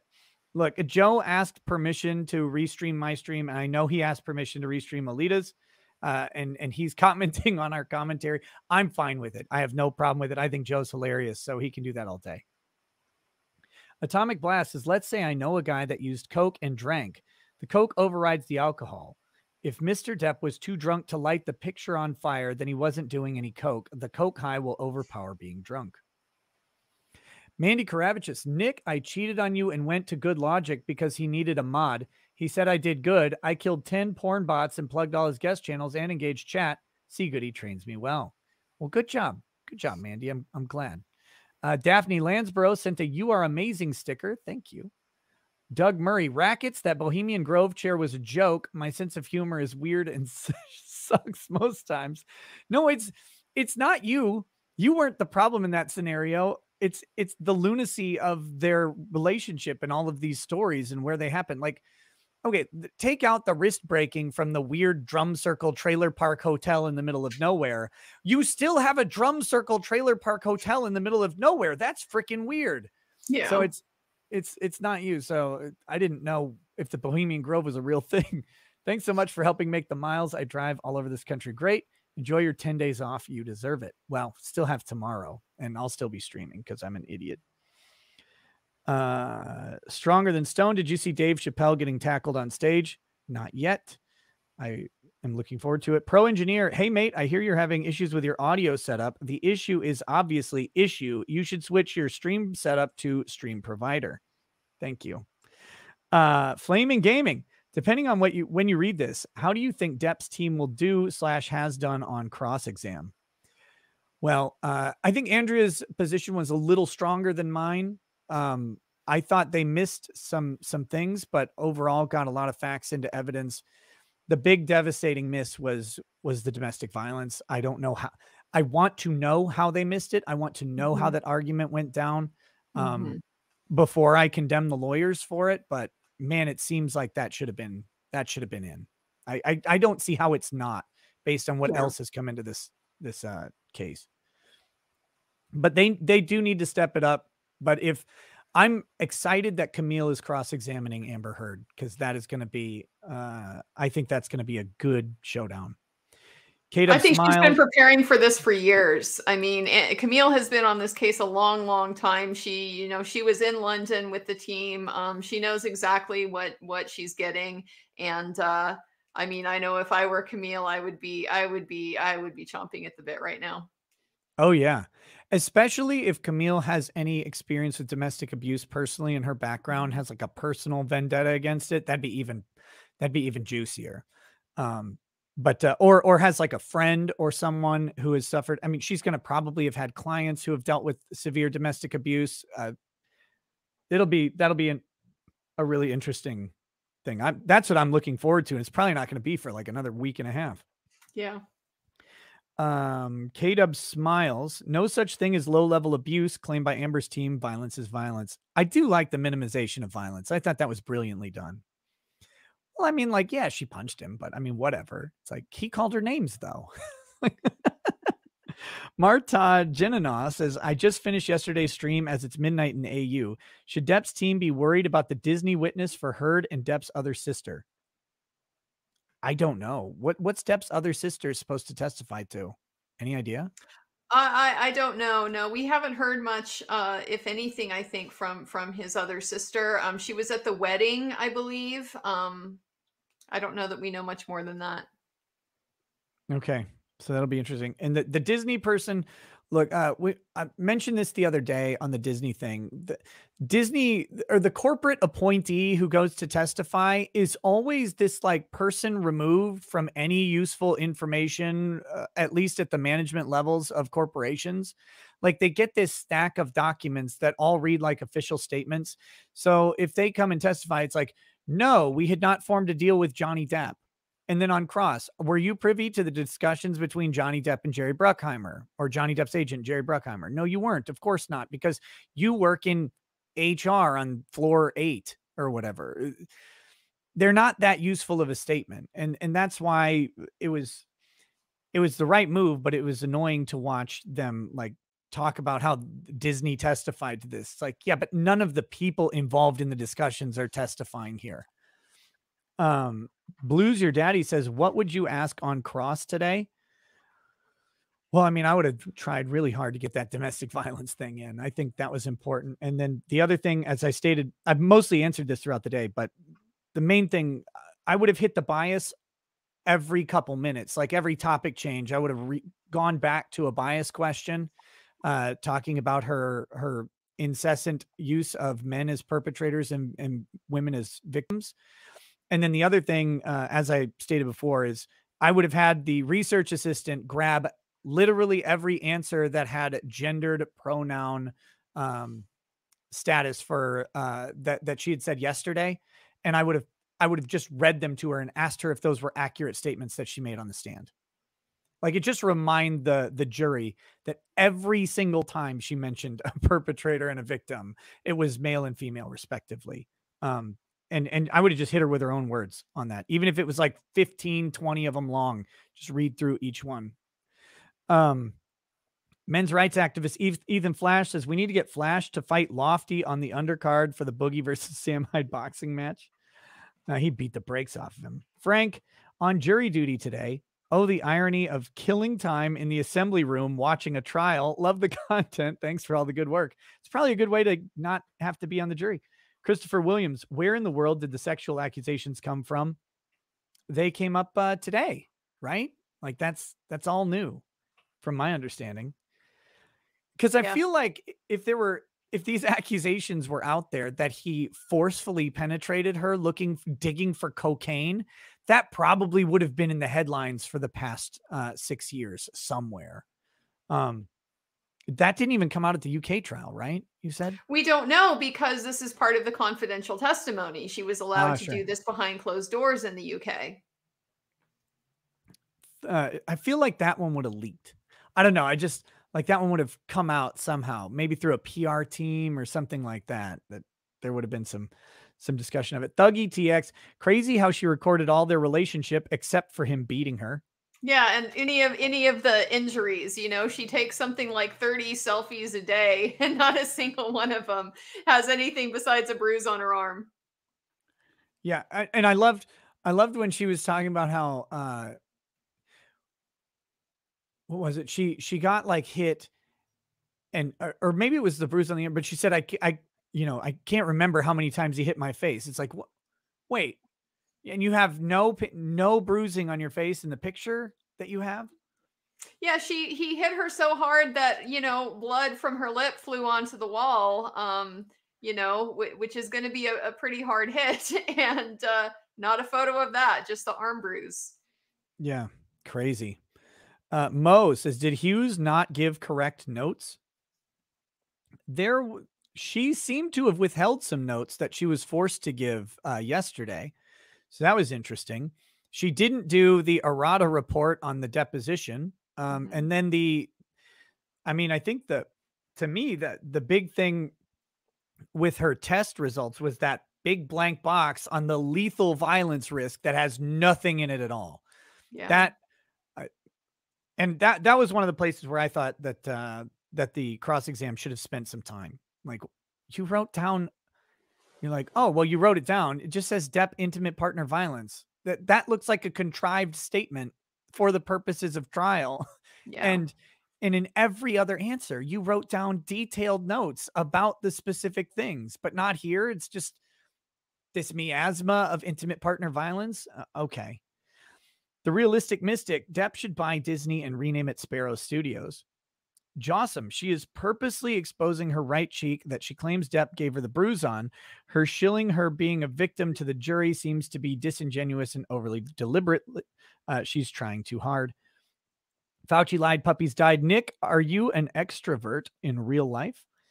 Uh, I'm on personality tests. I always test right around 50 50, 41, 50, uh, 49 51, something like that. Um, I'm happy being alone and I'm also happy being in groups. So, Chrissy Reed, hi Nick. I hope you're sin- I hope you're okay. Sending love from the UK. I am. Thank you, Catherine. During the court break, I would love to see a no tie clip showing a show with Legal Bytes, Emily and others to compare notes so far. Uh, I was thinking about just that. We'll have to we'll have to see what they're what they're thinking. I'm I'm not sure what their coverage looks like during the break. Praetor seven. Does the court steno record what's said in sidebar? Yes, but I I don't know if we can get access to those transcripts in any reasonable amount of time. Uh, Jamie McClement says tissues on Heard's tables. They're planning on tears. They didn't plan very well. Pro pro She engineer. forgot the Visine. Yeah. You got to rub that onion that onion juice under your eyes and sit there. Yeah, you got to drop the contact, right? Like that's what you got. Oh, my contact fell out randomly. I got to get it off the floor. And then you pro engineer, is it just me or is the judge basically Nathan Lane in costume? no, more like Rick Moranis, I think. yeah, is- the is Rick more- Moranis is such a good call. yeah.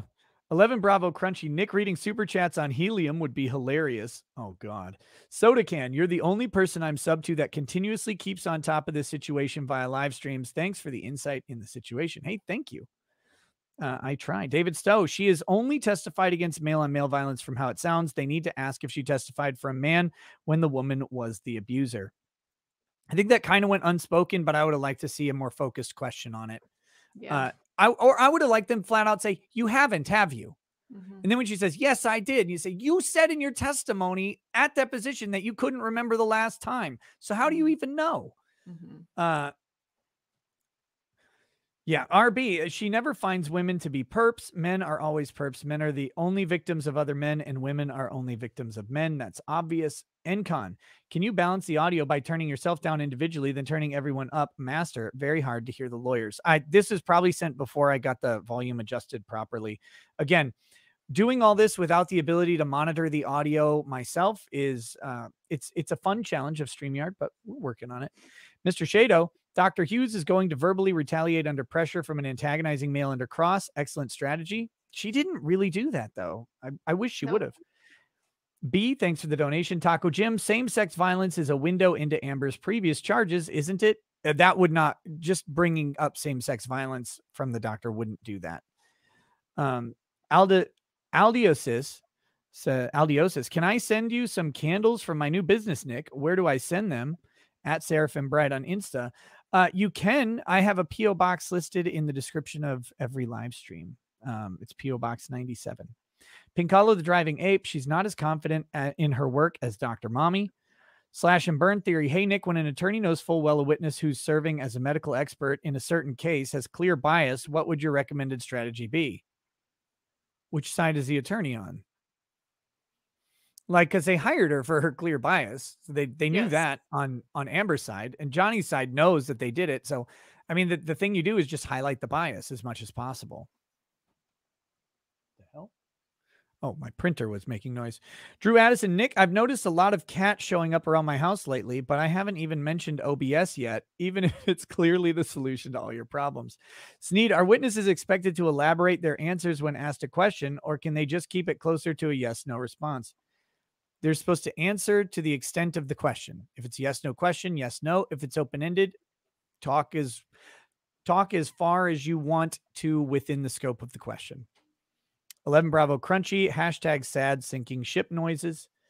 Edgar's friendly civics teacher, her methodology is confirmation bias, nor Vanguard. So is Amber the one who threw poop at Russell Greer's sister's car?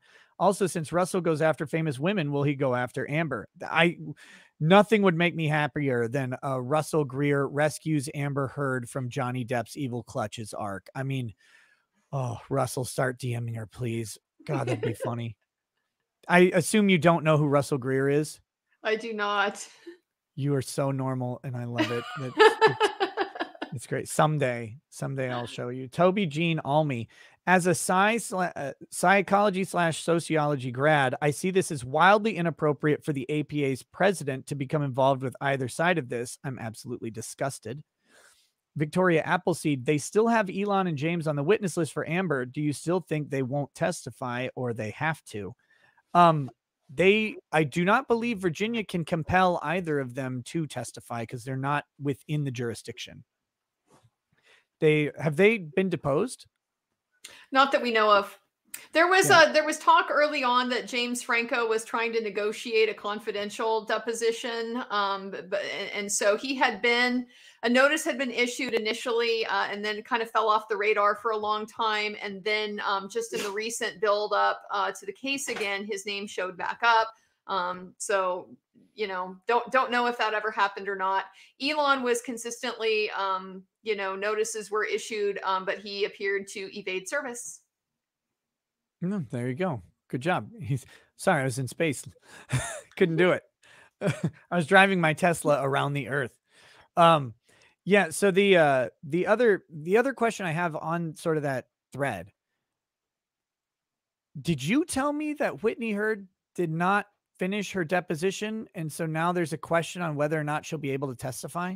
Yeah, so this was one of the objections uh, that that uh, Johnny's team raised um, to Amber Heard's witness list, and the, the nature of the objection was that Whitney sat for basically half the deposition, had some sort of unspecified medical emergency, uh, left and didn't come back, and then uh, Amber's attorney was. I, I guess negotiating for her to come back, but only to be questioned by Amber's attorney. Um, so Johnny was arguing, you know, we we need the opportunity to finish the deposition if she's going to be called as a witness. That was obviously addressed in limine, and we don't know how that's fleshed out. Yes, that'll that'll be interesting to see. If they I think if they lose her, that's a pretty big blow to the team. Um, because that she's one of the only allegations uh against Johnny Depp because he allegedly punched her or pushed her down or something. Pushed was gonna throw her down the stairs. Yes. Yeah. Yeah. Well, and who wouldn't really? R. Simpson, could Depp's team refer to Dr. Curry's statement on how a psychologist or a psychi- psychiatrist's role is not to determine if an event happened? Keep it up, man. I mean, they can do that with her, They- or they could have asked uh, the other expert if she heard that statement, what her opinion was, but I, I would not bother with it because she clearly thought that uh, that Dr. Curry's work was pointless anyway. Hate Army Watch. The damning part of that was, but wants to stay with Depp, meaning she considered leaving Depp for Franco. Slash and burn theory. Dr. Hughes seems like someone who got caught up in being the uh, uh, the doctor with famous clients to the point that she's shed most of her professional integrity. The the thing, another thing that bothered me that they didn't go into on Cross, and this wasn't super important, but they had they asked her about James Franco that she wrote under intimate relationships, but she drew a line. She's like, I drew a line though. And then they have Elon Musk, who clearly was an intimate relationship on the same Yeah. side as James Franco. And I don't know why they didn't go, but Elon Musk was an intimate relationship and he's on the same side, isn't he? Yeah. And just have her say, yes, but no, you you answer my question. Thank you. He's mm-hmm. on the same side. And then move on. Like I wanted just that punctuation. Daniel F. If Amber goes on the stand today, I'll poop on my own bed out of pure excitement. I've been waiting so long. Well, change your sheets, buddy. Evie Warner, this is not going the way I hoped. Ugh. Sejong the Great, I administered a diagnosis with no criteria. Great way to lose a license. Mr. Squiggles, did the doctor just hit on him? Maybe. Dr. Goldsilver, can you get CAPS 5 form to get yourself ready before an, avo- uh, an appointment? Well, I imagine you could download a CAPS 5 form somewhere. There you go. Somebody wanted to see the dog, so here's the dog. How's it going, pup? This That's old big man fella. Rupert. He's been very good and quiet today, but uh, he's starting to get to his whiny point. Mom, when are you going to be done? Mike Hoyer is being crazy considered a traumatic event. Uh, Daryl Smith, the lawyer doing the cross right now, sounds like Captain Cragen from Law and Order SVU. Mr. Squiggles, she was surprised when he asked about her engagement. She then made that comment, I wish I had my cheat sheet, and now the lawyer wants to go on break early. Something about to go down between those two. Uh, next, we have McGill. In my opinion, it is imperative to understand the importance of Amber's diagnosis via stringent testing of MPD and HD. She is playing this out now, as per Curry, highly manipulated, sophisticated, and refined in deception. Johnny Rivers, I would fight in attorney in attorney to compete for that hot judge's favor.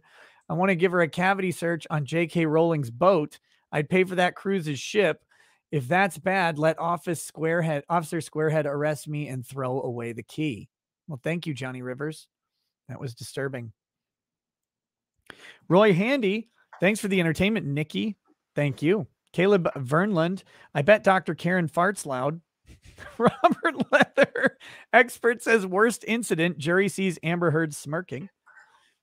Uh, Caleb Vernland, I bet Dr. Karen farts long like a grandma. Dude.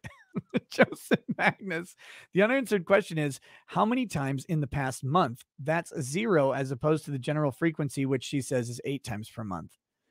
Well, there was some confusion about that because at the time the test is administered, she'd been broken up with Johnny Depp for three years or something.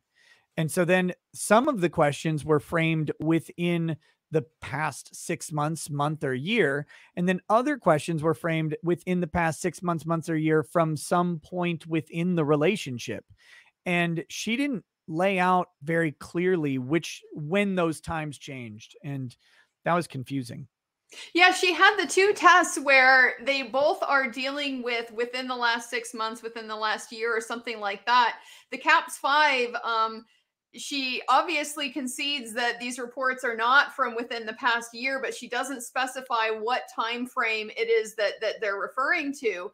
But then when it came to the um, uh, report of uh, I, forget the name of the test, but it's the I think it was the conflict tactics scale um, that's within the last six months. You know how often have these things happened, uh, and you know at, at that point Amber is is apparently referring to the to the present tense when or it wasn't the conflict tactics. I think it was her own symptomology. Um, so anyway, just massive confusion about what exactly is Amber supposed to be referring to when she's answering this question, and why is this not documented? Documented? Is this not supposed to be a replicable test that somebody else would be able to come back and review and you know analyze if it was uh, correctly correctly performed? Right. And and particularly when when you're going back to a previous date, what is the date? Because it's Mhm. going to be uh, you you would assume that the answers would be wildly different uh depending on the date, especially when she said there are periods of peace and honeymoon and calm. It's like, well, okay.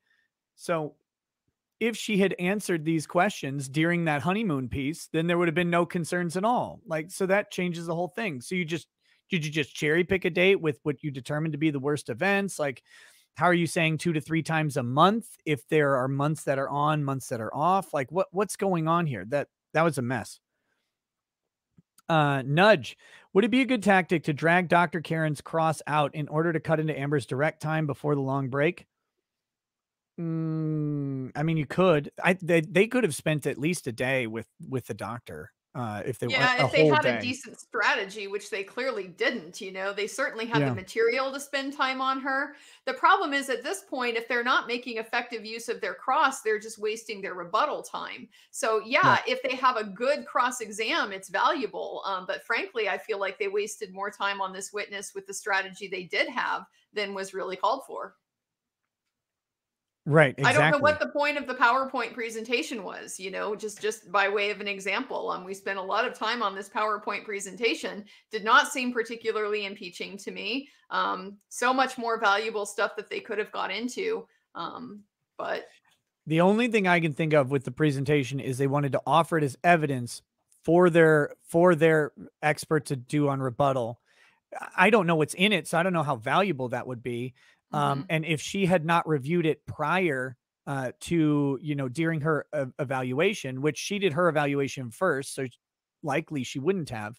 So if she didn't include that in her evaluation, she wouldn't have been able, they wouldn't have been able to offer it through her. So if they're trying to get it in, they get it in and then don't ask any questions. Then on rebuttal, they bring it up and she can tear it apart or or something. But Well, they only that- brought in the first page, though. It was Amber that brought in the entire thing, you know, and, Right, and so only that's bringing in the first page to me, it just looked like a gotcha. It looked like a very weak and, and ineffective um, way of trying to show bias. Again, when they just had so much more material to work with. you have her own words from yesterday to show Mm-hmm. all of the bias you could ever want. I mean, uh, it that was that's great. And again, they didn't focus on this enough, but like all of your work outside of the courtroom is free, all of it, because you advocate in a very specific way to the point where people don't even need to interview you. They don't need to do anything because they know exactly what side you're going to fall on, don't they? Mm-hmm. No, they go with my professional credentials. You'd agree that there's plenty of other people with similar credentials to you, wouldn't you? Well, Yeah. yes, of course. But they hire you because they know you and they know how you're going to vote on the or you're going to determine on these things.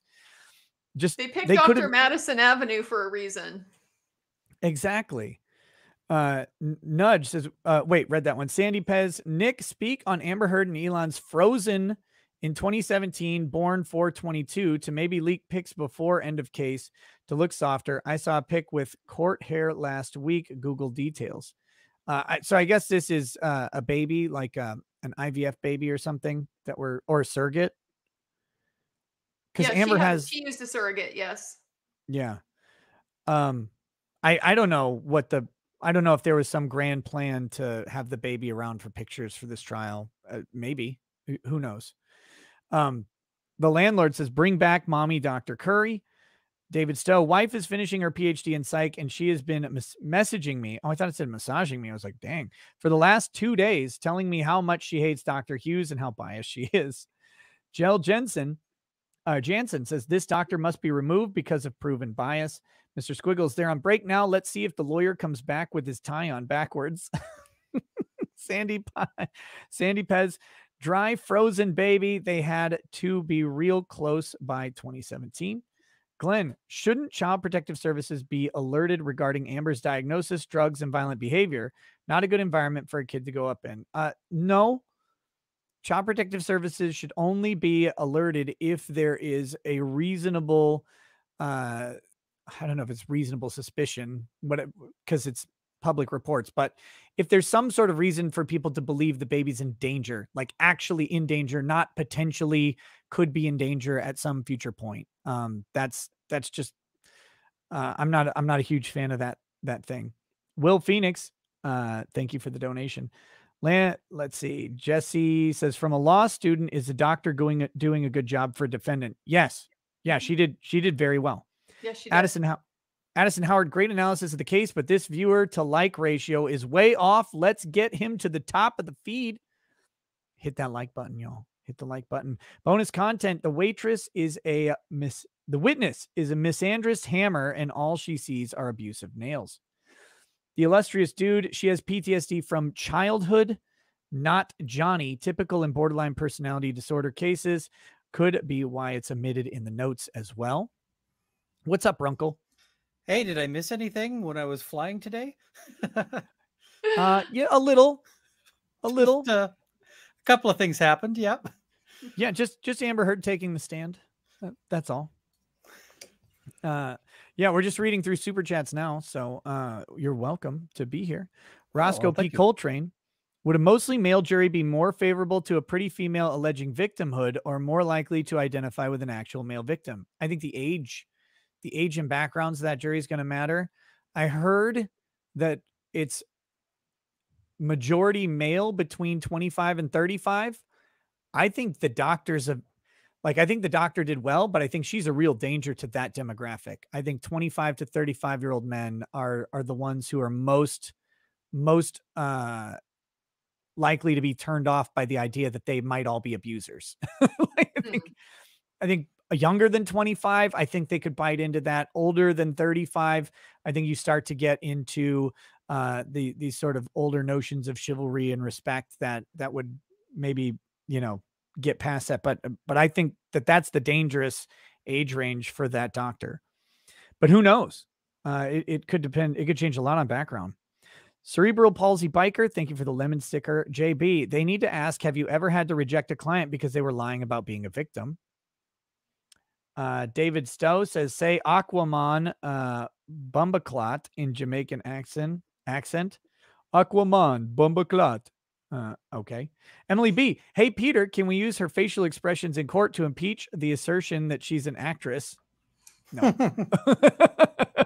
Self-impeaching. David, David Stowe, as someone who has to deal with a family member who self harms, if they admit to doing it once, they are doing it regularly. It's embarrassing to admit. No, it was just once while she was a teenager a long time ago, and she just couldn't remember where it was on her body at all. Uh, that again, that that struck me as dishonest uh, from the doctor. Like, wait, oh, and especially because she quoted Amber saying it was a stupid thing that I really regret and I never did it again or whatever. She said like an exact line. It's like, but you don't remember what appendage it was on or where? Come on now.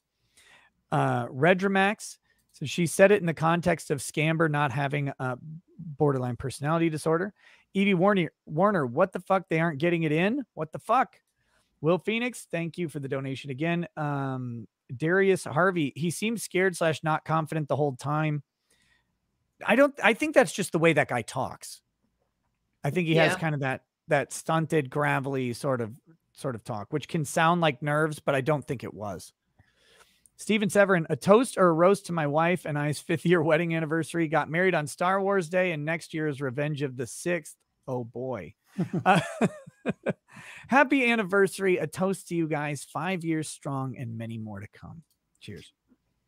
Did that cross examination go that badly? I only caught a little tiny bit of it, but it seemed like he was making headway. I like Andrea's atrocious. description of it better. It was atrocious. It was possibly one of the worst cross examinations I've ever seen. Oh, See, but there's a there's a difference of opinion uh, from Andrea to to the panel that we had here. Uh, we we didn't think it was that bad, but uh, but Andrea thought it was very very bad. So I think we can agree though that it was it was not effective. Uh, That that is for sure. That is for sure. But maybe I'm a too much of a softie. Well, and I'm judging it in fairness against the potential of what it could have been, just knowing the Yeah. universe of what was out there, you know, to to to be able to just push in her face and and make her account for. Um, and so the fact that none of that happened is uh is just beyond disappointing for me. And see, that's a that's a difference between us. Is you know a whole lot more of the background uh, on this case than I do, and so like when you're talking about, well, they could have done this and this and this. It's like, well, well, shit. now that you mentioned that, yeah, that's that, that would have been good. Uh, but I I don't know any of that. I'm just going off of what I see. So uh, so there. What Uh, I really that's- wanted to see them do is I wanted to see them go through this analysis. She had tried to identify all these categories of abuse, psychological abuse, emotional abuse, verbal abuse, physical abuse, et cetera, et cetera, and implying that Johnny Depp has perpetrated all of these things against Amber Heard. I really wanted to see them turn the script on that and, you know, bring out the audios where Amber Heard is is, you know, being a nasty little cunt. Um, bring out, you know, Yeah. the the the mean text messages. Bring out Johnny Depp, you know, begging for his security guards to come and get him out of the room because she won't stop hitting him. Bring out the photographs of Johnny Depp's injured face. All of these things that that really support um, your case that that is exactly what you want to be highlighting for the jury this is your opportunity to to put them out there front and center again. So they didn't do that. It was a great opportunity to be able to frame amber heard as the abuser because every single one of those things they have evidence of her doing. They left that on the table. And then it's it's just an open opportunity as well to point out how okay the the witness has accepted this particular version of events let's get into the contradictory evidence. You had to discount. She basically just did what Judge Nicol did. You know, you had to discount the police officers that came to the scene and saw nothing. You had to discount the independent witnesses who disagree. You had to, you know, discount the the note from um from Monroe Tinker that says there's no injury at the same time that she's claiming to have two black eyes, a broken nose, you know, et cetera, et cetera. So just rub her nose in the fact of her own cherry picking of what she chose to rely on to support her her version of events. That's what I wanted to see. Then you go ahead and go back and hit her with the bias stuff about, oh, by the way, you've never even, you know, seen an abusive woman Yeah. ever, have you? Great. End of story. Sit down. Um, Here's there was just so many opportunities there and they took none of them. Please tell me Yeah, they well- at least hit her with the uh the Amber Heard mocking, you know, nobody's, you know, will anybody believe that you're the abused victim here? They didn't play that audio. No. No. What? The only one they played was Amber Heard, uh, the one where, you know, she she she did start a physical fight. Yeah, I did start a physical fight. Oh no. Yeah. They, the jury hasn't even heard yet. The jury hasn't even heard Amber Heard telling Johnny Depp to suck my dick. you know, she said it like a hundred times. Go, go, jerk Travis off. You know, all of these just, just gross, abusive things. The jury has heard none of that so far. It's in evidence, and they're not playing it. Because yeah, I would have wanted to throw that in the expert's face and be like, you know, isn't that exactly what you're doing? And Yeah, all all of the times where she was calling him a coward and saying you you know you're trying to leave and you you just want to leave uh, and we need to fight like we need to deal with this now and now and now and not letting him go and him saying look i'm just trying to get away and calm things down for a little bit. I'm just trying to get away. I'm just trying to get away. And let her tell the jury that that's his emotional manipulation and and somehow sexual abuse i'm sure. Yeah. uh, well, and, and to give another example where they where they really dropped the ball, uh, just that was obvious that I that I'm aware of uh, was you know he got her on the bottle throwing right and showed her the finger or whatever and got her to say that throwing a bottle is never okay, which is fine, but it's like is putting a cigarette out on someone's face reactive violence? yeah, because like th- it's in the same picture you're showing it's the same event and and uh, we mentioned that at the time it's like well, why why don't you mention putting a cigarette out on someone's face like that is Yeah. it's such a it's a grossly abusive image no one What about like there's spitting on well, him? and it's also im- Spat on him from the stairs? Is that reactive violence to spit on somebody? it's impossible to sell that. Like if he's laying there, the account is he's laying there on the ground injured, and she ashes the cigarette. Like it's impossible for that to be reactive violence. Like that's not. That's Well, not and- and defensive. That's like just of- of- cruelty.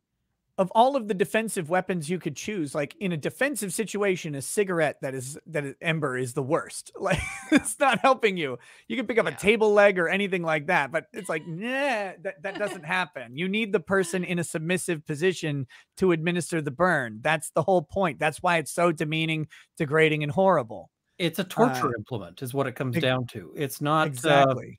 you know, it has no use as a weapon in terms of any, you know, stopping a fight or whatever else. It's a torture implement.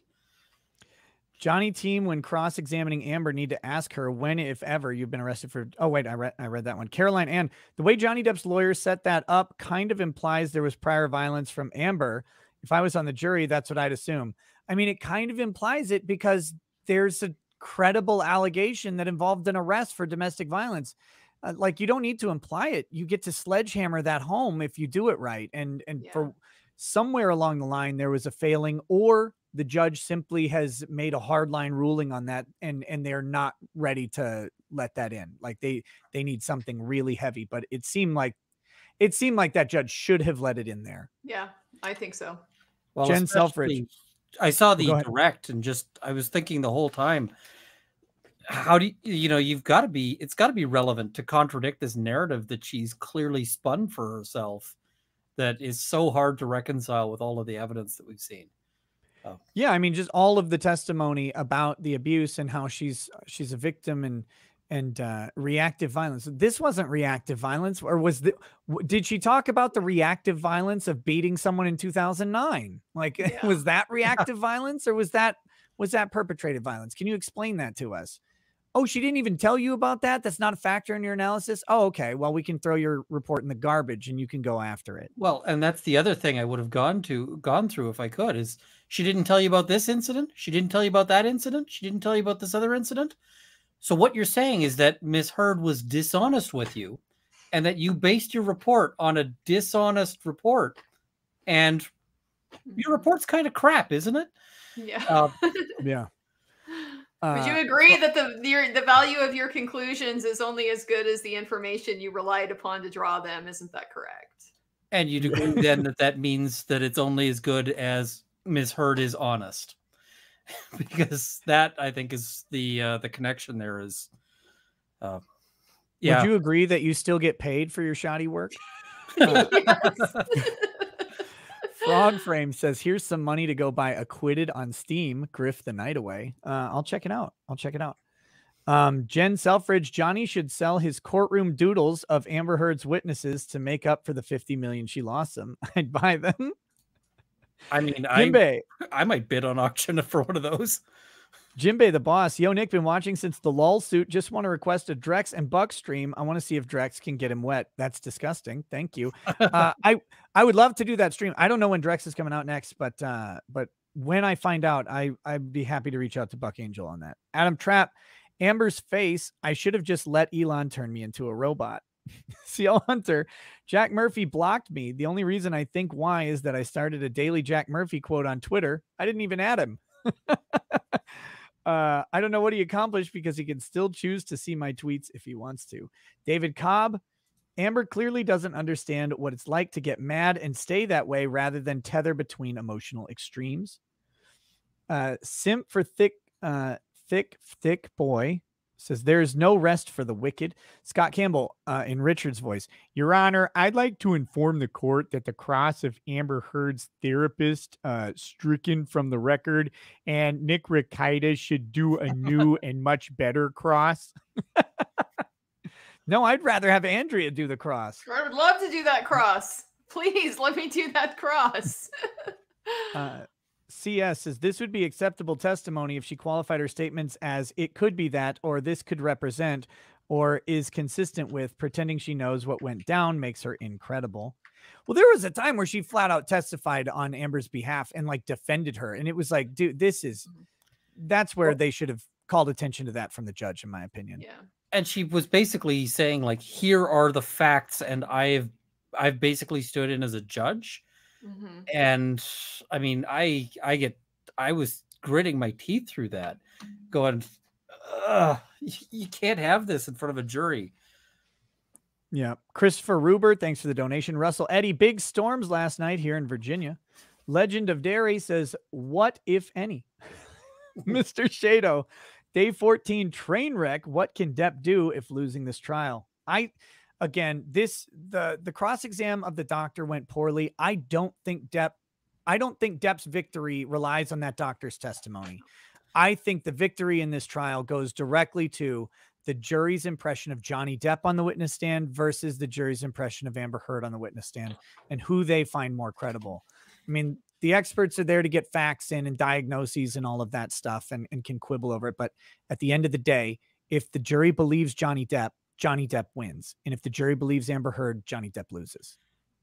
and i think that expert might have been so dislikable because i have friends who are very much uh, they were very much inclined to towards miss heard um, and they were saying that the expert was crap so uh yeah i She came I across just as yeah she, she very incredible. And and Johnny Depp's expert, uh, Dr. Curry, I mean, she did not come across as incredible. In fact, and this is probably smart, addressed many of the negative aspects of Johnny Depp's uh, psyche, so to speak. The this his his activities and behaviors um, were not. There wasn't so much gloss. I felt maybe I'm maybe I'm looking at that rose tinted, but she just came across better to me. Aldrich Xavier, I could really see the bias on this judge not calling bull on this witness acting beyond her scope and using three syllabled words to draw the jury. I mean, but that's the lawyers that got to call that out. Um, Nightmare Zero, get ready for some cat lady squats. She's going to be sore for three days or more, depending on how long Amber is up there. Lol. All Lamau, if the second or third day she has to has to ask the judge to remain seated due to sore. what from all of the standing up from the objections that are coming on cross? Momo, this therapist is full of BS. Who would give their violent abuser a knife? Uh, Light Giver, Dave Chappelle was attacked last night in an event by a leftist. Uh, Uncle Russ, Nick didn't wish him a happy birthday. Hasta la vista, baby. Uh, Amy, when is rebuttal? Uh, at the end of um, Amber Heard's case in chief, if they if they have time a lot uh, allocated for it. Jen Nay, anyone else get the sense that Dr. Karen's demeanor changed a bit today? Maybe since learning of Amber's CDV yesterday, and the public hates her now. I I don't know. I didn't I didn't see. I think the change in demeanor is explained by the change in questioner. Uh, Yeah. Frankly, uh, and also someone noted earlier that uh, she was facing the jury a lot yesterday, and today she was answering the um, lawyer. she was not facing the jury.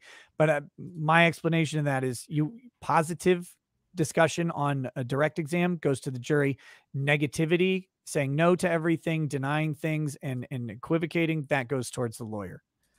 Personally, I think that's just a smart move.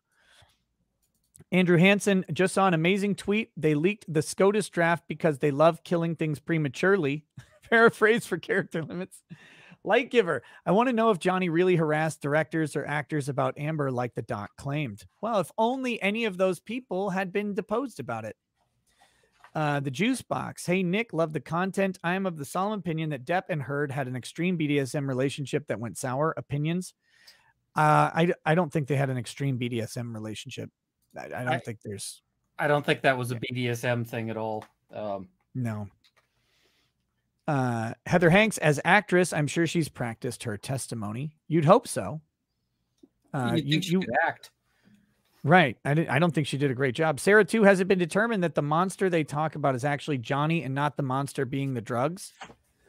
Well, I mean, I think I think Johnny's addiction being the monster is fine.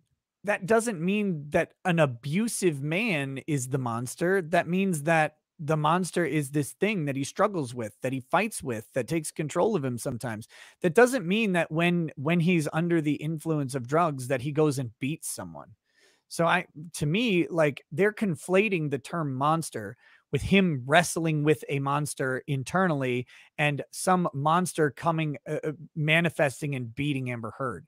So they're they're borrowing the language, and you can't get around it because he used the language. So they're going to take that out of context. In the same way that they keep going back to the point part where it says, "I cut off my left finger to remind myself not to cut off a finger again." When he the, the finger that was cut off was on his right hand, so it wasn't his left finger. But they're like, "See, he admitted to cutting off his finger." It's like that's it's his other hand. Uh, Robert uh, Gorchanas, reach out to Asmongold and see if you can get him on your stream. He's been streaming the case on Twitch all week. Hilarious takes. Tarkina Meyer, this psychologist looks like Anne Meara, Ben Stiller's mom, but with a resting bitch face and not funny. The amazing Jay, one thing I'll say about the expert is that her bias is obvious. She listed the time she's defended male victims, but you'll notice who she listed as the perpetrators. All of them were other men, not women. Incarnation art. What do you think Mommy Muffin's toes are painted? Full color French manicure. Scooter, I hate you guys. Uh, Alan V. Who says that Nick puts a Foley catheter in every AM so that he can stream without pissing for 19 hours in a row? Now, I usually get up and go to the bathroom, and I really need to. Joseph Magnus, can't Johnny Depp's lawyer ask if Amber Heard, if prior to her relationship with Johnny Depp, she's ever been accused of domestic abuse, even though it'll be objected? They got to be real careful. Uh, the judge, if the judge made a strong ruling on the motion in limine, then you cannot, you do not want to bring that up without permission. Um, that can that can really sour a judge on you. Uh, Dave E. Penguins are getting taller. Soon they will be taller than people again. That's true. Um, principal. Wait, no, read that one. Virtual Liz. Do you think Depp's team is waiting to recall Dr. Curry so she can eviscerate Dr. Karen herself? Yeah, I, I think they plan on doing that. They, Well, they, I think they, God knows they need the help. yeah, and and I think I think uh, just the call out of Dr. Curry's work as as being shoddy um, with a bunch of missing stuff on her forms gives ripe ground for assuming Dr. Curry did her work well, gives ripe ground for her to come in and talk about how not unshoddy of a job she did and how shoddy the other lady was saying well you know i actually wrote all the notes down on my inventory i actually took into account things and didn't expect uh, a test that's supposed to be repeatable to rely on someone else's uh, scattered scattered thoughts you know stuff like that um so yeah i i think they probably should be bringing her on rebuttal uh assuming they have time David Hamilton, Les camp counselor, is repulsed by the idea of having her face near a dirty rug. I don't believe it. Hashtag boxer legal mommy killing it. Oh, I hate you.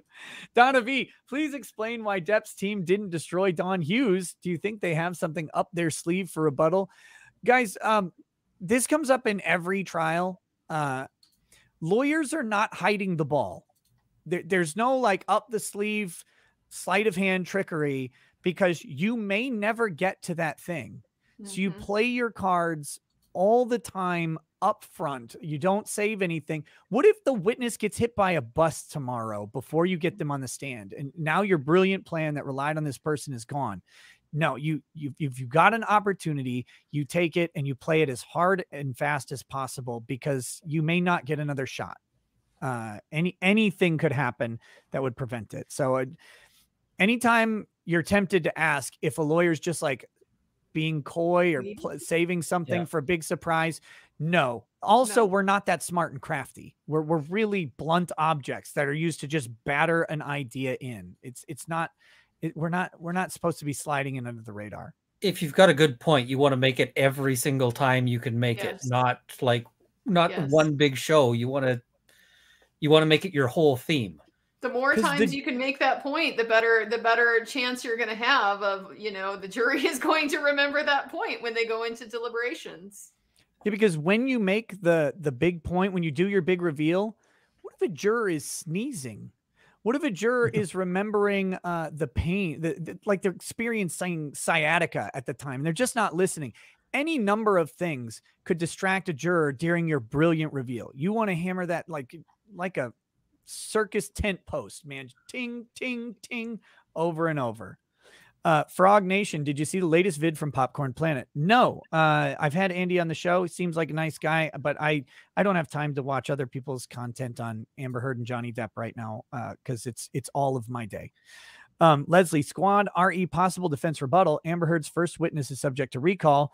Would that mean they have rebuttal or can they recall for something else? Well, she could be subject to recall for being called by Johnny Depp.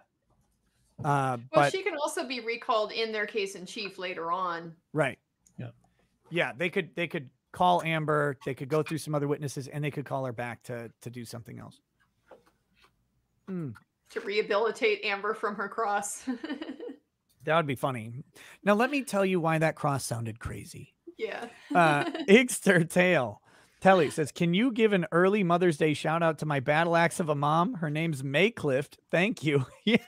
Mayclift, happy early Mother's Day, you old battle axe. Uh, that is when it's said as a term of endearment, is a sign of an iron lady who has been through enough to hold her own in any forum. Cheers to you. Happy Mother's Day. Hmm. Uh, Andrew Wahoo, would you ever do a stream on Title Nine? Uh, sure. Ooh, ooh, I mean, ooh, stories Title i can IX tell a disaster, but well, maybe we should do a stream on Title Nine. You could tell those stories. That'd oh great. man small town lawyer in a college town yeah i can tell you stories about title ix Igor Slagathor. How soon is the court transcript available for public view? Um, also, do they transcribe sidebar as well? Yes, they do transcribe sidebar as well. Will you stream transcript review if available? Usually have to pay for the transcript and they have to prepare it. Uh, I, I don't know how long that preparation takes. Um, that's probably going to vary by courtroom. I, I couldn't tell you. Uh, I don't I don't even know how to if they'll have it available anytime soon during the trial. It might be something they do later. Uh, if people want to buy it, and usually you're buying those transcripts for the purposes of appeal, um, and they cost a, a lot a of money. lot Incredible amount sometimes. Yeah, Yes. thou- thousands of dollars per day. Uh, Yes. sometimes. So, Um, Principal Pondering says, This is the last time I ever send you a super chat. You never read them. You rather read requests to say things in weird voices than answer real questions. Expletive. If I could get a refund, I would. I re- I read every super chat on every show, so I, I don't know what to tell you. Uh, maybe you leave before it gets read. That's possible, but if that I, I don't ask anybody to send me anything. So if you don't want to send one, please don't. Uh, please do not. Winged Paragon. Why does Amber Heard five percent on the poll? Who's fapping wrong? Our Ross. Here's the super chat. Since Principal Pondering is being a whiner, I'll pick up where they are leaving off. okay, thanks. Automata. Couldn't the plaintiff recite the quote from Dr. Hughes and ask her if that comported with the materials that she reviewed without further comment? Uh, yes, they, they could. They could certainly recite any quote that she said and ask her about it. Uh, anything in in the in the thing. Um, and just real quick to that principal pondering person, I, I assume you're not still here, but the chats that come in, if I were to read them as they come in, you wouldn't hear any testimony at all. Uh, you wouldn't hear any questions, any testimony. They come in throughout the entire trial uh, almost constantly, which is wonderful. But um, you you wouldn't be able to understand what's going. It'd just be me reading over someone else talking, and and that busts up the flow so bad. Uh, Automata. Uh, wait, read that one. Jordan Wolf. I've been following you since Rittenhouse and love your live streams. Life is tough right now. Do you have any advice? Yes. When life is tough, do two things. Uh, one, go for easy victories, uh, things that you know that you are good at and bring you some joy, so you can get that uh, get that little bit of I don't know, call it dopamine, call it whatever you want, some encouragement, some positivity. And the other thing is to focus on you because uh, you're the only thing in your life that you can change. So uh, take up a take up a hobby, work out, do something to self actualize and self improve, and um, and then as the storm blows past. Uh, one, you'll you'll have something that's fulfilling that you've been working on, and two, it may help with the storm a little bit in the short term as well. So Great advice, some- Nick. And on that note, I do have to head out. So I do Well, thank you. it. Uh, Always thank have, you for having coming the on. chance to come on your show. So thank you. Uh, It's uh, it's always a pleasure. Thank you very much. Have a good day. All right. Uh, finally, we got rid of the smartest person on the stream. yeah, now Uh, you're, they're stuck with us. Jessica's fluid art. Can you shout me out in Mark Richards? I have an abstract, acrylic, and resin art channel on YouTube and Rumble. Much appreciated appreciated for all you do. Yeah. Um, guys, you should check out Jessica's fluid art. I it kind of sounds like a sex thing, but it's not. It's actually acrylic and resin artwork channel on uh, YouTube, also on Rumble, because supporting alternative tech is kind of important. Um, but but give it a look. Uh, G says make AK finish law school so he can join these. Yeah, Brandon Herrera. That'd be fun. Is he Not in law school? He went to law school. He he stopped going to law school. Ah, okay. Uh, And then he Well, went and made a that's a YouTube channel move. with like two million subscribers. So I think I think he picked correct. yeah, no, I he made the right call. Absolutely. Uh not so crabby. Hey rackets can you give a happy birthday to my big my dad big crab? He's an amazing father and we're both fans of your streams. I put him on your channel about a month ago. Much thanks. Happy birthday to big crab raising a not so crabby son. I'm glad you guys enjoy the streams and i love that i get to be part of uh, a father son well i assume son father son bonding time. And uh, may you guys have many more years of camaraderie and a growing relationship as it goes. Mm. Reginald Banks, regardless of what happens, is Johnny ever going to get back into the movie industry and get back big time acting roles? I'm pessimistic on it, but he has won over public support so far so well that I think it's possible. I do think it's possible. I think uh and and if they can frame this, if they if they can get victory on the idea that this is a false narrative and they can rail against uh the the exploitation of actual victims of domestic violence, I think he's got a shot. And cynically, I suspect it might also depend on how badly uh, the latest Aquaman movie does. Um, and I'm not, you know, telling people what to do, so please don't sue me, Aquaman uh, producers. But uh, I suspect that if Amber Heard becomes a toxic uh, property, that they might be more inclined to to cast uh, Depp again. Well, I, I'd say that you you shouldn't go see you shouldn't not see Aquaman because of Amber Heard, but you should just not see Aquaman because it's Aquaman and the DC movies largely have been absolute trash. So That's no also no fair. no hate on Jason Momoa. I like him. He's fine. Uh, and if you could see Aquaman, or if you could just maybe get the uh, the expurgated version with just Jason Momoa, that'd be fine. The ladies would buy that. That'd make trillions of dollars. Women would buy that all day. Like, oh wait, Jason Momoa is shirtless again, and I don't have to watch anybody else. Oh wow, I'm in heaven. Uh, no, I think I think it's a it's a really tough prospect to come back from being canceled because these uh these movie studios are you know reactive to this Me Too stuff in general. But the big thing for um Johnny Depp, of course, is that look at who's going to testify for him. I mean, he's got like this Richard Marks guy seems to be a hotshot lawyer, like well connected in the industry, has no problem coming in and testifying very favorably for Johnny Depp. His his agent comes in, uh, and I mean these these guys are still there, and these guys are still high up in the industry, going to bat for him. Like that that should tell you something about the the willingness to to do this. I, I think Johnny's probably still got tons of friends in the industry where like hands are tied because the studio can't be associated with this. But if he wins, I think he's got a good shot. Yeah, it, it all I'd love Go to ahead. see him back on back in the saddle because it's tragic. I've seen so many situations of guys um, who've been abused and end up as my clients because they get charged because they're you know they push or something you know or they're it's just a BS allegation and it ruins them. Yeah. Um, but but the heavy the heavy question that we will not be able to answer is what do studio execs think of Johnny Depp in closed doors in private? Uh, that that's what matters. Yeah. If they if they still like him in private, then they'll have the ability to bring him back after things calm down. And are they willing his- to gamble on him? Right. I think it's a safe bet right now, but we haven't finished this trial yet.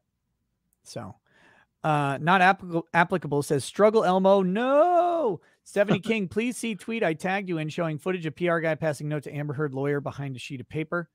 Um, again, unless Amber is directing communications in violation of the court's order not to speak publicly on the trial, I, I don't see the problem with her handing him, with them handing him a note of any kind. Uh, you know th- th- there could be any number of things on the note that would i guess be improper but without without more just communicating with someone in the gallery during the court day a note is a discreet way to do that without disturbing the court so i don't see a problem with it i'm not aware of any orders or laws that would prevent that from being a thing there could be one the judge could have issued an order or there could be a local rule that i'm not familiar with but i, I think people are making a, a bunch out of that um and I, I Mhm. don't see the problem The note could just say you owe me another ten thousand dollars, and that's fine, right? Yeah.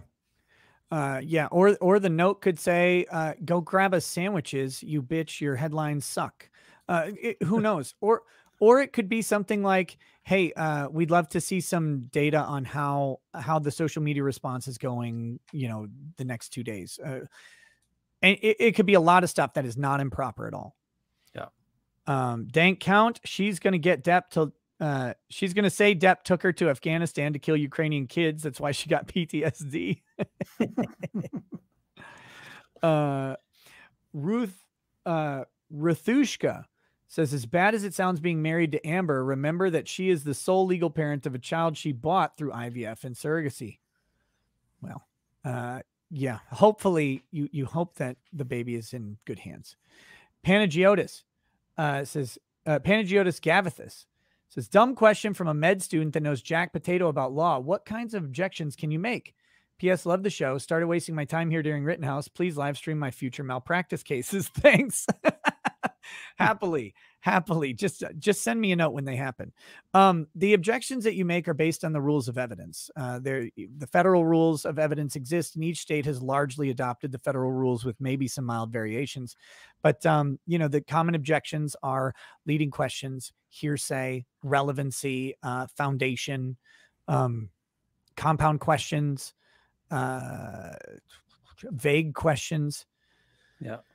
Gosh, there could be that that those are the most common ones. Those are the big ones. There could there could certainly be some other ones, but uh, and then you'll have different shades of each thing that I just mentioned. But th- those are the big ones. But they're all from the rules of evidence. There are specific rules on what evidence is admissible and not, and you object to citing to the rule as to why this is not admissible.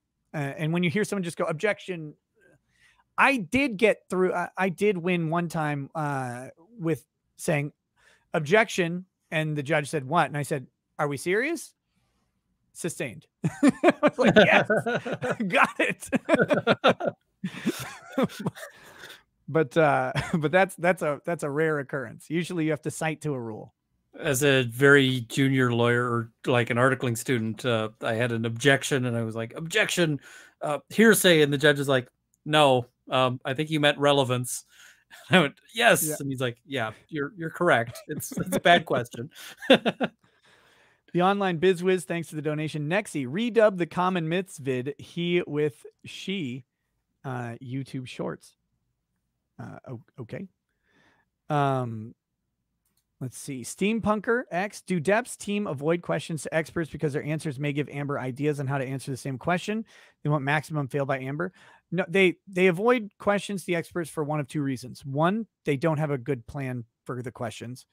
Two, you may want to avoid I, I mentioned this as a dangerous expert witness because she's a professional who's done this hundreds and hundreds of times Yeah. you may want to just avoid letting her get good answers on things um, that she can explain away when you'd rather just leave the implication there uh, so that that it kind of depends question by question online bizwiz why is there no recross in this trial? It frankly like the recross thing in in some of these criminal trials i'm not sure why the hell there was recross at all. Uh i've always just been familiar with direct cross and redirect and like the, this recross thing um has not been present in any courtroom that i've been in but my experience is not expansive so i, I couldn't i couldn't tell you but uh this is just how the judge runs their court and judges do have discretion to allow that stuff I think the the recross and the redirect and the or the re redirect and the re recross nonsense just gets way too burdensome uh, and cumulative.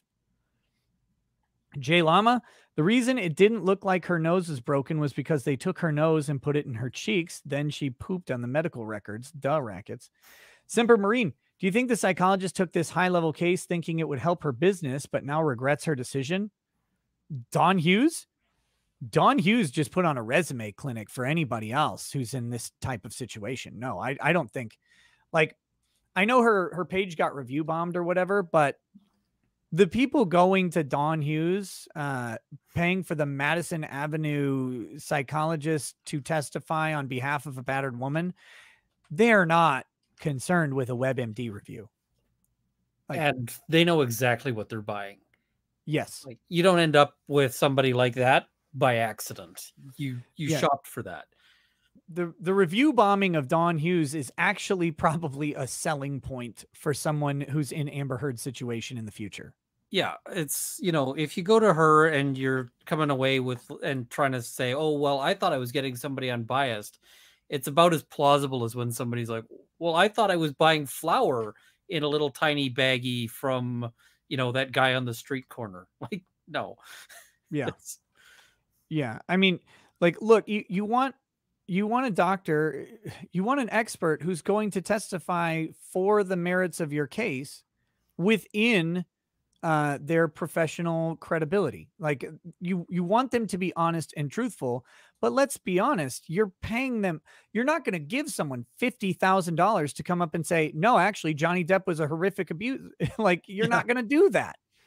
Uh, so uh, you want you want the it's this weird thing with the expert testimony industry. Um, there there is a clear bias. Uh, it's all experts are unbiased, and all experts throughout history have always happened to testify in agreement with the person who hired them. So, um, it's really rare that you find, you know, like if you do people who do personal injury, there's experts who testify for like the plaintiff side and experts who testify for the defense side, and there's not a whole lot of crossover.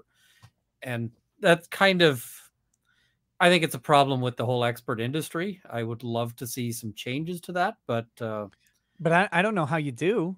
Like I don't know how you get the changes.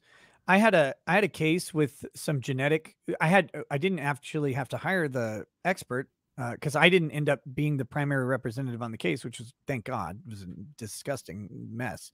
But um, the uh, there was some genetic evidence, and I called an expert uh, to see because it was like, okay, if we're gonna fight fight this, I got to hire a guy.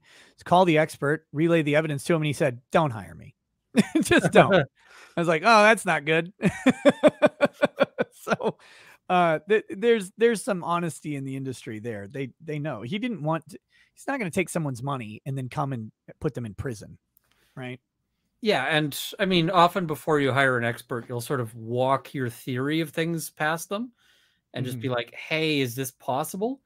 You know, my guy says he wasn't drunk; he was, you know, something else, and the expert might say, "Yeah, that's plausible," or "Nah." And if it's the latter, you're not hiring the guy. Yeah. Uh, simple answer. Uh, Remember, everything's a store. Bit happy. I kind of worry that the jury won't remember most of Johnny's witnesses that would have spoken over three weeks earlier by the time the case is over. Is that a potential issue in the cases as long as this? Sure. Uh, it, it absolutely is. But you also have that rebuttal time to bring them back. Uh, you know, you get, if they have a day or two of rebuttal to do some quick hits on important points, then they'll they'll rectify that. Landlord, her acting is hilariously bad. Brandon McLean, the turd heard around the world. Uh, G says she should have hired B Ivory. Ghost Crusaders, Daddy wasn't there to take me to the fair. The pronado, certainly interesting that she calls him Johnny, but he always called her Miss Heard. Uh, David Tate, Amber's dad painted houses, aka killed people. Damn. Satan the Sir, gaming and something, says struggled to find the words for how painful this is. Probably less painful than being beaten by your wife. Mo thought dad beat her. Smiles when she talks about him. Uh, remember, at the same time, Johnny Depp's mother was horrific to him, and he smiled and had fond feelings towards her up till the day that she died too. Uh, Abuse is complicated. Very, very complicated, especially in parent-child relationships. Yeah. Um, 200 watt studio. My dad had me break down the horses down mentally. Pepperoni, my melons. Shit is about to hit the bed. White Alakazam, right of reply tagged me in a tweet about you sending cheese pizza to Nate. What do I have to do with this? Oh, uh, uh, apparently I sent cheese. Okay, sound sounds good. Whatever. Uh, that uh, right of reply is a mentally handicapped, uh, insane person. I, I don't know what else to say. Um, this is He's a person worth- who he's not worth thinking about, really. He's uh, yeah he he's everywhere he can he's he's uh calling me a pedophile because i call child pornography child pornography because in that's the in legal term generally. Well apparently there's some place in the uk that doesn't use that term so therefore everybody else in the world should not which is i mean i guess I don't know. I I try not to think of that guy, and I'm pretty successful at it. So it's- yeah don't worry so so is everybody else in his life um Yeah, well- Ralkin. Uh, Geth Ralkin says they need to link her breaking horses with Depp being a horse she needed to break. Uh, Venray Lal, understandable. She'd want out of Catholic school ASAP, witches and holy water don't mix well. Svenger McSpazzy, in the worlds of the shield hero, Bish, surname Slut, has entered the trial. YouTube censoring me, so I can't send unless I censor. Darius Harvey, next she'll say she recu- rescued small animals from forest fires. Dude, she kind of did.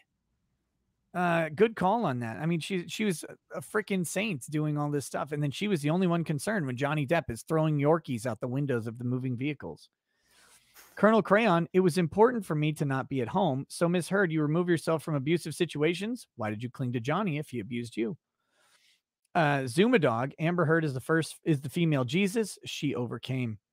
CS, is she really being narcissistic about her humility? Yes. Narcissists cannot turn that off. Um, the Riv, I was auditioning actor in LA and it is not possible to do 10 auditions a day via bus. Total lie. Oh, I didn't even catch that. I, I didn't even hear that line. That's good. Scott Campbell, Scott Campbell in Richard's voice. Miss Heard, did you purposely eat a Costco sized can of corn the day before you decided to drop the Cosby kids off on Johnny's pillow? Damn. I mean, Common it's clear she just drank like bottle after bottle of expensive red wine. Yeah, that's that's the grossest part of that picture is like that looks like red wine congealed into feces. Ugh. Uh, Tomlinson, note the hair towards judge down and obscuring, side towards jury pinned back to show her face. Feels defensive. Conass, long story short, she acted on the casting couch with Weinstein and his ilk. JK Win, you think hot lawyer objecting to throw Amber off and annoy her could be a strategy? Turd's face when they asked about her ex DV was a tell too. Oh, uh, look, Camille annoys Amber Heard by existing, I'm guessing. And yeah, I think I think Camille will be needling her throughout the whole thing. I think that's I think they want to make Amber Heard lose her cool on the stand. Absolutely. It it would be crazy not to try for it. And Yeah. Yeah, I, I agree. Uh, Thuggy TX, the way she describes her work and going into unnecessary detail reminds me of the Monica Rial depositions. Venray Lal, what's a no name was a no name actor? Who is this again? 11 Bravo Crunchy. Nick, how far from Mankato are you? Uh, several hours. I'll be driving through there tomorrow afternoon. I can bring the bottle of whiskey I bought for you. Sorry about the short notice. That's trucking. Yeah, I'm nowhere near Mankato. Three, four hours, something like that, I think. Lone Wolf 36S, sociopath, maybe, maybe it's less, but I, I think it's long. Lone Wolf 36S, sociopaths tend to forget what character they are supposed to be playing, getting lost in the moment. It's why you can't win an argument against them without recording them. CS, why does it sound more like something Johnny would think that a 22 year old would be into old men, obscure blues, and particular looks? Uh, uh, borderline personality disorder. Jay Blizz, thank you. Tor Theo, anyone else think she's moving about too much? She is moving about less than I thought she would. In the other instances I've seen Amber Heard, she is very animated and and jittery. Definitely not from cocaine, I'm sure, but um yeah, so she she does move quite a bit though. Not applicable. Was his tongue forked like yours is? Same species. Jay Blizz, she kept saying Johnny instead of Mr. Depp. It's odd that's that's probably a, a strategy of some sort. Um, remember, she she's not trying to defame Johnny Depp. Is is part of her defense. Uh, she's just telling the truth. She's just telling the truth, and he's a broken person. Uh, Dalton Bebout heard when Johnny called you and informed you that you were the dream and told you you would be in the rum diary. Where, if anywhere, was was the contract in that moment? yeah, there you go. That, that'd be good. Made in Texas, we can all see her trying to paint him as a groomer. John Jackson, I've changed my mind now and believe that Johnny Depp hit her. After 15 minutes of her on the stand, I already want to send this K this K hunt to the moon. Ryoji Mata, can't wait to see her fake tears on cross. See you tonight, Nick. Oh, she didn't have any fake tears today, even though she cried like seven times. Yeah, I Alan- heard she was all waterworks, but not actually paying the water bill. Yeah. Yep. Uh she kept turning on the and it off immediately. Like it's it does not look good to me. Uh Alan V, can you take a diva? You can take a diva out of the trailer park, but not the trailer park out of the diva. Ian Downham, to hear Amber Heard having PTSD makes me cringe. Sink Amber felt like there was electricity in the room. Me dies of cringe. not applicable. Don't date a horse owning a lesbian. Cautionary tale. David Stowe, Heard's new PR team is hard at work. Story just broke that she paid the 7 million in donations yesterday. Multiple news outlets are confirming. Where'd she get it? Where'd she get 7 million dollars? That that's amazing. Uh let's see. Um Alexander Nelkin, he feel he made me feel rich, then I got rich and didn't need him anymore. It's a show. I bet they got get back together. Orange Red. In other words, Johnny let her into his world. Uh clone Clone of Steve Dream Killer. Do you think Heard will cop to the turd on direct? Uh, get out in front of it, so to speak. Maybe. Goodness gracious. Uh, Dr. T- uh, Tetanus, first question on cross. Hey, let me ask you this. You ever toss a prostitute off a bridge? Okay. I don't know if there's a story around that one or if it's just Yeah, I, I have no idea. Snuggy. Amber Heard's testimony sounds like a 14 year old's first fan fiction. Over descriptive, too fantastical, and way too scripted. Big E, chat. Try repeating Amber's testimony out loud with the same tone, expressions, and inflection. Feels completely unnatural, doesn't it? Subpar acting. Uh, Nicholas Cruiser. I think I actually saw sand pouring from her tear ducts. I definitely saw spider webs. Uh, entropy denied. Every account of dating him is about what he bought her. She said next to nothing about him as a person, just interesting to note. Uh, Cindy Lou Hoot, she is trying to paint Johnny as a narcissist. Narcissists throw love bombs, then leave. The Uber geek, her testimony makes her life before and at the beginning with Johnny seem like she was living the sound of music. Ryuzan, if she was actually cooking, they would still be married. no fear 64 hunter thompson would have hated her too bad for johnny depp that a movie that was supposed to honor his late friend has such a negative connotation for him. Uh clone of steve dream killer cooks and cleans for him. She's a regular june cleavage. A funny creature a fuzzy creature says she resembles hope solo in that she's probably a lunatic kind of way. Cindy lou hoot she's trying to paint johnny as a narcissist. Poopy poopy hello your honor. What if anything dismiss the case? What if anything with prejudice uh, lagging she tells a story that she clearly remembers fondly remembers that he's supposed to be evil and drops in a it was intimidating though Ali Richardson really mem- memorized her notes from Johnny's testimony. The shallow words, colorful and magical, used already. Paging Dr. Curry. Uh, Joseph Magnus. Amber says Johnny made her feel like a million bucks. That's not much considering that's her yearly wine budget. Mary, Wa- Mary I, expressionless for three weeks, 30 minutes into testifying, a detailed storyteller who enjoys helping hearing impaired children emerges. I'm alarmed. Virtual Liz, strategic makeup, bold liner lashes for big doe eyes until now, where she has little eye makeup so she can cry without looking ugly, less contour blush so her face looks rounder, younger, innocent. Yeah. I was thinking her face looked fat today.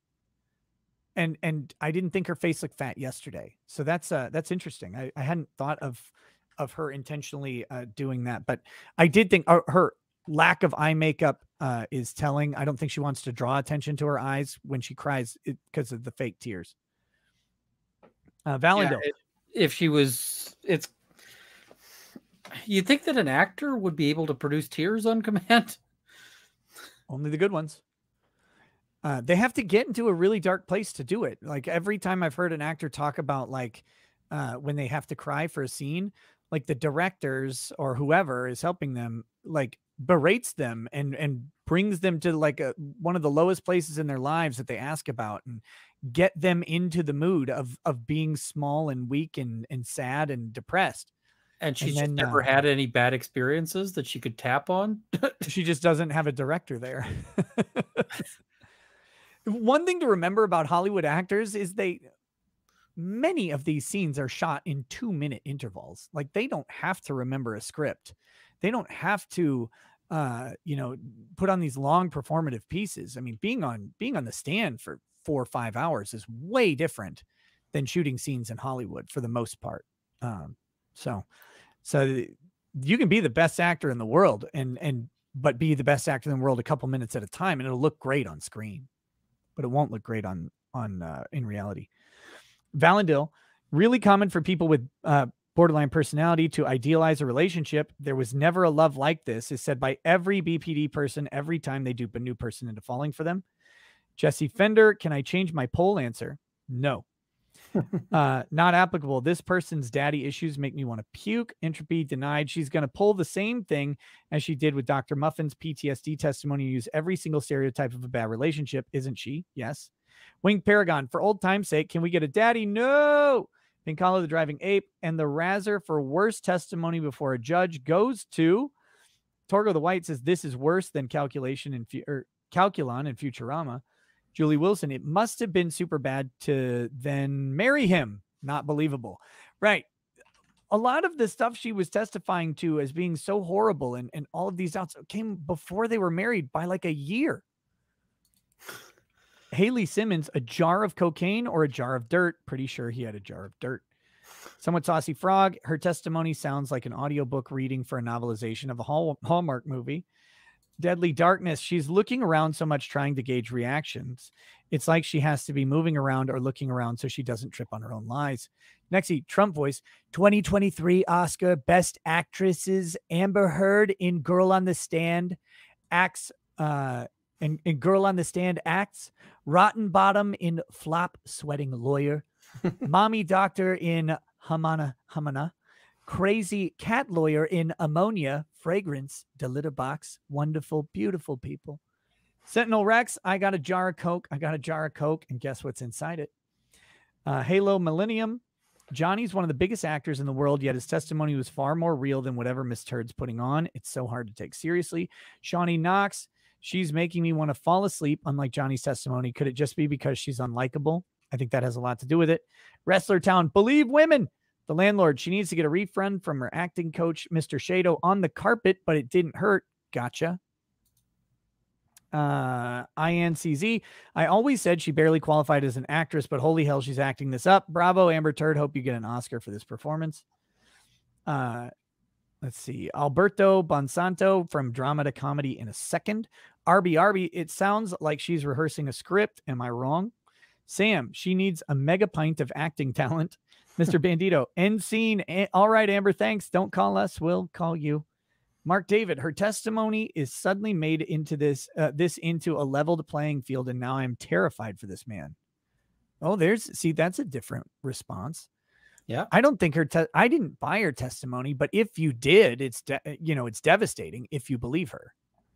So And I'm gonna have to catch up on it because I was on a plane, but uh, I'm looking forward to seeing the cross. So I'm gonna have to watch the uh, the testimony later and just make sure. But uh, you're gonna have a, a, a decent amount of time because to, I don't think they're gonna get to cross tomorrow, and then she's got there's a 10 day break. Um, court resumes on Monday the 16th. oh, After and tomorrow. I'm gonna be off shooting uh, shooting a competition then. So wonderful. Well, there you go. You what you do is you no, never mind. I won't say that. Cyrenia Sakari, her cheeks are sweating, not tears. Uh, Joshua Cornelius, she's auditioning to bring soap operas back. Todd Donson, no one talks like this outside of the movies. This is one hell of a monologue. Sergeant Orc, Dark Angels are morally superior to Custodes. You shut your whore mouth. The third way, anyone notice her attorney is allowing her to testify in the narrative? We know what that means. They aren't going to help her perjury. Uh, there's there's not going to be any perjury. They they might impeach, but uh, Diana B, look how fast she stopped crying. Yatin Argawal, I think Johnny just lost. Jerry loves a crybaby. I'm I'm not I'm not all in on that, but Ali Lenoir says, "Lol, oh boy, I would slap her right now too." Bubba Jones, Amber's last acting job. Zernax, Amber Turd Smollett, S- Sam. This is a better script than the Rum Diaries. Ger- Gerard Garvin, Nick legit gives the best toast. Thank you, Walt Doney. Uh, thank you for the donation, Ryan. All this just sounds like bad Wattpad story. Stronger than Stone. Am I biased or did I not see any tears from Amber? I didn't see any.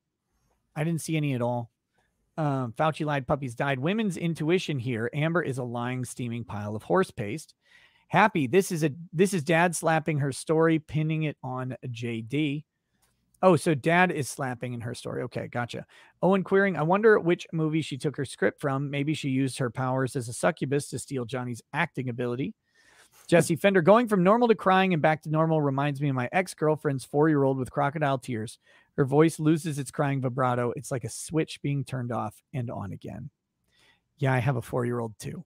that is exactly it. You see it with uh, like the narcissists and so forth where they're trying to put things on but they forget that they don't really know how to do emotion right and so they uh, they switch it on and off really fast sometimes because they're trying to portray what they think people want to see and sometimes on cross if they're if they're not sort of paying attention you can do things like throw them a facial expression that is off for their reaction and sometimes they'll turn on a dime just to react to your facial response.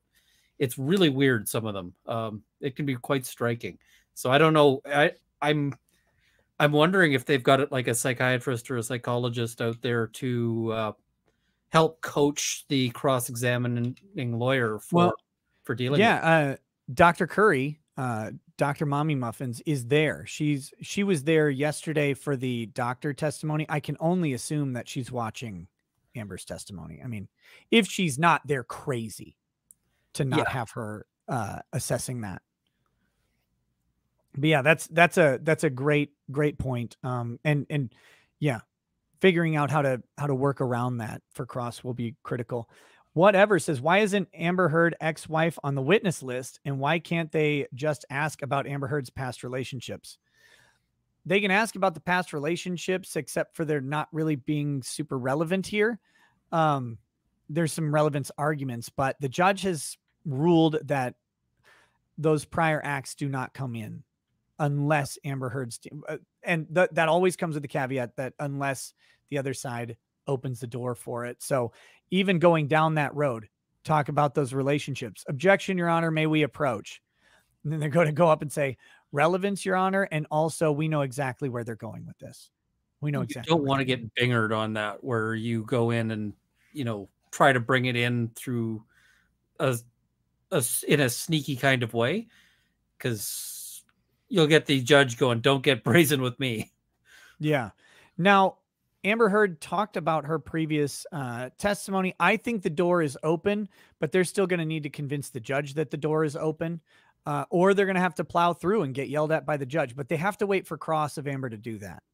I think her saying, "I know you never, it's never okay to hit a woman or, and hit a man." I think I think those lines from her talking about abuse specifically and knowing that it's not okay. I think that put any final final vestiges of of the door being closed to rest. But they'll have to wait till it's Amber's turn, uh, till Amber's on cross. i'd certainly swing for it and i'm waiting if she's going to say something along the lines of uh, you know uh, i've never done anything like this or you know something like that or i've never been violent because if she makes that kind of statement then that may open the door too Allison S says, as a juror, if you roll your eyes or react emotionally at Amber Heard's bad acting, do you get dismissed as a juror? Um, no. I mean, it, I guess if it's excessive and uh, distracting and is like intended to maybe convince other jurors of something, but I mean, if you're just sitting there and you go to a witness, th- they're not going to dismiss you for that. I mean, you're you're allowed to interpret the testimony and give it credibility, but you should not be overly emotive in court, right? Yeah. Like, don't make a scene of it. unless it seems like you're contaminating the pool somehow like the the jurors or um outright biased i mean if you were scoffing openly or if you're interrupting things i guess would be the other are the Yeah. circumstances i could see it No guard says, can Dr. Mommy testify about her analysis of Heard's testimony? Maybe. Uh, I mean, maybe she is an expert and she can take those things. They can ask her if she's formed another expert opinion. Um, I don't know if that would be the best strategy or not, but uh, sure. Uh, again, I I think there are other uses for her than that because I think that that's going to look towards bias and stuff that that they may not want to get into. But um, Dr. Mommy in general coming back and rehabilitating uh, the criticisms of her and and also you know reinforcing her use of of tests and administering them properly that's going to be that's going to be big stuff. Catherine rux hollywood almost happened in jacksonville florida. The warm climate striking natural surroundings diversity of architecture inexpensive labor and easy rail access attracted more than 30 movie studios. There you go.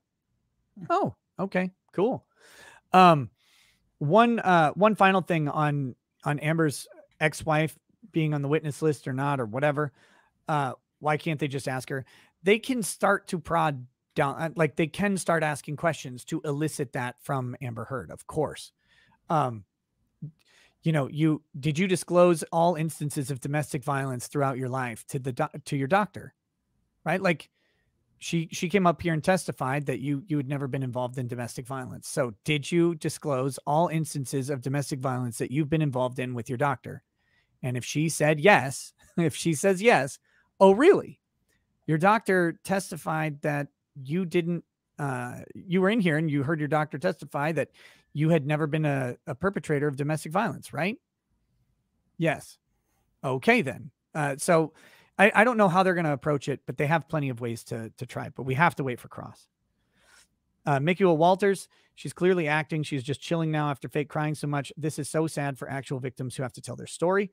Dan Raver, the inflection in her voice seems very disingenuous. I wonder if the jury will buy this uh, or be in favor of Johnny Depp's realistic testimony. Only time will tell. Musean 87, I've got kids. I can spot crocodile tears a mile away. It's scary how fast she turns it on and off and on, but obvious. So redness or no redness or flushed cheeks, no red eyes. Haven't spotted a single tear.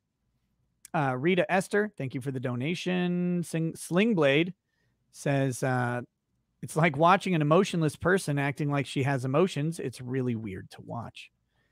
Sonia Fowler, damn, it's going to suck to wait a week or more for Cross. I agree. Fauci lied, puppies died.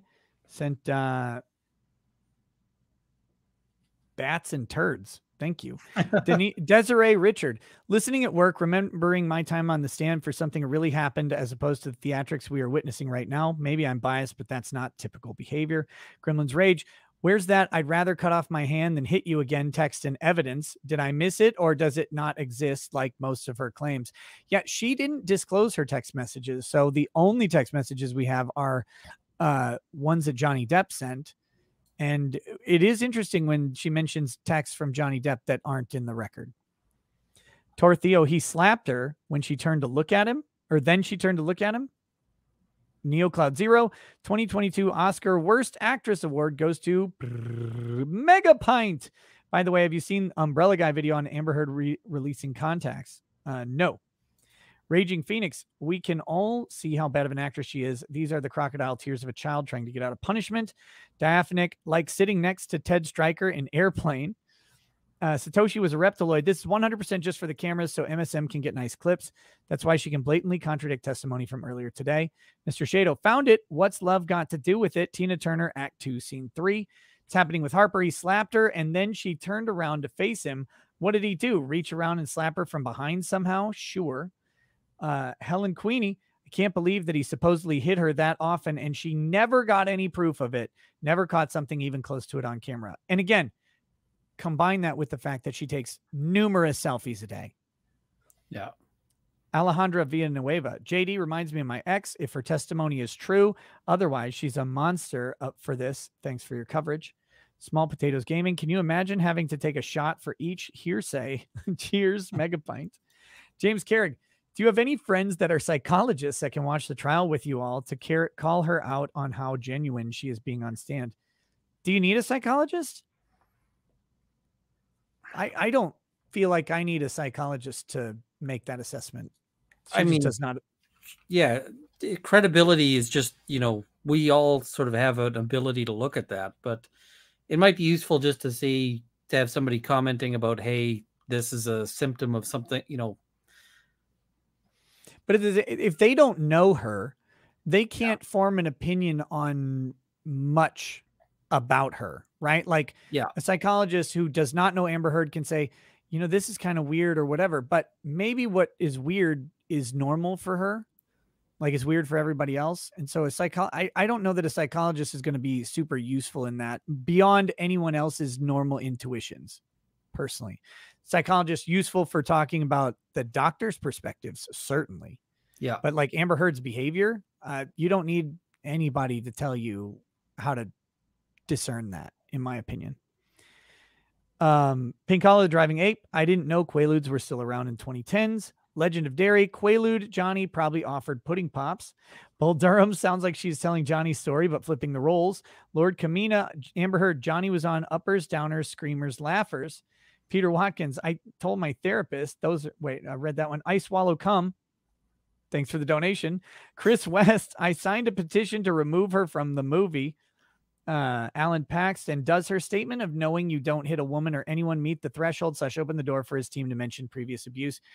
I think combined with everything else, it does. I- I- It has to. Like at, at this point, I don't know how else the door is would be opened. Yeah, without other than her saying, "I have never hit somebody ever in my life." and specifically not on this date at this time. Yeah, like that's about as more specific as you can get. Mesmerizer says muffins for Camille. Uh, Boomer, wow, excellent point from Total Babe Andrea. White Guy McGee, she talked about her telling her mom about how horrible Johnny Depp is, but doesn't Amber's mom like Johnny Depp? Well, she's dead. Uh, hashtag me poo, she a girl dog. Uh, Clonesville, clone, remember, she's she's got these great stories of what she told people who can never testify to what she told them. Her mom, uh, the the guy, the the bodyguard who's dead. Um, yeah. Clone of Steve, Dream Killer. She's telling the same story, but she is switching herself for Johnny. Fascinating. SM, dirty carpet comment is playback to the housekeeper who ratted her out about the poo. Hilda, maybe. KW, I'm trying to hear her out. Amber is shrug, uh, shrugging at pain words, head shaking when recounting thoughts, and nodding affirmatively at objections. I cannot wait to see body language panel pick this apart. An earache. Johnny got the jar of cocaine from the set of Blow. It wasn't real. Wrestler Town. Amber was born to act in movies, specifically made to be shown on airplanes. BS. Has anybody seen my vintage jar of cocaine? I love that. She's like, well, I didn't know he was doing cocaine. He had a jar of cocaine out. Yeah, what else do you do with a jar of cocaine? Well, I mean, I am put seeing- googly eyes on my jar of cocaine. It just sits there and hangs out with me. I'm um, seeing people saying it was a prop from a movie and wasn't real cocaine, and that seems plausible because having a jar of cocaine is a little much. But A jar is weird. I I haven't seen Blow in probably 20 years. I don't remember if there's a jar of cocaine or maybe it was 15. I don't know. Since it came out, basically. Yeah. Uh Termination. Amber said Johnny cried. Was he watching Gundam? Yes. Black Tiger 001 feels so much sympathy for Heard's former assistant. Made in Texas. Tragslow looking like Brandon Herrera's little uh, Trags Tragos Law looking like Brandon Herrera's little brother. Snow plays as someone who experienced abuse suddenly from a parent. First time I was suddenly slapped, I did not notice the floor. I remember just the blank shock. There's no movie moment. Merrick uh, Kolajizek. I read that one. Kimberly Ashcraft. My ex fiance was abusive. I left him at the altar. He was nowhere near the level of abuse Miss Turd accuses Johnny of being in 2012, yet she still married him. She's a terrible actor. Makes me nauseous. Groove Vandal, RE this morning's cross was the intent to get through quickly so Amber Heard could be done before week break. One week to plan a cross could be more damaging. Uh, I don't think so, personally. Uh, I, I, but maybe, maybe they are being conscious of the timetable with her. Mad Artist number. Thank you for the donations. DE Poland, as a union advocate that represents an arbitration, I would have objected to hearsay all over the place. The fantastical, bloviating jury won't believe Jessica Rabbit. It is so damned obvious. Red Lily Art, as a woman who suffered from abuse from her husband, she is describing a lot of what I experienced, but she is saying it in such an obviously prepared, flowery manner. It makes me sick. CE, thank you for the donation. Bo Stoker, I'm behind Yucca Valley, where I was born, has been infested by transplants from coastal cities. Locals hate them. I'm an architect. Uh, through regulation, they have destroyed construction. Google user uh, says on cross, can they ask whether James Franco or Elon performed cavity searches and if that triggered her PTSD or gave her the warm glow? Oh, Tarkina. Wait, Anthony Wilson. Walking on Eggshells is a book about BPD. If Johnny's team can't get the door open, can they pose the question? Just leave it objected to. Yes. Yeah. I mean, you can risk getting yelled at. Certainly. Weren't you arrested in 2009 for domestic abuse? And here, object, object, object, object, object, object. Yeah. Like, I mean, that's one of those questions that they'll be waiting for and just they'll leap on that. You'll get about halfway through arrested before it's like gone, you know, shouting over. Yeah. I mean, remember the objection came at tell me about uh, your marriage in 2009. Objection. like that's that's how quick that went. Or not tell me. Uh it was it was something about did Amber tell you about her marriage in 2009? Was the was the question of the doctor. Is is immediate sidebar. Tasha Sharps, I seriously cannot get over how terrible Amber's acting is, how she comes across as entirely disingenuous. It's obvious she didn't get roles due to talent. Bo Stoker, this broad needs to go. Already found her address, contemplating posting it to our locals page. Architect, looking up property info is second nature. Moral advice, put her on blast locally. Who? Don't do it. What? I, I don't know what person you're talking about, but no, don't do it. Yeah, you don't want to do anything about a witness in a trial. That is a great way to end up uh, getting free accommodation in a very small room. Yeah. I, I, you might be talking about um Amber Heard or something. Same same thing. Don't, don't you don't need to post any any addresses like that. That's not uh not acceptable. Stace on the case. Nick, look at side by side of Amber and Whitney and tell me that's not her sister's long face in the bruise pics. Guyver Mecton, Amber apparently has trouble blinking her tears into existence. Greg S, does she have a brand deal with Beck's? Yeah, she kept mentioning Beck's. Uh, non alcoholic beer, I think was the point there for Johnny Depp. Not applicable. Sickest part, she's describing her own bad behavior. Uh, Bartimas Carbolo, uh, Bo Stoker, please don't. Doxing her in the middle of trial would bring sympathy to her case, and the media would have a field day with violent and misogynist Depp fans. In exile, she doesn't name names to avoid impeachment. Yeah, of course. Danny B. Andrea, who'd win a fight between you and Amber Heard. Uh, I think that's obvious. Uh, I know yeah, where I my would- money is. uh, Foley, Amber Heard says she leaves fights. Johnny Depp left fights, not her. Adopted dog. If direct was this bad, Cross will be so much worse. Lady Butters, Amber Heard is proving Dr. Muffin's analysis to be even more accurate, in my opinion. That type of pain numbs you. You get straight to the point while discussing it. Scarfy the Strange. Someone needs to sing "Give me the old dazzle, ra- give me the old razzle dazzle" during her testimony. Danny, hey Nick, have you seen how she pauses and tries to mimic the way Johnny Depp talked during this hearing? Not all the time, but when she is trying to sound sentimental. Uh, a little bit. Uh, I, I don't know if I agree fully with that, but I can see it for sure. Zombie Spike Lee, what is the benefit of having your witness ramble on about memories as opposed to asking direct pointed questions? Build the narrative, make her personable. She has to be liked.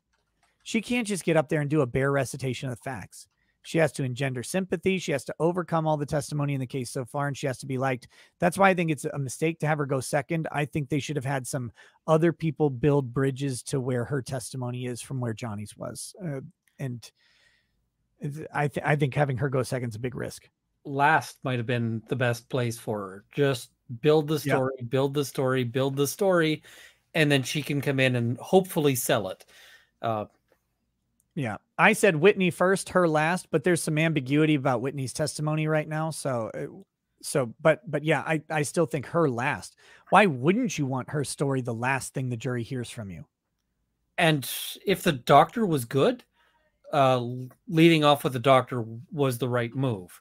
Um, I think that this doctor was too biased to really sell it to the average juror. I think the average person's going to be looking at that going, and I didn't see the cross. I and normally cross is where you make headway on that, but just on direct, she was so so biased, so obviously biased, and that's kind of why you know as much as I didn't see the cross, I'm sad to hear that they didn't bring the cross home, but I don't know that they needed to. Yeah. It's you know, it Well, might and be that- those- yeah. yeah that that's that's what i've said i mean we can be critical of the cross exam and and all of the and any mistakes or shortcomings that they had but at the end of the day to me this is still johnny depp versus amber heard and that's what the jury's paying attention to. And and that's i i do think it's a mistake to have her on so early but i think the only thing i can think of is that they're worried that she will be unlikable and they need to actually let her be rehabbed by other witnesses. Yeah, it's it's a bad look because the, I think you're right there that they're trying to bury your reaction and say, well, sure she's going to be stink, but look, these other people are going to back her up. But really, if you've got a good witness, you want to go the other way, and Right. you know have the other witnesses build the story that she then puts emotion to and makes real. Uh, Yeah, exactly. Uh, Ashchan, like Curry said, exaggeration and dramatization. 007 Angelo, Elaine, Judge, can I show Amber this onion to refresh her memory? that would have been good. Wolfies, you know you were rich when you name your houses cool names like that. Yeah, that's true. That's true. Having a named house is awesome. Uh, B. Barber, bruises are very deceiving. I worked with a girl who had an iron deficiency and she would barely bump her arm and it would bruise really bad. Gethralkin, show bruise on arm to mom. Why not show bruises on face to mom? No Arnica cream on arm. Can't justify saying I had Arnica cream on face if she was trying to show bruises to mom. Uh, some sort of Russian runes.np4. Sorry, can you repeat for the jury one more time that he was smoking? Gee, her dad went to jail for a dog fighting ring. Just saying. Sam, how many cocaines did the Yorkie do exactly? Uh, Smigdamp, why both uh, Turber and the Karen witnesses uh, looking at the jury when they talk? Haven't really seen anyone else do that as much. Lawyers' instructions. Yeah, I mean, you want to you want your witnesses to connect with the jury when they can. So if they can make eye contact and speak nicely to them, Amber Heard seems like someone who is. Uh, I mean, I don't. Again, I don't think her testimony is effective right now, but in general, I think she's a nice social chameleon. She's got uh, she's schmoozes with people all the time. She has friends that she hangs around with. She doesn't seem to be an introvert. She's probably okay at connecting with people. Um, that that just you know, but if she's lying, that's still going to come through. Uh, Georgia at the lake. All dogs enjoy riding in cars with their heads out the window. Little dogs can't reach the window by themselves. Johnny felt sorry for them, gave them thrill, and held on to them. Dog people know this. Not so pro kitty. She called them tabs of Berocca. Who says that? Drug user confirmed. Erica Picard, do you think the defense plans to leave Amber Heard's testimony hanging over the week long break so that it's fresh on the jury's mind? Is that a good plan? Yes. Yes, and yes. I think they do. Uh, make them come back to cross exam. Um, uh, more Russian runes plus uh, .mp4. This is a scene in a movie, FFS. Jacob, doesn't this story contradict their own team's expert that abuse happens behind closed doors and not in front of people? Yes. Uh, but again, she's in making shit up mode. Nathan Klein, I just like the way it smells. Ark uh, Scottadin says, I've my volume turned off. Can tell she's lying. Jacob Lafoon, the only time she sounds authentic is when angry. Mulan Bain, she can't act for shit. Zero Max, Your Honor, objection, projection. Big E is crying Amber's vo- in crying Amber's voice. Johnny's idol was Jeffrey Dahmer. One morning I woke up to him gnawing on my elbow like a chicken wing. There were five witnesses, but no, you can't. You can't talk to them. Uh, gold coin. She hasn't even reached for a tissue. Baby said, Nick and Andrea, how do you think the jury is taking this? Do you think they're seeing what the public is that her stories are BS? Well, I mean, they are seeing what the public is. The question is, are they interpreting it the same way? I have no idea. Uh, Finn Frog Amber using Calvin Ball style of testimony. Kyle, if she were a good actress, she'd be able to produce tears. Nasty Canada. I wonder if she was moist or dripping wet. Oh my God. No. Some more runes. This will go down as her final acting performance. Lamau, Kate of smiles, no tears, instant recovery, no trembling lip. I'm a crier. I know what it looks like. This ain't it. TBT. She's going to cry in the car, y'all. David A. Hamilton, this random woman who had this dramatic experience with Amber Heard and Johnny Depp can't be found. Yeah. Oh, so you, you missed this story, I think. Uh, Amber testified they were on a plane to Russia and the flight attendant came back and Johnny Depp gave the flight attendant uh, MDMA. And then the flight attendant was getting flirty with Amber Heard. So Johnny Depp grabbed her by the wrist, pinned her in place, and said, Do you know how much pressure it takes to break a human wrist? And this, None of this that is plausible. exactly. This flight attendant didn't sue or anything. Everything's fine after that, apparently. I mean, if you're a random flight attendant and somebody goes, "Hey, um, would you like some drugs on this flight?"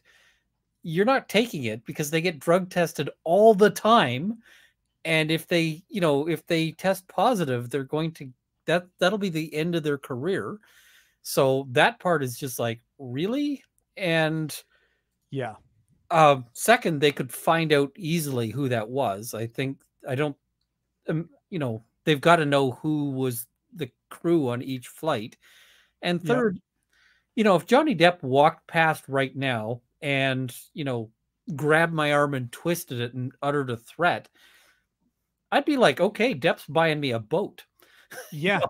I mean, it's it's hundreds of thousands of dollars uh in in, in damages.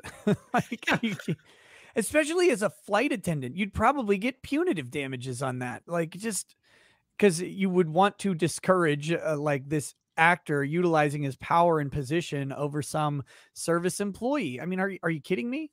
Yeah. Stuck on a plane with them that can't even get away? I mean, the only way that doesn't turn into a court case is you get your lawyer to talk to their lawyer, and you're like, so you're going to be writing a check with a whole lot of zeros in exchange for this NDA we're drafting up. Exactly. Uh, Dank Count Rittenhouse cried more than her. Roderick embarks, or Roderick embarks, uh, cartoon of Depp in a TSA outfit snapping his glove. Google user, he had me at cavity search. Black Tiger 001. I think I read this novel. It was a cheap book. Hyper uh, Tyranitar says Dr. Heard waving her multiverse, weaving her multiverse together. Uh, Cavaliers, I've seen high end schooler, I've seen high schoolers act better than this. Magician Sapphire, Amber looks like she's straining to take a dump. Uh, C14 dog, she deserves a Razzie Award. Distro 32, Amber is trying to tug on my heartstrings. Unfortunately for her, I had those removed. DCV Titan, of course, she can't squeeze one out. It's not a bed. Melissa Hammaker, this is a slap in the face of all domestic violence survivors. So angering. Alex A. She can't squeeze one out on the stand, but she sure squeezed one out onto Johnny's bed. Hatchet. Amber sounds like she wrote this as her version of Fifty Shades of Grey. This just reeks of smutty book. Uh, 11 Bravo Crunchy. Nick, check Twitter DM. Aussie Man Short. Uh, well, later. I'll check it. I'm not checking it now. Zerax or Zeranx. Zernax? Zeranx. What's the runner up to a Razzie? Amber deserves its second cousin three times removed for this performance. Jackie Collier. She just spews trite dialogue from a middle school short film. Logic here. Surely no one believes her story, especially with the exaggeration and attitude. Any human with common sense can smell that this is an act. I know I'm biased, but I can't see this either way. Cool man. Amber accusing someone else of having uncontrolled bowels is rich. Devin Adair, real monsters can't cry. Ta- Brian Miller. And the Oscar for the greatest actress on the stand goes to Amber Turd. David Tate. Seriously hoping Amber Heard gets another role after pulling this. Never gets another role. Oh, uh, 200 watt studio. Easy to cry. Just don't blink until your eyes water. Chango 721. Tugg Speedman cries better than Amber Turd. Stephen Barone. What's the over under for how long they keep her up there on the stand? Uh, I think three days. Three days. Yeah, I think she'll be at it for a while. Uh, Yeah, I think three days is the over under mark. I, I'm going with the over though. I think I think it'll be four to five.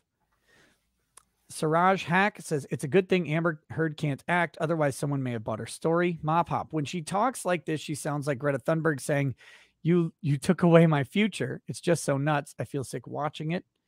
Mysticism. I prefer her personable early in the testimony, but the bull has since gotten thigh deep. Kyle, as the Donald, I loved him so much. Nobody ever loves someone else so much ever. I don't think anybody's ever felt this kind of love. I loved him so, so much. I loved him bigly. Wonderful person. A, a tremendous man. My Johnny. Loved him. Sarah, closing argument. Not a single tear was shed. End of argument, period. SM, can they check for earpiece behind her hair? Uh, you better be real damn sure if you make an accusation like that. Yeah, that's you better not miss if you're doing that. Piddly doops. This is why her big movie is underwater. You don't need to be able to show tears when nobody can see them anyway. Not that she knows how to make them. Caitlin McConnell. I can see what Dr. Curry was talking about, what you said. Amber speaks in a flowery yet shallow way. Wow.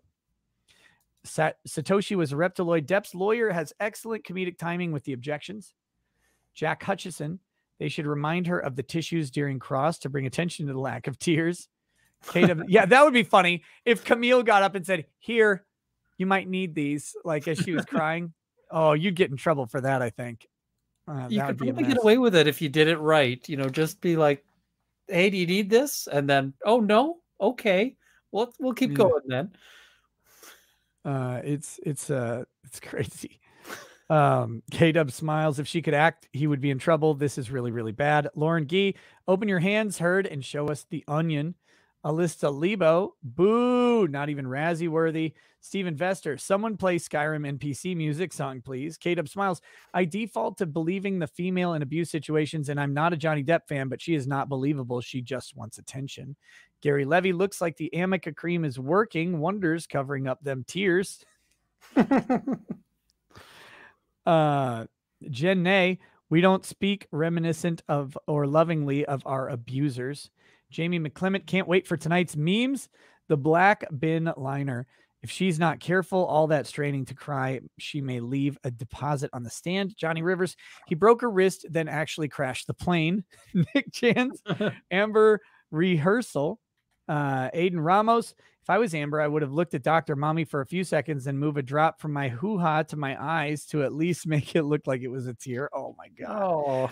Stephen Barone, they're going to pull Prince Andrew. The new PR firm is writing it up as we speak. She is unable to sweat or produce tears. Johnny Rivers, the flight attendant, Albert Einstein. Russia.mp4, chain smoker, wrist breaker, trip killer, a memoir of Johnny Depp. Richard Thibault, uh, she is so scared she leaves and Depp gets mad, but she is on tape pissed because he leaves. She did not sound scared of him on the recording. I'm confused. Yeah, well, that was her being strong. Uh, Yumimaru, Amber Heard testimony sounds more like a badly written, smutty fanfic than experienced, forced dialogue and erotic details inserted all over the place and feels awkward. Oh my goodness. Um, man, I'm Apparently it was I'm actually good. I'm running out of time. Uh, I, I'm gonna have to go pick up my kids. Google user: How many people will Amber resurrect from the dead during her testimony? Mulan Bain, Heard's atrocious acting performance is going to cost her entire net worth. Lol, hysterically comical. Josh Marohi, his hair whack, his gear whack, his jewelry whack, my head whack. Amber Heard probably. Uh, Jen Caria, I had a super chat speaking to Amber Heard's lies, but it seems YouTube supports lies and the suppression of free speech. Uh, Ruznikar says when all those witnesses, when all those witnesses will be coming after 16. Yeah, they're not. None of them. None of them are coming.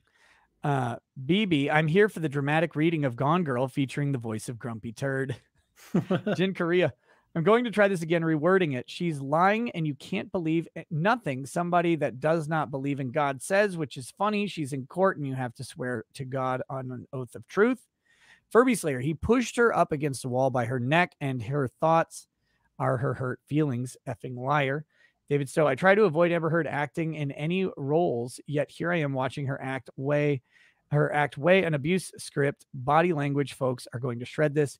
Michael Milano, is it possible to have a defamation lawsuit born out of a defamation trial? No. You have litigation privilege.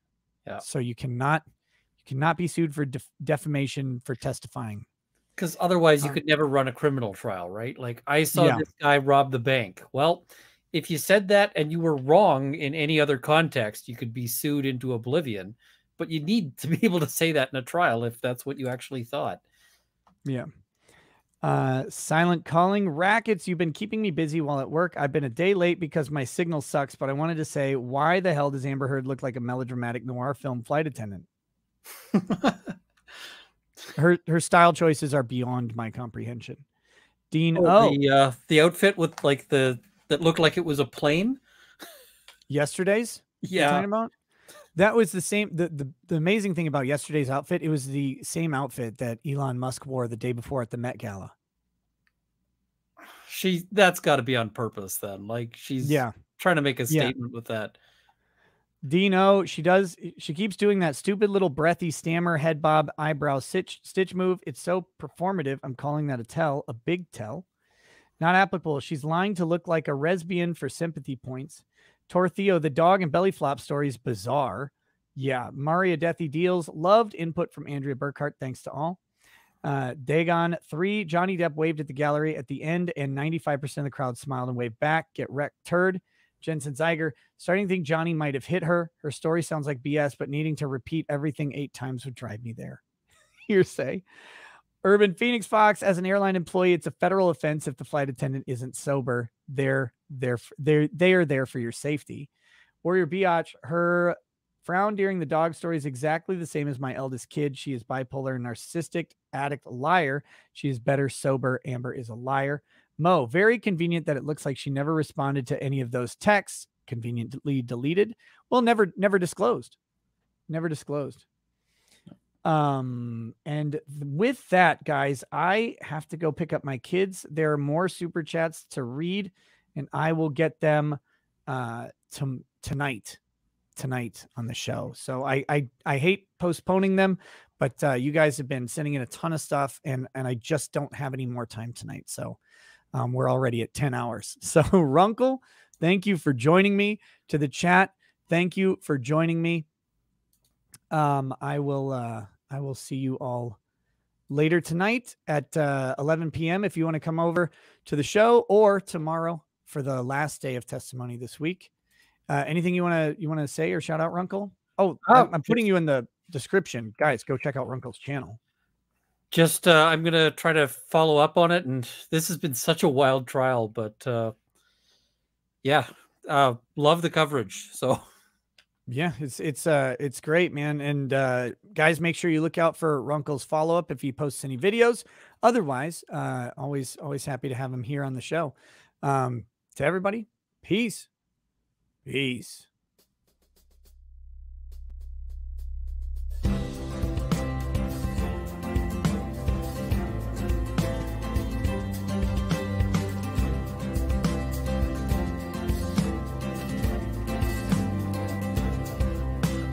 Drinks a fair bit, but you realize that it just helps get his noggin jogging along with his glass by his side and his kids asleep tight. We'll hear some lost planning tonight. With his microphone muted, we'll laugh at this boomer until he explains it's all part of the plan. Watch his face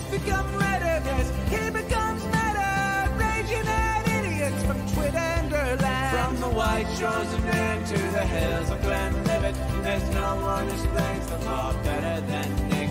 So pour out a glass for the ones who have passed make the law what we have Oh, lady is fair, and she handles herself with the grace of one who has borne many children. As the wife of a lawman, she makes sure that he has the time and the place to provide for them there. So pour out an odd bag of Bowmore and Laphroaig. The spirits glow as the ones who get unemployed. So pour out a glass for the tea post on Twitter as we hear lost planning tonight. From the white shores of Nam to the hills of Glenlivet, there's no one who explains the law better than Nick. So pour out a glass for the ones who have passed to make the love what we have now. Oh, the guests are all plentiful, from Dante to Drexel. They bring their perspective and spice to the mix. But the reason we're here and the one that we cheer is the one who is showcasing us his career.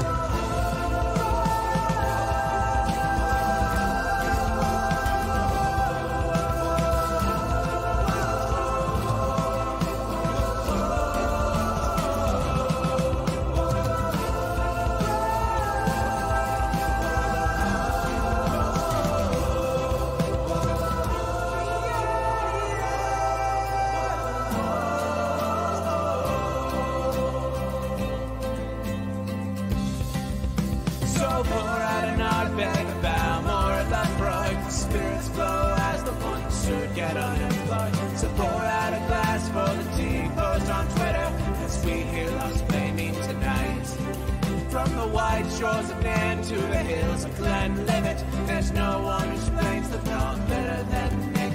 So pour out a glass for the ones who have passed to make the law.